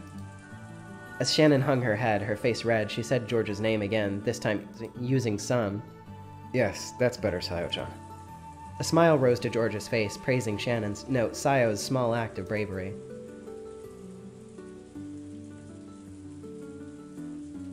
The way they talked with each other gave off the sense that their relationship had already been ongoing for some time. For a long while, as if the weather raging around them didn't even enter their consciousness, the two of them talked about the many memories they'd built during their relationship that no one else knew about. Every once in a while, a flash of lightning would attempt to dampen the mood, but it could not sully these moments, which seemed to flush even the roses outside a deeper shade of red. I have not heard George's character song, actually. That's mostly because I like to pretend that George doesn't exist whenever I have the opportunity to.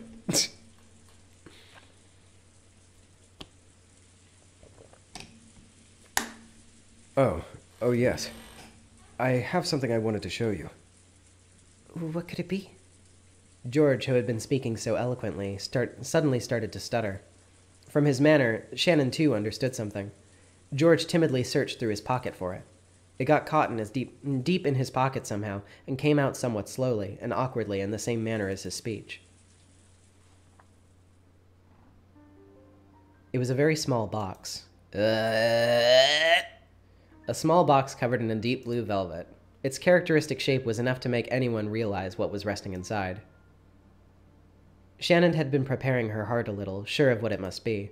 But even so, when she actually saw it, she couldn't avoid blushing once more. George opened the small box, took it out, and held it for Shannon to take. I want you to accept this. I I can't accept something so valuable. You can't accept it? That's that's not. I meant something like that is too good for me. Sayo, this is not a request. It's an order, okay? Shut up! I will I will do violence to this man. I will bring out a hammer and I will break his kneecaps. His stupid banana suited kneecaps. Accept this ring, okay? How? I I can't disobey an order. Yes, that's right. Good. ah, I'm not even gonna say that. Shut up. Shannon, not wanting to show her bright red face, timidly accepted the ring from George's hand while staring at the ground. The ring wasn't a simple accessory. It was a noble object which, since ancient times, was meant to be offered to a special woman with a special meaning. So while George could order her to take it, he could not order anything beyond that. Anything beyond that would depend not on an order, but on Shannon's no, own Sayo's own will. So from here on, it's no longer an order. Sayo, I want you to answer me tomorrow without using words. Do you understand? Um, how? I won't order you anymore, so this isn't an order. But a ring is something you put on your finger. If you like it, you can just put it on any finger that you choose. Shannon had only pretended not to know. She had already understood what he wanted her to do. But she was standing at a huge crossroads of her life. Look at how late it's gotten. Let's call it a night. No, yeah, literally, like this. This whole thing is like, you know how Ace Attorney has like the shit with Max, and anybody with a brain is like, dude, that sucks. But the author didn't really seem to get the memo somehow. Yeah. George faced away from Shannon, seeming slightly uncomfortable. It might be possible for me to order you to put it on a finger of your left hand. You too might be timid and dependent enough to actually obey that kind of order. But I want you to do this very last part of your own will, Sayo. You understand, right? Y- yes. So, that's my order. I want you to think about it well tonight and show me your answer tomorrow. Hey, closing time. Yeah, understandable. It is very late. Please get some rest. Um, I I hope you've been enjoying, and uh, definitely, I, I hope you enjoy the rest whenever you get around to it. See ya. Shannon nodded back. Today was the culmination of their long relationship. This moment had not come as any surprise to Shannon. We should be getting back to the guest house soon. If we take any longer, we'll make everyone worry about us. Uh, um, I'm sorry. I, I just remembered I had something to do in the mansion, so um, I have to go back to the mansion. I have to get the fuck out of here. Something this late? Really? George stared into Shannon's face as he laughed mischievously. He had seen through that obvious lie of Shannon's, but imagining how she felt, it wasn't as if he couldn't understand her embarrassment and why she might ask to be alone. And so George, having understood Shannon's lie and all that was behind it, allowed her to leave.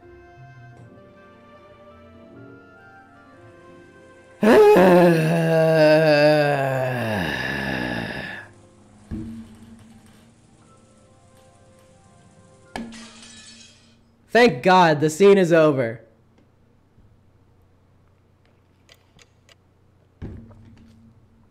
Uh, you guys are God's strongest troopers for enduring that bullshit. I'm so sorry. I am so sorry. That's like easily one of the worst parts of episode one. It is all uphill from here, thank God. Less George. Don't worry. Uh, the further we go into the series, uh, there are definitely episodes where there is uh, less George than others. Unfortunately, episode two actually has probably the most George in the series. but after that, it's a smooth, mostly Georgeless sailing uh, in a lot of places. um, to be fair to some people in, in the chat, they were like, "Oh, I thought this was like cute when I first read it. What the hell?" It's because they don't draw very close attention to George's age that often. Um, they only mention it very briefly, like pretty early on. So it can be easy to forget, like, that a gap that large exists between them because they're like anime characters, so you can't really tell the difference just by looking at them. Um, it's only after you look look back at their profiles and are like, oh, wait a minute, yeah. Well, and I mean, obviously the servant stuff is pretty cringe too, but like, other than that, though, you know, yeah. Shannon entered the entrance hall to the mansion with a tottering gait. Wait, how much of a gap is it? Uh, he's 23 and she's 16. it's pretty bad. Her chest was filled almost to bursting with a mixture of exaltation and uncertainty that she couldn't easily describe. After stopping for a second in front of the servant room to take a deep breath and calm her heart, she opened the door. Inside, Gohda, who had been ordered to take the midnight shift at the mansion tonight, was absorbed in an old, worn out crossword puzzle magazine. He looked up for an instant to see whether one of the family had come, but when he realized that it was a fellow servant, he returned to his puzzle as if nothing had happened. No, yeah, definitely. Uh, I agree, Kamikaze here. Like, um, it is one of those things too that it's like it's not good. It just happens in enough like VN or anime media that like if you read a bunch of that kind of stuff whenever whenever you were younger, it kind of glosses over you at the time. Um, and it's something that you kind of like only realize how bad it is when you look back at it later when you were older. Um, hands up for anybody in the chat who was reading Clamp stuff when they were younger. Jesus Christ.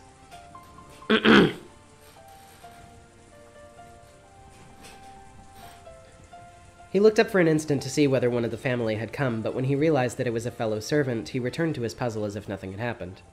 Um, I was told by Genji sama to help you. Ah, really? That will be useful.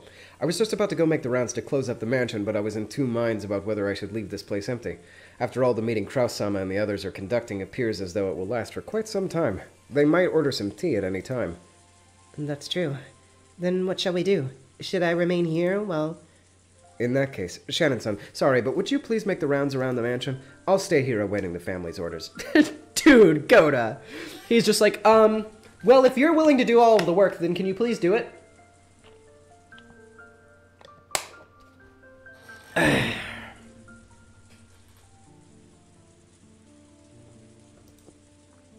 Yes. Shannon felt a twinge of annoyance. Despite the fact that she had come here to help out as a favor, she was being forced to do the job of the person on duty as though it were natural. Furthermore, after one-sidedly forcing that task on her, Gohda had once again gone back to his magazine and become an, and had become immersed in his crossword puzzle. What is Clamp? Uh, Clamp is a group that uh, makes manga. They have made commercial manga, like a Cardcaptor Sakura and stuff like that, and they also make dojins, of which there are many not safe for work ones. They've made a lot of JoJo related ones, in fact.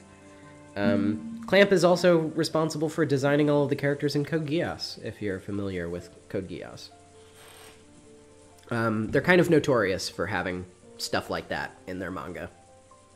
So, that's why I brought it up.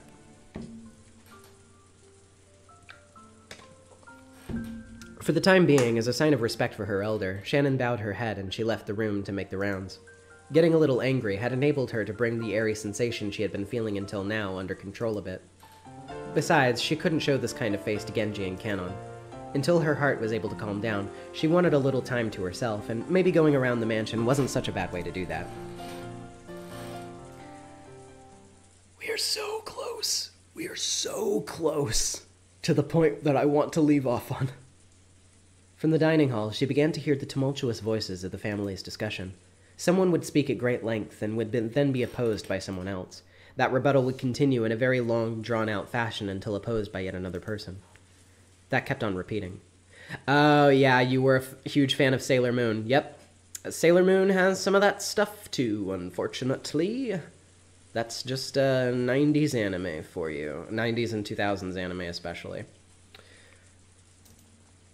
That kept on repeating. It was as though their displeasure was seeping out through their voices. She had been told to go to the guest house, so it would be bad if they were discovered by Krauss. Thinking that, Shannon quick-footedly slipped by the entrance to the dining hall. Then, inside the mansion controlled by darkness, she began to check that the house was all closed up, following a prearranged route. She walked down the hall, checking that each window was closed. On Rokkenjima, there were no humans other than the family, so in actuality, closing up wasn't that terribly meaningful of a task. Until Natsuhi had scolded them that this attitude was careless, closing up had not been customary in the Ushiromiya family. The metal fixtures on the completely chilled windows were freezing, and every time she went to check on them, one by one, it felt like the glow in her heart seemed to cool down.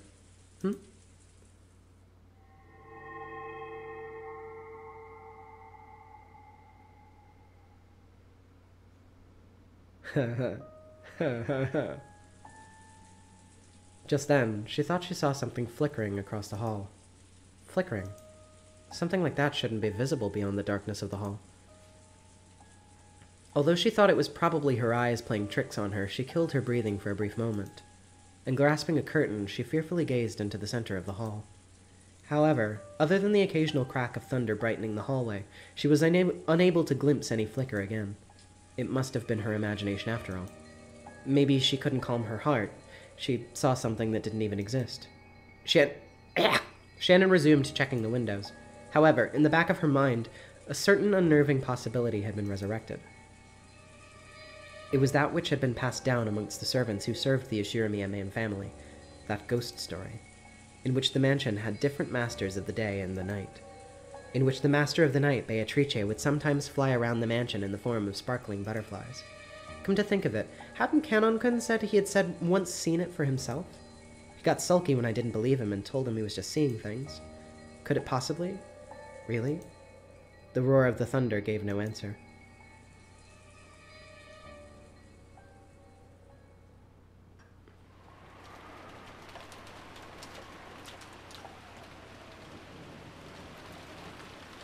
Yeah, the the whole like Sailor Moon thing where they like censored the gay characters and made them cousins is like so like what were you even hoping to accomplish with that? Like were you just hoping that the fruitiness would disappear and that people would be like, "Oh, well they're related, then that's, you know, fine." Like no, it makes it worse. it makes it much worse than if you just admitted that they're gay. it's just uh it's a mess. Oh, here we are at midnight. Let's get a head count, shall we? What's everybody doing?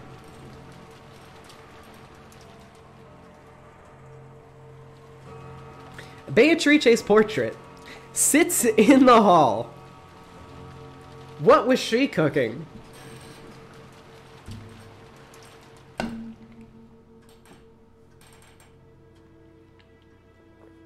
Rudolf is in the dining hall with Krauss, Rosa, and Kirie, as well as Hideyoshi and Eva. Shannon is in the mansion, cleaning. Gohda is in the servant room, in the mansion, doing nothing. Kanon is in the servant room with Genji in the guest house. Uh, Kumasawa is also in the guest house. Nanjo is in the void. George is in the cousin's room, along with Battler, Jessica, and Maria, who is asleep. Kinzo is in his room, being thoughtful.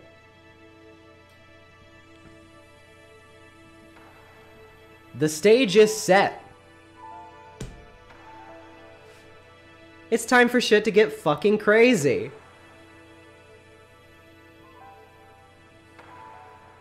And once we get to that first crazy event, I will be wrapping the stream when we get to that point. So look forward to the escalation because we've gotten all of the setup out of the way.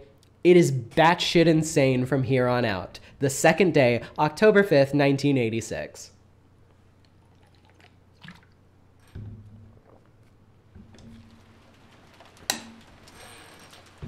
Genji once again tightened his bow tie and looked outside through a crack in the curtains. Maybe the rain had died down a tiny bit since the previous night, but it didn't look like the thick rain clouds were planning to let any trace of the morning sun get by. The morning was dim and far from refreshing. As expected, it doesn't seem that it will stop today. My apologies for keeping you waiting, Genji-sama. Kanon finished checking his appearance and exited the washroom. In a normal schedule, it was rare for anyone to have, su- have to suffer going straight from a midnight shift to a morning, morning shift. Um, yes, uh, Beatrice's name is uh, the Italian pronunciation. uh,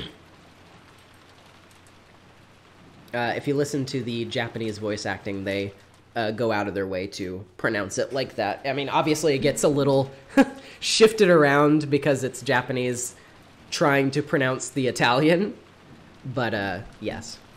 it was a special system for just the two days of the family conference. But then, as long as the typhoon didn't leave today, the relatives' stay on this island would last until tomorrow. Kanon thought that it was best not to be prepared for the special schedule to be extended one more day. The two of them left the guest house, opening their umbrellas. The rose garden had been devastated by the wind and rain last night. Even though they had spent several days making it beautiful to welcome the guests, it had only taken one stormy night to ruin it. Kanon sighed. The two headed for the mansion. They were supposed to meet up with Gohda and prepare breakfast. Gohda was such a perfectionist that he would undoubtedly have been up for some time already, and now be in the middle of preparing a breakfast both exquisite and elegant as glasswork. They reached the overhang by the entrance to the mansion and folded up their umbrellas. Genji took, it from took from his pocket a bundle of several keys and used it to unlock the front door. There was nothing on Rokkenjima outside the Ushiromiya family mansion, so they never used to be there never used to be a custom of locking it up. However, Natsuhi had ordered it be part of their duties to lock up the mansion from around midnight to early morning. And unlocking it in the early morning was to be done by the servants who had the morning shift. Since Gohda would be preparing breakfast as soon as he woke up, this task was to be undertaken by Genji and Kanon. Silence had fallen in the mansion, giving the impression that the mansion itself was still asleep. Well then, let us begin the morning chores. Yes.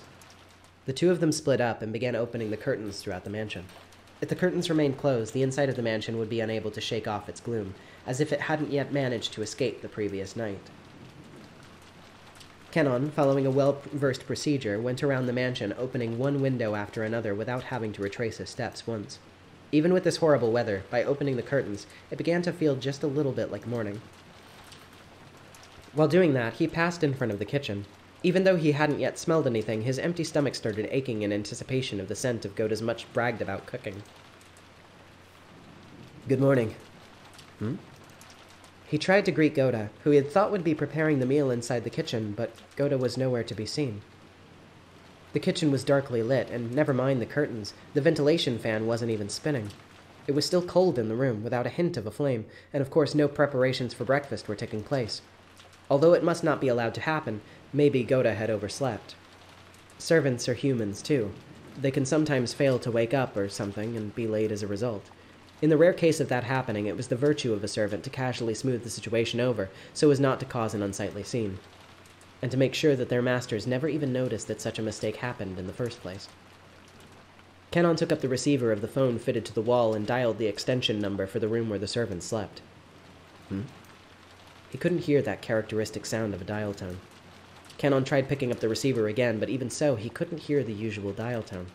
He tried dialing again, but it had no apparent effect. Could it be that the lightning last night had knocked out and caused a mechanical fault and broken the internal telephone lines? The equipment in the mansion was all worn out. Kanon fully understood that even the smallest thing could have caused it to break down. Kanon gave up trying to wake him with the phone and dashed off to the room where the servants slept.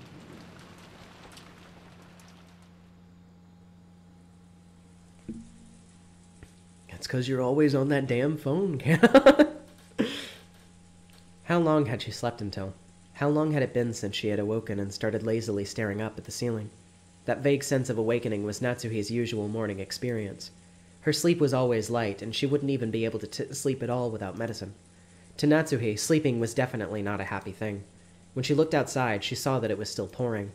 If she hadn't sensed a tiny amount of light, she might have mistakenly thought that it was still last night. She herself was one of the hosts, so she mustn't wake up later than her guests. Urging herself on, she raised up her body, which still hadn't completely recovered from yesterday's weariness. While she was inside the room, no one would torment her. Her headache wouldn't get any worse than it already was. This room was her only peaceful space. So when she left, it meant returning to the world of her husband's siblings probing each other's minds. Then, wouldn't it be better to just stay locked up in this room forever? Natsuhi smiled bitterly at this fantasy. She was starting to sound like Kinzo. Even though most of the time she would call Kinzo names for staying locked up in his own room and taking no notice of anyone, the truth was that she actually longed to do so herself. Natsuhi gave her head a small shake, and her fantasy was replaced by the reawakening of her usual headache.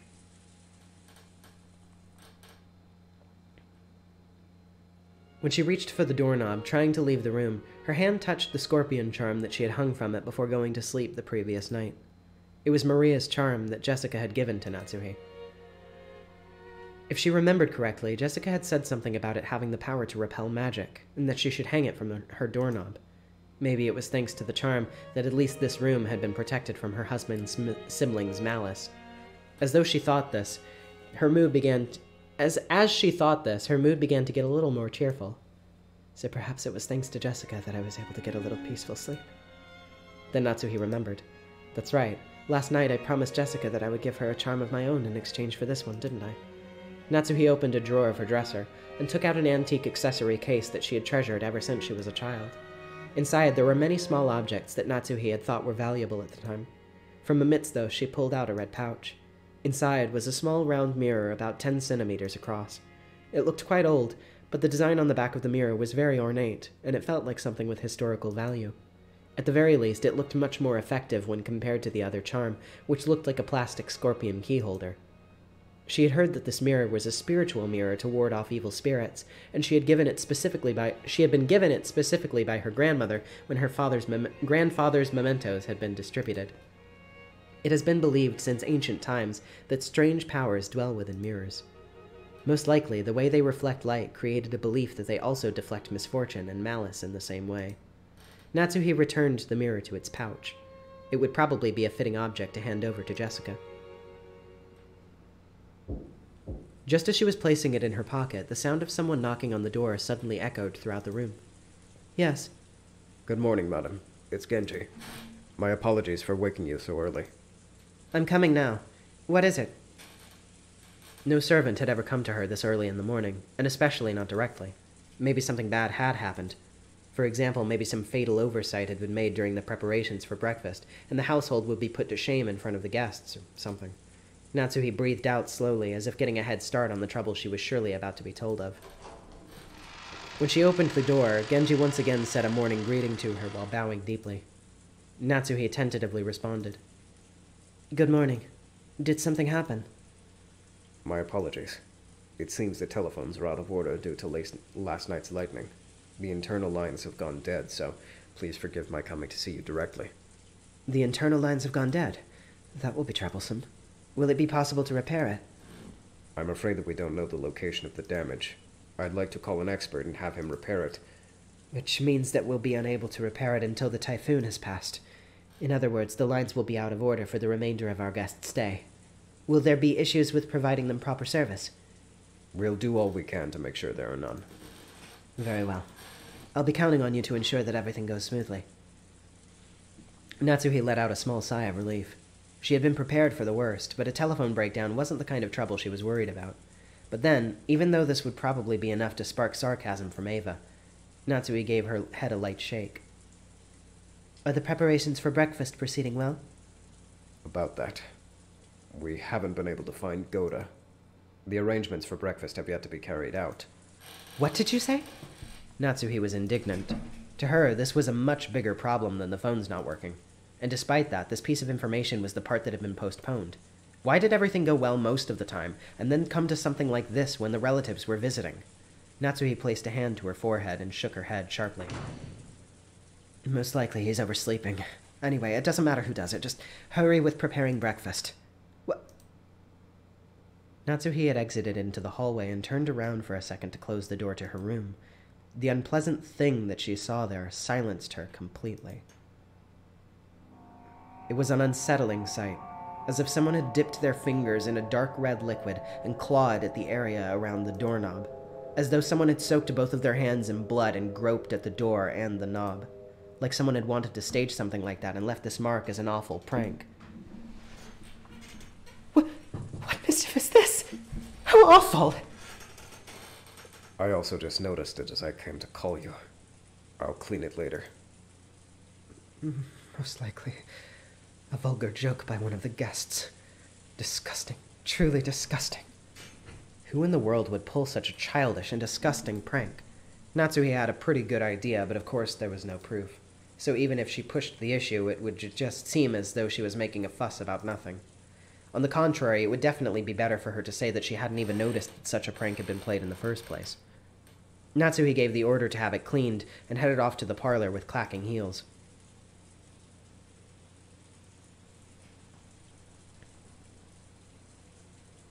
When Natsuhi and Genji arrived in the parlor, Eva and Hideyoshi were already there.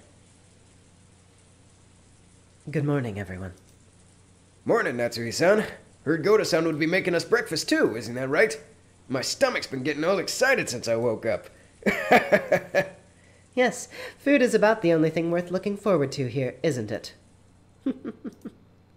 you too, Eva-san. I'm pleased to hear that you're well this morning. Natsuhi returned Eva's gaze, which was fiercely competitive, even though it was early in the morning, with a weary expression. Then Kanon jogged in. After bowing an apology to the relatives for running inside the mansion, he approached Genji and told him something in a small voice. Kanon, have you still not found Gohda? My apologies, madam. I went all around the inside of the mansion and the guest house, but still. Where in the world has he gone? For now, breakfast is a higher priority than finding Gohda. Quick, quickly, take care of it. Yes. Kanon glanced at Genji. It looked like he had something else to report, but needed to ask Genji whether he was the right person to say it. Genji nodded and decided to give the report himself. Madam, it's not only Gohda. Your husband is also nowhere to be found. My husband. Yes. I thought I would report to him before you about the lack of preparation for breakfast and visited his room, but I did not find him there. Furthermore, it was not only he who was missing. Rudolf Sama and his wife, as well as Rosa Sama, are nowhere to be found. Not even in the guest house? And not in the mansion? Yes. Nor are they in their rooms within the guest house. When she heard that Gohda alone was missing, she had thought that he might have slept in or was loafing around somewhere. But once she heard that several of the relatives were also missing, she began to start thinking a little more optimistically. Last night's family conference might have continued all night, and in fact might still be going on. It would then be ima- imaginable that they had wanted to cool off their heads after being in that stuffy room. And had all gone on a group walk through the rain. I'm going into this blind but getting serious and then there were none vibes. Uh, good uh, good thing to point out then uh, is that Ryukishi was heavily inspired by that novel when he wrote this. the part about cooling off their heads really sounded like something Krauss would say. Probably Gohda had been called to go with them to aid them in something.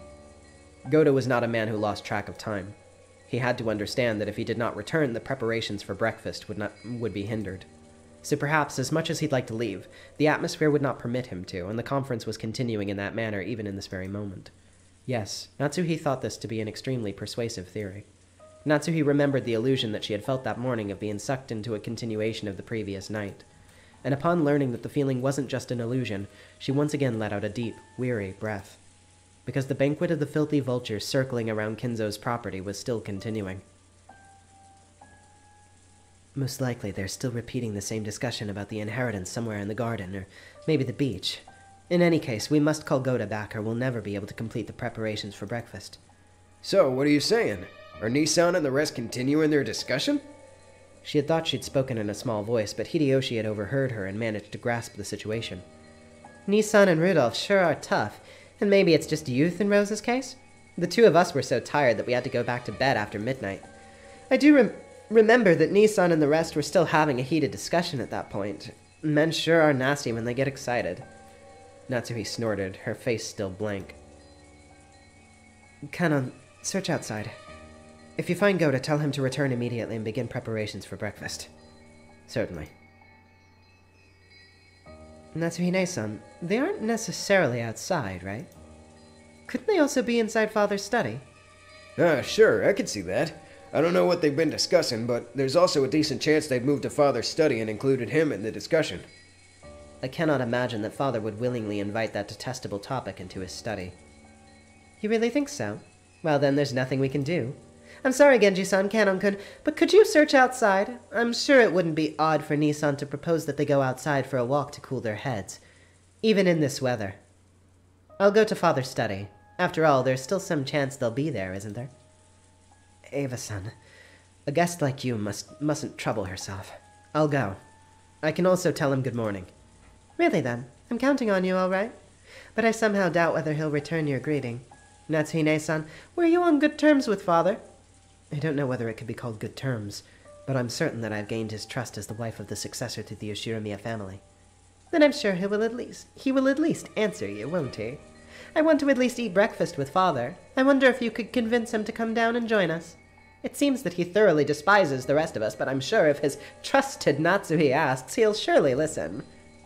If you can't convince father after speaking to me so sharply and have to come down by yourself, I doubt you'll ever be able to say again that you have gained his trust, will you? I'm not confident, but I'll try. Natsuhi responded, discouraged. However, knowing Kinzo's temperament, she had absolutely no confidence in her ability to bring him out. Eva herself was treating it just like a joke, expecting that it couldn't be done. But even so, Natsuhi would lose face if she gave up, said it was impossible for her, and let Eva go instead. Eva's mean-spirited and unreasonable demand caused Natsuhi's tightly clenched fist to shake. When Genji realized this, he softly spoke to her over her shoulder. Madam, if you would, please take this. Is that... Genji handed Natsuhi a sparkling gold key of ornate design. It was the key to Kinzo's study. The study would always lock itself and couldn't be unlocked as long as Kinzo forbade entrance. However, since Genji was especially trusted by Kinzo, he was allowed to carry a key to that door. But if this key is used, won't you also receive the blame? When the master is sleeping deep, deeply, simply knocking on his door may not reach his ears. And when, the persuade, when persuading master to leave his room, it would be more difficult if you must talk through that door. Please, use it. Genji. Until now, Natsuhi had thought Gen of Genji as a cold servant who worked directly under Kinzo and would never work for her, but it looked like she would have to alter her understanding of him. She wanted to communicate her feelings of thanks, but by then Genji had already turned his back on her and was walking down the corridor with Kanon. But as Natsuhi watched them go, the words that reached her from behind were sneering. Be sure you bring father with you then, okay? After all, it's his son's darling wife who's asking. I'm sure he'll listen to you. we are guests, so let us leisurely relax here. Quit it, Eva. You're talking too much. Sorry, but Natsuhi Nee-san will leave father to you. Natsuhi left without replying, at a swift pace, her heels clacking loudly with every step. I have to go to the bathroom again. It will only take a second.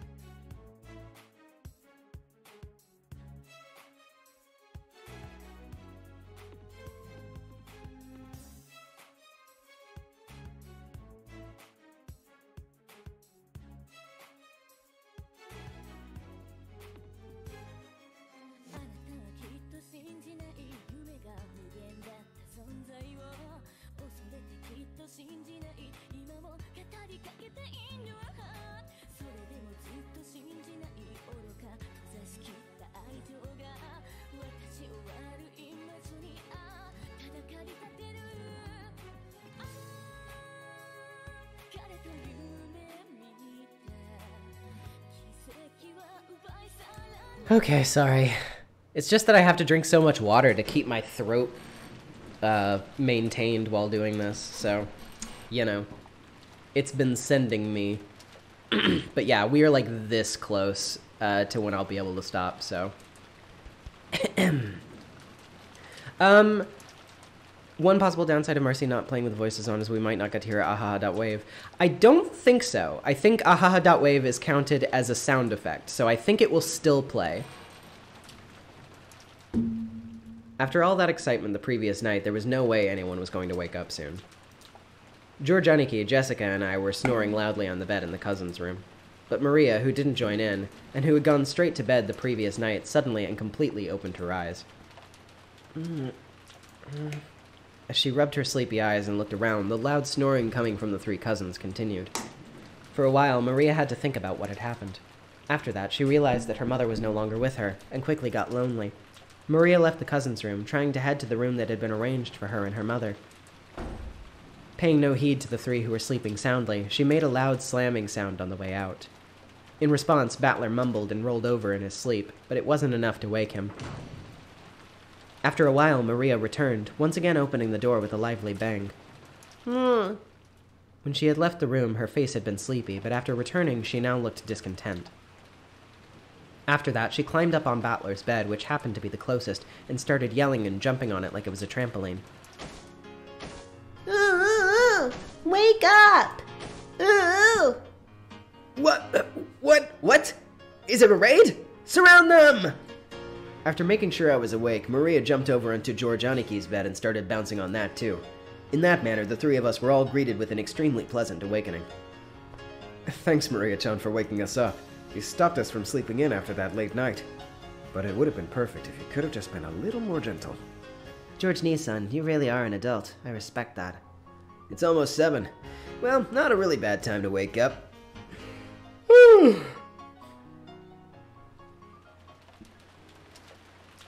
Ooh.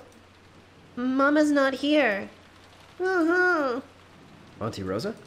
She wasn't in her room? I wonder if she's already woken up and gone to the mansion. She's not here. Ooh. Ooh. Mama. Ooh. Maria kept groaning ooh ooh and looked unhappy. It seemed like she wasn't simply lonely because she couldn't find her mother, but actually unhappy because her mother wasn't in the place she thought she was, and this made her feel like she'd been tricked. If we could could have just told her where her mother was, that might be enough to satisfy her, but unfortunately, as long as we were here, we had no way of finding that out. How old is the child? Maria is nine. Uh, marathon effort, Marcy, nine hours and counting. Thank you so much, Horse Fry. I appreciate it. We're gonna get there. We're gonna get to the moment, and then I will be able to rest. And then you will have to stew on it. Uh, people who have not read Umineko before, you will have to stew on that moment until I decide to do the next stream. It's time for breakfast anyway, so let's head over to the mansion. Good idea. Maria, let's go to the mansion together, okay? I'm sure Auntie Rosa will be over there too. Huh? Mama's in the mansion? Then I'll go. Oh. That's what. Right. Let's go to the mansion. Our parents have probably already gone there. Maria regained her usual composure as though her earlier temper had never happened. We got dressed, left the room, and headed for the mansion.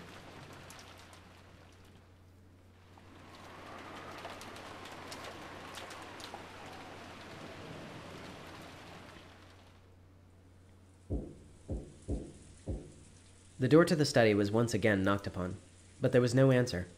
He was still sleeping, and she couldn't wake him. If she returned downstairs saying something like that, Eva would be very amused and triumphant. When does the next Umineko stream begin? When does the previous one end? Yeah. it's it's all it's all a loop. it's all in Ouroboros. Uh, do you think many streams will go this late? Because this is pleasant to wake up to. Um, I don't think so. Probably. This is kind of a special case because I began this stream knowing exactly where I wanted to end it. It just happens to be later than I thought it would take me to get to. And even aside from the whole Eva issue, was that there was the problem that yesterday during this once a year family conference, he had stayed locked up all day and had still not come out to greet the guest. Even though he was the head, no, especially because he was the head, he couldn't fail to make an appearance. Could she convince him? Natsuhi readied herself and using the key that she had borrowed from Genji, opened the door. I mean, you say that, uninspired name. It's it's kind of the vibe that I was going for a little bit. A sweet stench that seemed to be eat into her brain poured from the narrow opening she had created, and though she was prepared for it, she couldn't help but grimace. Thinking that he might still be sleeping, Natsuhi entered the room quietly.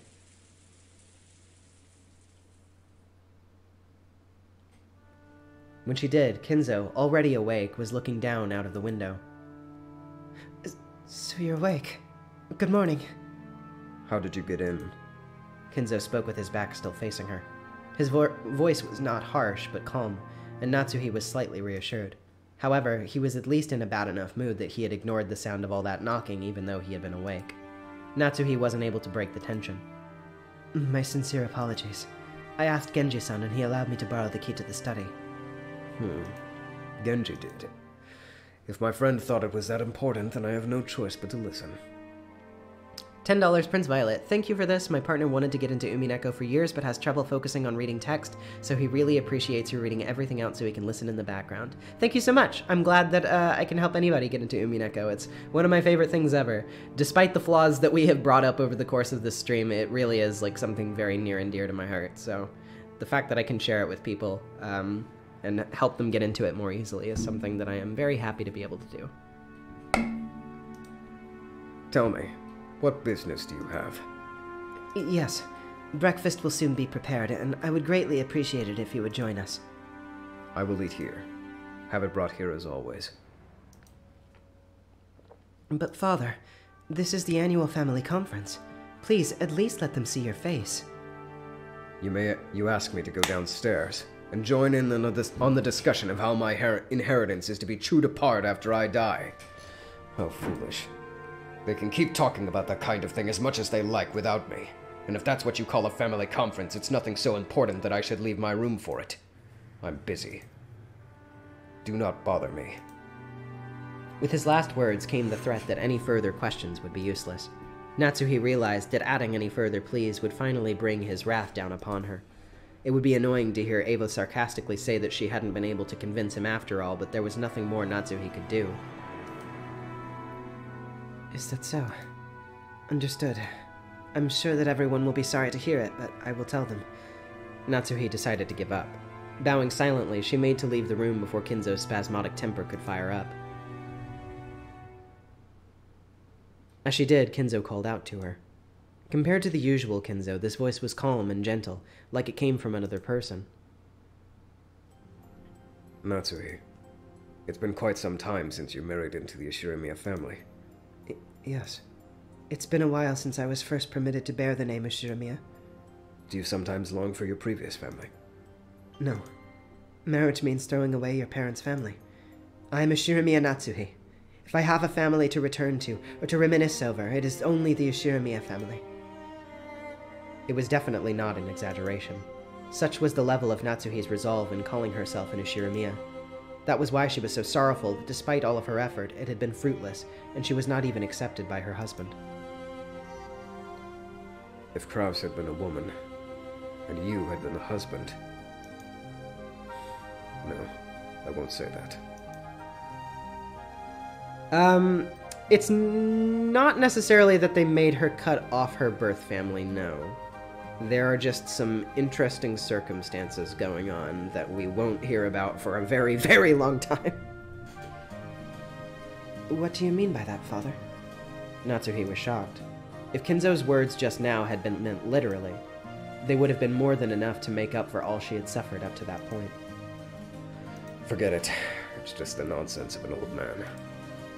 Kinzo once again faced away from her. He had told her to forget it, but Natsuhi couldn't help feeling a warmth in her heart. Father, even though I'm not connected to you by blood, I'm still your daughter. The honor and the glory of the Ushiromiya family, and everything that you have left, I guarantee you I will see it protected myself. You do not have the qualifications to wear the one-winged eagle. However, the one-winged eagle is surely engraved in your heart. In that case, you're unmistakably my blood relative, and one who will inherit the glory of the Ushiromiya family. Some will sneer that there is no eagle on your clothes. However, that is nothing to lend an ear to. Only to those who hold the eagle in their hearts are my true blood relatives. I now believe it an honor that I was able to welcome you into the Ushiromiya family. Without saying anything more, Kinzo remained with his back to Natsuhi. However, Natsuhi couldn't help but feel something warm well up inside of her that she hadn't felt since long ago, when she had been just a child. Natsuhi bowed silently to his back and left the room.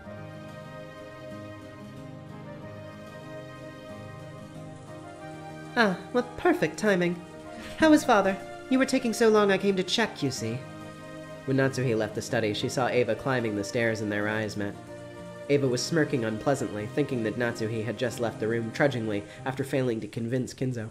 However, the way Natsuhi was now, such a frivolous laugh would not disturb her. She was not permitted to wear the family crest on her clothing, but she was permitted to wear it in her heart. So she spoke calmly, clearly, and confidently, with the dignity of one who would, protect the glory of the Ushiromiya family.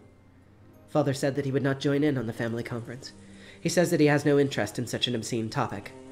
Yes, yes, excuses, excuses. If you weren't able to persuade Father, say so frankly. How pitiful. I'm beginning to understand Father's feelings of regret. What, what do you mean by that? Natsuhi did not answer. Just as Kinzo had done earlier, she showed Eva her back as she headed down the stairs. Struggling to gather what had happened, Eva could only determine that she had been made fun of, and that something had happened to quickly bolster Natsuhi's confidence. Even so, she didn't have the courage to risk Kinzo's wrath. Unable to even knock on the door, she could only scratch at the air in front of it, cluck her tongue, and follow after Natsuhi. So were Nii-san and the rest there? And did Father tell you about them? I didn't get the chance to ask, but they were not inside the study. Father would never let them into his room to discuss such a lowly topic, so it's unlikely that he knows where they went. Let us go downstairs and wait for the servants to return from their search.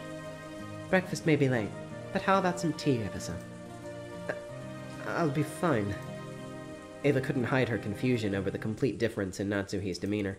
She was acting so boldly, and while Eva hated to admit it, she even had a sense of dignity about her. Unable to find fault with anything, she could only follow Natsuhi back to the parlor.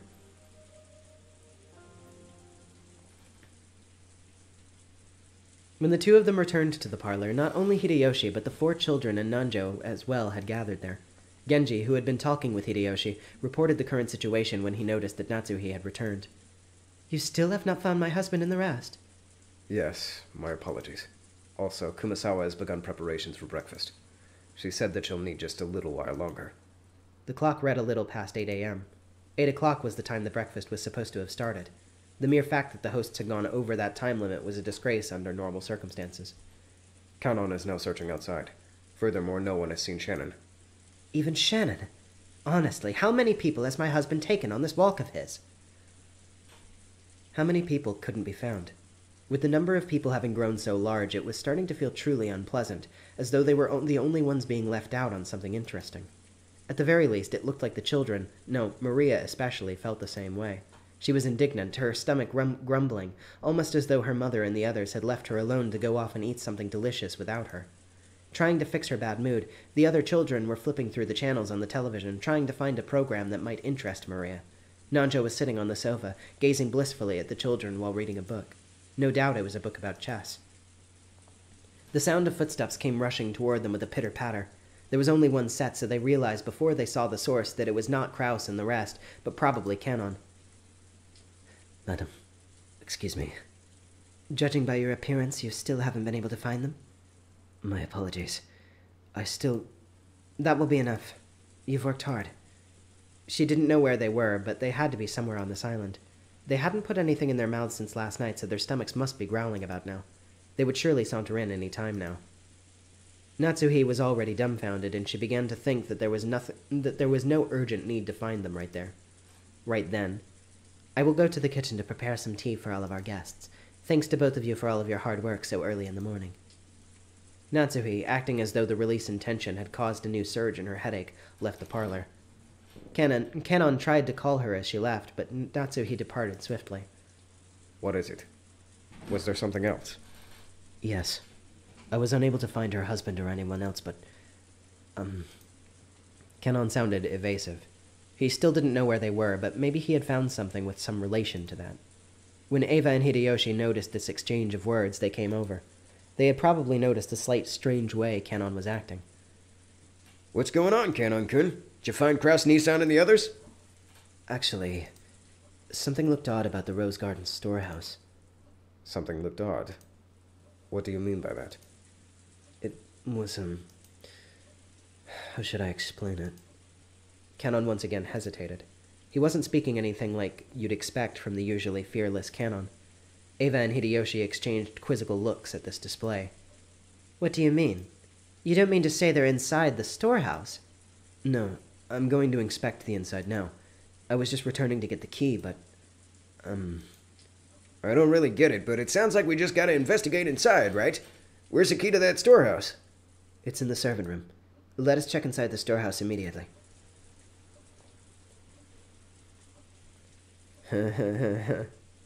Kanon dashed, dashed off to the servant room and returned with the key. Genji left the parlor saying he would go check, but Eva and Hideyoshi had also followed. What was this something odd about the storehouse that had caused the usually fearless Kanon to hesitate? It was still pouring outside, but their curiosity over this something that Kanon couldn't talk about had won out. When the children, while the children made a big fuss watching television, Kanon and the rest dashed off to the entrance.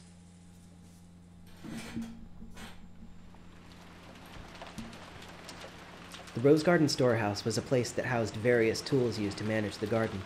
It was definitely not a pretty building. Because of its appearance, it had been built hidden in the corner of the rose garden. Kanon, Genji, Eva, and Hideyoshi came cutting across the rose garden holding umbrellas. They entered a small path just off the rose garden, which was not used by those simply appreciating the garden, but only by those maintaining it. As they dashed further along it, the front of the storehouse came into view.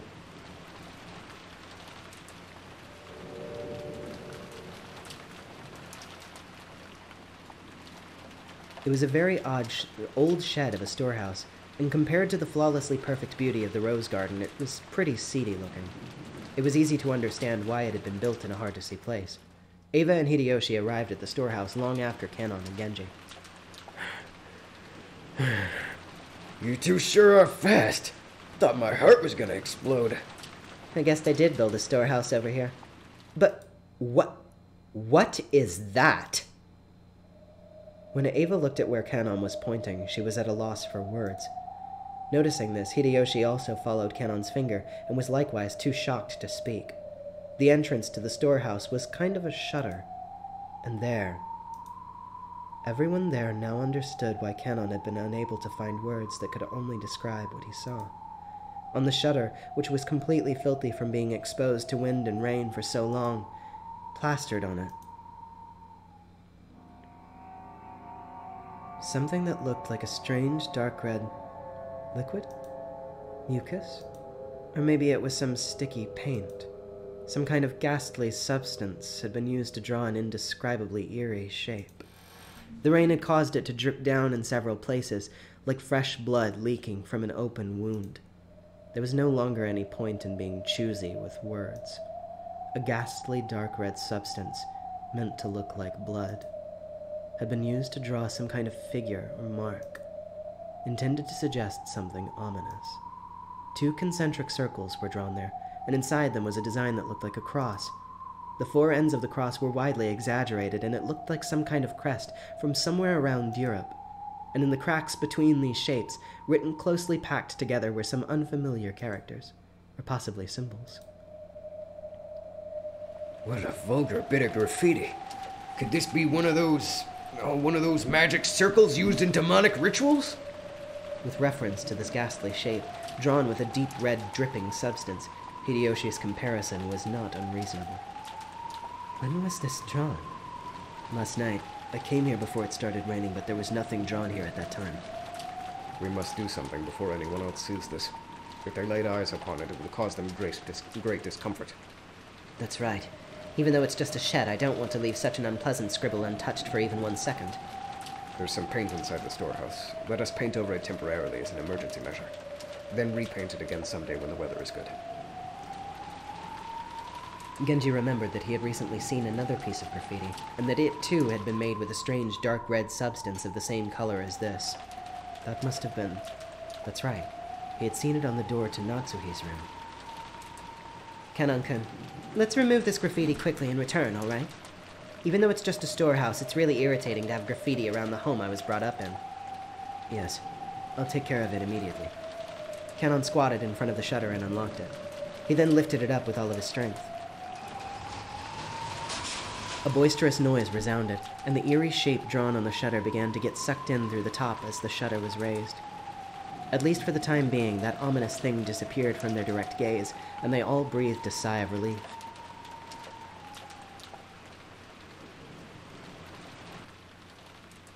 Thanks to a kids program that they had come across, Maria was feeling much better. Battler and Jessica were making fun of the kids program at every turn, cackling. George was enjoying the program along with Maria. Nanjo sat on a sofa by himself, passing the time by reading quietly. They heard hurried footsteps coming from the hallway. They were footsteps from a single person. Did that mean that it wasn't the group of four that had just left?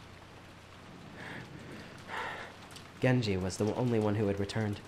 It was very rare for Genji, who considered being out of breath a violation of a servant's virtues, to be gasping for air. He had probably come dashing back from outside the mansion. His shoulders were soaking wet, and he didn't have his usual smart appearance. When Genji noticed Nanjo looking at him, he gave a small, silent bow and quickly approached him. Dr. Nanjo, my apologies. Please, come with me, quickly. What, what has happened? As Genji whispered something into Nanjo's ear, Nanjo's face changed color. He stood from the sofa, trying not to be noticed by the children who were still engrossed by the TV, and the two of them rapidly left the parlor, muffling their footsteps. Just as they were leaving the parlor, they came across Natsuhi, who was pushing a serving cart loaded with a tea set. Genji whispered something into Natsuhi's ear, and Natsuhi's face too changed color, shocked. Then, leaving the serving cart where it was, the three of them started dashing towards the entrance. George noticed them running down the rose garden through the window. What is this? Genji-san and Dr. Nanjo and... And that's at Natsuhi, isn't it? What's up, Aniki? Maybe something has happened. They look horribly flustered. Jessica and Maria also noticed that something had happened from the fact that Eva, Hideyoshi, and Nanjo were no longer in their seats, and because the serving cart had been abandoned at the entrance to the parlor. Could there have been some kind of accident? Let's go check it out. It's no fun if we're the only ones left out, right? For some reason, what Battler said sounded extremely indiscreet, but they couldn't deny that they were a little insecure and concerned after seeing the adults run off into the rain disregarding their appearance. Let's check it out, all right? I don't I need to know what's happened. Jessica's insecure words spoke for all of them. Hey, Maria, you coming too? Or will you watch TV? Oh, wanna watch TV? Oh, Then the rest of us will go by ourselves. Maria Chan will be back soon. Stay here watching TV. oh.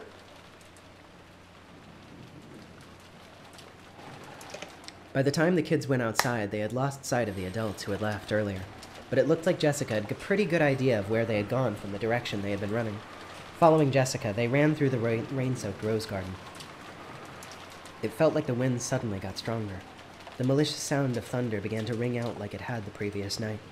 It felt like something eerie had surrounded the island and was trying to stop them from moving forward. Jessica, what's over this way? I'm pretty sure there's a storehouse for gardening tools or something. What in the world could be in a place like that? Just as Jessica had said, a storehouse came into view in front of them. They could also see the adults there. The shutter to the storehouse was open, and several of the adults looked as though they were searching for something. For some reason, only Natsuhi was inside the storehouse. Outside the storehouse, not even holding an umbrella. She was facing away from them, and it looked like she was hanging her head. The ones who had just left, Genji, Nanjo, Natsuhi, and the ones who had left before them, Kanon, Eva, and Hideyoshi, made this a large gathering of people, but there was absolutely no bustle of activity. When Natsuhi realized that the children had come, a terrible expression rose to her face and she ran at them with her arms spread wide.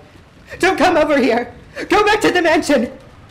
However, no, because of that, the kids saw the scene which Natsuhi was trying to keep them away from. Inside the storehouse, with the shutter wide open, a flickering fluorescent light shone down. And over there, ah! Jessica's piercing shriek rang out, but that was just because Jessica's scream was the loudest. The same thing spilled out of Battler and George's mouths as well. Eva, just like Natsuhi, spread her arms and with a terrible expression roared at the kids. George, take everyone and return to the mansion! Now! Quickly! Right now! When Natsuhi had spread her arms, one might have thought she was trying to prevent them from advancing any further. Miku Miku Kumaida dancing to Golden Slaughterer. Thank you, Kamikaze, for the donation. Really appreciate it. Golden Slaughterer, baby, one of the best tracks in the whole series. However, right now, that wasn't why Eva was spreading her arms. She was trying to hide that terrible scene from the kids. It was her mother's heart, trying to protect the eyes and hearts of us children by attempting to block our view of that terrible scene by at least the width of one of her arms. Is this some kind of joke? Is it? I had seen this kind of cheap scene all too often in manga, TV, anime, and movies. I had seen it over and over again. This was just just seeing something appear in real life that I had seen plenty of times before in some of those more sensational movies, wasn't it? That alone shouldn't. But that suit. It's that old bastard, isn't it? I get it. And that's Uncle Krauss. And Kirie-san. And Auntie Rosa. Dad! Dad! You mustn't, Jessica! You mustn't go in! You mustn't look! Dad! Dad!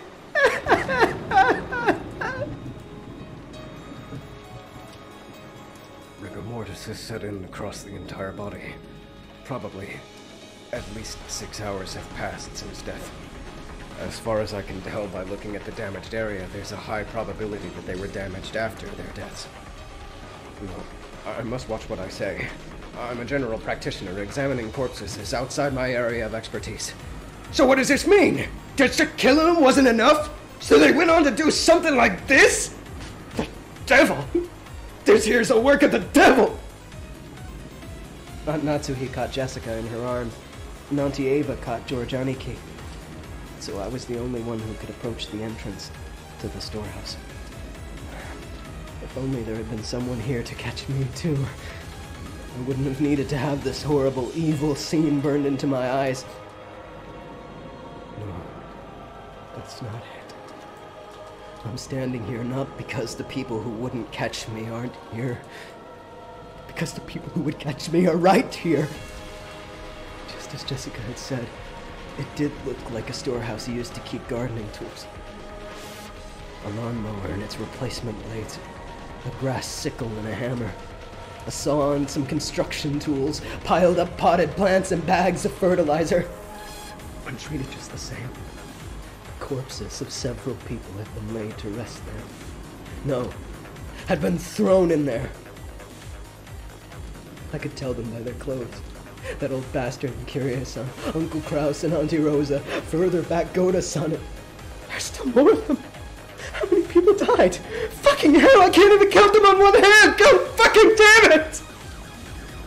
I didn't know whether it had been one of those gardening tools, which if used for something other than their intended purpose could definitely be wielded with a naked brutality, or whether some horrible tool had been brought in here specifically for this. Whatever the case, the bodies lying about here, each of them, have been given an atrocious makeover.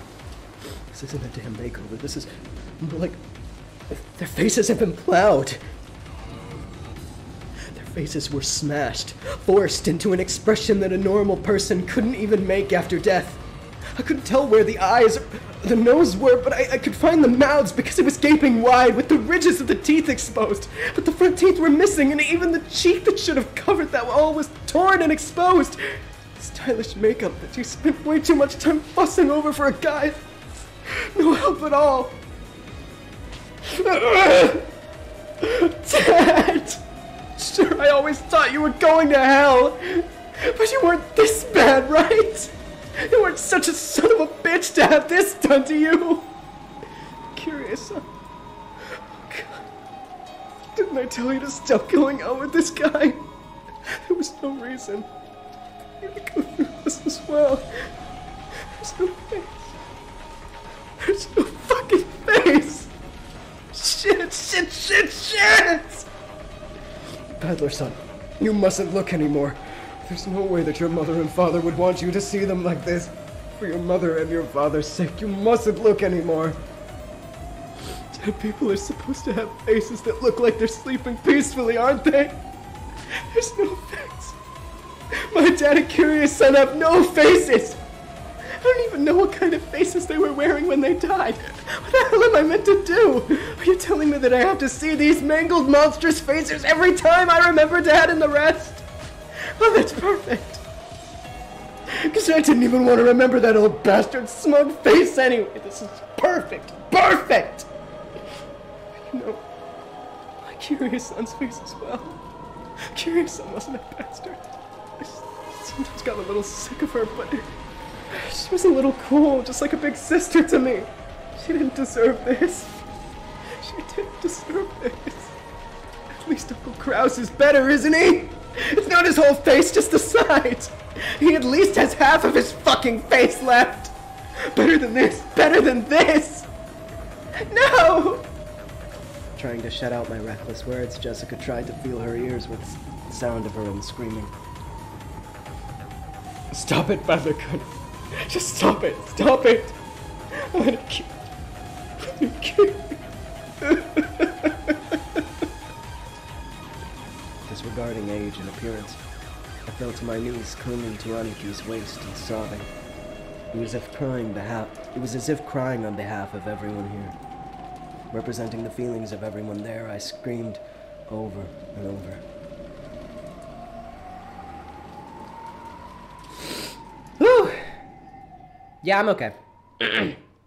We're almost to the end of this scene, so I will almost be able to end in just a few minutes. Father. The ones who d- who were lying over there are Uncle Krauss, Uncle Rudolf, Auntie Kirie, Auntie Rosa, Gohda-san. Five people? No. Six. There's uh, one more here. The body that Hideyoshi was looking down on now was hidden in the shadow of a mountain of random objects, in a blind spot to George, who stood by the entrance. So George couldn't tell whose body it was. Therefore, George cursed himself. He cursed that part of himself that imagines the worst and is always right. One lying at your feet is Shannon, isn't it? Yes, it's Shannon-chan. George was completely silent. He shook slightly, his lower lip trembling. He wanted to run up to his beloved, screaming and crying, but before rashly running up to her, he mustered all of his strength and asked his father. Shannon also. It's the same as Uncle Krauss and the others. Hideyoshi deeply understood the meaning of those words, so he couldn't give George a quick answer. No, he thought that to George right now that was the only possible sincere and loving response. When George had asked whether she was the same, he had meant to ask whether her corpse was the same as the others. Since Hideyoshi hadn't denied it, it meant that the body was just as horrible. Can I look at Shannon? No, you can't. Why? After all, I won't be able to see Shannon's face again, right? Why can't I see less face? The last time you met Shannon-chan was yesterday.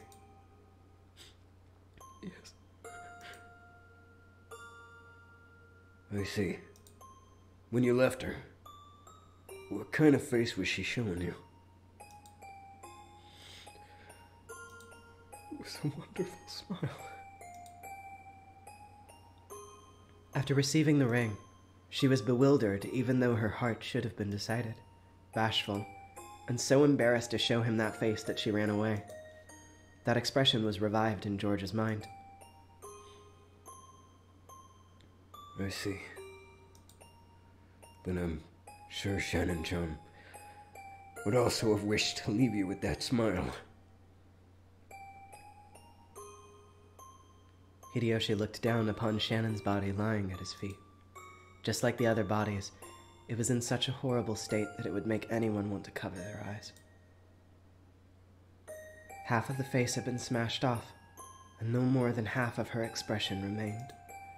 If that remaining half, soaked red with blood, had been wiped clean, that graceful, smiling face might have peeked out. Only half of it. Without thinking, Hideyoshi slapped his hands over his eyes. How cruel. If only all of it had been crushed. If they were going to crush it, then he might have been able to deceive George's heart for a while by saying that it was just someone else wearing Shannon's clothes. They had left half of her face. It caused the body so much humiliation, and also made it clear that this body was none other than Shannon. How inhuman. How monstrous. There, at Hideyoshi's feet, trying his best to burn the image of the remaining half of Shannon's expression into his eyes, was Kanon. Kanon was not crying. Tears had risen to his eyes, but they did not drip down. That didn't mean that he wasn't feeling as much sadness as everyone else. Losing Shannon, who had lived with him in the gospel house, whom he had loved as a sister, must have been the same as losing a blood relative. George, I'm sure Shannon-chan would be grateful. She wouldn't want you to see her like this. I'm sure she'd be thanking you for staying strong. I understand. I understand, Father. I understand. George leaned against the outside wall of the storehouse, sinking down powerlessly. Father, I have a request. What is it? I want you to look for me on Shannon's finger. Is there a ring? A ring? Let me see. Hideyoshi, Hideyoshi crouched down. As he did, Kanon silently pointed to one of Shannon's hands. Yeah, there is. It's a diamond ring. Not a chipped diamond. Must have been pretty expensive. And which hand? Which finger is it on? Hmm. The ring finger of her left hand. I see. So Shannon-chan was engaged. George, you couldn't have. Eva. Right now, that doesn't matter. A man made a lifelong promise to Shannon-chan. A man promised her happiness for life. It doesn't matter who it was. Being told that by a man, it's a woman's dream, isn't it? I don't know when she received this ring. I also don't know who gave it to her. But, even so, Shannon-chan took this ring. And she accepted it and put it on her left ring finger. I'm sure the man who gave it to her was happy too. To most of the people there, Hideyoshi was simply disturbed by this extraordinary situation and was blurting out strange things. But to those who really knew the truth about George and Shannon's relationship, everything he said made sense. Thank you, Father. No, yeah, it does suck that I can't find this cute. Um, I I do find like Hideyoshi's like consolement very touching, though.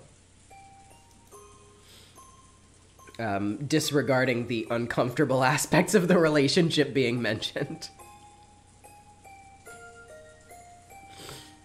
George stood up. The traces of tears still streaked his face, but his expression retur- had returned to its usual calm. Let's go. Father, come. Jessica-chan. If we stay here any longer, we'll get in the way of the adults. right. Jessica sniffled once, and trying to say that she was all right, she showed her face to her mother, who had been holding her the entire time. When she faced George again, she once again had her usual face, although she couldn't recover, still couldn't recover her smile. Battler? don't lose heart. Battler kept on crouching in front of his parents' bodies. I'm sorry. It took this much crying to calm me down. You bastard. Dad. I bet you're laughing at me. Always talking shit about you. Crying then crying like a baby just 'cause you died. It's not my fault. It's wired into our genes to cry when our parents die. Battler's face was still bright red from the tears, but even though it was forced, he had at least recovered enough to fake a smile. Kanon, you mustn't remain here any longer either. Take the children and return to the mansion. Natsuhi, unable to take a step into the storehouse, had been standing under the rain the whole time. Maybe she had her own way of grieving, different from Battler's. She had realized that to take on a sense of responsibility now that her husband was dead, so she she had to take on responsibility. Yeah. So she had gave Kanon those orders. Yes, madam. Kanon rose silently and turned to face them. His face was pure white, almost as though his own heart had died alongside Shannon. There was no life in his expression. If during the course of a normal day he had been instructed to do a tour of the beautiful rose garden, Kanon may have led the way for them. But now there was no distinction between Kanon and the children. They were just now kids, about the same age, with the wounds of having lost someone close to them. After seeing the children go back, Natsuhi gave orders to Genji. Genji, contact the police immediately. They probably won't be able to do to come until the typhoon passes, but they should be able to tell us about what to do next. Understood. There's an emergency radio, so I'll use that to contact them. When she heard that, Natsuhi remembered. That's right. The telephones were out today, weren't they? However, since it had already been assumed that there could be trouble with the phones on this isolated island, a radio had been installed. Anyway, let's contact the police and seek their instructions. Everything else can wait. Dr. Nanjo, is there anything, anything further you can do here? Unfortunately, I cannot do anything. Understood. Genji, could you at least cover their faces with something? Exposing them like this is humiliating to them as well. Yes.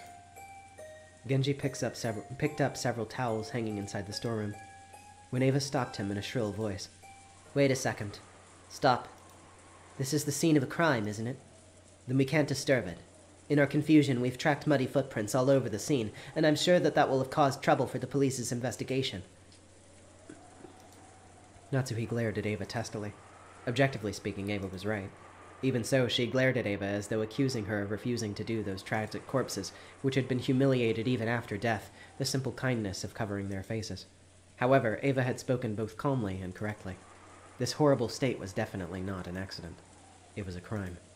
Someone had killed them. It was a murder case. In that case, they should be careful not to disturb, further disturb the site. They had to aid the police as much as possible so that they might hand over a clue that could be used to find the detestable culprit. I agree with Eva, sir. Until the police come, we should leave everything be. What do you say, madam? You're right. Understood. Close it up. And just in case, we should put a different lock on it. A different lock? Yes. When we came here, the shutter was locked. That means the culprit used the key from the shutter to lock it. Hmm, that makes a lot of sense. Then does that mean the key which opens this shutter will have the killer's fingerprints? Okay, they're just. I, I was waiting for there to be like a scene transition, but I don't think there's going to be one until like a minute from now. And I'm tired. I have been going for so long. so, I think that means we've had about enough for now. Like I said, I am leaving you to stew in the most uh, wild shit that has just happened. So for those of you who have never read, read Umineko before and stuck around for this whole thing, I hope you've appreciated my stamina and I hope you've enjoyed this so far. I don't have a specific date for whenever uh, the next stream will be, but uh, you will be seeing it. So, thank you all for watching. This was a time. and I hope you enjoyed it. Thank you so much, everybody, and I will see you later. Bye.